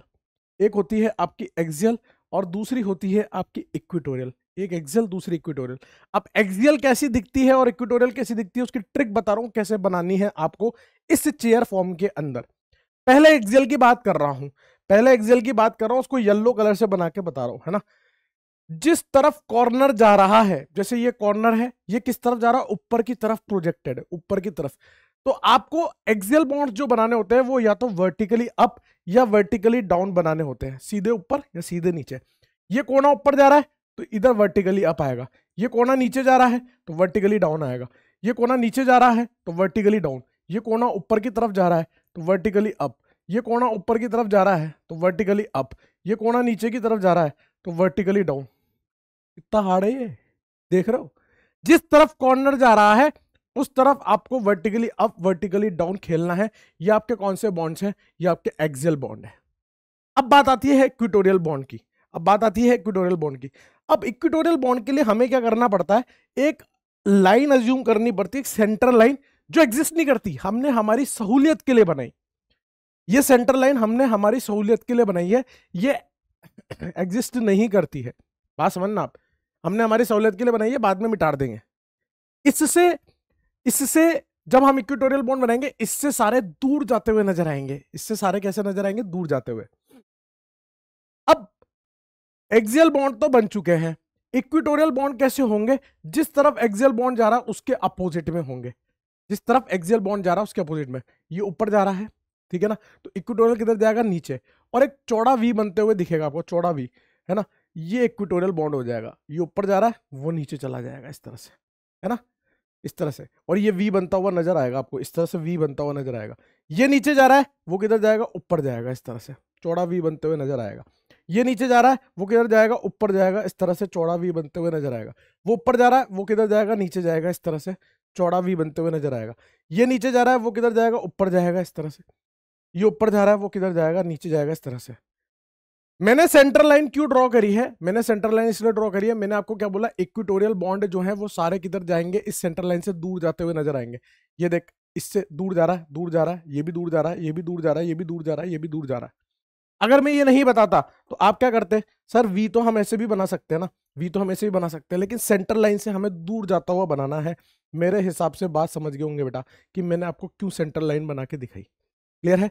इस तरह से एक्सेल और इक्विटोरियल को मार्क करना था। एक्सेल क्या होता है? ए ए ए ए ए ए ये सब तो एक्सेल है, और ये आपके इक्विटोरियल है। ये सब आपके इक्विटोरियल है। जिस तरफ़ एक्सियल जा रहा है, उसके अपोजिट में इक्विटोरियल चौड़ा वी बनाते हुए सेंट्रल लाइन से दूर जाते हुए, ये आपका चेयर फॉर्म है, जिसमें एक्सियल और इक्विटोरियल मैंने आपको बता दिया। ठीक है? अब इसमें चार तरह के क्वेश्चन बनते हैं, वो चारों तरह के क्वेश्चन अपन डील कर लेते हैं, वही चार बार बार पूछे जाते हैं। वही चार तरह के क्वेश्चन बार बार पूछे जाते हैं तो इधर उधर की बात करने का कोई मतलब ही नहीं है ना भाई? समझ गए ना आप? इधर उधर की बात करने का मतलब ही नहीं है। और वो चार क्वेश्चन है, उसमें से जो सेकंड नंबर का क्वेश्चन होगा, उसमें मैं आपको बस सीधे बता दूँगा ज़्यादा उसमें डीप में नहीं जाएँगे, ठीक है ना? फिर वो टाइम वेस्ट हो जाता है, कोई मतलब नहीं उसमें, है ना? अपन फटाफट से पढ़ रहे हैं ना चीज़ों को बस। आओ। सबसे पहला टाइप का जो क्वेश्चन बनता है, वो बनता है स्टेबिलिटी को कंपेयर करने वाला। ये दोनों चेयर फॉर्म है, देखो दो पैरेलल लाइन खींची, एक वी सीधा, एक वी उल्टा, पीछे की तरफ़ टिल्टेड। ये दोनों मिथाइल कहाँ लगे हैं? एक्सियल पोजीशन पे लगे हैं। ये दोनों मिथाइल कहाँ लगे हैं? इक्विटोरियल पोजीशन पे लगे हैं। मैं आपको बिल्कुल शॉर्टकट तरीका बता रहा हूँ, ध्यान से सुनना। यहाँ आपको साफ़ साफ़ दिख रहा होगा कि ये मिथाइल और मिथाइल एक दूसरे के जस्ट सामने आ रहे हैं। दिख रहा है क्या आपको? ये मिथाइल और मिथाइल एक दूसरे के जस्ट सामने आ रहे हैं मेरे दोस्त। जस्ट सामने आ रहे हैं। तो इनके बीच में क्या लग रहा होगा? रिपल्शन लग रहा होगा कौन सा? वॉन्डरवॉल वाला। जबकि ये वाला मिथाइल और ये वाला मिथाइल एक दूसरे से दूर जा रहे हैं तो रिपल्शन क्या लग रहा होगा? कम लग रहा होगा। मतलब कौन ज़्यादा स्टेबल फील कर रहा होगा ए या बी तो आप बोलोगे, सर बी ज़्यादा स्टेबल होगा ए से, क्योंकि उसमें वॉन्डरवॉल रिपल्शन कम है। बिल्कुल सही बात है। इसका मतलब यहाँ से एक निष्कर्ष निकला और वो निष्कर्ष हमेशा सही रहेगा। वो निष्कर्ष क्या है, सुनना ध्यान से। अगर बल्कि ग्रुप्स होंगे, बड़े ग्रुप्स होंगे, भाई, है तो यहाँ पर भी हाइड्रोजन ना, लेकिन उनमें इतना रिपल्शन होगा नहीं छोटे छोटे से हाइड्रोजन तो। जो बल्कि ग्रुप होते हैं, जैसे मिथाइल हो गया इथाइल हो गया, मैंने बल्कि ग्रुप बता रखे हैं आपको। बल्कि ग्रुप कहाँ रखना पसंद करोगे? इक्विटोरियल पे रखना पसंद करोगे कि एक्सियल पे? इक्विटोरियल पे रखना पसंद करोगे, वो ज़्यादा स्टेबल होगा। तो यहाँ से जो गहरी बात निकल के आई है, जो गहरी बात निकल के आई है, वो गहरी बात क्या है? ध्यान से सुनना मेरे दोस्त। गहरी बात निकल के आई है। Sorry. Bulky group should occupy.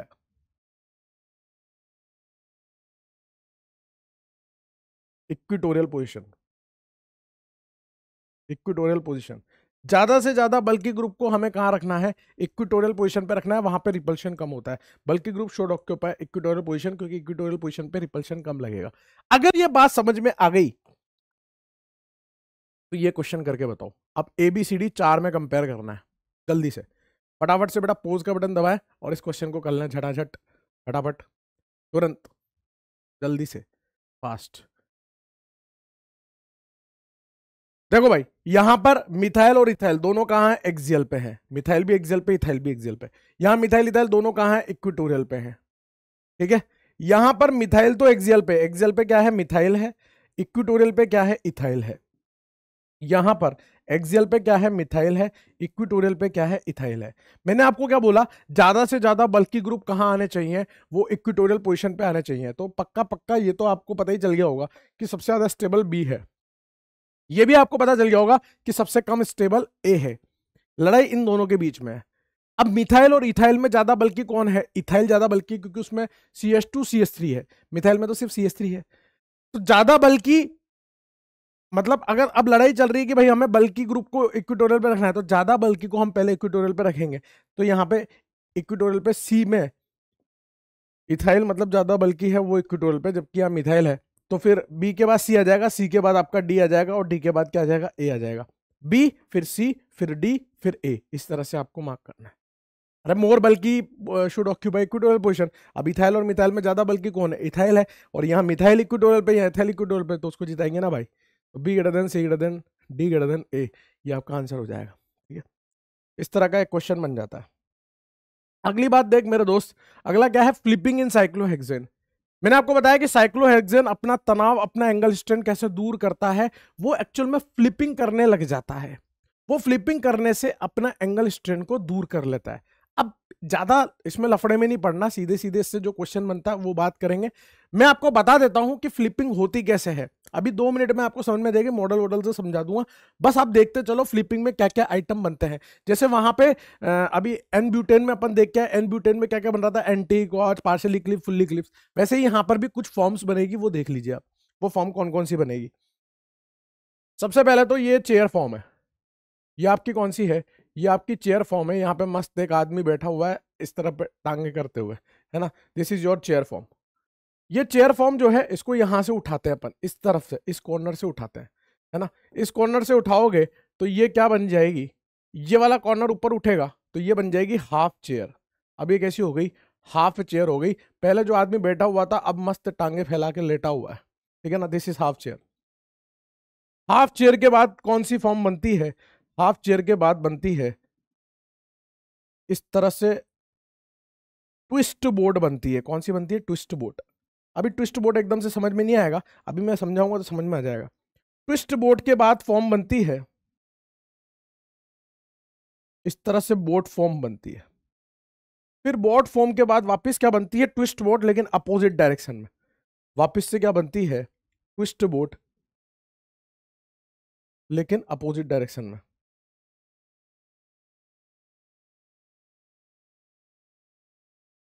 इस तरह से अपोजिट डायरेक्शन में ट्विस्ट बोर्ड बनती है।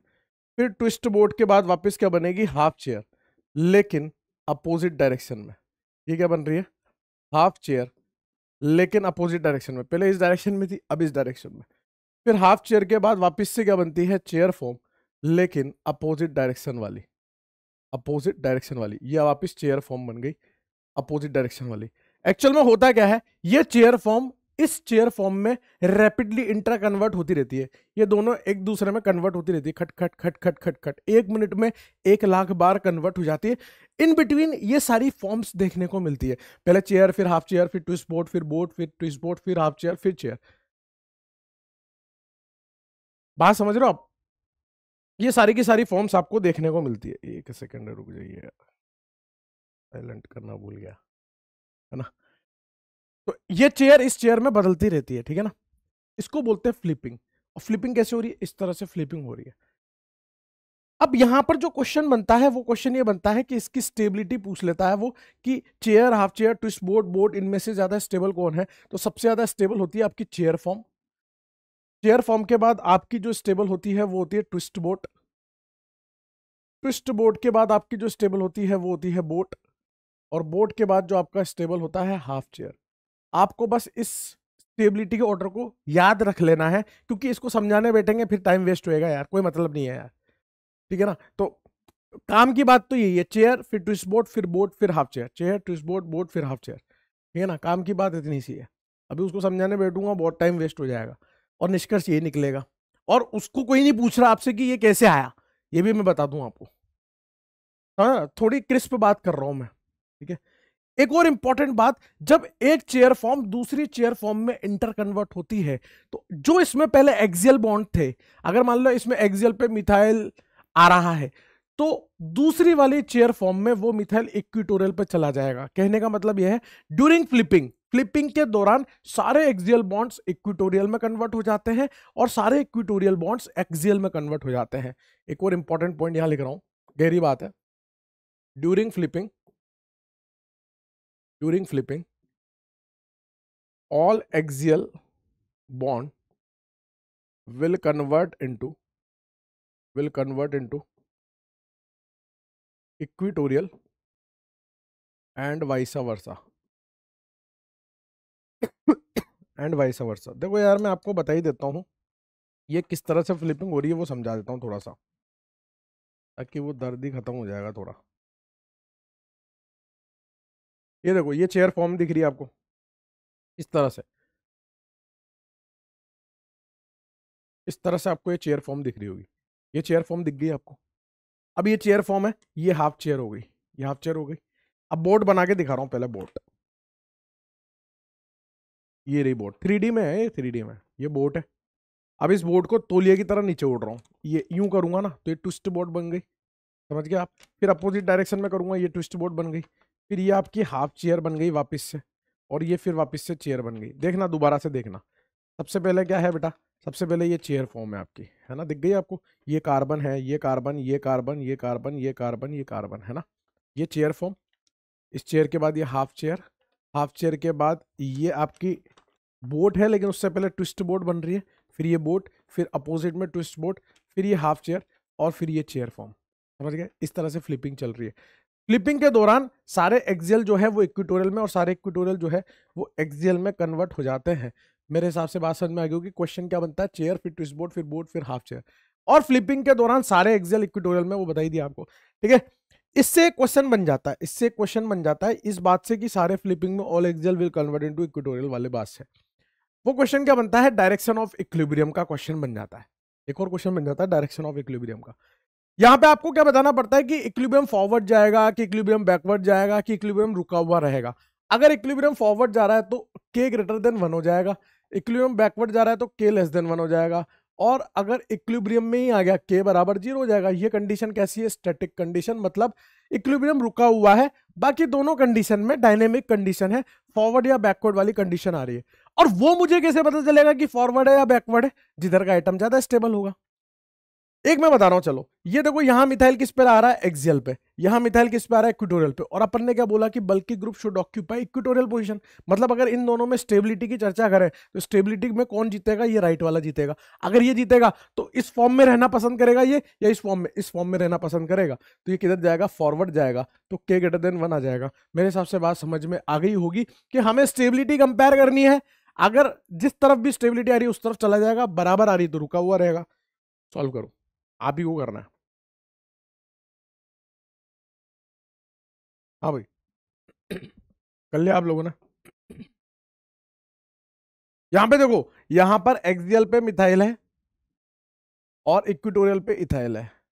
यहाँ पर आपका एक्सियल पे इथाइल है और इक्विटोरियल पे मिथाइल है और बल्कि ग्रुप जो होता है वो कहाँ होना चाहिए? इक्विटोरियल पे होना चाहिए। अब बल्कि कौन है? मिथाइल इथाइल में ethyl is more bulky. Ethyl ज़्यादा बल्कि है तो वो इक्विटोरियल पे होना चाहिए। इसलिए यहाँ पर के लेस देन वन होगा, क्योंकि ये वाला ज़्यादा स्टेबल है इसके कंपेरिजन में। यानी कि किधर जाएगा? इक्विलिब्रियम बैकवर्ड डायरेक्शन में जाएगा। यहाँ आप देखोगे तो मिथाइल और मिथाइल ये एक्सियल पे इक्विटोरियल पे। एक मिथाइल एक्सियल पे, एक इक्विटोरियल पे। यहाँ मिथाइल इक्विटोरियल पे, यहाँ एक्सियल पे। एक इक्विटोरियल एक एक्सियल पे। मतलब दोनों कंडीशन एक्जैक्टली सेम है। एक एक्सियल पे इक्विटोरियल पे, एक एक्सियल पे इक्विटोरियल पे, और दोनों मिथाइल है। यानी कि यहाँ के कैसा होगा? ज़ीरो होगा, ये स्टैटिक होगा इक्विलिब्रियम में होगा। मेरे हिसाब से समझ में आगे होगी बात कि डायरेक्शन ऑफ़ इक्विलिब्रियम के सवाल कैसे करने हैं। ठीक है सर? ठीक है सर, आगे चले सर। सर जी, आगे चल सकते क्या? अगला क्या है कि cis trans in chair form of cyclohexane इस तरह का भी आ जाता है कि भाई चेयर फॉर्म दे दी, इसमें सिस और ट्रांस पहचानो। कुछ नहीं है, एकदम लल्लू है सिंपल है। ठीक है ना? इधर ध्यान से देखो। अगर अप अप या डाउन डाउन सिचुएशन आ रही है अभी बताऊँगा, अभी समझाऊँगा, टेंशन मत लो। मतलब सेम डायरेक्शन में सिचुएशन आ रही है तो सिस होगा। अगर अप डाउन या डाउन अप आ रहा है मतलब अपोजिट डायरेक्शन में सिचुएशन आ रही है तो ट्रांस होगा। अरे यही तो पढ़ते आए हैं अभी तक। Same side cis opposite side trans same side cis opposite side trans ठीक है? अब ध्यान से देखना। दो पैरेलल लाइन खींच लो, एक आगे की तरफ़ टिल्टेड एक पीछे की तरफ़ टिल्टेड वी बना लो।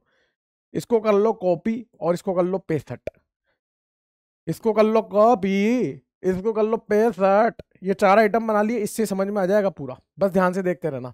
मैंने यहाँ क्लोरीन बनाया, यहाँ क्लोरीन बनाया इस तरह से। ठीक है ना? ध्यान से देखना।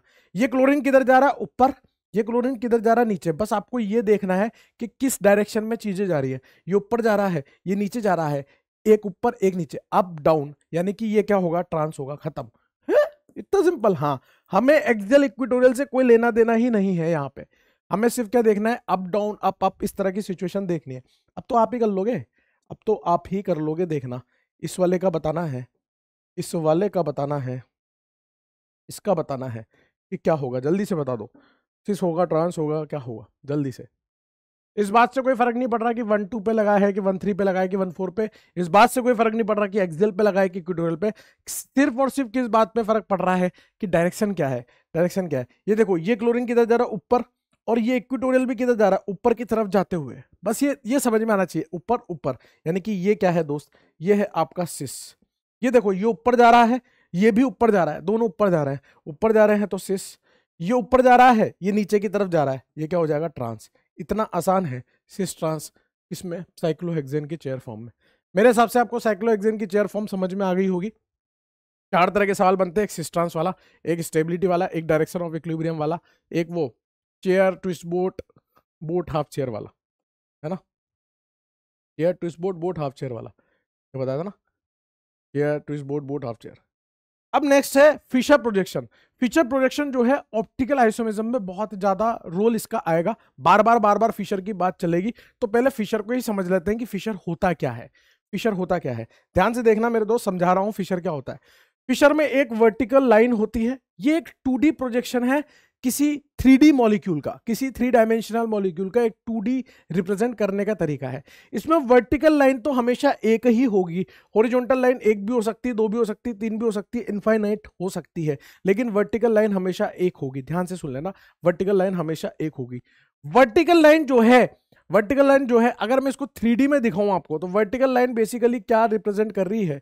वो डैश को रिप्रेजेंट करती है। डैश मतलब आपसे दूर मतलब इस तरफ़ जाते हुए, इस तरफ़ चीज़ें जाते हुए, पीछे की तरफ़, पीछे की तरफ़। अगर ये प्लेन है तो पीछे की तरफ़ जाते हुए। और जो हॉरिजॉन्टल लाइन है, वो क्या रिप्रेजेंट करती है? वो रिप्रेजेंट करती है वेज वेज मतलब आपकी तरफ़ आते हुए, इस तरह आपकी तरफ़ आते हुए। समझ रहे हो? वर्टिकल लाइन तो यूँ, और हॉरिजॉन्टल लाइन आपकी तरफ़ ऐसे आते हुए। बात समझ में आ गई?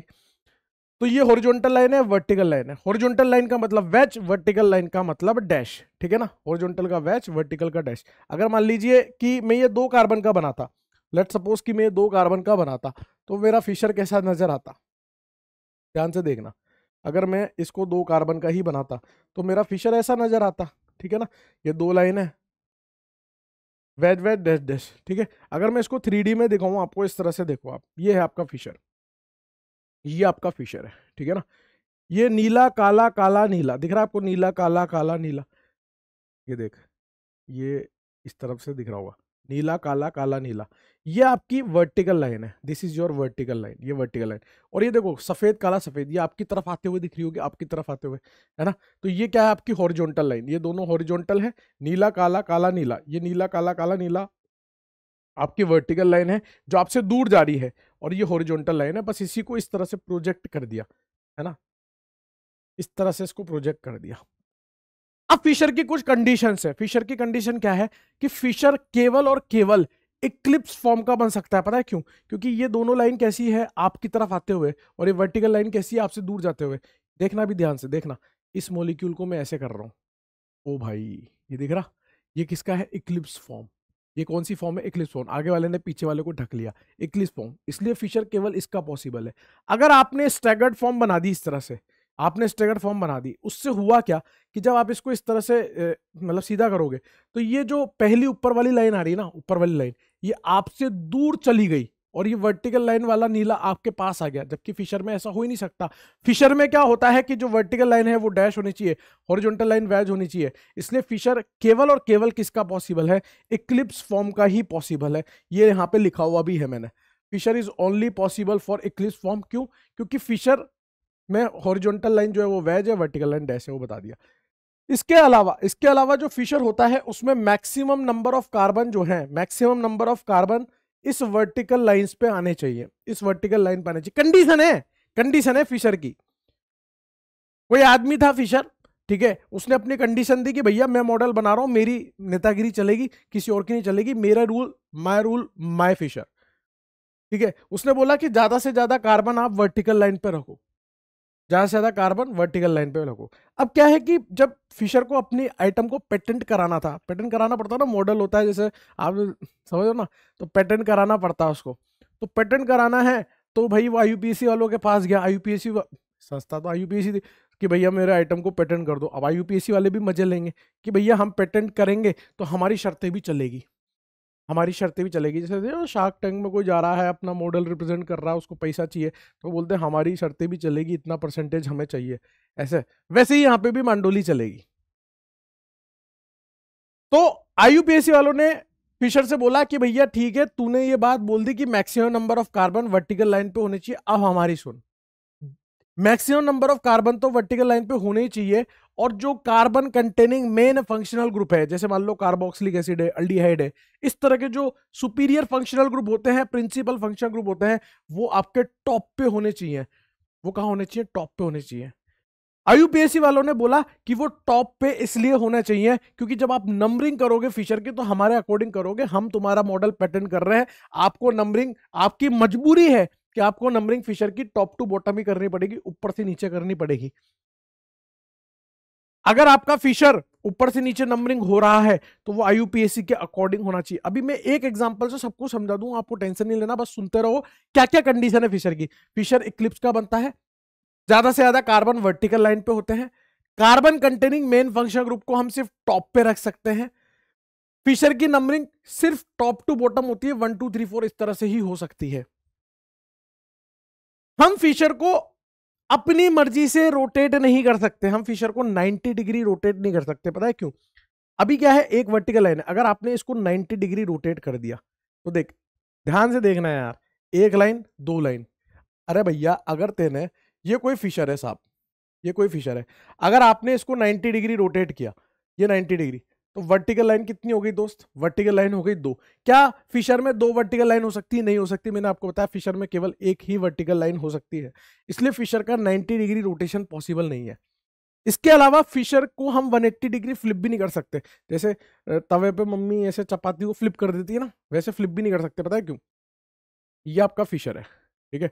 अगर आपने इसको 180 डिग्री फ्लिप कर दिया इस तरह से तो आपकी वर्टिकल लाइन वैच पर आ जाएगी और हॉरिजॉन्टल लाइन डैश पर आ जाएगी। तो कंडीशन बिगड़ गई। वर्टिकल तो डैश पर होना चाहिए। वर्टिकल तो डैश पर होना चाहिए। और हॉरिजॉन्टल जो है, वो वैच पर होना चाहिए। हॉरिजॉन्टल किस पे होना चाहिए? वैच पर होना चाहिए। अगर आपने इसको 180 डिग्री ऐसे फ्लिप कर दिया, ऐसे घुमा दिया तो वैच का डैश हो जाएगा और डैश का वैच हो जाएगा। बात समझ गया इसके अलावा फिशर में एक और बात बता देता हूँ कि फिशर में केवल एक ही तरह का रोटेशन पॉसिबल है और वो रोटेशन कौन सा है कि आप 180 डिग्री फिशर को इन दी प्लेन घुमा सकते हो। मतलब ये आइटम ऐसा है ना तो उसको ऐसे करके घुमा सकते हो, बस। ये देख, ये ऐसा है, इसको मैं ऐसे घुमा सकता हूँ। क्यों? ऐसे क्यों घुमा सकता हूँ?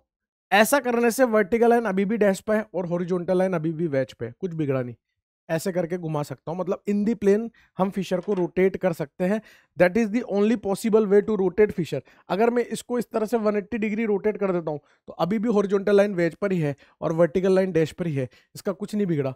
तो केवल एक ही पॉसिबल था, वो था one degree in the plane एक बात और है फिशर के लिए कि जो फ्रंट कार्बन होता है, याद है फ्रंट कार्बन ऐसे बनाया था अपन ने यहाँ पर, ऐसे सोहॉर्स बना रहे थे तो ये फ्रंट कार्बन था, ये बैक कार्बन था। तो फ्रंट कार्बन फिशर में कौन सा होता है? नीचे वाला और बैक कार्बन कौन सा होता है? ये ऊपर वाला।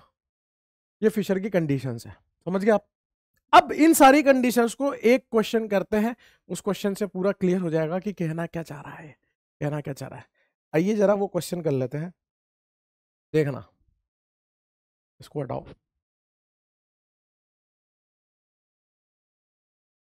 एक एग्जांपल बता देता हूँ। समझ में आ जाएगी सारी बात। यहाँ C S three H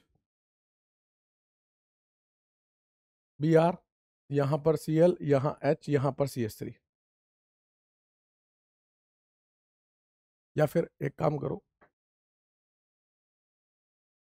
B R यहाँ सी एस थ्री यहाँ एच और यहाँ सी एल कर लो। सबसे पहली बात तो ये कौन सा फॉर्म लिखा हुआ है? ये स्टैगर्ड फॉर्म लिखा हुआ है। केवल और केवल फिशर किसका पॉसिबल है? इक्लिप्स फॉर्म का पॉसिबल है। तो पहले तो मुझे इसको इक्लिप्स फॉर्म में बदलना पड़ेगा और वो भी कौन सा इक्लिप्स सीधे वाई वाला। उल्टा वाई भी नहीं, सीधा वाई तो सीधा वाई बनाना है तो मुझे क्या करना पड़ेगा? आगे वाला वाई तो सीधा बना हुआ ही है, उसमें तो लफड़ा ही नहीं है। ये एच और ये बी आर आगे वाला वाई सीधा है। अब पीछे वाले वाई को सीधा करना है। तो पीछे वाले वाई को सीधा कैसे करूँगा? इसको ऐसे घुमा दूँगा पूरा, पलटी मार दूँगा, है ना? तो ये सी एस थ्री नीचे आ जाएगा। सी एस थ्री नीचे आ जाएगा सी एल इस तरफ़ चला जाएगा और एच इस तरफ़ चला जाएगा एच इस तरफ़। इसको ऐसे पूरा रोटेट कर दिया 180 डिग्री सी एस थ्री नीचे सी एल इधर एच इधर, इस तरह से। मुझे क्या करना था? मुझे ज़्यादा से ज़्यादा कार्बन इस लाइन पे लाने थे क्योंकि ये लाइन मेरी वो वाली है वर्टिकल वाली। ज़्यादा से ज़्यादा कार्बन मुझे किस पे लाने हैं? वर्टिकल वाली पे लाने मैं चाहता था सीएल को यहाँ लेके एच और सी एस थ्री ऐसे भी कर सकता था। मैंने उसको, उस कार्बन को नीचे क्यों लाया? क्योंकि मुझे इस लाइन पर ज़्यादा से ज़्यादा कार्बन लाने थे।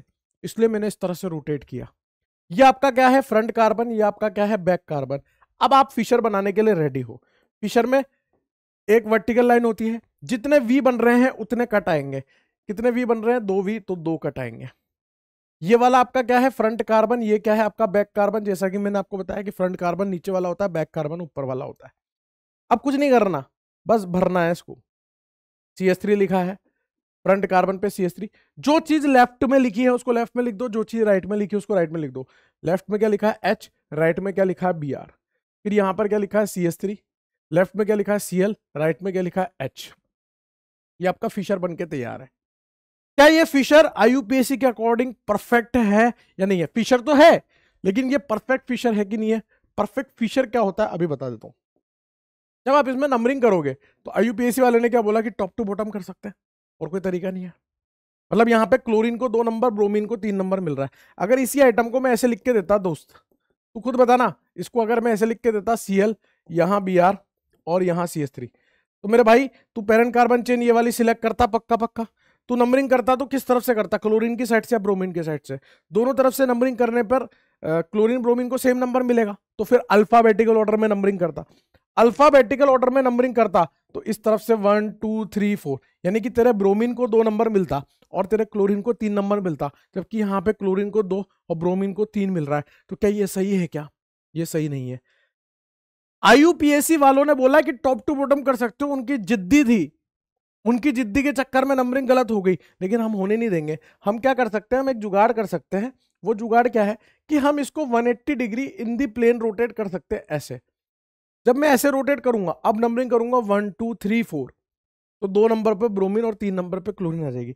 मतलब मतलब क्या हम फिशर को रोटेट कर सकते हैं? हाँ केवल एक ही प्रकार का रोटेशन संभव है, वो है 180 degree in the plane 180 degree in the plane तो मैं इसको इस तरह से 180 डिग्री इन दी प्लेन घुमा दूँगा। 180 डिग्री इन दी प्लेन घुमाने के बाद ये फिशर कैसा दिखेगा? कुछ ऐसा दिखेगा, खट खट। जब 180 डिग्री घुमाऊँगा, नीचे वाला मिथाइल ऊपर ऊपर वाला मिथाइल नीचे। मेरे हिसाब से बात समझ में आ रही होगी। ये नीचे वाला कार्बन ऊपर ऊपर वाला कार्बन नीचे। ये यार, मेरे भाई, जब इसको घुमाऊँगा, ये 180 डिग्री घुमा दिया। ऊपर वाला कार्बन नीचे नीचे वाला ऊपर आ गया। देखते चलना, है ना? अब वो जो बी आर यहाँ लगा था, वो यहाँ आ गया। और जो सी एल लगा था, वो यहाँ आ गया। अब इतना तो यार सोचना पड़ेगा ना अंदर से अंदर से कि जब मैं रोटेट करूँगा तो बी आर इधर चला जाएगा। बी आर कहाँ चला जाएगा? यहाँ पे। और सी एल कहाँ चला जाएगा? यहाँ पे और हाइड्रोजन हाइड्रोजन अब इसकी नंबरिंग करके देखते हैं. वन टू थ्री फोर आई के अकॉर्डिंग परफेक्ट नंबरिंग है. This is your perfect Fischer इतना काम आपको करना पड़ेगा परफेक्ट फिशर बनाने के लिए. इतना काम आपको करना पड़ेगा परफेक्ट फिशर बनाने के लिए. पहले इक्लिप्स अगर इक्लिप्स में दिया है तो बहुत बढ़िया, एक स्टेप कम हो जाएगी. क्लिप्स बनाने के बाद फिशर बनेगा. फिशर बनाने के बाद चेक करना पड़ेगा क्या वो परफेक्ट है या नहीं है. नहीं है तो उसको परफेक्ट करना पड़ेगा. परफेक्ट फिशर मतलब जिसमें यूपीएससी नंबरिंग सही आ रही हो। परफेक्ट करने के लिए हमारे पास एक ही तरीका है कि हम 180 डिग्री प्लेन में घुमा सकते हैं और कोई तरीका ही नहीं है। समझ गया ये था फिशर प्रोजेक्शन जो आपके पूरे अभी काम आएगा ऑप्टिकल के अंदर, इसलिए मैंने आपको बता दिया पहले कैसे बनाते हैं? मेरे हिसाब से बात समझ में आ गई होगी। अब फाइनल टॉपिक जिसके बारे में अपने को बात करनी है ऑप्टिकल आइसोमेजम ऑप्टिकल आइसोमेजम किसका पार्ट है? स्टीरियो का। स्टीरियो कन्फर्मर कन्फिग्रेशन कन्फिग्रेशन के अंदर ज्योमेट्रिकल और ऑप्टिकल तो ऐसे स्टीरियो आइसोमर्स मतलब आइसोमर है और वो कौन से स्टीरियो वाले मतलब मोलिकुलर फॉर्मूला सेम होगा स्ट्रक्चरल फॉर्मूला सेम होगा। समझिए ना आप? ऐसे स्टीरियो आइसोमर जो प्लेन पोलराइज लाइट कोई लाइट होती है? जैसे अपने घर में बल्ब होता है ट्यूबलाइट होती है, वैसे कोई लाइट है। उसका नाम है प्लेन पोलराइज लाइट उसके प्रति डिफरेंट बिहेवियर रखते हैं। एक आइटम दूसरा आइटम दो आइसोमर है। दोनों पीपीएल के प्रति डिफरेंट बिहेवियर रखते हैं। पीपीएल बोले तो प्लेन पोलराइज लाइट अगर ऐसे आइसोमर हैं, ऐसे स्टीरियो आइसोमर जो प्लेन पोलराइज लाइट के प्रति डिफरेंट बिहेवियर रखते हैं, उनको क्या बोलते हैं? ऑप्टिकल आइसोमर्स बोलते हैं। आइए एक एक्सपेरिमेंट करते हैं, जिसका नाम है पोलरीमीटर ट्यूब एक्सपेरिमेंट जिसके माध्यम से समझते हैं कि किस तरह से ऑप्टिकल आइसोमर्स डिफरेंट बिहेवियर रख सकते हैं किसी प्लेन पोलराइज लाइट के प्रति। ठीक है ना? सबसे पहले तो हम सबसे पहले हम एक बल्ब लियाते हैं मार्केट से खरीद के। एक बल्ब लियाते हैं और वो बल्ब क्या है? हमारा सोडियम लैंप, है ना? एक घर में बल्ब देखे ना आपने ऐसे, एक तार लिया और कमरे के बीचम बीच, कमरे के बीचों बीच एक बल्ब लटका दिया। अब उस बल्ब का प्रकाश, उस बल्ब से जो लाइट निकलेगी वो हर डायरेक्शन में, इधर इधर इधर इधर, ऊपर, नीचे, हर डायरेक्शन में उस बल्ब से लाइट निकलेगी कि नहीं निकलेगी? निकलेगी साहब। पक्की बात है? उस बल्ब से हर डायरेक्शन में लाइट निकलेगी। Every direction every direction every direction हर डायरेक्शन में उस बल्ब से लाइट निकलेगी दोस्त। हर डायरेक्शन में वो सोडियम लैंप जो है, वो आपको लाइट दे देगा। अब इस सोडियम लैंप के सामने मैंने एक प्रिज्म रख दिया। क्या रख दिया? प्रिज्म और वो स्पेशल टाइप का, अरे ये प्रिज्म ऐसा है प्रिज्म है पूरा। स्पेशल टाइप का प्रिज्म है, इस प्रिज्म का नाम है निकोल प्रिज्म ये क्या करता है? ये इस, ध्यान से सुनते रहना। ये क्या करता है? ये इस सोडियम लैंप से जो हर तरफ़ से, है ना? इसको लाइट लिख लो तुम। ज़्यादा सोडियम लैंप लैंप के चक्कर में पड़ोगे। या सोर्स ऑफ़ लाइट लिख लो। Source of light. ये क्या है आपका? Source of light. ये सोर्स ऑफ़ लाइट था, इसको निकोल प्रिज्म से पास किया। इस निकोल प्रिज्म ने क्या किया? जो सभी डायरेक्शन में लाइट निकल रही थी सबको छुपा लिया, केवल एक पर्टिकुलर प्लेन वाली लाइट को जाने दिया। मतलब अब हर डायरेक्शन में लाइट छुप चुकी है, केवल एक प्लेन वाली लाइट नज़र आ रही है। केवल एक प्लेन वाली लाइट नज़र आ रही है इस तरह से। बाकी सारे डायरेक्शन में लाइट छुप चुकी है। मतलब अब केवल और केवल इस तरह से लाइट चल रही है, एक प्लेन में। एक प्लेन में, बाकी सारी छुप चुकी है। क्या ऐसा संभव है? बिल्कुल संभव है। दिखाता हूँ मैं आपको। दिखाता हूँ मैं आपको कैसे ऐसा संभव है। देखना मेरे दोस्त। एक जुगाड़ है, एक चश्मा खरीदे थे, बहुत महँगा है, ठीक है? थोड़ा महँगा आया, लेकिन खरीदना पड़ा समझाने के लिए, समझ रहे हो? बहुत दर्द आ रहा, जीवन में खर्चा हो गया। सुनना ध्यान से। ये एक पोलरॉइड वाला चश्मा है। चेक करते हैं, दुकानदार ने मुझे बेचा है, बोला है पोलरॉइड लेंसेज के अंदर। हो सकता है ना हो हो सकता है हो, चेक हो जाएगा अभी के अभी। अभी आप यहाँ पे देखोगे। तो आपको ये पूरा पूरा व्हाइट नज़र आ रहा होगा। दिख रहा है? जैसे ही मैं इसको रोटेट करता हूँ, ये रोटेट कर रहा हूँ रोटेट कर रहा हूँ रोटेट कर रहा हूँ। भाई छुप गया। दादू, ये दिख गया, ये छुप गया। ठीक है? तो ये छुप गया, दिख गया, मैं क्या कहना चाह रहा हूँ मैं? छुप गया, दिख गया, मैं क्या कहना चाह रहा हूँ? समझना आप बात को, मैं ये कहना चाह रहा हूँ। ये निकोल प्रिज्म भी इसी तरह का काम करता है कि सभी डायरेक्शन में, अभी देखा ना अपन ने, जब मैंने उस पोलरोड लेंस को घुमाया था तो सभी डायरेक्शन की लाइट को उसने रोक दिया था। निकोल प्रिज्म भी क्या करता है, सभी डायरेक्शन की लाइट को रोक देता है, केवल एक डायरेक्शन की लाइट को पास होने देता है। ये काम निकोल प्रिज्म करता है, जैसे छन्नी होती है ना, चाय बनाते हैं अपन, चाय में दूध डालते हैं, पानी डालते हैं, चीनी डालते हैं, चाय पत्ती डालते हैं, हल्दी हल्दी हाँ पता नहीं। हल्दी डालते हैं, दही डालते हैं, जीरा वीरा, जो भी है, सब डालते हैं, चाय को उबालते हैं खट खट खट उबल रही होती है, फिर उसको छानते हैं, छन्नी में ऐसे और नीचे लिक्विड लिक्विड निकल जाता है, उसको फेंक देते हैं और वो छन्नी वाला खा ले सॉरी उसको पी लेते हैं और वो छन्नी में जो आता है उसको फेंक देते हैं। समझ लो केवल लिक्विड लिक्विड वाला पार्ट ही फ़िल्टर होता है। वैसे ही निकोल प्रिज्म ने सारी लाइट में से केवल एक प्लेन की लाइट को फ़िल्टर करके बाहर निकाल दिया। वो लाइट क्या है आपकी? एक प्लेन में पोलराइज्ड हो गई है। एक प्लेन में पोलराइज लाइट इसलिए प्लेन पोलराइज लाइट अब इस प्लेन पोलराइज लाइट को, अभी तक तो अपन अपने आइसोमर लेके ही नहीं आए। जिस सैंपल को अपन को चेक करना है कि आइसोमर है कि नहीं है, अब लेके आए हैं। पहले हमने पीपीएल का जुगाड़ बनाया। पीपीएल का जुगाड़ बनाया। अब मैंने इस सैंपल इस इसमें सैंपल भर दिया इस तरह से। इस तरह से मैंने इसमें सैंपल भर दिया। ये सैंपल है। ये आपका सैंपल है। मान लीजिए आपके पास दो आइसोमर है, एक ए है, एक बी है। एक बी है, एक ए है। हमें चेक करना है, क्या ये दोनों एक दूसरे के ऑप्टिकल आइसोमर है या नहीं है? इस तरह से हमें चेक करना है। ये आपकी क्या है? ये आपकी सैंपल ट्यूब है। ये आपकी क्या है? सैंपल ट्यूब है। जिसकी लंबाई है एल डेसीमीटर। यहाँ पर ये सैंपल ट्यूब की लंबाई एल डेसीमीटर डेसीमीटर में लेते हैं और इसका जो कॉन्सेंट्रेशन है, इसके अंदर जो माल भरा है, वो है ग्राम पर एम में, सी ग्राम पर एम अब यहाँ से दोस्त, तीन तरह की ऑब्जर्वेशन आपको देखने को मिल सकती है। कितने तरह की? तीन तरह की। एक, दो और ये तीन। तीन तरह की ऑब्जर्वेशन आपको देखने को मिल सकती है। वो कौन कौन सी तीन ऑब्जर्वेशन है, वो बता रहा हूँ। ध्यान से देखते रहना दोस्त। एक ऑब्जर्वेशन तो आपको ये देखने को मिल सकती है इस तरह से। एक ऑब्जर्वेशन इस तरह से और एक ऑब्जर्वेशन इस तरह से। एक ऑब्जर्वेशन क्या है कि जब ये पीपीएल इस सैंपल से गुजरे तो अपने पाथ से डेविएट होके क्लॉकवाइज डायरेक्शन में क्लॉकवाइज डायरेक्शन में घूम जाए किसी एंगल थीटा से। हो सकता है कि वो इससे गुजरे तो वो अपने पाथ से डेविएट हो जाए एंटी क्लॉकवाइज डायरेक्शन में कुछ एंगल थीटा से। हो सकता है पीपीएल जब इससे गुजरे तो वो पाथ से डेविएट ही ना हो रोटेट ही ना करे, वैसी की वैसी बाहर निकल के आ जाए थीटा ज़ीरो हो जाए। ये तीन कंडीशन पॉसिबल है। जब वो क्लॉकवाइज डायरेक्शन में घूमती है तो उसको डी बोलते हैं। डी मतलब डेक्स्ट्रो रोटेटरी जब वो एंटी क्लॉकवाइज में घूमती है तो उसको लीवो रोटेटरी बोलते हैं। इसको शॉर्ट में डी या प्लस से डिनोट करते हैं। इसको शॉर्ट में एल या माइनस से डिनोट करते हैं। डेक्स्ट्रो रोटेटरी लीवो रोटेटरी अब क्या हो सकता है? ए और बी को चेक करना है कि ये ऑप्टिकल आइसोमर्स हैं कि नहीं है। मान लीजिए मैंने इसमें सैंपल ए डाला। सैंपल ए डाला, उसने लाइट को क्लॉकवाइज डायरेक्शन में घुमा दिया। घुमा दिया साहब। किसी एंगल से घुमा दिया साहब, क्लॉकवाइज डायरेक्शन में। फिर मैंने क्या करा, फिर मैंने इस सैंपल ट्यूब में बी को डाला, प्लेन पोलराइज लाइट को पास किया, उसने एंटी क्लॉकवाइज घुमा दिया किसी एंगल थीटा से। एक ने घुमाया क्लॉकवाइज, दूसरे ने घुमाया एंटी क्लॉकवाइज पहले मोलिकुलर फॉर्मुला सेम है, स्ट्रक्चरल फॉर्मुला सेम है भाई, वो कंडीशन तक तो सेम है। हमें यह चेक करना है कि ऑप्टिकल है कि नहीं है। समझ रहे हो ना? आइसोमर की बात चल रही है। तो पहले मोलिकुलर और स्ट्रक्चरल फॉर्मुला तो सेम चल ही रहा था। हमें तो चेक करना है कि ऑप्टिकल है कि नहीं है। ए डाला उसने क्लॉकवाइज घुमाया बी डाला उसने एंटी क्लॉकवाइज घुमाया, यानी कि पीपीएल का डिफरेंट बिहेवियर आ रहा है ऑप्टिकल आइसोमर है। मान लो ए डाला उसने क्लॉकवाइज घुमाया बी डाला उसने घुमाया ही नहीं, तब भी तो डिफरेंट बिहेवियर आ रहा है।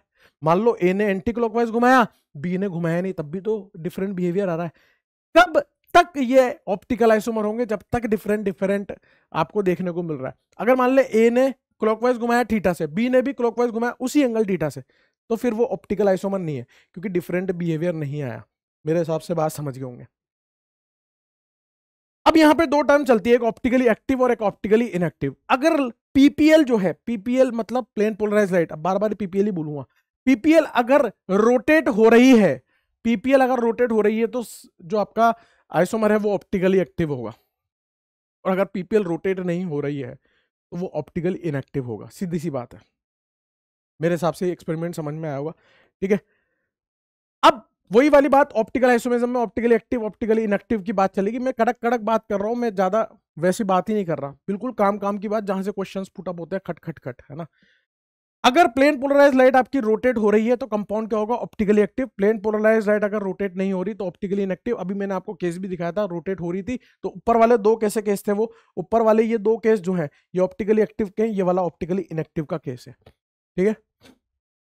तो सर, हमें क्या हर बार ऐसे प्रैक्टिकल करके चेक करना पड़ेगा क्या? वो तो समझने के लिए था यार।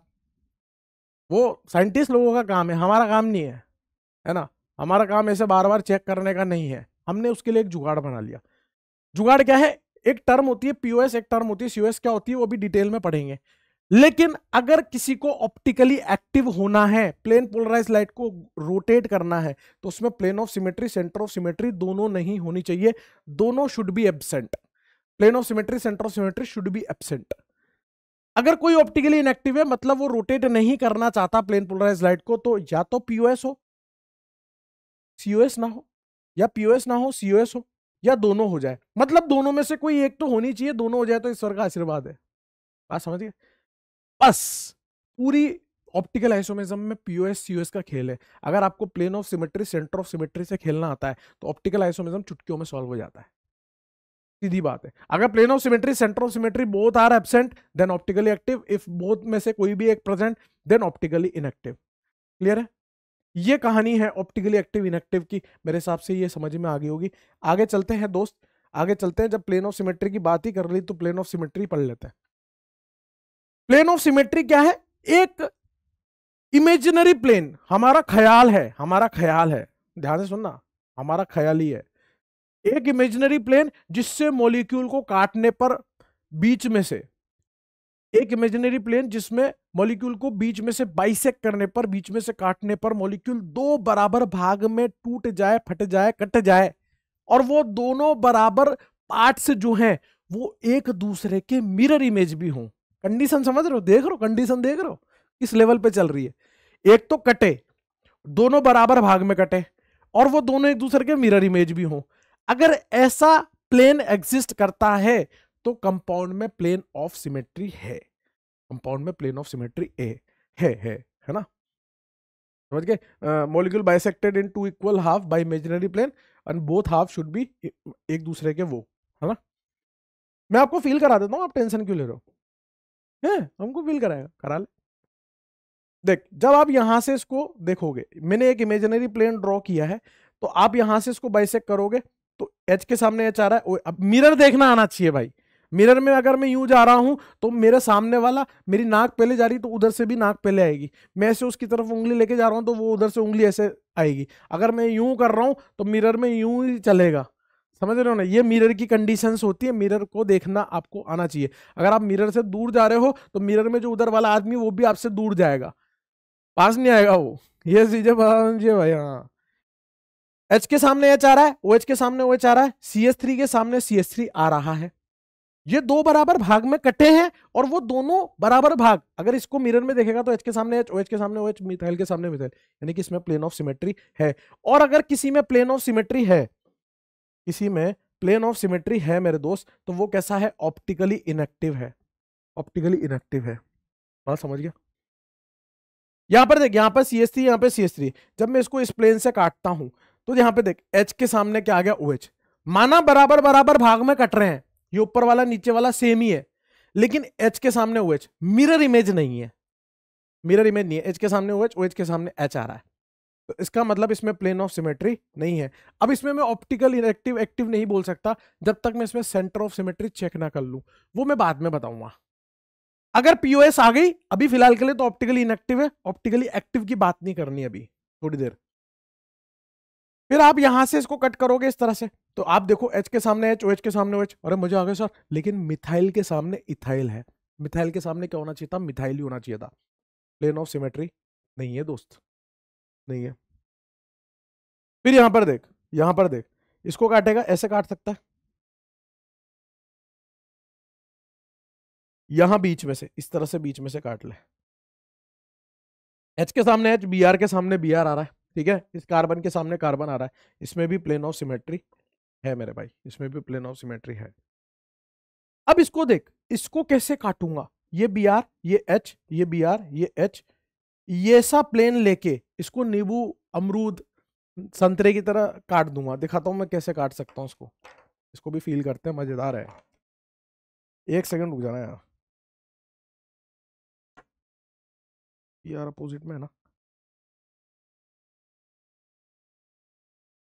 देखना दोस्त। ये इस तरह का आइटम है कुछ, है ना? यहाँ बी आर है, यहाँ पे एच है, यहाँ बी आर है, यहाँ पर एच है, इस तरह से। ये ये, है ना? B R H H B R इस तरह से, है ना? आप इसको कैसे काट सकते हो? मैं इसको ऐसे पकड़ रहा हूँ, देखना। आप इसको ऐसे काट सकते हो। प्लेन ही सही तो काटना है, ऐसे काटोगे। ये हाइड्रोजन हाइड्रोजन आधा इधर, आधा उधर पटक जाएगा। आधा इधर पटक गया, आधा उधर पटक गया। ये काला ये काला आधा इधर पटक गया, आधा उधर पटक गया, ये हरा आधा इधर पटक गया, आधा, जब ऐसे काट रहा हूँ, इधर से भी आधा इधर आधा इधर आधा इधर आधा इधर, आधा, बीच में से काटूँगा तो आधे आइटम इधर, आधे आइटम इधर, ये जो गोले है ना, आधे आधे पटक जाएँगे और वो दोनों एक दूसरे के मिरर इमेज भी होंगे मतलब ऐसे संतरा नींबू मान के भी इसको काट सकता हूँ, इसमें भी प्लेन ऑफ़ सिमेट्री है और है तो ये भी ऑप्टिकली इनएक्टिव है, ये भी ऑप्टिकली इनेक्टिव है मेरे भाई। फिर इसको ऐसे काट लो एच के सामने एच बी आर के सामने बी आर दिख रहा है आपको? तो इसमें प्लेन ऑफ़ सिमेट्री है। ये भी कैसा है? ऑप्टिकली इनएक्टिव है। क्लियर है? अब एक आध एग्ज़ाम्पल और कर लो ना यार। यहाँ हाइड्रोजन हाइड्रोजन हाइड्रोजन हाइड्रोजन, ये वाला। और C double bond, C double bond, C. यहाँ एच, यहाँ बी आर। यहाँ एच, यहाँ बी आर। सेवन्थ और एट्थ भी करके बताओ। सेवन्थ और एट्थ की ज्योमेट्री मैंने आपको दिखाई थी पहले भी। है ना, जब जीआई पढ़ रहे थे ना तो जीआई में मैंने सातवें और आठवें की ज्योमेट्री आपको बनाना सिखाया था। तो आपको वो फील होनी चाहिए, जब अपन ने जीआई पढ़ा था। है ना तो वो फील आपके अंदर होनी चाहिए, तब जाके आप खेल पाओगे, वरना नहीं खेल पाओगे। देखो, मैंने आपको बताया था हॉरिजॉन्टल वर्टिकल हॉरिजॉन्टल वर्टिकल ये वाली वैलेंसी और ये वाली वैलेंसी एक दूसरे के क्या है? परपेंडिकुलर है, ये रही।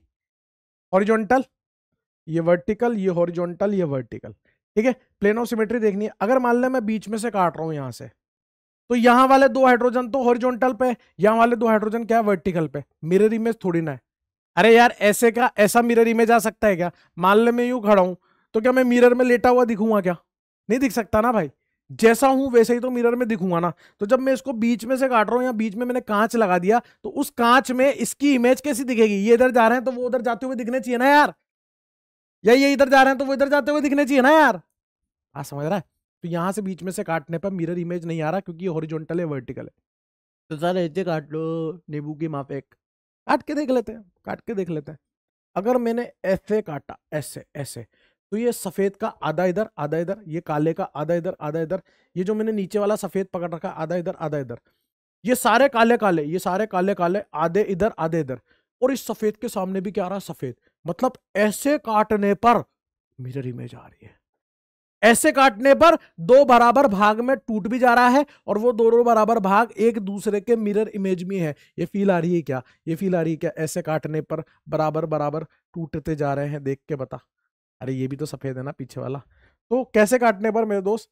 इसको इसको इसको इसको इसको नींबू संतरा मान के, ये तो छोटे छोटे नींबू होंगे, ये कैसे हैं? संतरे होंगे। इनको ऐसे काट ले। इन दोनों हाइड्रोजन के बीच में से प्लेन गुजर जाएगा तो यहाँ प्लेन ऑफ़ सिमेट्री आ जाएगी, ऑप्टिकली इनएक्टिव हो जाएगा। अब यहाँ hydrogen B R, hydrogen B R आ गए साहब मतलब वो सफ़ेद की जगह पे कुछ और लगाना पड़ेगा। अब आप सोचो ना, खुद से सोचो ना, अंदर से सोचो, अपने दिमाग लगाओ। सर, दिमाग उसकी तो दही हो चुकी है सर इतना सच भी नहीं बोलना था ये देखो वही वाली बात हॉरी वर्टी हॉरी और वर्टी इस तरह से ये हॉरिजॉन्टल है ये वर्टिकल है ये हॉरिजॉन्टल है और ये आपका वर्टिकल है ठीक है ना आप ऐसे काटोगे तो पक्का पक्का नहीं कट रहा क्योंकि इधर हॉरिजॉन्टल इधर वर्टिकल ऐसे बीच में से काटने पे कल वो दूसरे तरीके से काट लेते जैसे पहले वाला काटा था अगर आप ऐसे काट रहे हो तो ये सब, ये तीनों काले काले, ये सफ़ेद और पीछे वाला नीला, ये सब क्या है? ये तो आधे आधे कट के पटक गए। आधे इधर पड़े, आधे इधर पड़े। लेकिन जब आप ऐसे काट रहे हो तो सफ़ेद के सामने नीला आ रहा है। अब नहीं कट रहा है ऐसे काट रहे हो तो सफ़ेद, सर ऐसे काट लो ना। ऐसे काट लो, ऐसे ऐसे। तो ये नीला, सफ़ेद, काला काला काला, ये सब आधे आधे कट गए। ये सब आधे आधे कट गए, ये ऐसे। लेकिन ऊपर सफ़ेद है, नीचे नीला है। यानी कि अब इसमें प्लेन ऑफ़ सिमेट्री नहीं है मेरा दोस्त, है ना? अब इसमें प्लेन ऑफ़ सिमेट्री नहीं है। अब इसमें प्लेन ऑफ़ सिमेट्री नहीं है। क्लियर है? यह है प्लेन ऑफ़ सिमेट्री की कहानी। ऑलमोस्ट सारे एग्जांपल्स मैंने कवर कर दिए जहाँ जहाँ पे परेशानी आती है। ठीक है? नेक्स्ट है सेंटर ऑफ़ सिमेट्री मेरे भाई। Centre of symmetry centre of symmetry plane of symmetry की तरह नहीं है, वो और ज़्यादा सिंपल है, बिल्कुल सिंपल है है ना? प्लेन ऑफ़ सिमेट्री में तो बहुत सोचना पड़ता है इमेजिनेशन करनी पड़ती है प्लेन मानना पड़ता है। पहले तो प्लेन मानना ही बहुत भारी काम है, वो तो प्रैक्टिस से हो जाएगा, ठीक है ना? सेंटर ऑफ़ सिमेट्री क्या है? आपने कोई सेंटर पकड़ा मॉलिक्यूल का?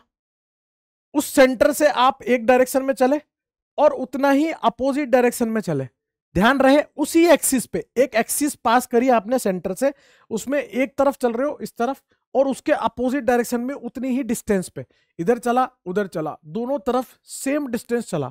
अगर सेम चीज़ें मिल रही है सेम चीज़ें एनकाउंटर हो रही है और ऐसा हर डायरेक्शन में हो रहा है, ऐसा हर डायरेक्शन में हो रहा है तो उस कंपाउंड में सेंटर ऑफ़ सिमेट्री है, वरना नहीं है। देख, यहाँ पर मैं ऊपर चला, नीचे चला, इधर चला इधर चला इधर चला इधर चला इधर चला इधर चला अपोजिट डायरेक्शन में जाने पर सेम डिस्टेंस चलने पर हर डायरेक्शन में सेम चीज़ें एनकाउंटर हो रही है, उसमें सेंटर ऑफ़ सिमेट्री है। लेकिन यहाँ देख, यहाँ ऊपर चला कार्बन है, नीचे कुछ नहीं है। आगे चलने की ज़रूरत ही नहीं ना, ऊपर कार्बन है, उतना ही नीचे चलने पर कुछ नहीं मिला तो सेंटर ऑफ़ सिमेट्री इसमें नहीं है। या तो होगी या तो नहीं होगी। अच्छा जिसमें सेंट्रो सिमेट्री है, वो पक्का पक्का ऑप्टिकली इनएक्टिव है। ऑप्टिकली एक्टिव के लिए हमें दोनों बोलना पड़ेगा। ऑप्टिकली एक्टिव के लिए पीओएस और सीओएस दोनों एबसेंट होनी चाहिए। इनएक्टिव के लिए दोनों में से कोई एक चलेगा। समझ रहे हो? अब इधर देख, बस आपको मॉलिक्यूल की ज्योमेट्री के बारे में थोड़ा सा पता होना चाहिए। जैसे मैं आपको मॉडल्स दिखा रहा हूँ ना, वो थोड़ा तो अंदर तक जहन में बस जाना चाहिए। इधर देख, इधर चला हाइड्रोजन इधर चला हाइड्रोजन इधर चला ब्रोमीन इधर चला ब्रोमीन इधर चला कार्बन इधर चला कार्बन अपोजिट डायरेक्शन में जाने पर सेम चीज़ें मिल रही है। यानी कि इसमें सेंटर ऑफ़ सिमेट्री है। इसमें सेंटर ऑफ़ सिमेट्री है। फिर यहाँ देख यहाँ देख। यहाँ पर इधर जाने पे कार्बन, इधर जाने पे कार्बन, इधर जाने पर सीएल है। और इसके अपोजिट जाने पर भी सीएल है। इधर जाने पर मिथाइल है, इसके अपोजिट जाने पर भी मिथाइल है। इधर जाने पर एच है, इसके अपोजिट जाने पर भी एच है। दिख गया? तो यानी कि इसमें भी सेंटर ऑफ़ सिमेट्री है। इसमें भी है। आपको पता है, मैंने थोड़ी देर पहले बताया था कि फिशर जो है वो इक्लिप्स फॉर्म का बनता है। कौन सी फॉर्म का? इक्लिप्स का। मतलब इक्लिप्स कैसा होता है? ऐसा होता है।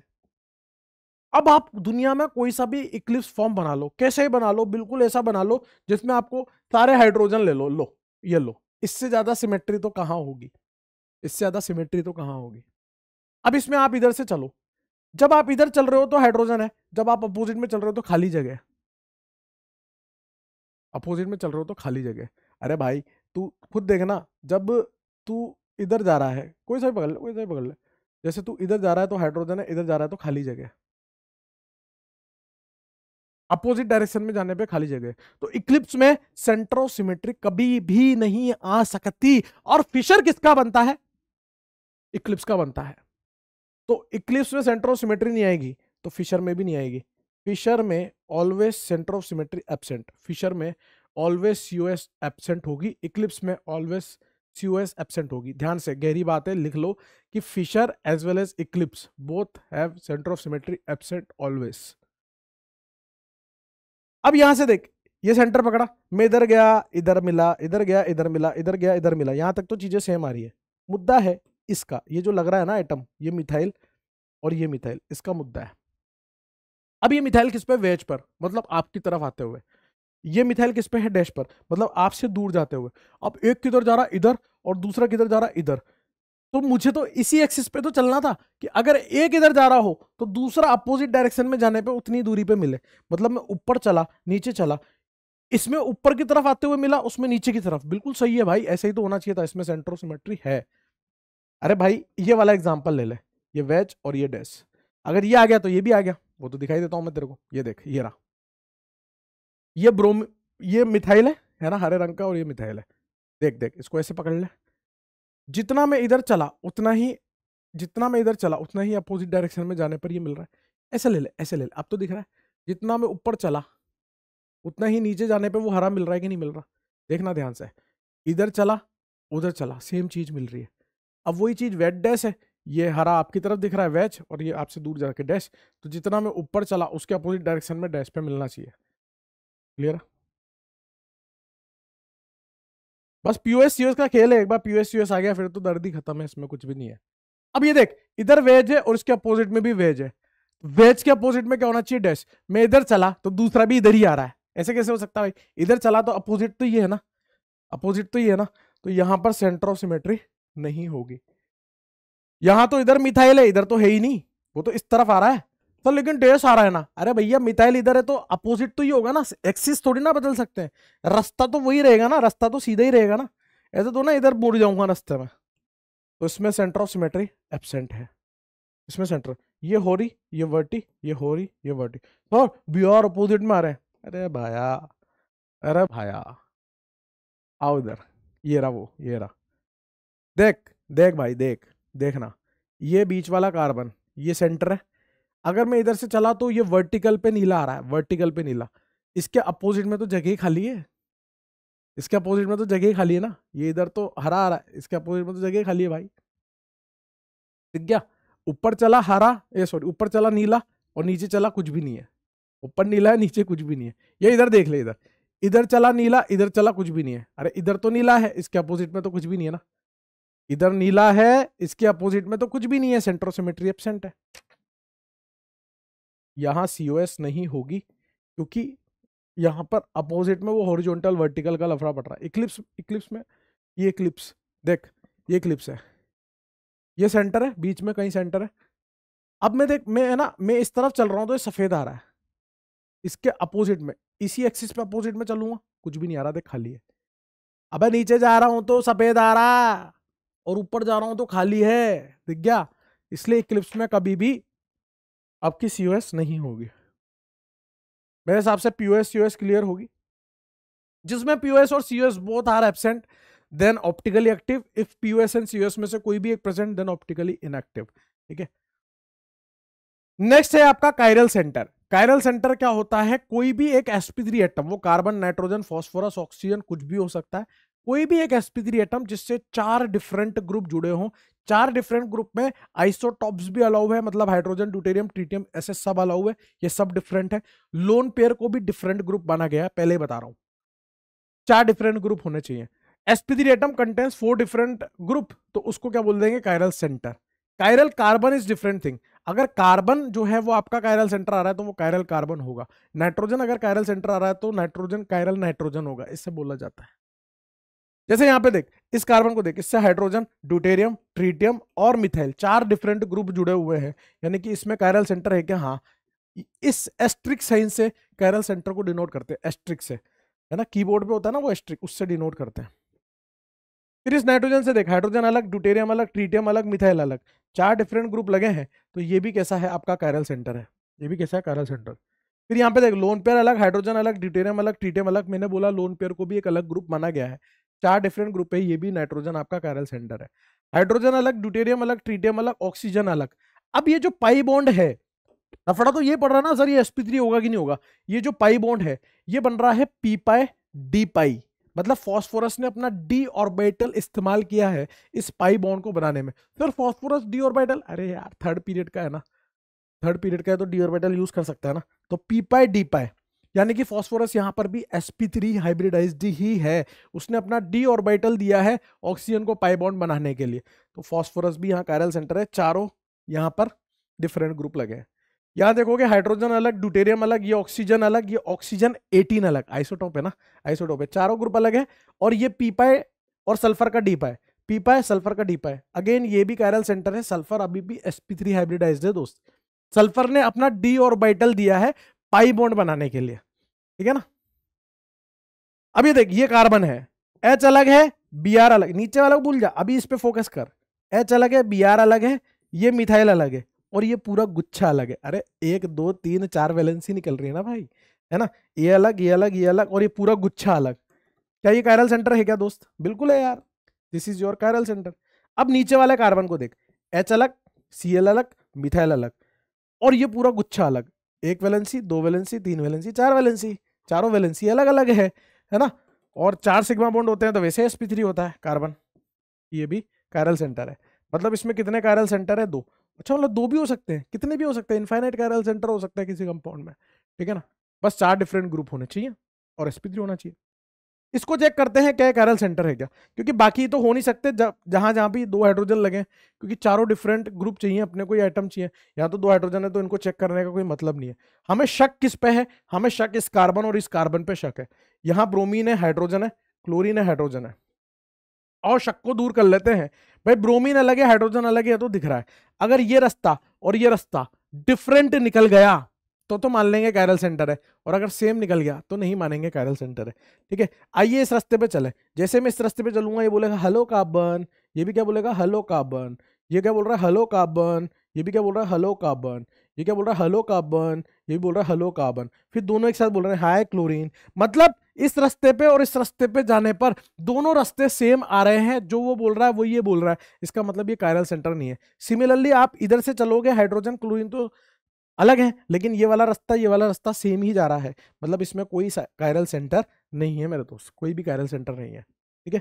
अब यहाँ पर देखो ब्रोमीन है हाइड्रोजन है। भाई मुझे तो इस कार्बन पे इस कार्बन पे शक है ना। अब इधर गया hello carbon hello carbon hello carbon hello carbon अब ये क्या बोल रहा है? हलो कार्बन और ये क्या बोल रहा है? हाई क्लोरीन मतलब इसने हाई क्लोरीन जल्दी बोल दिया। मतलब ये वाला रास्ता और ये वाला रास्ता डिफरेंट है, ये कायरल सेंटर है, इसी प्रकार से ये भी आपका कायरल सेंटर है। इसमें कितने कायरल सेंटर है? दो कायरल सेंटर है मेरे दोस्त। एक ये रहा, एक ये रहा। बात समझ गए? अब यहाँ पे देखो, मैंने क्या बोला? Lone pair hydrogen deuterium lone pair is also considered as different group hydrogen अलग ड्यूटेरियम अलग और ये पूरा गुच्छा अलग है। तो लगता है ऐसा ही कि ये कायरल सेंटर होना चाहिए। पलटा। फिर पलटा। अरे, पलट नहीं रहा। एक्चुअल में यहाँ पे थोड़ा सा जीओसी का कंसेप्ट यूज़ हो रहा है, हल्का सा। और उसके चक्कर में मैं इसको छोड़ना नहीं चाह रहा। सुन लो। मतलब आ जाएगा, ऐसा कोई बड़ी बात नहीं है है ना? Lone pair sigma pi bond ये लोन पेयर जो है, इस पाइबोन के साथ रेजोनेंस करता है। मतलब अगर आपको अभी बिल्कुल भी रेजोनेंस का हल्का भी आइडिया नहीं है तो आप इसको अभी स्किप कर सकते हो। जब जीओसी पढ़े लेंगे, उसके बाद ये आपको फील में आ जाएगा। एक के चक्कर में पूरा नहीं छोड़ना चाह रहा। तो ये लोन पेयर पाई में बदलेगा, पाई में बदलते ही वो एस पी टू हो जाएगा। इसलिए यहाँ पे कायरल सेंटर ज़ीरो है, ये कायरल सेंटर नहीं होगा। मेरे हिसाब से बात समझ गए होंगे, ठीक है? ये कायरल सेंटर की कहानी थी। अब दोस्त, जैसे अपन ने ज्योमेट्रिकल आइसोमेजम में सिस ट्रांस किया ईजेड किया, उसी तरह से ये कायरल सेंटर्स जो हैं, इनको भी हम कॉन्फ़िगरेशन देते हैं और वो कॉन्फ़िगरेशन किससे देते हैं? आर और एस से। जैसे वहाँ ई e और जेड था, यहाँ क्या है? आर और एस एक मिनट बता रहा हूँ, रुक जाओ। हाँ भाई। देख। आर और एस की बात चल रही है ना? आर और एस कॉन्फ़िगरेशन पहले तो देख, ये कायरल सेंटर है आयोडीन ब्रोमीन क्लोरीन फ्लोरीन चार डिफरेंट ग्रुप लगे हैं कायरल सेंटर है। इसको हम आर या एस में से कुछ कॉन्फ़िगरेशन दे सकते हैं। तीन तरह के केस आपको यहाँ पे देखने को मिलेंगे, तीन तरह के केस है ना? मैं पहले लिख रहा हूँ, वो तीन तरह के केस कौन से हैं? एक होता है फोर्थ प्रायोरिटी का group fourth priority on dash यहाँ पे है फोर्थ प्रायोरिटी ऑन वेज। और यहाँ है फोर्थ प्रायोरिटी ऑनलाइन। या प्लेन। प्लेन में बोल लो या लाइन में बोल लो। तीन केसेस देखने को मिलेंगे। यहाँ हमें प्रायोरिटी देनी है। याद है ई e और जेड में अपन ने प्रायोरिटी दी थी अकॉर्डिंग टू सीआईपी रूल बस वही सीआईपी रूल यहाँ पर भी फॉलो होगा। आर का मतलब रेक्टस है एस का मतलब सिनिस्टर है, कोई नहीं पूछ रहा। जैसे वहाँ एंटीजीजन मन था, कोई नहीं पूछ रहा इसको आपसे, ठीक है ना? आर और एस पूछेगा सीधे सीधे। सी आई पी रूल जो एटॉमिक नंबर के बेसिस पे था, जिसका एटॉमिक नंबर ज़्यादा, वो बताया था मैंने आपको, फिर फ़र्स्ट एटम सेम तो सेकंड देख लो सेकंड सेम तो थर्ड देख लो, ऐसे, है ना? ट्रिपल बॉन्ड को डबल बॉन्ड से ज़्यादा प्रायोरिटी मिलेगी। फिर रिंग वाले में होमोसाइक्लिक में बड़ी रिंग हेट्रोसाइक्लिक में दोनों रस्तों पर चल के देखना पड़ेगा।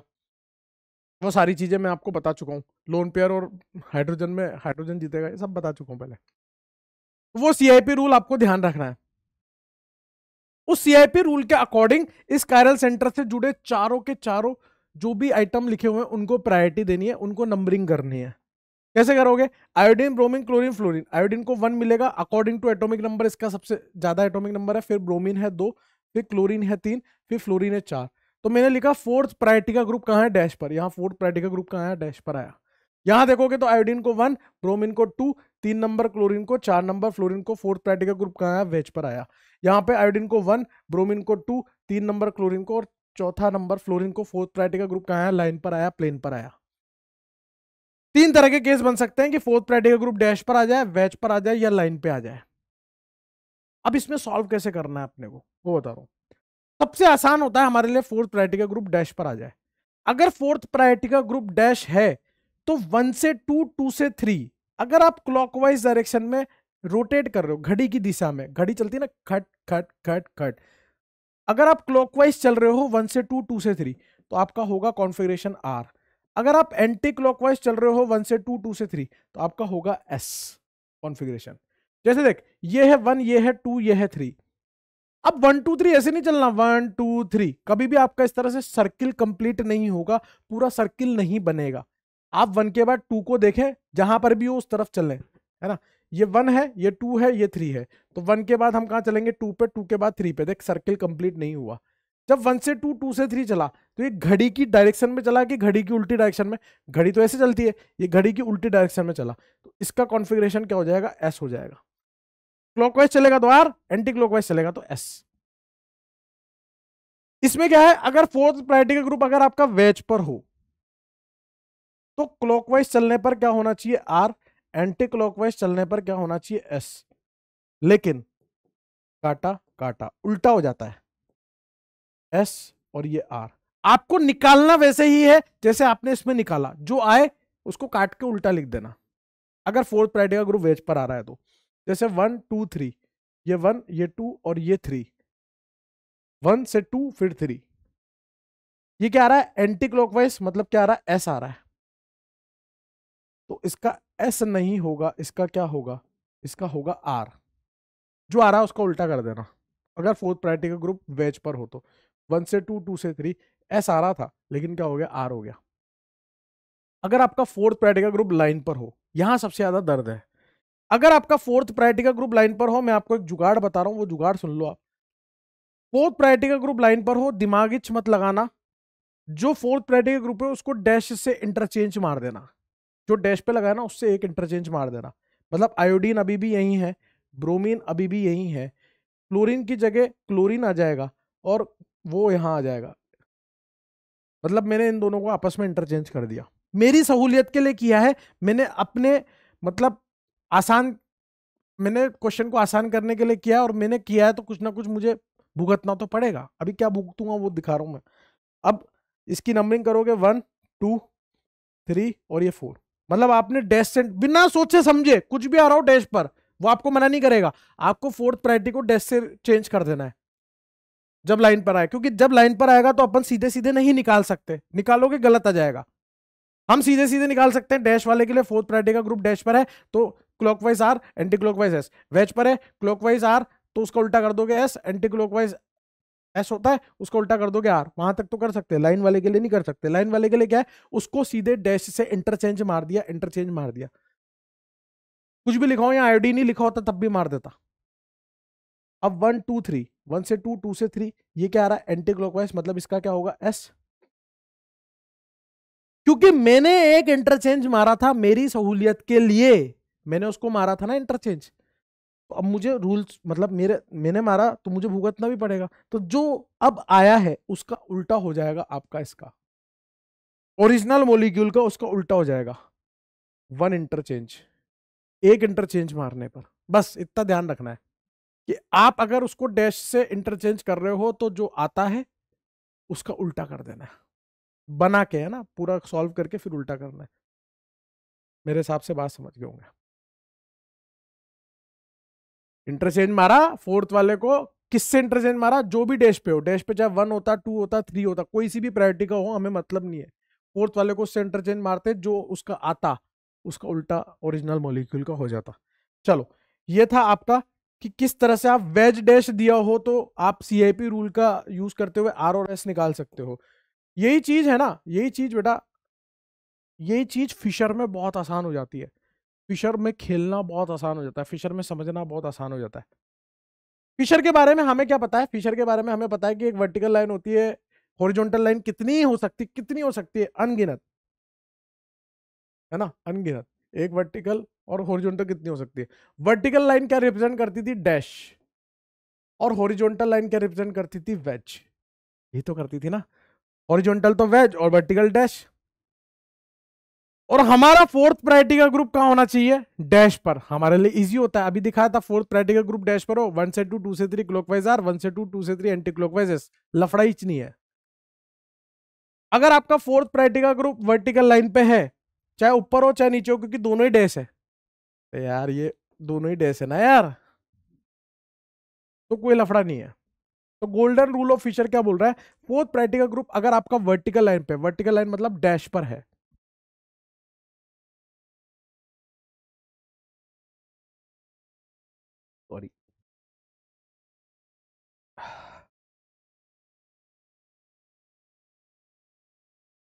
वर्टिकल एन पे मतलब डैश पर है। तो वन से टू टू से थ्री। क्लॉकवाइज चलोगे तो क्या आएगा? आर। एंटी क्लॉकवाइज चलोगे तो क्या आएगा? एस। लेकिन अगर आपका फोर्थ प्रायोरिटी का ग्रुप हॉरिजॉन्टल पे, हॉरिजॉन्टल मतलब वेज तो जो आएगा उसका उल्टा कर देंगे सॉरी सॉरी। वन से टू टू से थ्री क्लॉकवाइज, वन से टू टू से थ्री एंटी क्लॉकवाइज, आर और एस। लेकिन इसका उल्टा हो जाएगा। ये हो जाएगा एस ये हो जाएगा आर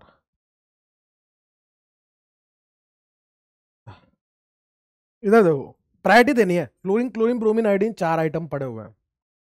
आयोडीन को वन एटॉमिक नंबर के हिसाब से ब्रोमीन को दो क्लोरीन को तीन फ्लोरीन को चार दोगे। ऐसे तो करोगे।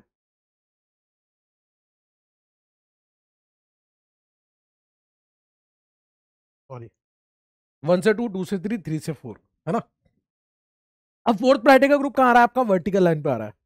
वन से टू टू से थ्री चलोगे तो क्या आ रहा है? एंटी क्लॉकवाइज तो जो एंटी क्लॉकवाइज आ रहा है तो इसका ऐसी होगा ना? क्या दर्द है? क्लॉकवाइज आ रहा होता तो आर हो जाता ये वन ये टू ये थ्री ये फोर काम हो गया यार। वन टू थ्री फोर है ना? फोर्थ प्रायोरिटी का ग्रुप कहाँ आ रहा है? हॉरिजॉन्टल पे आ रहा है आपकी बार। फोर्थ प्रायोरिटी का ग्रुप कहाँ आ रहा है? हॉरिजॉन्टल पे।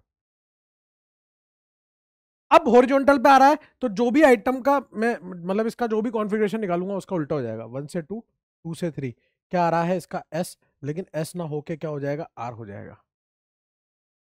एस ना होके क्या हो जाएगा? आर हो जाएगा, दोस्त। क्यों हो जाएगा आर क्योंकि फोर्थ प्रायोरिटी का ग्रुप हॉरिजॉन्टल पे फिशर में सॉल्व करना इतना आसान है। वो लाइन वाइन वाला चक्कर ही खत्म इंटरचेंज वाला चक्कर ही खत्म। समझ गया अब आपको ऐसे दो कैरल सेंटर वाला भी दे सकता है वो। और उसमें फिर इस तरह के ऑप्शन बनाएगा two R three R two S three S है ना? तो ये कैसे पता चलेगा? पहले तो याद है आपको फिशर की इस तरह से नंबरिंग करते हैं one two three four top to bottom तो फिशर को पहले चेक कर लेना कि फिशर आईयूपीएससी के अकॉर्डिंग सही है क्या? अभी फ़िलहाल फिशर सही है आईयूपीएससी के according to bromo three chloro perfect है। तो हमें दो नंबर वाले कायरल सेंटर और तीन नंबर वाले कायरल सेंटर का कॉन्फ़िगरेशन निकालना है। अगर इसका आर आ गया, इसका एस आ गया तो टू आर थ्री एस अगर इसका एस आ गया, इसका आर आ गया तो टू एस थ्री आर दोनों का आर आ गया तो टू आर थ्री आर ऐसे हो जाता है। अब हम कैसे निकालेंगे? इंडिविजुअली बना बना के देख लेते हैं, क्योंकि फिर यहाँ पे कचरा हो जाएगा थोड़ा सा जैसे मान लीजिए मैंने इसको दोबारा से ये कॉपी कर और ये पेसेट कर है ना? कॉपी कर लिया और पेसेट कर लिया। अब देखो मैं कैसे खेलूँगा इसमें। मैं क्या कर रहा हूँ दोस्त? मैं इस कायरल सेंटर पे खेल रहा हूँ पहले। इस कायरल सेंटर के लिए चार ग्रुप कौन से हैं? एक हाइड्रोजन है, एक बीआर है, एक मिथाइल है और एक है पूरा का पूरा गुच्छा है। मुझे इन चारों को प्रायोरिटी देनी है। तो मेरे दोस्त प्रायोरिटी कैसे देते हैं? सीआईपी रूल के अनुसार। इस कार्बन से डायरेक्टली ब्रोमीन जुड़ा है। सर, इससे तो क्लोरीन मिथाइल इतने सारे जुड़े हैं, लेकिन पहले तो कार्बन जुड़ा है। फ़र्स्ट कनेक्टिंग एटम देखूँगा। तो एक नंबर इसको मिल जाएगा। फिर इस कार्बन से ये गुच्छा जो जुड़ा है, उस कार्बन पर क्लोरीन लगा है। भाई कार्बन कार्बन तो सेम आ गए इन दोनों के। इससे हाइड्रोजन जुड़े हैं इससे क्लोरीन जुड़ा है तो दो नंबर इसको दे दूँगा। इस पूरे ग्रुप को दो नंबर मिला। क्यों? क्योंकि कार्बन कार्बन तो सेम था। अगला आइटम इसमें हाइड्रोजन था, इसमें अगला आइटम क्लोरीन है। फिर तीन नंबर इस कार्बन को और चार नंबर इसको मिल जाएगा। इस तरह से वन टू थ्री फोर कर लिया। अब आप देखो वन से टू टू से थ्री चला तो क्लॉकवाइज डायरेक्शन में चला। तो क्या होगा? आर होगा। आर होगा। लेकिन फोर्थ प्रायोरिटी का ग्रुप कहाँ है? हॉरिजॉन्टल पे है। तो जो आता है, उसका उल्टा हो जाता है। मतलब आर आया है, लेकिन हो क्या जाएगा? एस। मतलब सेकंड वाले का क्या आ गया? आपका एस आ गया। सेकंड वाले का कॉन्फ़िगरेशन क्या है? एस है। दो नंबर पे एस आ गया साहब। ठीक है? दो नंबर पे एस आ गया। तो मतलब ये वाला और ये वाला ऑप्शन तो कट हो गया। ठीक है ना? टू पे एस आ गया। अब नीचे वाले कायरल सेंटर को सॉल्व करना है। अभी ऐसे करा आप पोज करके खुद भी कर सकते हो भाई। ईमानदारी आपके हाथ में, आपकी कलम, मैंने पहले ही बोला आपको। मैं इसको ले रहा हूँ फिर से। इसको ले रहा हूँ फिर से। तो कर रहा हूँ कॉपी और यहाँ पे पेसट कर लेता हूँ। ये हमारा क्वेश्चन था, ठीक है ना? अब इसमें खेल रहा हूँ मैं, नीचे वाले कायरल सेंटर पे। मैं खेल लेता हूँ नीचे वाले कायरल सेंटर पे। नीचे वाले कायरल सेंटर के लिए एक हाइड्रोजन है, एक क्लोरीन है, एक मिथाइल है और ये पूरा का पूरा एक गुच्छा है। चार आइटम लगे हुए हैं। प्रायोरिटी देनी है साहब। सर यहाँ ब्रोमीन है सर अरे भैया, इससे जस्ट कनेक्टिंग तो कार्बन है, इससे जस्ट कनेक्टिंग क्लोरीन है तो इसको एक नंबर दूँगा। इसको दो दूँगा, क्यों? क्योंकि यहाँ कार्बन के बाद ब्रोमीन है या कार्बन के बाद हाइड्रोजन है। इसको तीन दूँगा, इसको चार दूँगा, चारों की प्रायोरिटी होगी। वन से टू टू से थ्री वहाँ घड़ी की दिशा में चल रहा था, यहाँ घड़ी से उल्टा। एंटी क्लॉकवाइज एंटी क्लॉकवाइज चल रहा हूँ तो क्या होगा? एस लेकिन फोर्थ प्रायोरिटी का ग्रुप हॉरिजॉन्टल पे काटूँगा आर हो जाएगा। मतलब थ्री का क्या आ रहा है? आर और टू का क्या आ रहा है? एस इसका आर आया, उसका एस आया। Two S three R two पे एस आया थ्री पे आर आया। मतलब इस सेकंड वाले का तो एस आ रहा है और थर्ड वाले का आर कॉन्फ़िगरेशन आ रहा है। इस तरह से आपको सॉल्व करना था। मेरे हिसाब से बात क्लियर हो गई होगी दोस्त। मेरे हिसाब से बात क्लियर हो गई होगी। चले आगे। आगे चलते हैं दोस्त। नेक्स्ट है एनेंशोमर्स एनेंशोमर्स क्या होते हैं? देखो, दो टर्मिनोलॉजी एक एनेंशोमर होते हैं, एक डायस्ट्रीमर्स होते हैं। ठीक है ना? अब ये ऑप्टिकल आइसोमिज्म के अंदर की बात चल रही है। एनेंशोमर्स क्या होते हैं? ऐसे स्टीरियो आइसोमर्स जो एक दूसरे के मिरर इमेज होते हैं, लेकिन non super imposable mirror image होते हैं मतलब एक दूसरे पर कोइंसाइड नहीं हो पाते। ये है, ये इसकी मिरर इमेज है। लेकिन जब मैं इसको उठा के इस पर रखूँगा तो वो इसका मिरर इमेज नहीं आएगा मतलब उस पर कॉपी पेस्ट नहीं होगा। बात समझ में आ गई? जैसे ये हाथ है, इसकी मिरर ये है। है कि नहीं है? लेकिन मैं जब इसको उठा के इस पर रखूँगा, समझ रहा है बात को? तो अंगूठा इधर निकल गया, ये इधर निकल गया। सर, ऐसे रख लो ना, ऐसे नहीं रख सकते। मिरर इमेज ये आई ना तो उसको एज इट इज़ ऐसे उठा के रखना है। तो ये कॉपी पेस्ट नहीं हुई। है मिरर इमेज लेकिन ऊपर कोइंसाइड नहीं हो पाई। इसलिए ये क्या है? एनेंशोमर है। तो non super mirror images are non S enantiomers तो स्टीरियो आइसोमर होगा non super imposable mirror image होगा। अब जो एनेंशोमर्स होते हैं, वो हमेशा ऑप्टिकली एक्टिव होते हैं। ऑलवेज ऑप्टिकली एक्टिव क्यों? क्योंकि वो अपनी मिरर इमेज पर सुपर इम्पोज नहीं हो पा रहे। उसका कारण क्या है? कि उसमें plane of symmetry centre of symmetry absent होगी। एनेंशोमर्स जो होते हैं, वो ऑलवेज ऑप्टिकली एक्टिव होते हैं। और अगर कोई ऑप्टिकली एक्टिव है तो मैंने आपको बताया था कि पीओएस और सीओएस दोनों एबसेंट होनी चाहिए। दोनों एबसेंट होने चाहिए, एक नहीं, दोनों। तब वो ऑप्टिकली एक्टिव होगा। ये एनेंशोमर्स की प्रॉपर्टी भी बता रहा हूँ साथ साथ ऐसे स्टीरियोसोमर जो अपनी मिरर इमेज पर नॉन सुपर इम्पोजेबल है एनेंशोमर्स हमेशा ऑप्टिकली एक्टिव होता है। और अगर कोई ऑप्टिकली एक्टिव है तो अपन ऐसे तो बोलेंगे इसे कि वो प्लेन पोलराइज लाइट को घुमा रहा है। वो तो सही बात है। लेकिन भाई, हमारा वो तो हो गया प्रैक्टिकल तरीका। हमारे लिए कॉपी पेन पे चलाना है ना भाई, प्रैक्टिकल थोड़ी ना करने जाएँगे वो एग्ज़ाम में निकल के अरे यार, लाओ, प्रैक्टिकल करें ऐसा ना करें। तो उसके लिए क्या करेंगे, POS US both should be absent then वो ऑप्टिकली एक्टिव होगा। अब यहाँ पर आपके पास दो केस आएँगे, एक तो एक कायरल सेंटर वाला आएगा और एक आपके पास आएँगे दो कायरल सेंटर वाला केस एक कायरल सेंटर वाला ऑलवेज ऑप्टिकली एक्टिव होता है, पहले तो दिमाग में बिठा लो। अगर किसी में सिर्फ़ और सिर्फ़ एक कायरल सेंटर है तो वो हमेशा हमेशा हमेशा ऑप्टिकली एक्टिव होगा।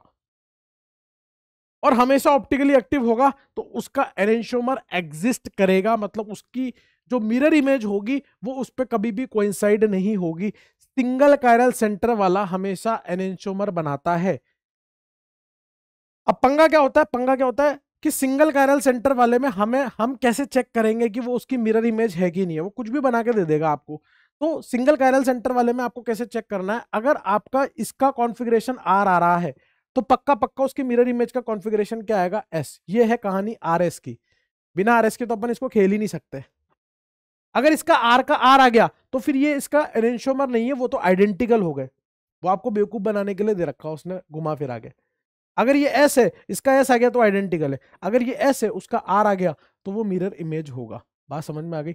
एक तो सिंगल कायरल सेंटर वाला हमेशा ऑप्टिकली एक्टिव होगा, उसके दो स्टीरियो आइसोमर होंगे, एक होगा आर और एक होगा एस और वो आर का एस पक्का पक्का एनेंशोमर होगा। अगर हमें चेक करना है कि ये दोनों एक दूसरे के एनेंशोमर है या नहीं है तो एक ही तरीका है। दोनों का कॉन्फिग्रेशन निकाल के देखना पड़ेगा और कोई तरीका नहीं है। This is the method only तो यहाँ पर इसको वन यहाँ पर टू यहाँ पर थ्री यहाँ पर फोर ये वन टू थ्री फोर कर लिया. अब वन से टू टू से थ्री चल रहा हूँ. फोर्थ प्रायोरिटी का ग्रुप कहा है? वर्टिकल लाइन पे. लफड़ा ही नहीं है. कहाँ चला? एंटी क्लॉकवाइज इसका एस कॉन्फ़िगरेशन आ गया. फिर ये वन ये टू ये थ्री और ये फोर वन से टू टू से थ्री क्या आ रहा है? आर आ रहा है क्लॉकवाइज लफड़ा ही नहीं है क्योंकि फोर्थ प्रायोरिटी का ग्रुप वर्टिकल पे क्या आपको ये दोनों एक दूसरे की मिरर इमेज नज़र आ रही थी? क्या? देखो ध्यान से. क्लोरीन के सामने क्लोरीन आयोडीन के सामने आयोडीन फ्लोरीन के सामने फ्लोरीन ब्रोमीन के सामने ब्रोमीन बिल्कुल आ रही थी। लेकिन लगता है भटकना नहीं है, ठीक है ना? वो दिखती है, लेकिन उसके चक्कर में नहीं आना है। आपको आर और एस निकाल के देखना है हमेशा। मिरर इमेज दिख रहे हैं, कोई बात नहीं, अच्छी बात है, ठीक है ना? लेकिन एस का आर आ रहा है, अब हम कंफर्म हो गए कि ये दोनों एक दूसरे के क्या है? एनेंशोमर है मेरे दोस्त। और आप ऐसे भी देखोगे ना तो देखो मैं आपको बताऊँ नॉन सुपर इम्पोजेबल कैसा होता है जब आप इसको करोगे ना तो ये कभी भी इस पर सुपर इम्पोज नहीं होगा। क्यों? देखो फ्लोरीन पे फ्लोरीन हो गया ब्रोमीन पे ब्रोमीन हो गया, लेकिन यहाँ आयोडीन था आयोडीन के ऊपर क्लोरीन आ गया क्लोरीन के ऊपर आयोडीन आ गया तो सुपर इम्पोज कहाँ हो पाया? आप कुछ भी कर लो, ये कभी एक दूसरे पर सुपर इम्पोज नहीं हो पाएँगे। एक कायरल सेंटर वालों के लिए आप क्या करोगे? आर एस निकाल के देखोगे आर का एस आ रहा है या एस का आर आ रहा है तो एनेंशोमर है। आर का आर आ गया तो आइडेंटिकल है। एस का एस आ गया तो आइडेंटिकल है। एनेंशोमर कब हो सकता है? कब हो सकता है? जब जैसे यहाँ पे मान लो, यहाँ पे मान लो आपका आर आ रहा है एस आ रहा है आर आ रहा है तो इसका एरेंशोमर क्या होगा? एस आर एस हर एक कायरल सेंटर का कॉन्फ़िगरेशन जस्ट अपोजिट होना चाहिए। आर एस आर आ रहा है तो एस आर एस होना चाहिए। समझिए आप बात को। दिस इज़ दी एनेंशोमर लेकिन साथ के साथ plane of symmetry centre of symmetry भी देखना पड़ जाता है। एक कायरल सेंटर वाले में कोई लफड़ा नहीं बेटा एक कायरल सेंटर वाला ऑलवेज ऑप्टिकली एक्टिव होगा, ध्यान रखना उसमें पीयूएस यूएस चेक करने की आवश्यकता नहीं है। लेकिन अगर दो कायरल सेंटर वाला आ जाए तो उस केस में सबसे पहला काम जो आप करोगे, वो पीयूएस यूएस चेक करोगे, बाकी सब बात की बात है। तो यहाँ पर आप देखोगे, यहाँ से काटा एच के सामने बी आर आ रहा है, इसमें प्लेन ऑफ़ सिमेट्री नहीं है। और फिशर में तो सेंटर ऑफ़ सिमेट्री वैसे ही नहीं होती। यहाँ पे बी आर के सामने एच आ रहा है, देख रहे हो? बी आर के सामने एच आ रहा है तो यहाँ पर प्लेन ऑफ़ सिमेट्री नहीं है। सेंटर ऑफ़ सिमेट्री तो फिशर में वैसे ही नहीं होती। मतलब जिसमें यूएस नहीं होती, वो ऑप्टिकली एक्टिव होता है। जिसमें यूएस नहीं होती, वो ऑप्टिकली एक्टिव होता है। पहले पी चेक करोगे। कसम खा लो कि पहले पी चेक करेंगे, उसके बाद। सिंगल कायरल सेंटर में नहीं करनी, दो या दो से ज़्यादा कायरल सेंटर आ जाए तो पहले पीओएस यूएस चेक करना बनता ही बनता है। अगर पीओएस और CUS both absent then optically active तो बात करेंगे एनेंशोमर की। क्योंकि enantiomer is always optically active अगर ऑप्टिकली इनएक्टिव आ गया तो एनेंशोमर हो ही नहीं सकता। चाहे आप उसकी शक्ल मिला मिला के देख लो, बिल्कुल हूबहू लग रहे हो, एक जैसे लग रहे हो, लेकिन नहीं होगा। अब आप इसको देखो। अब आपको ये दोनों एक दूसरे की मिरर इमेज नज़र आ रहे होंगे। अब अपन कंफर्म हो गया ना, ये ऑप्टिकली एक्टिव है साहब, ये ऑप्टिकली एक्टिव है साहब, ठीक है ना? अब हमारे दर्द खत्म हो गया। अब हम देखेंगे बी आर के सामने बी आर एच के सामने एच उधर वाले एच के दूर एच सब कुछ मैच कर रहा है। जब मैं इसको उठा के इस पे कॉपी पेस्ट करना चाहूँगा इस तरह से तो नहीं हो पाएगा। एच के ऊपर बी आर आ गया, देख ले। आप घुमा के भी करोगे ना, इसको घुमा लो, तब भी नहीं हो पाएगा। यह है तरीका। यह है तरीका। पहले पीयूएस यूएस निकालोगे both should be absent then फिर मिरर इमेज चेक करोगे। और एक देसी तरीका अपना आर और एस निकाल लो। इसका आर एस निकालो। अगर उसका उल्टा आ जाए तो फिर वो भी है। एक तरीका वो भी है। लेकिन वो थोड़ा लॉन्ग मेथड हो जाता है ज़्यादा कारल सेंटर में। अब नीचे वाले को देखो। क्या इसमें प्लेन ऑफ़ सिमेट्री है? बी आर के सामने बी आर एच के सामने, बिल्कुल है। क्या इसमें प्लेन ऑफ़ सिमेट्री है? बी आर के सामने बिल्कुल है। यानी कि कैसा है? ऑप्टिकली इनएक्टिव है। ये कैसा है? ऑप्टिकली इनएक्टिव है। मेरे दोस्त, तेरे को पता है ये प्लेन ये देख ये देख, ये मिरर इमेज नज़र आएगी, देखना। धोखा धोखा, देखना, धोखा। बी और के सामने बी और सर बी और के सामने बी और मिताल के सामने मिताल मिताल के सामने मिताल एच के सामने एच एच के सर ये तो मिरर इमेज है यार। हाँ भाई मिरर इमेज है तो। सर ये तो एनेंशोमर होंगे, ना होंगे। क्यों नहीं होंगे? ये मिरर इमेज तो है, लेकिन ये ऑप्टिकली इनएक्टिव वाली मिरर इमेज है। धोखा है ये। पहले ऑप्टिकली एक्टिव होता, उसकी मिरर इमेज होती तो फिर वो एनेंशोमर होते। ऑप्टिकली इनएक्टिव है तो एनेंशोमर नहीं है। ये दोनों हुबहू हैं आइडेंटिकल हैं, एक जैसे हैं। ये दोनों कैसे थे? एनेंशोमर तेरे को विश्वास नहीं हो रहा हुआ तू इसको एक काम कर, इसको ऐसे घुमा ले। घुमा लिया साहब, अब इसको उठा और इस पर पटक दे। देख एच के ऊपर एच बी आर के ऊपर बी आर एच के ऊपर एच बी आर के ऊपर बी आर मिथाइल के ऊपर मिथाइल मिथाइल मतलब घुमाने के बाद ये दोनों एक दूसरे के ऊपर कोइंसाइड हो रहे हैं। तेरे मन में आ रहा होगा, सर, इसको भी घुमा के दिखाओ ना। ये ले। घुमाना भाई, कौन मना कर रहा अबे, क्या हो गया इसके यार? कौन सा दर्द आ गया इसके? इसको घुमा लिया? एक सेकंड यार। ये ले, घुमा लिया? ये घुमाने के बाद इस पर कोइंसाइड करा, तब भी नहीं हो रहा, देखो, एच के ऊपर भी आ रहा गया मतलब समझ रहा है ना बात? इसको तू कैसे ही घुमा ले, ये कभी कोइंसाइड नहीं हो पाएगा। इसको घुमाएगा कोइंसाइड हो गया। अरे मैं तो कह रहा हूँ ना यार तेरे से कि अगर पीओएस यूएस एबसेंट है तो लफड़ाइच नहीं है। पीओएस यूएस में से कोई प्रेजेंट है तो आइडेंटिकल है भाई। क्योंकि एनशोमर तो हमेशा ऑप्टिकली एक्टिव होते हैं, सीधी बात है भैया। ठीक है ना? तो यहाँ पर गहरी बात क्या है? गहरी बात क्या है कि अगर आपकी एनशोमर है तो मिरर इमेज तो होंगे, लेकिन पीओएस यूएस दोनों एबसेंट होनी चाहिए।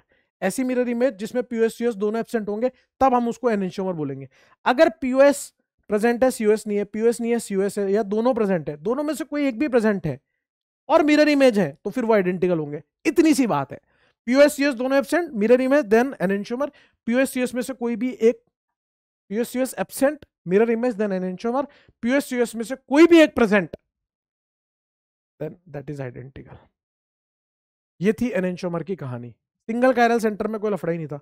कुछ कैरेक्टरिस्टिक्स है एनेंशोमर्स की कि वो ऑलवेज ऑप्टिकली एक्टिव और कायरल होते हैं, है ना?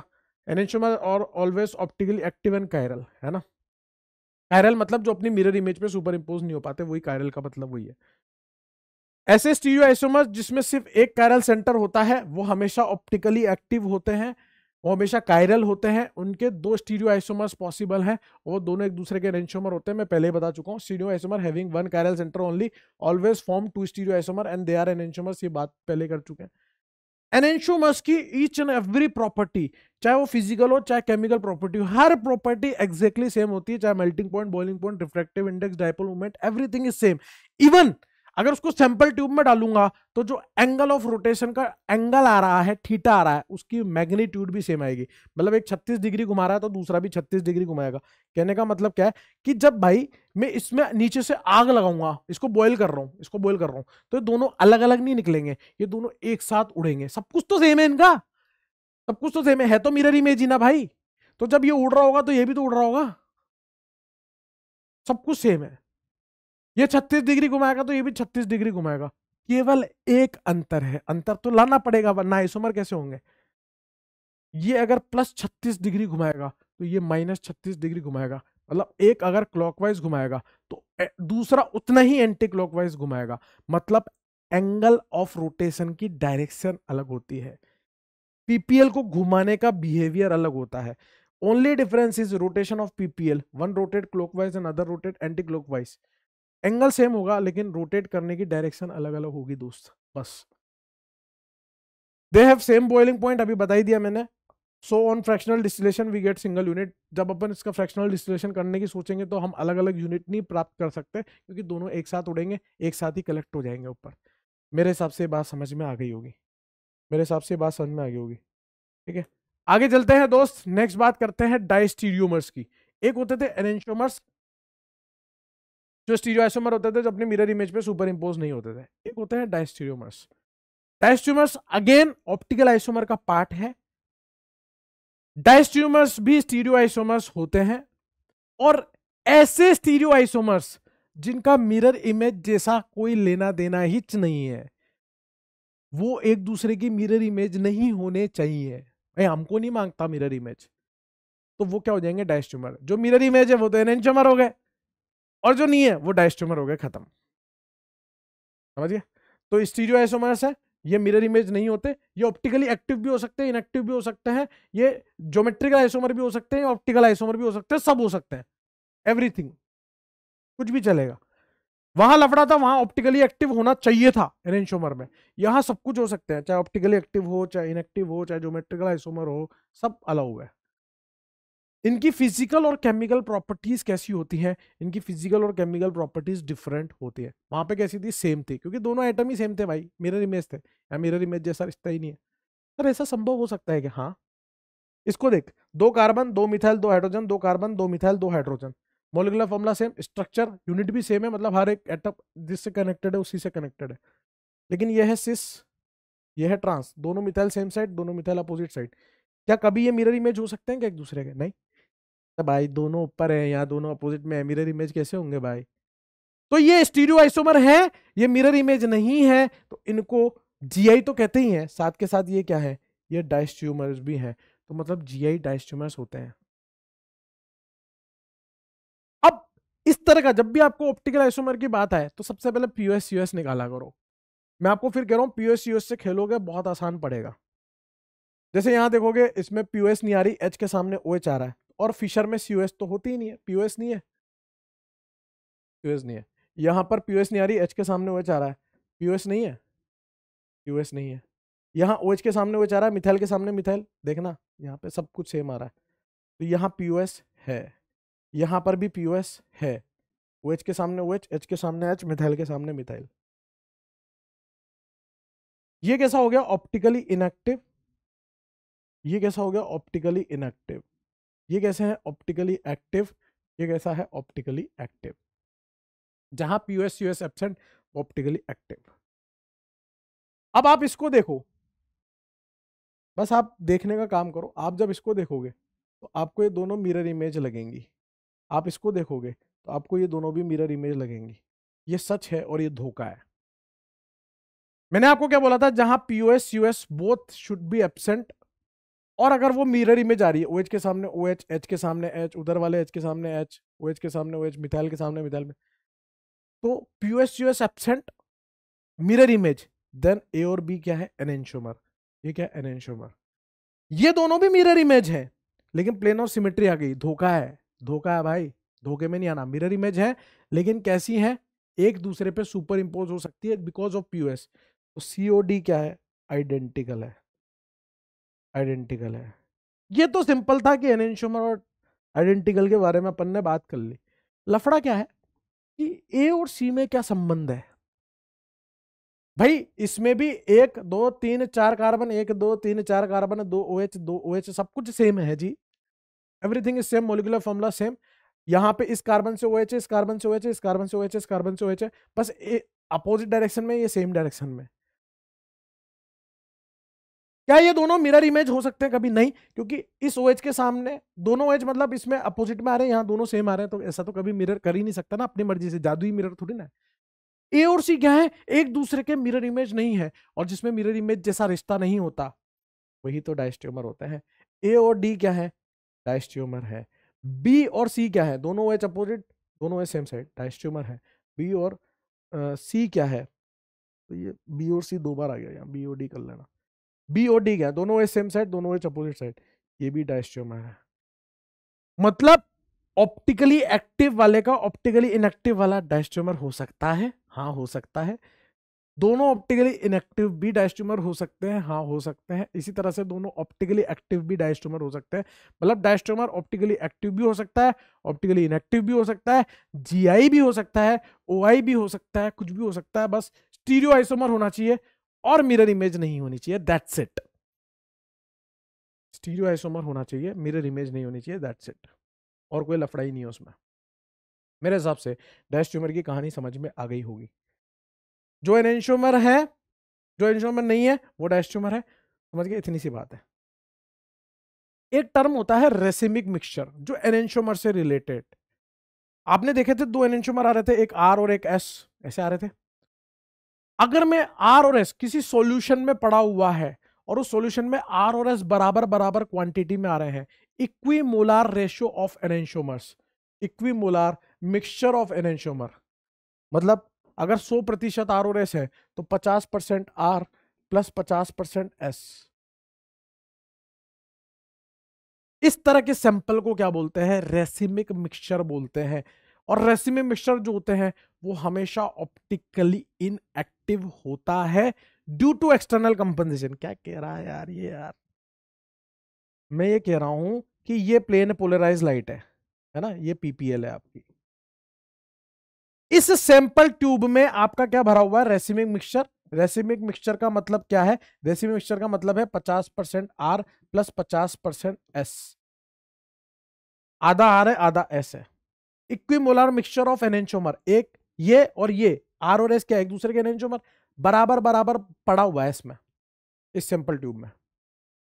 अब आर ने क्या किया? लेटर सपोज़ आर ने क्लॉकवाइज घुमाया, इस पीपीएल को क्लॉकवाइज घुमाया तीस डिग्री से। तो अभी फ़िलहाल आर की वजह से पीपीएल किधर घूम गई? तीस डिग्री क्लॉकवाइज में घूम गई। अब वो बचे हुए पचास परसेंट क्या एस अब उससे टकराएगी। पीपीएल तीस डिग्री घूम चुकी है। एस क्या करेंगे? उतने ही घुमा सकते हैं जितना आर ने घुमाया होगा, क्योंकि वो आर के ही भाई है भाई एन एनसुमरी तो है। तो तीस डिग्री घूम चुकी थी, लेकिन आर ने घुमाया था क्लॉकवाइज तो एस किधर घुमाएगा? एंटी क्लॉकवाइज तीस डिग्री वापस घूमेगी। तीस डिग्री घूम चुकी थी, तीस डिग्री वापस घूमेगी, वापस वहीं आ जाएगी, जहाँ थी। जहाँ थी। मतलब जब ये बाहर निकलेगी ना, प्लेन पोलराइज लाइट, जैसी थी, वैसी की वैसी निकल जाएगी। यहाँ थीटा ज़ीरो था यहाँ पर भी थीटा ज़ीरो था, क्योंकि आर ने 30 डिग्री घुमाया एस ने उसके 30 डिग्री को बर्बाद कर दिया।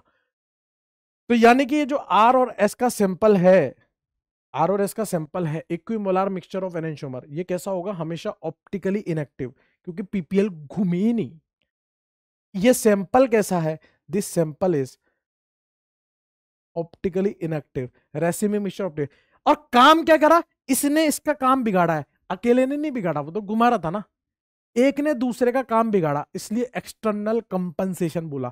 Optically inactive due to external compensation racemic mixture is always optically inactive due to external compensation मेरे हिसाब से बात क्लियर होगी। ठीक है दोस्त? नेक्स्ट है meso compound meso compounds are also optically inactive ये भी कैसे होते हैं आपके? ऑप्टिकली इनएक्टिव होते हैं ड्यू टू इंटरनल कंपनसेशन खुद की वजह से ही दर्द में रहते हैं वो था एक्सटर्नल, ये है इंटरनल। ये खुद की वजह से ही दर्द में रहता है। वो एक्सटर्नल की वजह से ऑप्टिकली इनएक्टिव थे, मीजो कंपाउंड्स भी ऑप्टिकली इनएक्टिव होते हैं, खुद की वजह से ही। खुद ही अपना काम बिगाड़ते हैं। अब खुद की वजह से कब कोई ऑप्टिकली इनएक्टिव कब हो सकता है? अभी बताया था थोड़ी देर पहले, खुद की वजह से कब हो सकता है? जब उसमें या तो पीओएस या सीओएस या दोनों में से कुछ आ रहा हो। ये तो बताया था। खुद की वजह से तो तभी हो सकता है। अगर पीओएस यूएस दोनों एबसेंट हो गई तो तो ऑप्टिकली एक्टिव होगा बाबा। दोनों में से कोई एक चीज़ आ गई तो ये ऑप्टिकली इनएक्टिव होगा। तो मीजो कंपाउंड के लिए पर्टिकुलर मीजो कंपाउंड के लिए बता रहा हूँ, आसान तरीका बता रहा हूँ, हालाँकि ये एग्जैक्टली exactly सही नहीं है, लेकिन आपके क्वेश्चन हो जाएँगे, आपके सिलेबस के अकॉर्डिंग मीजो कंपाउंड में कम से कम दो कायरल सेंटर होने चाहिए, दो कायरल सेंटर प्लस या तो पीओएस हो सीओएस ना हो पीओएस ना हो सीओएस हो या दोनों हो जाए। मतलब दोनों में से कोई एक सिमेट्री होनी चाहिए, तभी जाके तो ऑप्टिकली इनएक्टिव होगा। दो कायरल सेंटर प्लस पीओएस या सीओएस में से कोई एक चीज़ मौजूद हो जाए तो वो क्या हो जाएगा आपका मीजो अगर कायरल सेंटर नहीं है पीओएस सीओएस है तो वो ऑप्टिकली इनएक्टिव तो होगा, लेकिन वो मीजो नहीं होगा। अगर इन दोनों में से कोई भी एक चीज़ नहीं आई तो मीजो नहीं होगा। ध्यान रखना। देख भाई, ये कायरल सेंटर है, ये कायरल सेंटर है। ठीक है? कायरल सेंटर इसमें मौजूद है। फिर आप देखोगे यहाँ से काट के तो OH के सामने OH एम के सामने एम एच के सामने एच यहाँ पर पीओएस भी है। पीओएस चेक करने की ज़रूरत नहीं है। जब एक दोनों में से एक आ जाए, दूसरी चेक मत करो। तो ये ऑप्टिकली इनएक्टिव है। ऑप्टिकली इनएक्टिव क्यों है? क्योंकि पीओएस नहीं है। इसमें पीओएस है सॉरी ये ऑप्टिकली इनएक्टिव क्यों है? क्योंकि इसमें पीओएस है। ये मीजो भी है। बताओ ये मीजो इसलिए है क्या? क्योंकि ऑप्टिकली इनएक्टिव है? नहीं। ये मीजो किस लिए है? क्योंकि इसमें कायरल सेंटर भी था और पीयूएस भी था। क्या हर ऑप्टिकली इनएक्टिव मीजो हो सकता है क्या? नहीं। केवल वो ऑप्टिकली इनएक्टिव मीजो होंगे जिसमें कायरल सेंटर भी होगा और सिमेट्री एलिमेंट होगा, कोई ना कोई सा। क्या हर मीजो ऑप्टिकली इनएक्टिव होगा क्या? हाँ हर मीजो तो ऑप्टिकली इनएक्टिव होगा मतलब ऑप्टिकली इनएक्टिव का सेट है मीजो समझ रहे भाई ऑप्टिकली इनएक्टिव तो रेसिमी मिक्सचर भी है ना भाई। फिर देख, यहाँ पर दो कायरल सेंटर है कायरल सेंटर तो है सब। पीओएस आ रही है क्या? नहीं ओएच के सामने एच आ रहा है। इसमें पीओएस नहीं आ रही है।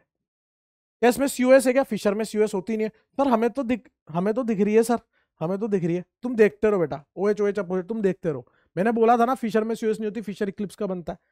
POS COS both are absent तो क्या ये ऑप्टिकली इनएक्टिव है क्या? नहीं, ये तो ऑप्टिकली एक्टिव है। तो क्या ये मीजो होगा क्या? नहीं, ये मीजो नहीं होगा। बात समझे क्या? बात समझे क्या दोस्त? ये रहा एक कायरल सेंटर, ये रहा दूसरा कायर खुद से ट्राई कर बेटा, खुद से ट्राई कर, तब है मज़ा। फिर चेक कर। कायरल सेंटर है, यहाँ से काटा। भी है। भी है। फिर सीओएस चेक करने की ज़रूरत नहीं है। ठीक है? तो ये मीजो होगा क्या? हाँ ये मीजो होगा। ऑप्टिकली इनएक्टिव होगा क्या? हाँ ऑप्टिकली इनएक्टिव होगा। इसमें कायरल सेंटर है क्या? हाँ कायरल सेंटर है। क्या इसमें प्लेन ऑफ़ सिमेट्री है क्या? इसमें प्लेन ऑफ़ सिमेट्री नहीं है। क्यों नहीं है? क्योंकि वेज के सामने डैश आ रहा है। यहाँ वेज पर मिथाइल है यहाँ डैश पर मिथाइल है अगर मैं यार मिरर में ऐसे कर रहा हूँ तो मिरर में मेरी उंगली ऐसे ही दिखेगी ना, ऐसे थोड़ी ना दिख जाएगी यार। अगर मिरर यूँ रखा है तो ऐसे थोड़ी ना दिख जाएगी भाई यार। बात समझ गया? तो पीओएस नहीं है। इसमें सेंट्रो सिमेट्री भी नहीं है, क्योंकि ऊपर चला मिथाइल है नीचे चला कुछ भी नहीं आ रहा। तो ये मीजो नहीं है, क्योंकि इसमें सिमेट्री एलिमेंट नहीं है। ये कैसा है? ऑप्टिकली एक्टिव है बेटा। इनएक्टिव नहीं है। अब इसमें तो कायरल सेंटर ही नहीं है। भाई, ये लग रहा है कायरल सेंटर है नहीं एच बी आर इधर वाला रास्ता और इधर वाला रास्ता सेम है। कायरल सेंटर तो नहीं है। क्या इसमें प्लेन ऑफ़ सिमेट्री है? हाँ इसमें प्लेन ऑफ़ सिमेट्री ऐसे काट ले एच के सामने एच बी आर के सामने B R plane of symmetry तो है। तो ये ऑप्टिकली इनएक्टिव तो है, लेकिन ये मीजो नहीं है। हर ऑप्टिकली इनएक्टिव मीजो नहीं होता, जिसमें कायरल सेंटर पीओएस या सीओएस में से कोई आ रही होती है, वही मीजो होता है। मेरे हिसाब से बात समझ में आ गई होगी, दोस्त। मिले तापते, बात समझ में आ गई होगी, ठीक है ना? चले आगे। अब कुछ और टर्म्स हैं, जो बेसिकली बायोमोलिक्यूल्स में आती हैं, लेकिन हम यहाँ पर इसलिए पढ़ रहे हैं क्योंकि अभी समझने में आसानी रहती है है ना?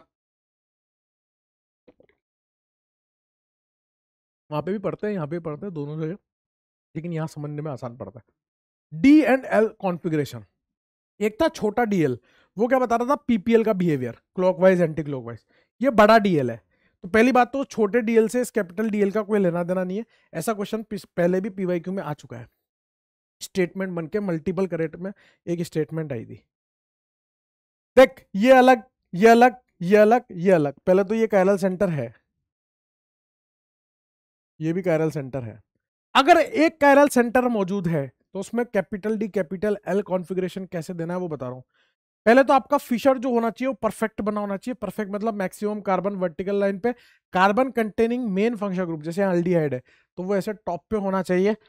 फिर उसके बाद हम कैपिटल डी कैपिटल एल की बात कर सकते हैं। ठीक है?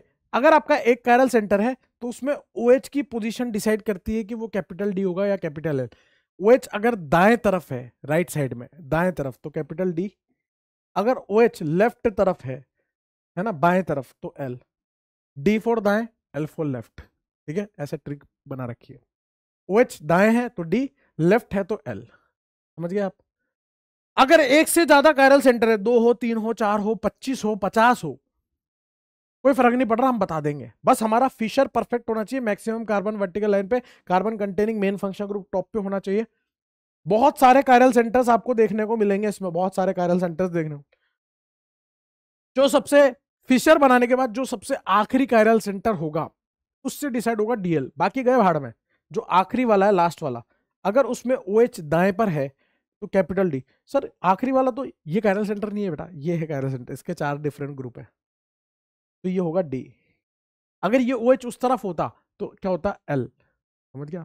दाएँ तो डी लेफ़्ट तो एल एक कायरल सेंटर तो उससे डिसाइड कर लेंगे, दाएँ तो डी लेफ़्ट तो एल अगर बहुत सारे कायरल सेंटर तो जो सबसे दूर वाला कायरल सेंटर है मेन फ़ंक्शन ग्रुप से, या जो सबसे आखिरी कायरल सेंटर है, उसमें उससे डी और एल डिसाइड होगा, वो राइट में है कि लेफ़्ट में एक होता है एरिथ्रियो थ्रियो वहाँ बायोमोलिक्यूल में टर्म यूज़ होगी एरिथ्रियो एंड थ्रियो बता देता हूँ लेकिन।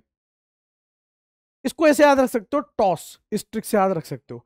टी का मतलब थ्रियो ओ का मतलब अपोजिट ई का मतलब एरिथ्रियो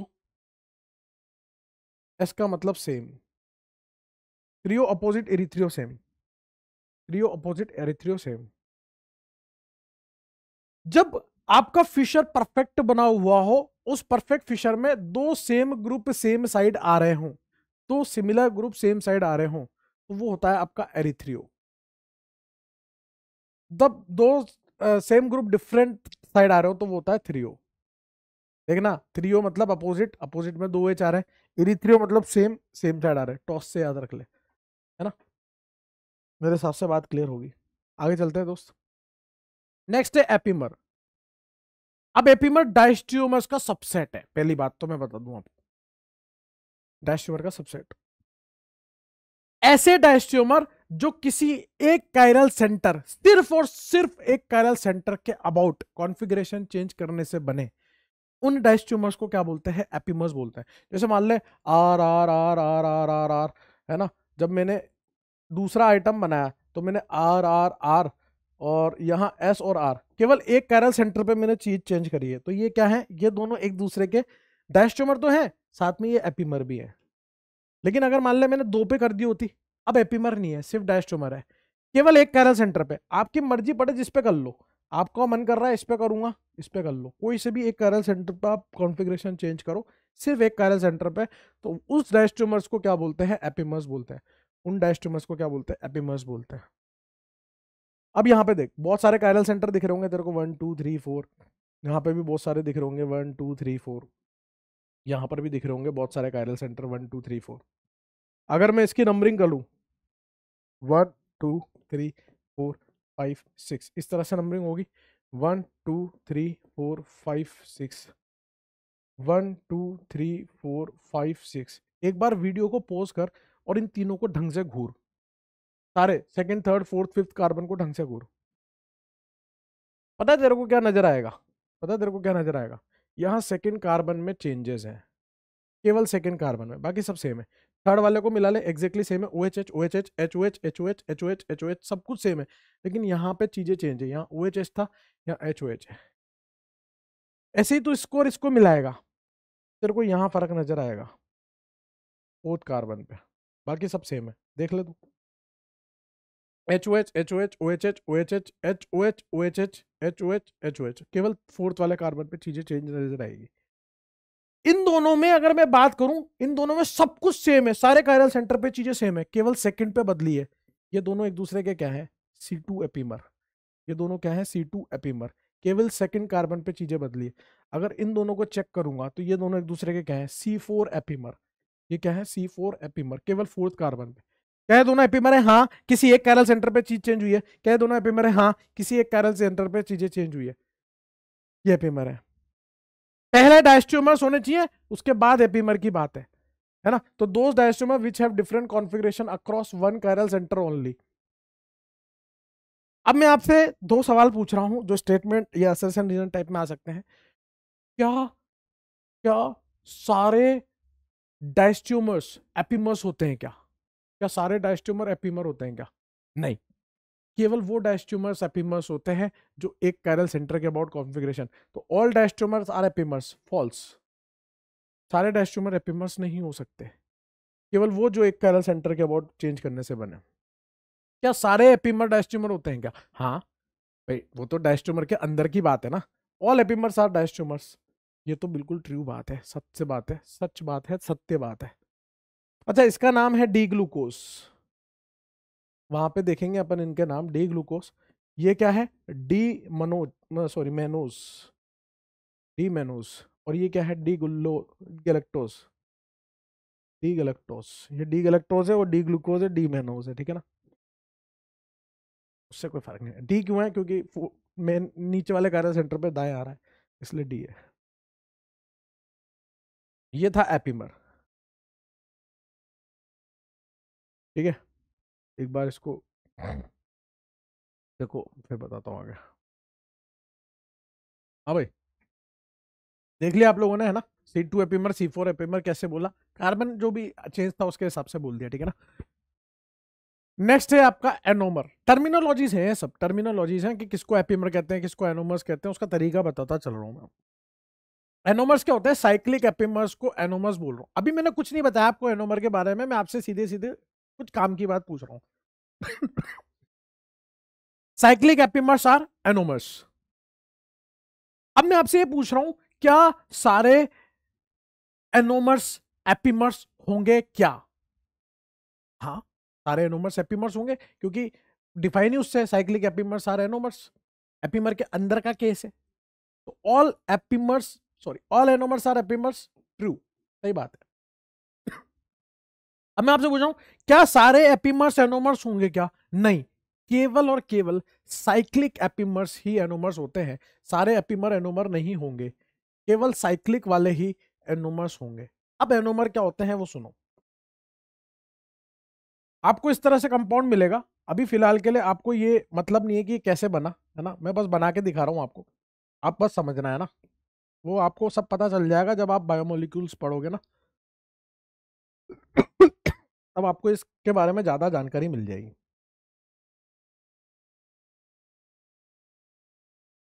Hydrogen hydrogen hydrogen hydrogen hydrogen और यहाँ पर ये C H two O H ठीक है? ये one, two, three, four, five और ये सिक्स कार्बन होता है इस तरह से। इसको कर रहा हूँ कॉपी और इसी को कर रहा हूँ पेसठ यहाँ से ओ एच हटाया एच हटाया और यहाँ ओ एच और यहाँ एच आप ध्यान से देखो, जब मैं इसको कॉपी पेस्ट करके लेके गया तो मैंने किस कार्बन पे चीज़ चेंज करी है? केवल फ़र्स्ट कार्बन पे चेंज किया बाकी मैंने किसी पे भी कोई चेंजेस नहीं किए as it is same to same है। लेकिन मैंने फ़र्स्ट पे तो किया है दोस्त। इसमें मैं मतलब वो नहीं करूँगा कि मैंने नहीं किया। मैंने किया है। किस पे किया है? केवल फ़र्स्ट कार्बन पे चीज़ें चेंज है, बाकी सब कुछ सेम है। तो एपीमर क्या होते थे? एपीमर ये होते थे, किसी एक कायरल सेंटर पे चीज़ चेंज हो जाए तो हमने कौन से पे? फ़र्स्ट कायरल सेंटर पे चेंज किया है। बस तो ये एपीमर तो है। कौन से एपीमर है? साइक्लिक एपीमर है। और साइक्लिक एपीमर्स को क्या बोलते हैं? एनोमर्स बोलते हैं। ये क्या होंगे? सी वन एनोमर होंगे, क्योंकि फ़र्स्ट कार्बन पे किया है। इसलिए सी ने सी वन एनोमर होंगे। एक कायरल सेंटर पे कॉन्फ़िगरेशन चेंज है, क्योंकि साइक्लिक है तो साइक्लिक एपिमर्स है। That's why they are anomers simple है। बाकी देखना, भाई सेम है ना, भाई? तेरे को मतलब नहीं है कैसे बना। अभी मतलब नहीं है। तू तो बस ये देख कि बाकी सब सेम है, बस पहली पे चीज़ें चेंज है। They are C one anomers अब पूरा स्टीरियो आइसोमर्स खत्म हो चुका है। मैंने आपको बताया, या तो एनेंशियोमर होंगे या डायस्ट्रोमर मिरर इमेज जैसा रिश्ता है तो एनेंशियोमर मिरर इमेज जैसा रिश्ता नहीं है स्टीरियो आइसोमर्स का तो वो डायस्ट्रोमर होंगे। एनेंशियोमर होने के लिए पीयूएस यूएस दोनों एबसेंट होनी चाहिए। अगर एक कैरल सेंटर वाला है तो वो भी नहीं करना। आर और एस करके चेक कर लेंगे। डायस्ट्रोमर के लिए तो मिरर इमेज जैसा रिश्ता नहीं होना चाहिए। स्टीरियो आइसोमर जो मिरर इमेज जैसा रिश्ता नहीं रखते, वो डायस्ट्रोमर होंगे। क्लियर है? क्लियर है? अब हमें कैलकुलेशन ऑफ़ स्टीरियो आइसोमर एक अपन ने करी थी कैलकुलेशन ऑफ़ जीआई तब भी एक एन डिफाइन किया था, लेकिन उस एन में सिर्फ़ जीआई यूनिट की बात करी थी। अब एन बड़ा हो चुका है। अब जीआई के साथ ओआई भी आएँगे। GI unit as well as O unit तो नंबर ऑफ़ स्टीरियोजेनिक यूनिट क्या होंगी? ऑप्टिकल वाली भी होंगी और जोमेट्रिकल वाली भी होंगी, दोनों होंगी। ऑप्टिकल आइसोमस भी और जोमेट्रिकल आइसोमर्स ऑप्टिकल आइसोमस में मेनली कायरल सेंटर होते हैं। जोमेट्रिकल आइसोमस की यूनिट्स आपको पहले से पता है क्या क्या हो सकती है है ना? अगर आपका मॉलिक्यूल अनसिमेट्रिकल है, पहला केस तो टोटल स्टीरियो आइसोमर कैसे निकालोगे? टू की पावर एन जैसे पहले निकाल रहे थे।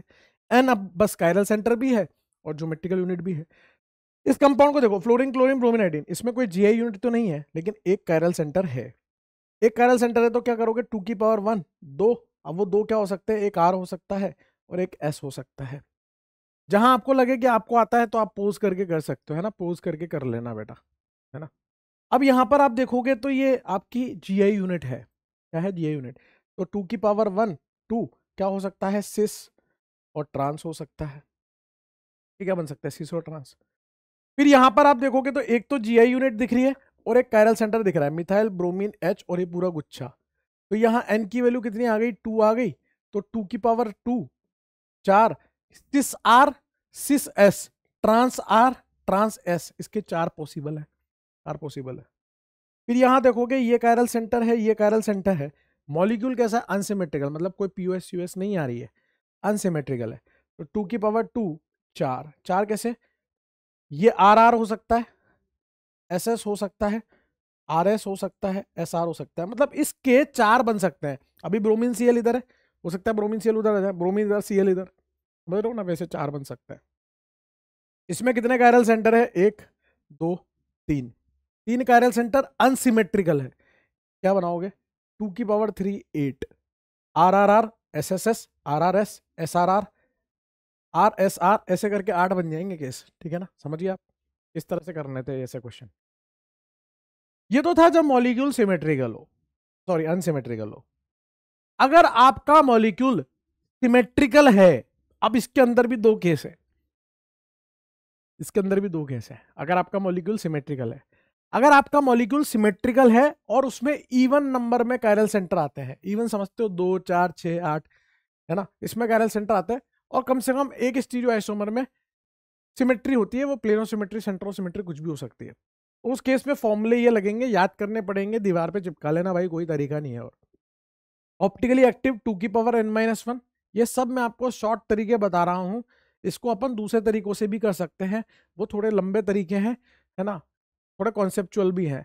ये वाले तरीके एकदम शॉर्ट है है ना? शॉर्ट तरीके से सीख लो। टू की पावर एन माइनस वन और मीजो होते हैं टू की power n by two minus one active कितने? टू की power n minus one meso कितने? टू की power n minus one total कितने आ जाएँगे? टोटल आ जाएँगे एक्टिव प्लस मीजो इन दोनों को जोड़ दूँगा तो टोटल आ जाएँगे। अरे ये तो ऑप्टिकली एक्टिव और मीजो क्या होते हैं? ऑप्टिकली इनएक्टिव वो भी तो काउंट होंगे ना। ऐसे भी तो बन सकते हैं। तो यहाँ देखोगे तो ये सिमेट्रिकल है, जो इधर है वो इधर है, ठीक है ना सिमेट्रिकल है। इसमें कितने कायरल सेंटर आ रहे हैं? दो कायरल सेंटर आ रहे हैं। अब इसके एक्टिव कितने बनेंगे? टू की power two minus one two की पावर टू माइनस वन यानी कि टू की पावर वन यानी कि दो। मीजो कितने बनेंगे? टू की power two by two minus one यानी कि टू की पावर वन माइनस वन यानी कि टू की पावर ज़ीरो एक बनेगा। एक्टिव बने दो मीजो बना एक। टोटल कितने बनेंगे? टोटल बनेंगे तीन। भाई वो बनते हैं चार बनते हैं R R, S S, R S S R. लेकिन उसमें से आर एस एस आर जो है ना, वो वापस रिपीट हो रहा है। आर एस और एस आर एक ही बात है। जब यार तू ऐसे बनाएगा ना भाई, ये मिथाइल ये methyl, H, O H O H H. ये आर आ रहा है, ये एस आ रहा है।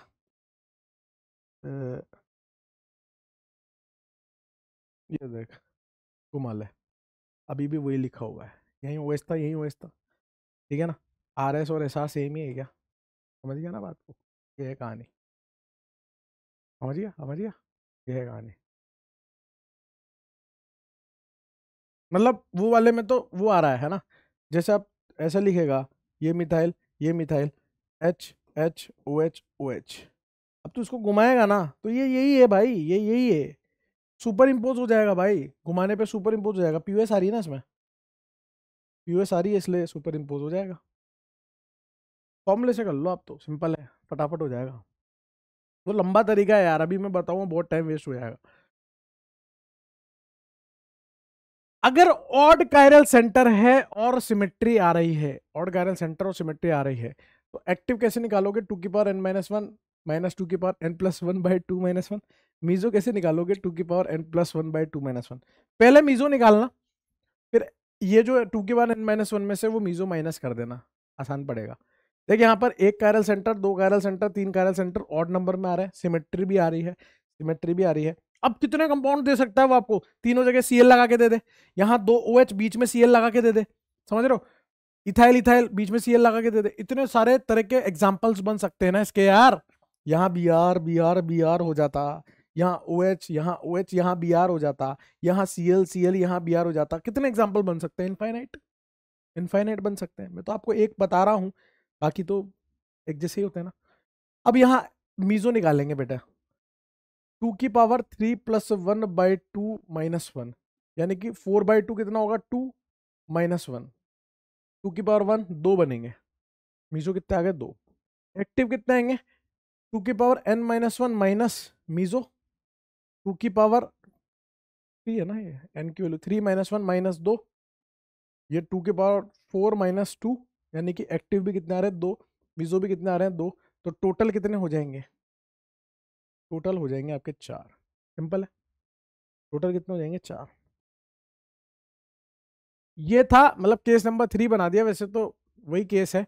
बस वहाँ even number of chiral centre थे या odd number of chiral centre है। अगर सिमेट्रिकल है तो इवन ऑड का ख्याल भी रखना पड़ेगा। अनसिमेट्रिकल में टू की पावर एन लगाना है। फॉर्मूले थोड़े से याद करने पड़ेंगे। कोई चारा नहीं है ना भाई? नेक्स्ट केस है, जैसे जीआई में पढ़ा था। जीआई में भी एक केस था अनसिमेट्रिकल का टू की पावर एन फिर सिमेट्रिकल वाला आया तो टू की power n minus one plus two की पावर पी माइनस वन फिर साइक्लिक वाला आया तो क्या बोला था? ड्रॉ एंड चेक तो वही साइक्लिक कंपाउंड हो सिमेट्री हो तो ड्रॉ एंड चेक मैं एक ही एग्ज़ाम्पल ले रहा हूँ, जो मैं ऑलरेडी जीआई में ले चुका था, ये वाला। ये आपके सामने जीआई में सॉल्व किया था ना अभी।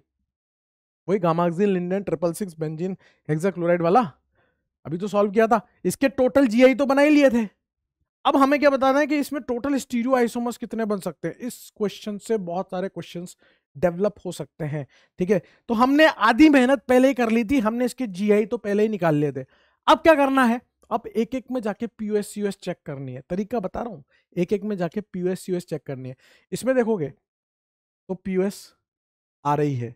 इसमें देखोगे तो प्लेन ऑफ़ सिमेट्री आ रही है। कैसे आ रही है? जब ऐसे काटोगे वेज के सामने वेज वेज के सामने वेज। जिसमें भी पीओएस या सीओएस में से कुछ आ जाए, वो क्या होंगे? ऑप्टिकली इनएक्टिव और जो ऑप्टिकली इनएक्टिव होते हैं, उनकी मिरर इमेज नहीं होती है। वो एक ही होता है।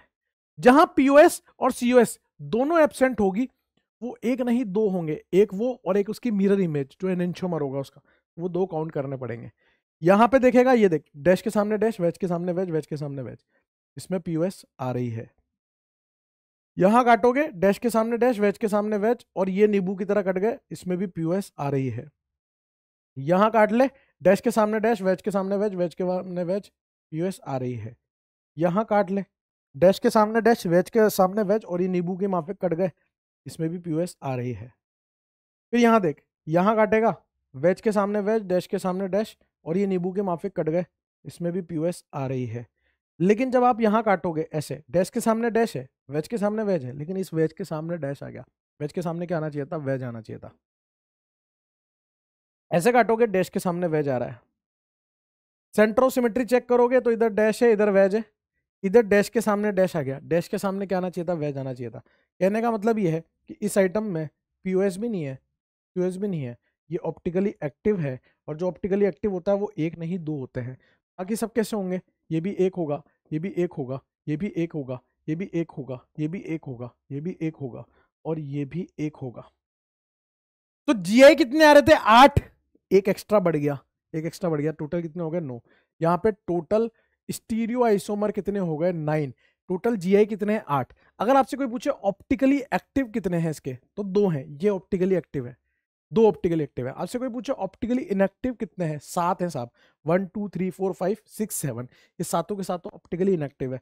आपसे कोई पूछे एनेंशोमर कितने हैं? तो ये दो एनेंशोमर बनेंगे। ये और इसकी मिरर इमेज प्लस इसकी मिरर इमेज बनेगी। इसकी मिरर इमेज आपसे कोई पूछे एनेंशोमर पेयर कितने होंगे? तो पेयर मतलब जोड़ा। जैसे आप जूते लेने जाते हो शूज़ लेने जाते हो तो आप क्या बोलते हो? एक जोड़ी जूते देना तो वो दो जूते देता है ना उसमें तो बोलते तो एक जोड़ी है ना तो वैसे पेयर का मतलब क्या जोड़ा? एनेंशोमर पेयर कितना है? एक होगा। बात समझ गया आप? इतने सारे सवाल इसमें पूछे जा सकते हैं आपसे। इतने सारे सवाल पूछे जा सकते हैं आपसे। मेरे हिसाब से बात क्लियर होगी। एक बार देख लो इसको। अरे, पहले तो जीआई के लिए सॉल्व कर, पहले, सर आपने इतनी जल्दी कर दिया।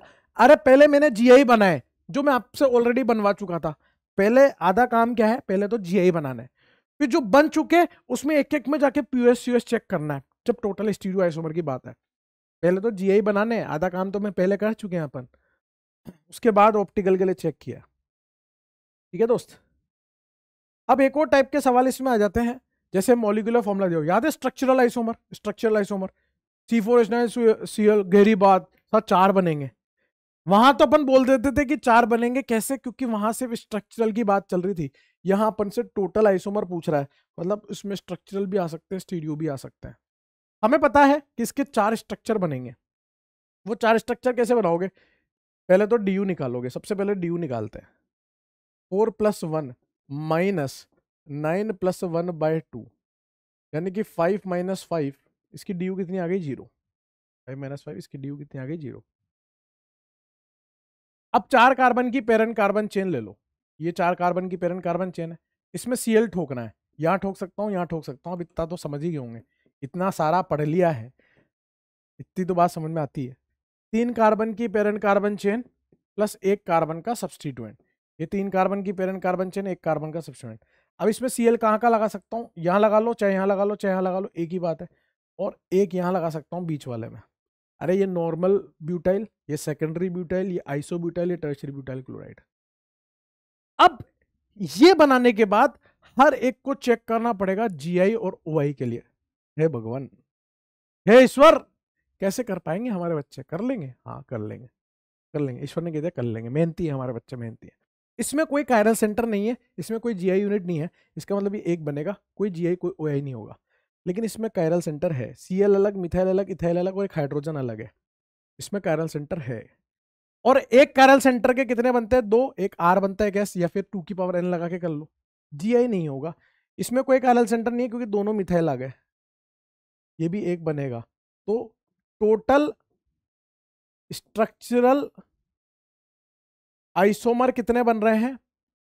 चार। टोटल स्ट्रक्चरल तो चार बन रहे थे। टोटल आइसोमर कितने बन रहे हैं? आइसोमर। टोटल आइसोमर बन रहे हैं पाँच। स्टीरियो आइसोमर कितने बन रहे हैं? टोटल स्टीरियो आइसोमर की बात करें। स्टीरियो आइसोमर मतलब molecular formula same, structure same. तो स्टीरियो आइसोमर केवल दो हैं। ये नहीं काउंट होंगे ये तो स्ट्रक्चर ही अलग हो गया ना।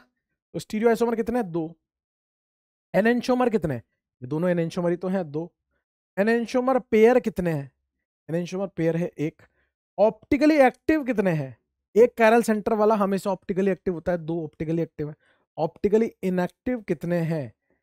एक, दो, तीन ऑप्टिकली इनएक्टिव है। इतनी बातें हम लोग बता सकते हैं इसके लिए। समझ गए आप? क्वेश्चन की लैंग्वेज पे जाना है बस। क्वेश्चन क्या पूछना चाह रहा है अपन से? एक क्वेश्चन और है। सी फाइव एच टेन याद है अपन इसकी मेहनत पहले कर चुके हैं? इसके स्ट्रक्चर आइसोमर बनाए थे। याद है? डी निकाली थी। डी क्या थी? Five plus one minus ten by two तो ये डी यू वन आ गई थी। वन का मतलब पाई या रिंग हो सकता है। तो मैंने पाई वाले भी बना रखे हैं और रिंग वाले भी बना रखे हैं। ये अपन ने पहले ही बना लिए। स्ट्रक्चर आइसोमर में बना लिया, आज ही बनाए आज ही बनाए ठीक है? अब स्टीरियो काउंट करना है। टोटल आइसोमर बात करनी है। एक एक को चेक करना पड़ेगा किसके लिए? OI और GI के लिए। अब देखो, यहाँ पे जी हो नहीं सकता वही नहीं हो सकता। एक बनेगा क्योंकि यहाँ दोनों हाइड्रोजन आ गए ना यार, दोनों सेम आ गए। यहाँ जी हो जाएगा, कैसे हो जाएगा? मिथाइल अलग एच अलग इथाइल अलग एच अलग जी हो जाएगा ना। इसके दो बनेंगे, एक सीस और एक ट्रांस इसका एक बनेगा, इसका भी एक बनेगा, दोनों मिथाइल है, ये भी मिथाइल है, ये भी मिथाइल है, इसलिए जी नहीं करेगा। और इसका भी एक बनेगा, यहाँ पे भी दोनों हाइड्रोजन है, कोई कायरल सेंटर भी नहीं है। केवल ये बड़ा है एक। जी आई चेक करते हुए, है ना? अब यार इतना तुम्हें सोचना है, जहाँ तुम्हें लगे कि यार ये कैसे कर रहा है तो पोज करो, खुद से सोचो कि क्या कह रहा है ये। समझ रहे हो? क्योंकि मैं जितना फिर सोचवाने की कोशिश करूँगा तो लंबा होता जाएगा वीडियो, कोई मतलब नहीं है फिर। रिंग की बात करें तो यहाँ कोई कायरल सेंटर नहीं है, कोई जीआई नहीं होगा, कायरल सेंटर भी नहीं है, यहाँ पर भी कोई जीआई नहीं होगा, कायरल सेंटर भी नहीं है, ये भी एक, ये भी एक, लेकिन यहाँ पंगा है।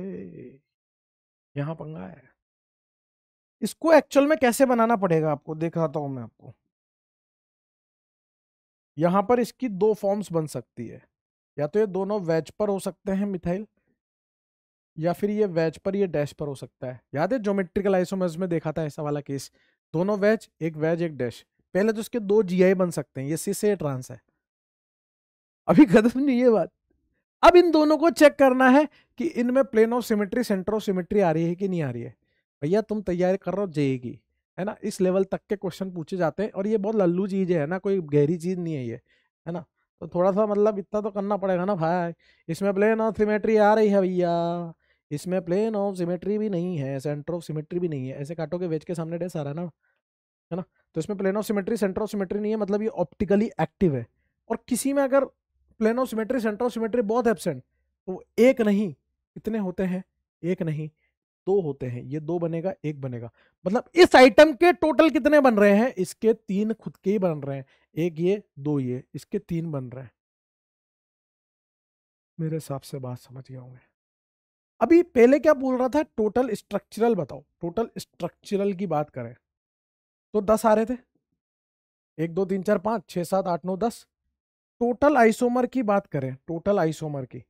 तो एक, दो, तीन, चार, पाँच, छ सात, आठ, नौ, दस, ग्यारह, बारह, तेरह।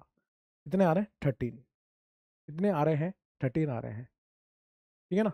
अगर मैं बात करूँ इन सब में ऑप्टिकली एक्टिव की ऑप्टिकली एक्टिव सिर्फ़ ये दो हैं। बाकी सब ऑप्टिकली इनएक्टिव है, जितना भी पड़ा है। सब ऑप्टिकली इनएक्टिव है। अगर मैं एनेंशोमर की बात करूँ तो एनेंशोमर सिर्फ़ ये दो हैं।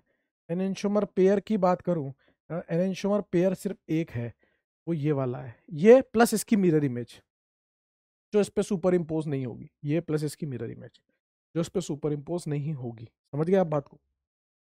इतनी बातें वो अपन से पूछ सकता है, इतनी बातें वो अपन से पूछ सकता है, मेरे हिसाब से बात समझ में आगे होगी, है ना? अब बस पी वाई क्यू करेंगे? खत्म हो गया। हाँ जी, सेठ जी, मेरे हिसाब से बात समझ में आ गई होगी, ठीक है ना? ठीक है? भाई ये जो है ना, ये ये जो है, इसको आप तीन तरीके से लिख सकते हो, पहले आप जीआई बनाओगे जीआई कैसे बनाओगे? वेज वेज वेज डैश वही वाई बाई टू करके वाई बाई टू दो है ना? तो टू बाई टू वन एक डैश पे जा सकता है। फिर उसके बाद एक एक को चेक करना पड़ेगा पीओएस यूएस के लिए। एक एक को चेक करना पड़ेगा दोस्त plane of symmetry centre of symmetry के लिए, जिसमें पीओएस यूएस दोनों एबसेंट होगा, वो ऑप्टिकली एक्टिव होगा, जिसमें प्रेजेंट होगा, वो ऑप्टिकली इनएक्टिव होगा। अगर कोई ऑप्टिकली एक्टिव है तो उसके दो आइसोमर बनेंगे, एक वो, एक उसकी मिरर इमेज जो नॉन सुपर इम्पोजिबल होगी। आइए पीवाई क्यू कर लेते हैं। पहला पीवाई क्यू आपके सामने है। Which type of isomerism is shown by two three dichlorobutane देखो क्वेश्चन आएगा। आपको पोज करना है ट्राई करना है। मैं आते ही क्वेश्चन को डिस्कस कर दूँगा, ठीक है ना? अब टू थ्री डाइक्लोरोब्यूटेन कैसी शक्ल का है? ऐसी शक्ल का है। ये रहा क्लोरीन ये रहा क्लोरीन और ये रहा सी एस थ्री मेरे भाई। ये टू थ्री डाइक्लोरोब्यूटेन है। इसमें आपको दो कायरल सेंटर नज़र आ रहे होंगे, दो कायरल सेंटर ये कैसा है? सिमेट्रिकल नेचर का है। कैसा है? सिमेट्रिकल नेचर का है। यानी कि ये स्टीरियो आइसोमर के गैस सेकंड में फॉल करता है, जहाँ even number of chiral centre plus symmetry वाली बात थी। तो वहाँ अपन एक्टिव कैसे निकालते थे? टू की पावर एन माइनस वन और मीजो कैसे निकालते थे? टू की power n by two minus one यानी कि टू की पावर टू माइनस वन यानी कि टू की power two by two minus one यानी कि दो, यानी कि एक, क्योंकि टू की पावर ज़ीरो कितना होगा? वन तो एक्टिव दो है मीजो एक है तो टोटल कितने हो गए? तीन। और ये किसका एग्ज़ाम्पल है? ऑप्टिकल आइसोमिज्म का एग्ज़ाम्पल है ना? ऑप्टिकल का एग्ज़ाम्पल है। और कुछ तो हो नहीं रहा इसमें। नेक्स्ट क्वेश्चन देखिए। Increasing order of stability among the three main conformation eclipse anti और gauche for two fluoro ethanol है ना? पोज करिए पोज करिए पोज करिए करिए। टू फ्लोरो इथेनॉल की बात चल रही है। टू फ्लोरो इथेनॉल कैसा दिखेगा? एक पे यहाँ फ्लोरिन लगा दो, एक पे यहाँ ओ OH लगा दो। This is two fluoro ethanol ये वन नंबर ये टू नंबर टू फ्लोरो इथेनॉल इसके अबाउट रोटेशन देना है और बताना है कि एंटी ज़्यादा स्टेबल होगा कि गॉच की इक्लिप्स कौन ज़्यादा स्टेबल होगा। ठीक है? तो अपन बना के देख लेते हैं ना। मान लीजिए इसको फ्रंट कार्बन कह देते हैं, इसको बैक कार्बन कह देते हैं, चाहे इसको फ्रंट कह दो, इसको बैक कर दो, एक ही बात है, ठीक है ना? यहाँ फ्रंट कार्बन पे दो हाइड्रोजन है, एक ओ OH लगा है और बैक कार्बन पे भी दो हाइड्रोजन है और एक फ्लोरीन लगा है। यहाँ पर मोहब्बत आ गई है। कौन सी मोहब्बत आई है? हाइड्रोजन बॉन्डिंग इनके बीच में मोहब्बत चलेगी बेटा हाइड्रोजन बॉन्डिंग वाली, ठीक है ना? हाइड्रोजन बॉन्डिंग हो जाएगी। इसलिए गॉच जो है वो एंटी से ज़्यादा स्टेबल होगा। और ये तो स्टैगर्ड स्टैगर्ड इक्लिप्स से ज़्यादा तो होता ही है। हमें इंक्रीजिंग ऑर्डर में बताना है तो पहले इक्लिप्स फिर एंटी फिर गॉच बी ऑप्शन सही हो जाएगा गॉच एंटी और इक्लिप्स ठीक है ना? और तो कोई ऑप्शन मैच नहीं कर रहा है ना? तो इंक्रीजिंग ऑर्डर में बताना है ना मतलब ऐसे बताना है, ऐसे, ठीक है ना? Gauche anti eclipse next question देखिए नेक्स्ट क्वेश्चन अगला क्वेश्चन देखिए। Which of the following molecule is expected to rotate the plane polarize light. कौन प्लेन पोलराइज लाइट को रोटेट करेगा? भाई, जो ऑप्टिकली एक्टिव होता है, वही तो प्लेन पोलराइज लाइट को रोटेट करता है ना? तो यहाँ देखो आप, एक कायरल सेंटर है और एक कायरल सेंटर वाला हमेशा ऑप्टिकली एक्टिव होता है, वो प्लेन पोलराइज लाइट को रोटेट करेगा। तो आंसर तो आ गया। लेकिन बाकियों को भी चेक कर लेते हैं, यहाँ कोई कायरल सेंटर नहीं है। यहाँ पर भी कोई कायरल सेंटर नहीं है, क्योंकि दोनों हाइड्रोजन आ गए। ठीक है? और यहाँ पे आप देख पा रहे होंगे कि NH2 के सामने NH2 H के सामने H PH के सामने PH प्लेन ऑफ़ सिमेट्री आ रही है। यानी कि ये भी ऑप्टिकली इनएक्टिव है तो एक ही ऑप्शन था ए ठीक है दोस्त? आगे चलते हैं, आगे आगे आगे। अगला क्वेश्चन देखो आप। The alkene that exhibits geometrical isomerism is तो सबसे पहले तो प्रोपीन लिखा है। पोज करके कर लो बेटा। ये प्रोपीन हो जाएगा C H three C H double bond C H two two methyl propene लिखा है, ये प्रोपीन है। दो पे मिथाइल है। और ये एल्किन लगा दी तो this is two methyl propene two butene लिखा है तो this is two butene two methyl two butene लिखा है तो टू ब्यूटीन ये रहा, और दो नंबर पे मिथाइल ये रहा। अब आप ध्यान से देखो, यहाँ पर इस कार्बन पे दो हाइड्रोजन आ गए, एक जैसे ग्रुप आ गए, यानी कि ये तो नहीं हो सकता। इस कार्बन पे यहाँ मिथाइल है, और यहाँ पर भी मिथाइल है, ये भी नहीं हो सकता। लेकिन इस पे यहाँ मिथाइल है, यहाँ हाइड्रोजन है, यहाँ मिथाइल है, और यहाँ हाइड्रोजन है तो टू ब्यूटीन आपका हो जाएगा। यहाँ पर भी देखोगे तो ये मिथाइल ये मिथाइल दोनों सेम ग्रुप आ गए तो ये भी जी नहीं कर पाएगा। सिंपल था। अगला question the number of stereo isomers possible for a compound of the molecular formula इस कंपाउंड के लिए कितने स्टीरियो आइसोमर अब स्टीरियो के अंदर क्या क्या आ जाते हैं? ऑप्टिकल भी आ जाते हैं और जोमेट्रिकल भी आ जाते हैं ना। तो ये क्या लिखा हुआ है? डबल बॉन्ड सी एच फिर सी एच फिर यहाँ ओ OH, और यहाँ पर मिथाइल मतलब सी एस थ्री तो दोस्त, एक तो कायरल सेंटर दिख रहा है और एक ये जीआई सेंटर दिख रहा है। तो एन की वैल्यू टू हो गई अनसिमेट्रिकल है। तो टू की पावर टू लगा लो, चार, जिसमें एक हो जाएगा cis R cis S trans R trans S ठीक है ना? Cis R cis S trans R trans S cis R cis S trans R trans S तो आपका आंसर हो जाएगा सी फोर आंसर हो जाएगा ठीक है फोर आंसर हो जाएगा। अगला क्वेश्चन देखिए जनाब। Out of the following the alkene that exhibits optical isomerism is optical isomerism कौन शो कर सकता है जिसमें पीयूएस यूएस एब्सेंट हो या जिसमें कायरल सेंटर्स हो? वही तो ऑप्टिकल आइसोमिज्म शो कर सकता है ना। तो थ्री मिथाइल टू पेंटीन पाँच कार्बन की ये पेंटीन बना ली, इसमें दो नंबर पे ये एल्किन लगा ली। वन टू थ्री यहाँ पर मिथाइल लगा लिया। फोर मिथाइल वन पेंटीन पाँच कार्बन की बना ली एल्किन लगा ली one two three four pause करके आप क्वेश्चन को ट्राई करो ईमानदारी से, बेटा। आपकी ईमानदारी आपके हाथ में है, आपकी कलम। थ्री मिथाइल वन पेंटीन पाँच कार्बन, एक नंबर पे ये वन टू थ्री यहाँ पर मिथाइल लगा लिया। टू मिथाइल टू पेंटीन ये पेन टू इन बना लिया और वन टू ये टू पे मिथाइल लगा लिया। अब आप ध्यान से देखोगे तो यहाँ कोई कायरल सेंटर नहीं है। यहाँ पर ये लगता तो है कायरल सेंटर है, लेकिन है नहीं, क्योंकि ये मिथाइल है और ये भी मिथाइल है तो कायरल सेंटर नहीं होगा ना। ये कायरल सेंटर नहीं होगा। फिर यहाँ पर देखोगे तो this is your chiral centre इधर मिथाइल है, ये आपका दो कार्बन का है, ये इथाइल है, यहाँ हाइड्रोजन है और ये ग्रुप अलग है, चारों ग्रुप डिफरेंट है, इसलिए यहाँ कायरल सेंटर है।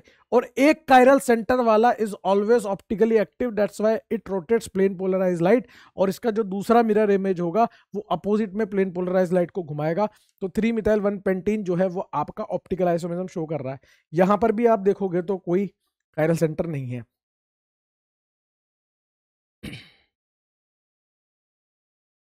Which of the following compounds will exhibit geometrical isomerism इनमें से कौन है ज्योमेट्रिकल आइसोमिज्म शो कर रहा है वो बताना है।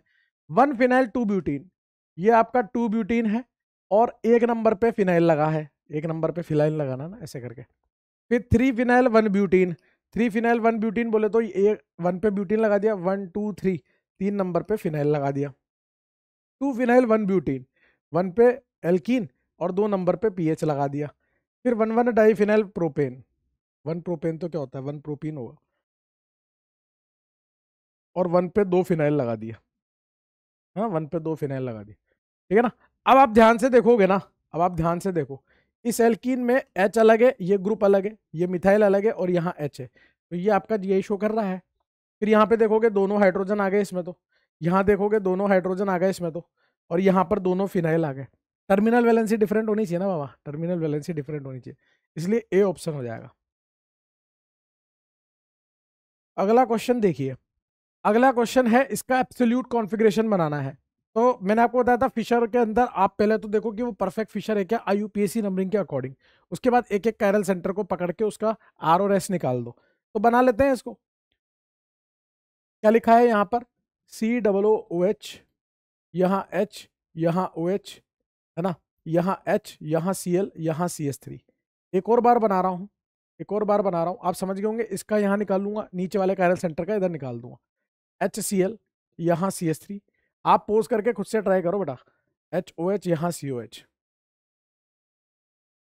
देखना दोस्त, इस कार्बन की बात कर रहे हैं, इस कार्बन के लिए एच अलग है ओ एच अलग है, ये पूरा गुच्छा अलग है और सी ओ एच अलग है, ठीक है ना, इस कार्बन के लिए।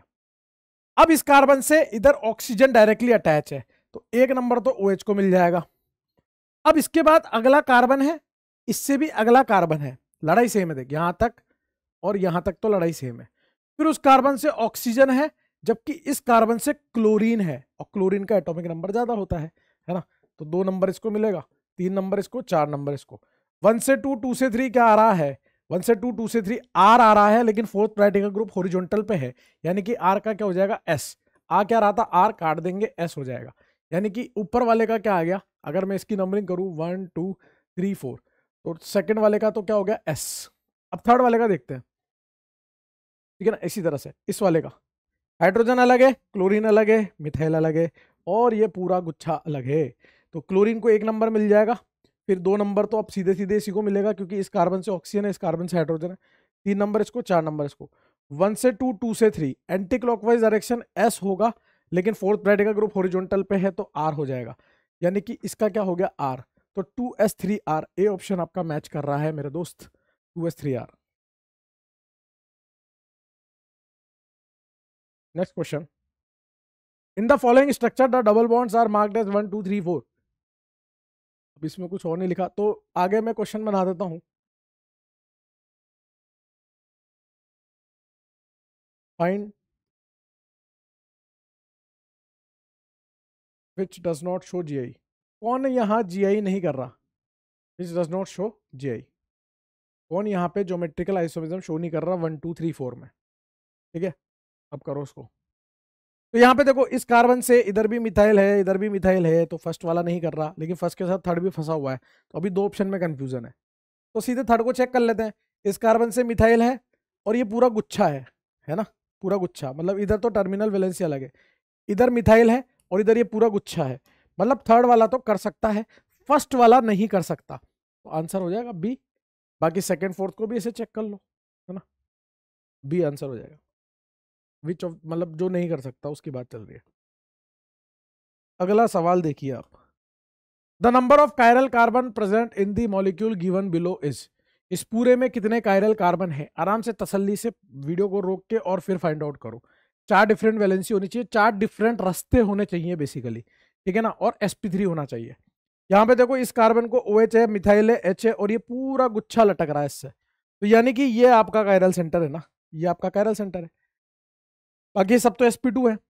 फिर आ जाओ सीधे यहाँ पर। इससे एक हाइड्रोजन है, एक ऑक्सीजन है, एक इधर से ये नाइट्रो पिरीडीन वाला सिस्टम लगा है, और इधर से ये अलग सिस्टम लगा है। ये कायरल सेंटर है। इस तरह से ये भी कायरल सेंटर है। इस तरह से ये भी कायरल सेंटर है। इस तरह से ये भी कायरल सेंटर है, ठीक है ना? और और और, वैसे तो नाइट्रोजन भी हो सकता है, लेकिन आपसे इसमें कायरल कार्बन पूछे हैं सिर्फ़ सिर्फ़ कायरल कार्बन पूछे हैं तो अपन कार्बन की ही बात करें। एक ये रहा, दो ये रहा, तीन ये रहा, चार ये रहा, पाँच ये रहा। ये कोई कार्बन नहीं है, ये तो बाइसाइक्लिक कंपाउंड है ना बाइसाइक्लिक ऐसे ऊपर से निकल के जा रहा है, ऐसे ऊपर से निकल के जा रहा है थ्री की तरह। ठीक है ना? तो कितने आ गए? One two three four five इसका आंसर हो जाएगा आपका पाँच। पाँच हो जाएगा, ठीक है ना? चलो, आगे चलते हैं। अगला सवाल। Among the following compounds geometrical isomerism is exhibited by कौन ज्योमेट्रिकल आइसोमिज्म शो कर रहा है? ऐसे कंपाउंड अभी मैंने आपको सिखाए थे, जब ऐसा टेढ़ा करके सिखाया था मैंने डबल बॉन्ड या एच बी आर और मान लीजिए यहाँ बी आर आ जाए तो इसको एल्कीन मान के करना है। ये दोनों तो अलग है।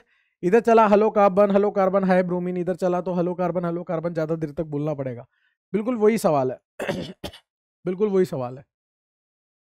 तो देख, यहाँ पर इस कार्बन से हाइड्रोजन और सीएल है। अगर इसको ऐसे लिखूँगा तो ये क्या लिखा है? सीएल और इधर क्या लगा है? हाइड्रोजन ऐसे हाइड्रोजन सीएल अलग अलग है। अब इधर वाली कार्बन की वैलेंसी देखनी है। इधर चला हलो कार्बन है ना? और इधर चला हलो कार्बन इधर चला हलो कार्बन इधर चला हलो कार्बन अभी क्या बोलेगा? Hi methyl. ये क्या बोलेगा? अभी भी हलो कार्बन मतलब ये रास्ता और ये रास्ता डिफरेंट है तो ये ए वाला कर सकता है। बी वाले केस में बी वाले केस में क्या है? बी वाला केस ये रहा। बी वाले केस में दोनों रास्ते सेम है, इधर से चल रहे इधर से चल रहे सेम है, ये नहीं करेगा। सी वाले में भी इधर से चल रहे इधर से चल रहे सेम है, नहीं करेगा डी वाले में। सी वाले में क्या पंगा है? इधर से चल रहे इधर से चल रहे नहीं करेगा, लेकिन, यहाँ एक पंगा है। अरे, इसके अबाउट तो कर सकता है ना? अरे साइक्लो एल्केन अगर ये नहीं होता, मान ले, ये नहीं होता थोड़ी देर के लिए, इसको छुपा लिया। अब साइक्लो एल्केन में दो डिफरेंट sp3 एटम पर दो डिफरेंट ग्रुप होने चाहिए। एक sp3 ये रहा, इसमें मिथाइल एच है मिथाइल एच है। अरे, यहाँ मिथाइल एच मिथाइल एच है ना भाई, ये तो कर सकता है। तो इसके दो आंसर होंगे ए और सी ए और सी दो आंसर होंगे इसके। गलत सवाल। Which of the following compound shows geometrical isomerism इनमें से कौन है ज्योमेट्रिकल अरे बार बार वही चीज़ है। Pent one ene. एक, दो, तीन, चार पे मिथाइल। Pent two ene. दो पे methyl. Pent two ene. One, two, three, four पे methyl. Pent one ene. One, two two पे मिथाइल। ठीक है? बिना यूपीएससी के नहीं कर सकते, देख लो। अब यहाँ पर क्या देखना है कि कौन ज्योमेट्रिकल तो यहाँ तो दोनों हाइड्रोजन आ गए दोस्त। यहाँ दोनों मिथाइल आ गए दोस्त। यहाँ पर मिथाइल है, लेकिन यहाँ हाइड्रोजन है। और यहाँ हाइड्रोजन है और ये पूरा गुच्छा है दूसरे पे। तो ये कर जाएगा। फिर यहाँ देखोगे तो यहाँ भी दोनों हाइड्रोजन है दोस्त। खत्म हो गया सी ऑप्शन हो जाएगा। क्या हो जाएगा? सी ऑप्शन अगला सवाल देखिए। Which one of the following pairs of isomer is an example of metamerism metamerism में मैंने आपको क्या बताया था? कि पॉलीवेलेंट फ़ंक्शन ग्रुप के अक्रॉस चीज़ें इधर उधर होना मेटामेरिज्म कहलाता है। ठीक है ना? अब ये तो देखो लगातार पाँच कार्बन और यहाँ पर तीन कार्बन की पेरेंट कार्बन चेन, ये तो चेन आइसोमर है। पोस्ट करके गल ले भाई यार।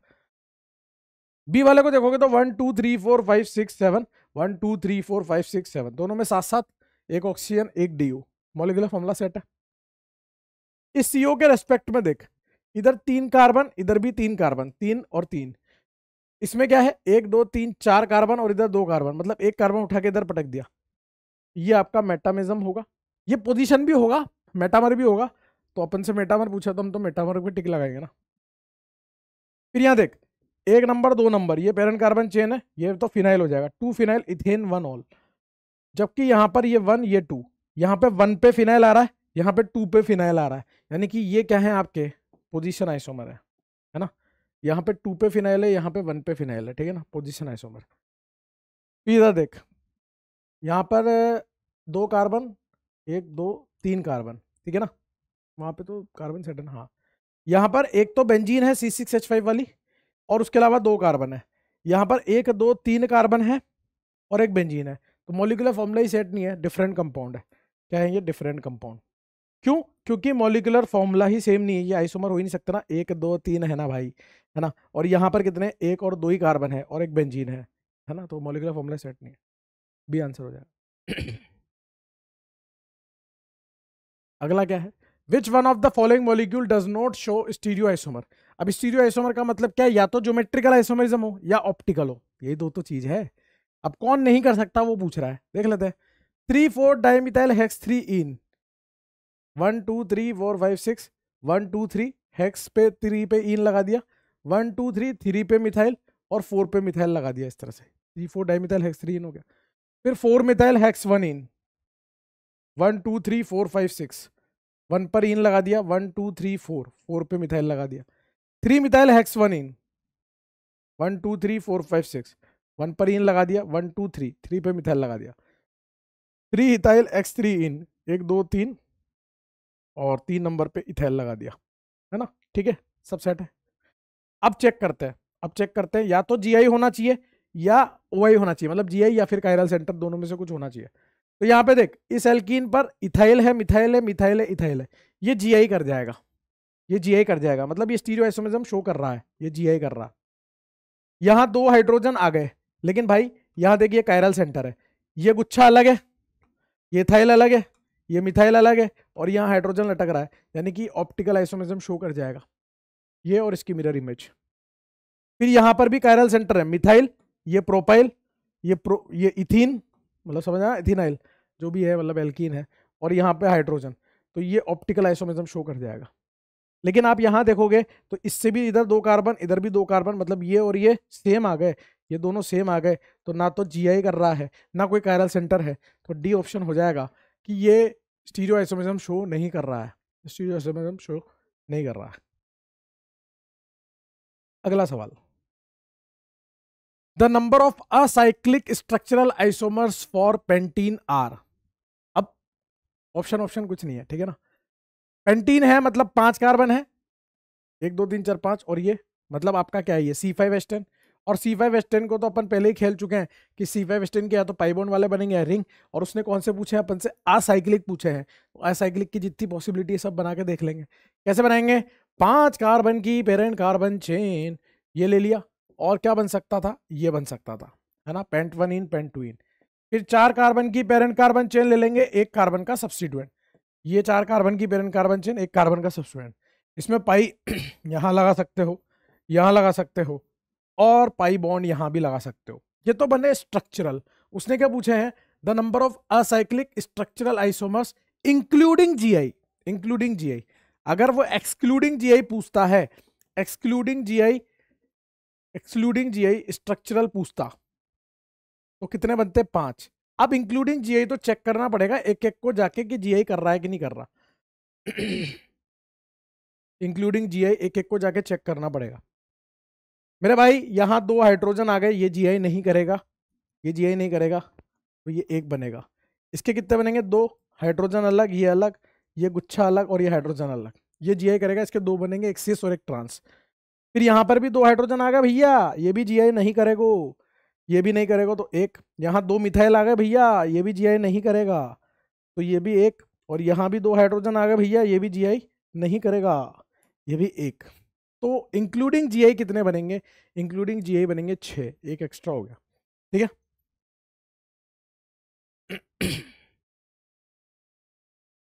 अगला। Staggered and eclipse conformers of ethane are enantiomer rotamer, mirror image, polymer. भाई कन्फर्मर्स को रोटामर्स भी बोलते हैं, है ना? मतलब ये तो थ्योरेटिकल क्वेश्चन हो गया रोटामर्स होता है। तो स्टैगर और इक्लिप्स कन्फर्मर्स जो होते हैं, उनको रोटामर्स भी बोलते हैं, ठीक है ना? They are also rotamers next question क्या है? The dihedral angle in staggered form of Newman projection of one one one tri chloro ethane is degree round off करना है नियरेस्ट इंटीजर तक। दो हज़ार इक्कीस का ही सवाल है। अब one one one trichloro ethane वो कैसा दिखेगा? C S three, C C L three, one one one trichloro ethane अब इसी के अबाउट रोटेट करना है, ठीक है? आप इसको फ्रंट कार्बन मान लो, इसको बैक कार्बन मान लो। फ्रंट कार्बन को डॉट से, बैक कार्बन को गोले से। फ्रंट कार्बन पे क्या लगे हैं? तीन क्लोरीन लगे हैं और बैक कार्बन पे तीन हाइड्रोजन लगे और अपन को स्टैगर्ड फॉर्म बनानी है। स्टैगर्ड फॉर्म बनानी है तो यहाँ हाइड्रोजन यहाँ हाइड्रोजन या हाइड्रोजन। अब डायड्रल एंगल क्या होता है? आगे वाला और पीछे वाले की कोई स्पेसिफिक वैलेंसी आगे वाले का क्लोरीन ले लो, पीछे वाले की भी हाइड्रोजन ही है, कोई सा भी ले लो। ये हाइड्रोजन ले लो लो, ठीक है ना?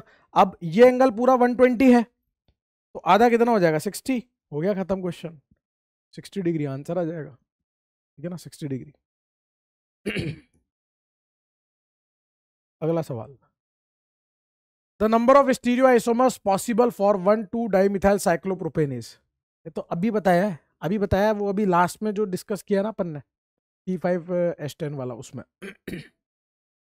देखो भाई वन टू डाईमिथाइल साइक्लोप्रोपेन ये है। पहले इसके बनाएँगे जीआई फिर हर एक को चेक करेंगे पीओएस यूएस के लिए, फिर उससे सारे निकल के आ जाएँगे स्टीरियो आइसोमर्स तो इसके क्या क्या पॉसिबिलिटी है कि इसका दोनों को वेज पर ले जाओ, एक को वेज पर और एक को डैश पर ले जाओ। दोनों को डैश पर ले जाओगे तो फिर यही बन जाएगा, पलटोगे तो। फिर इसमें आप चेक करोगे तो यहाँ पे प्लेन ऑफ़ सिमेट्री नज़र आ रही है। तो ये तो एक ही बनेगा। जहाँ पीओएस यूएस दोनों एबसेंट होंगे, वहाँ पर आपके दो बनेंगे, क्योंकि वो ऑप्टिकली एक्टिव हो जाएगा ना। अब यहाँ पर देखो वेज के सामने डैश प्लेन ऑफ़ सिमेट्री नहीं है। सेंटर ऑफ़ सिमेट्री भी नहीं, ऊपर गया मिथाइल है, नीचे कुछ भी नहीं है। तो यहाँ पीओएस भी नहीं है, यहाँ सीओएस भी नहीं है। तो ये बनेगा प्लस इसकी मिरर इमेज बनेगी। मतलब ये दो बनेंगे। तो दो और एक कितने होते हैं? तीन। तीन आंसर हो जाएगा। ठीक है? हीरो ऐसे और पूछे ना। अगला सवाल देखिए। Choose the correct name for compound given below दो हज़ार इक्कीस का सवाल है। एक एल्काइन है यहाँ पर और एक एल्कीन है यहाँ पर ठीक है ना? और अच्छा ई जेड भी करवा रहा है वो ई जेड भी करवा रहा है ठीक है ना? तो इसको अपन ऐसे कर लेते हैं। इस कार्बन और इस कार्बन पे देखते हैं। ये सी डबल बॉन्ड सी इस कार्बन पे एक मिथाइल लगा है और एक ब्रोमीन लगा है। इस कार्बन पे देखो। यहाँ कार्बन यहाँ कार्बन यहाँ कार्बन। मतलब क्या लगा है? सी ट्रिपल बॉन्ड सी और ये सी एस थ्री ठीक है ना? ये मिथाइल और ये वाला ग्रुप। इधर क्या एच है ना? एच और बी आर सामने आमने ये एच इस तरह से लिख लिया। ठीक है? अब पहले तो ई e जेड कर लेते हैं। सी एस थ्री और बी आर में कौन जीतेगा? बी आर हाइड्रोजन और इसमें कौन जीतेगा? ये। तो ये ई e हो गया। मतलब आपका आपका सारे ही ई e है, सारे ई है तो मतलब वो तो चेक भी नहीं करना था यार। कोई बात नहीं।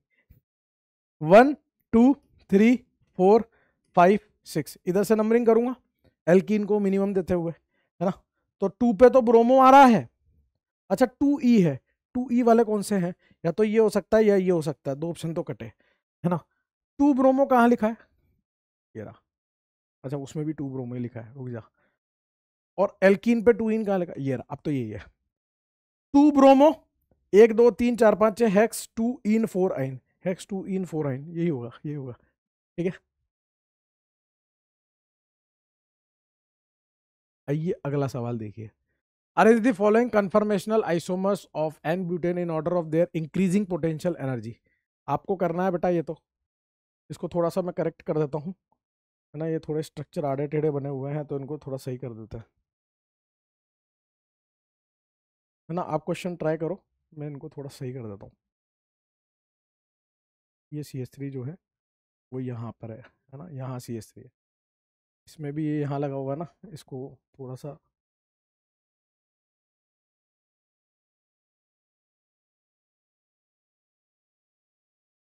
यहाँ से हटा के नहीं नहीं, एक मिनट, वो तो सही है। ये गड़बड़ है।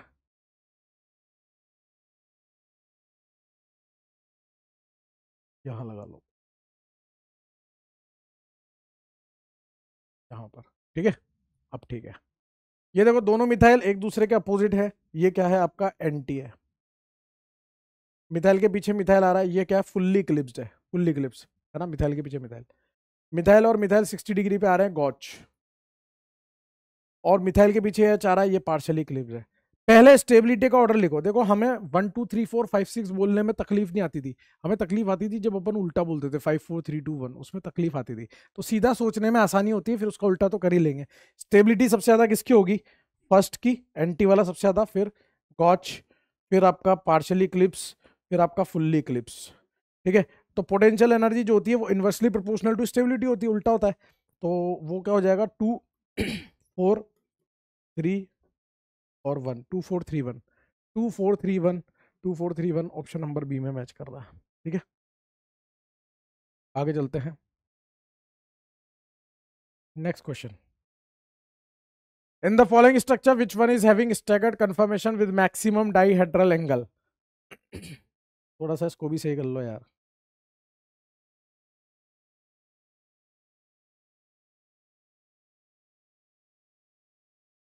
यहाँ पर सी एस थ्री ठीक है?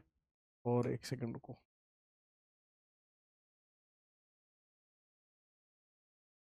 थोड़ा अच्छा दिख रहा है ना? ठीक है।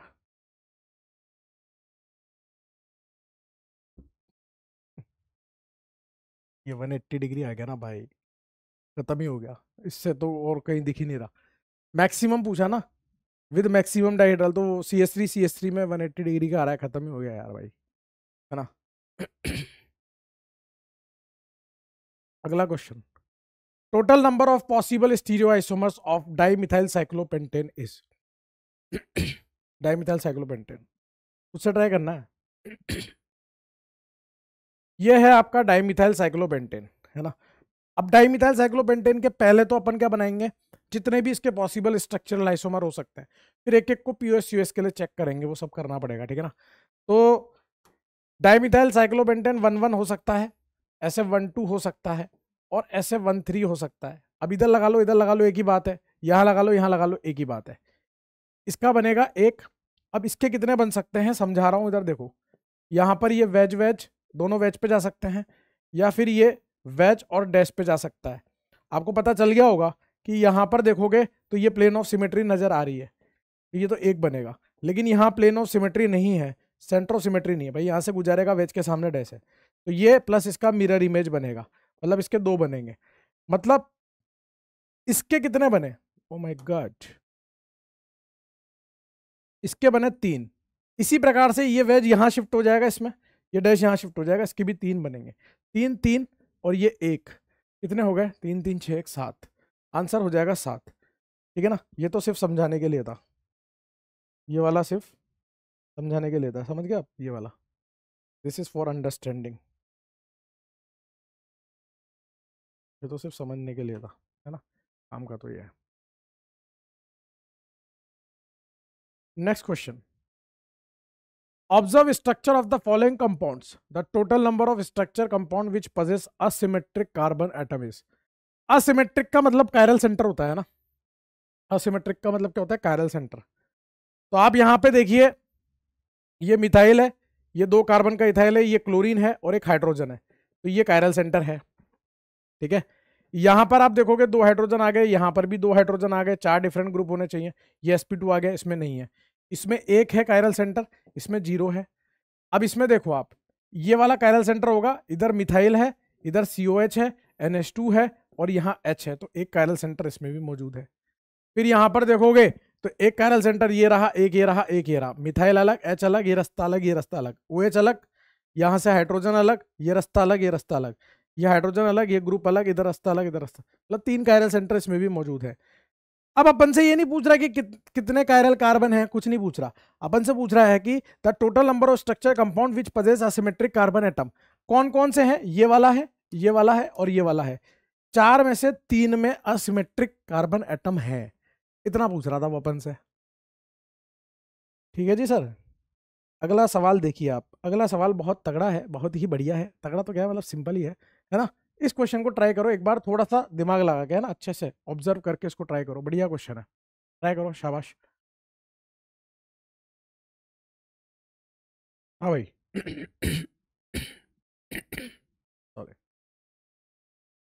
देख भाई, इसको करने के दो तरीके हैं। एक तो मैं तेरे को सस्ता तरीका बताता हूँ। है ना? सस्ता तरीका सस्ता तरीका क्या है? याद है तेरे को? सीआईपी रूल सीआईपी रूल में एक रूल और है। वैसे उसकी इतनी खास ज़रूरत नहीं पड़ती, लेकिन यहाँ पड़ जाएगी कि अगर आपके पास सेम तरह के ग्रुप लगे हुए हों, देख रहा है? Carbon double bond carbon methyl carbon double bond carbon methyl है ना? सेम ग्रुप लगे हों, लेकिन कॉन्फिग्रेशन अलग अलग हो। यहाँ पर ये सिस है, ये ट्रांस है, या ई e जेड आएँगे अभी तो सीआईपी क्या बोलता है कि जेड को ई e से ज़्यादा प्रायोरिटी मिलती है। जेड को ई e से ज़्यादा प्रायोरिटी मिलती है। अब यहाँ पर देख, यहाँ हाइड्रोजन मिथाइल में मिथाइल जीतेगा। और हाइड्रोजन और इस पूरे गुच्छे में ये पूरा गुच्छा जीतेगा। मतलब इसका कॉन्फ़िगरेशन क्या आ रहा है? इसका तो जेड आ रहा है। इसका जेड आ रहा है। यहाँ सी एस थ्री और एच और यहाँ एच और उसमें। तो ये सी एस थ्री जीतेगा, उधर वो जीतेगा तो इसका ई e आ रहा है। ठीक है? अब अपन इसका आर एस निकाल सकते हैं। पता है आर एस कैसे निकालेंगे? एक नंबर तो इस नाइट्रोजन को मिलेगा एनओ टू को। एटॉमिक नंबर ज़्यादा है। फिर जेड और ई e में प्रायोरिटी किसको ज़्यादा मिलेगी? इस जेड वाले ग्रुप को ज़्यादा मिलेगी। फिर ई e वाले को ज़्यादा मिलेगी। फिर हाइड्रोजन को। फोर्थ प्रायोरिटी का ग्रुप डैश पर आ गया। फोर्थ प्रायोरिटी का ग्रुप कहाँ आ गया? डैश पर आ गया। तो वन से टू टू से थ्री वन से टू टू से थ्री एंटी क्लॉकवाइज चल रहे हैं। क्या हो जाएगा? एस हो जाएगा। और एस का ऐसे ही रहेगा क्योंकि फोर्थ प्रायोरिटी का ग्रुप डैश पर है। ये आसान तरीका है। ये आसान तरीका है। है ना? इसको सॉल्व करने का। क्योंकि क्या बोल रहा है the compound is optically active क्योंकि इसमें एक कैरल सेंटर है एक कैरल सेंटर वाला हमेशा ऑप्टिकली एक्टिव होता है उसमें कोई दर्द नहीं है। अब ये बोल रहा है स्टेटमेंट टू में is mirror image of above compound A इस कंपाउंड का ये मिरर इमेज है क्या? ये बोल रहा है। अगर ये एस है अगर ये आर आ गया तो मिरर इमेज हो जाएगा आर नहीं आया तो फिर नहीं होगा। समझ रहा है? ये देख रहा तू ये वाला। हाइड्रोजन इधर है ये गुच्छा पूरा उधर है। तो वो गुच्छा जीतेगा इधर मिथाइल जीतेगा तो ये क्या आ रहा है ई e, और ये क्या आ रहा है जेड एक नंबर तो इसको देगा। दूसरा कलर यूज़ कर लेते हैं। एक नंबर इसको देगा। दो नंबर जेड वाले को, तीन नंबर ई वाले को और चार नंबर हाइड्रोजन वाले को। सही है? देंगे अब एक से दो दो से तीन। क्लॉकवाइज डायरेक्शन में जा रहा है कि एंटी क्लॉकवाइज डायरेक्शन में जा रहा है। ये पूछ रहा हूँ मैं तेरे से। अरे, इसमें भी यूँ ही चल रहे थे और इसमें भी यूँ ही चल रहे हैं। घड़ी के उल्टी दिशा में चल रहे हैं। ये भी एस आ रहा है। तो एस का एस तो आइडेंटिकल होता है। मिरर इमेज नहीं होता है। यानी कि फ़र्स्ट स्टेटमेंट इज़ करेक्ट क्योंकि एक chiral centre is always optically active but it it this is not mirror image of this that's why statement two is incorrect ये बोल रहा है दोनों करेक्ट है। ये बोल रहा है दोनों इनकरेक्ट है। ये बोल रहा है फ़र्स्ट करेक्ट है स्टेटमेंट सेकंड इज़ इनकरेक्ट ये सही लग रहा है मुझे। और first is incorrect second is correct C option यहाँ पे करेक्ट होगा। एक तरीका तो ये बता दिया मैंने। दूसरा तरीका क्या है? तो रोटेट कर, करके देखना पड़ेगा। रोटेट कर करके कैसे देखना पड़ेगा? पहले तो इसको ऐसे पलटी मारना।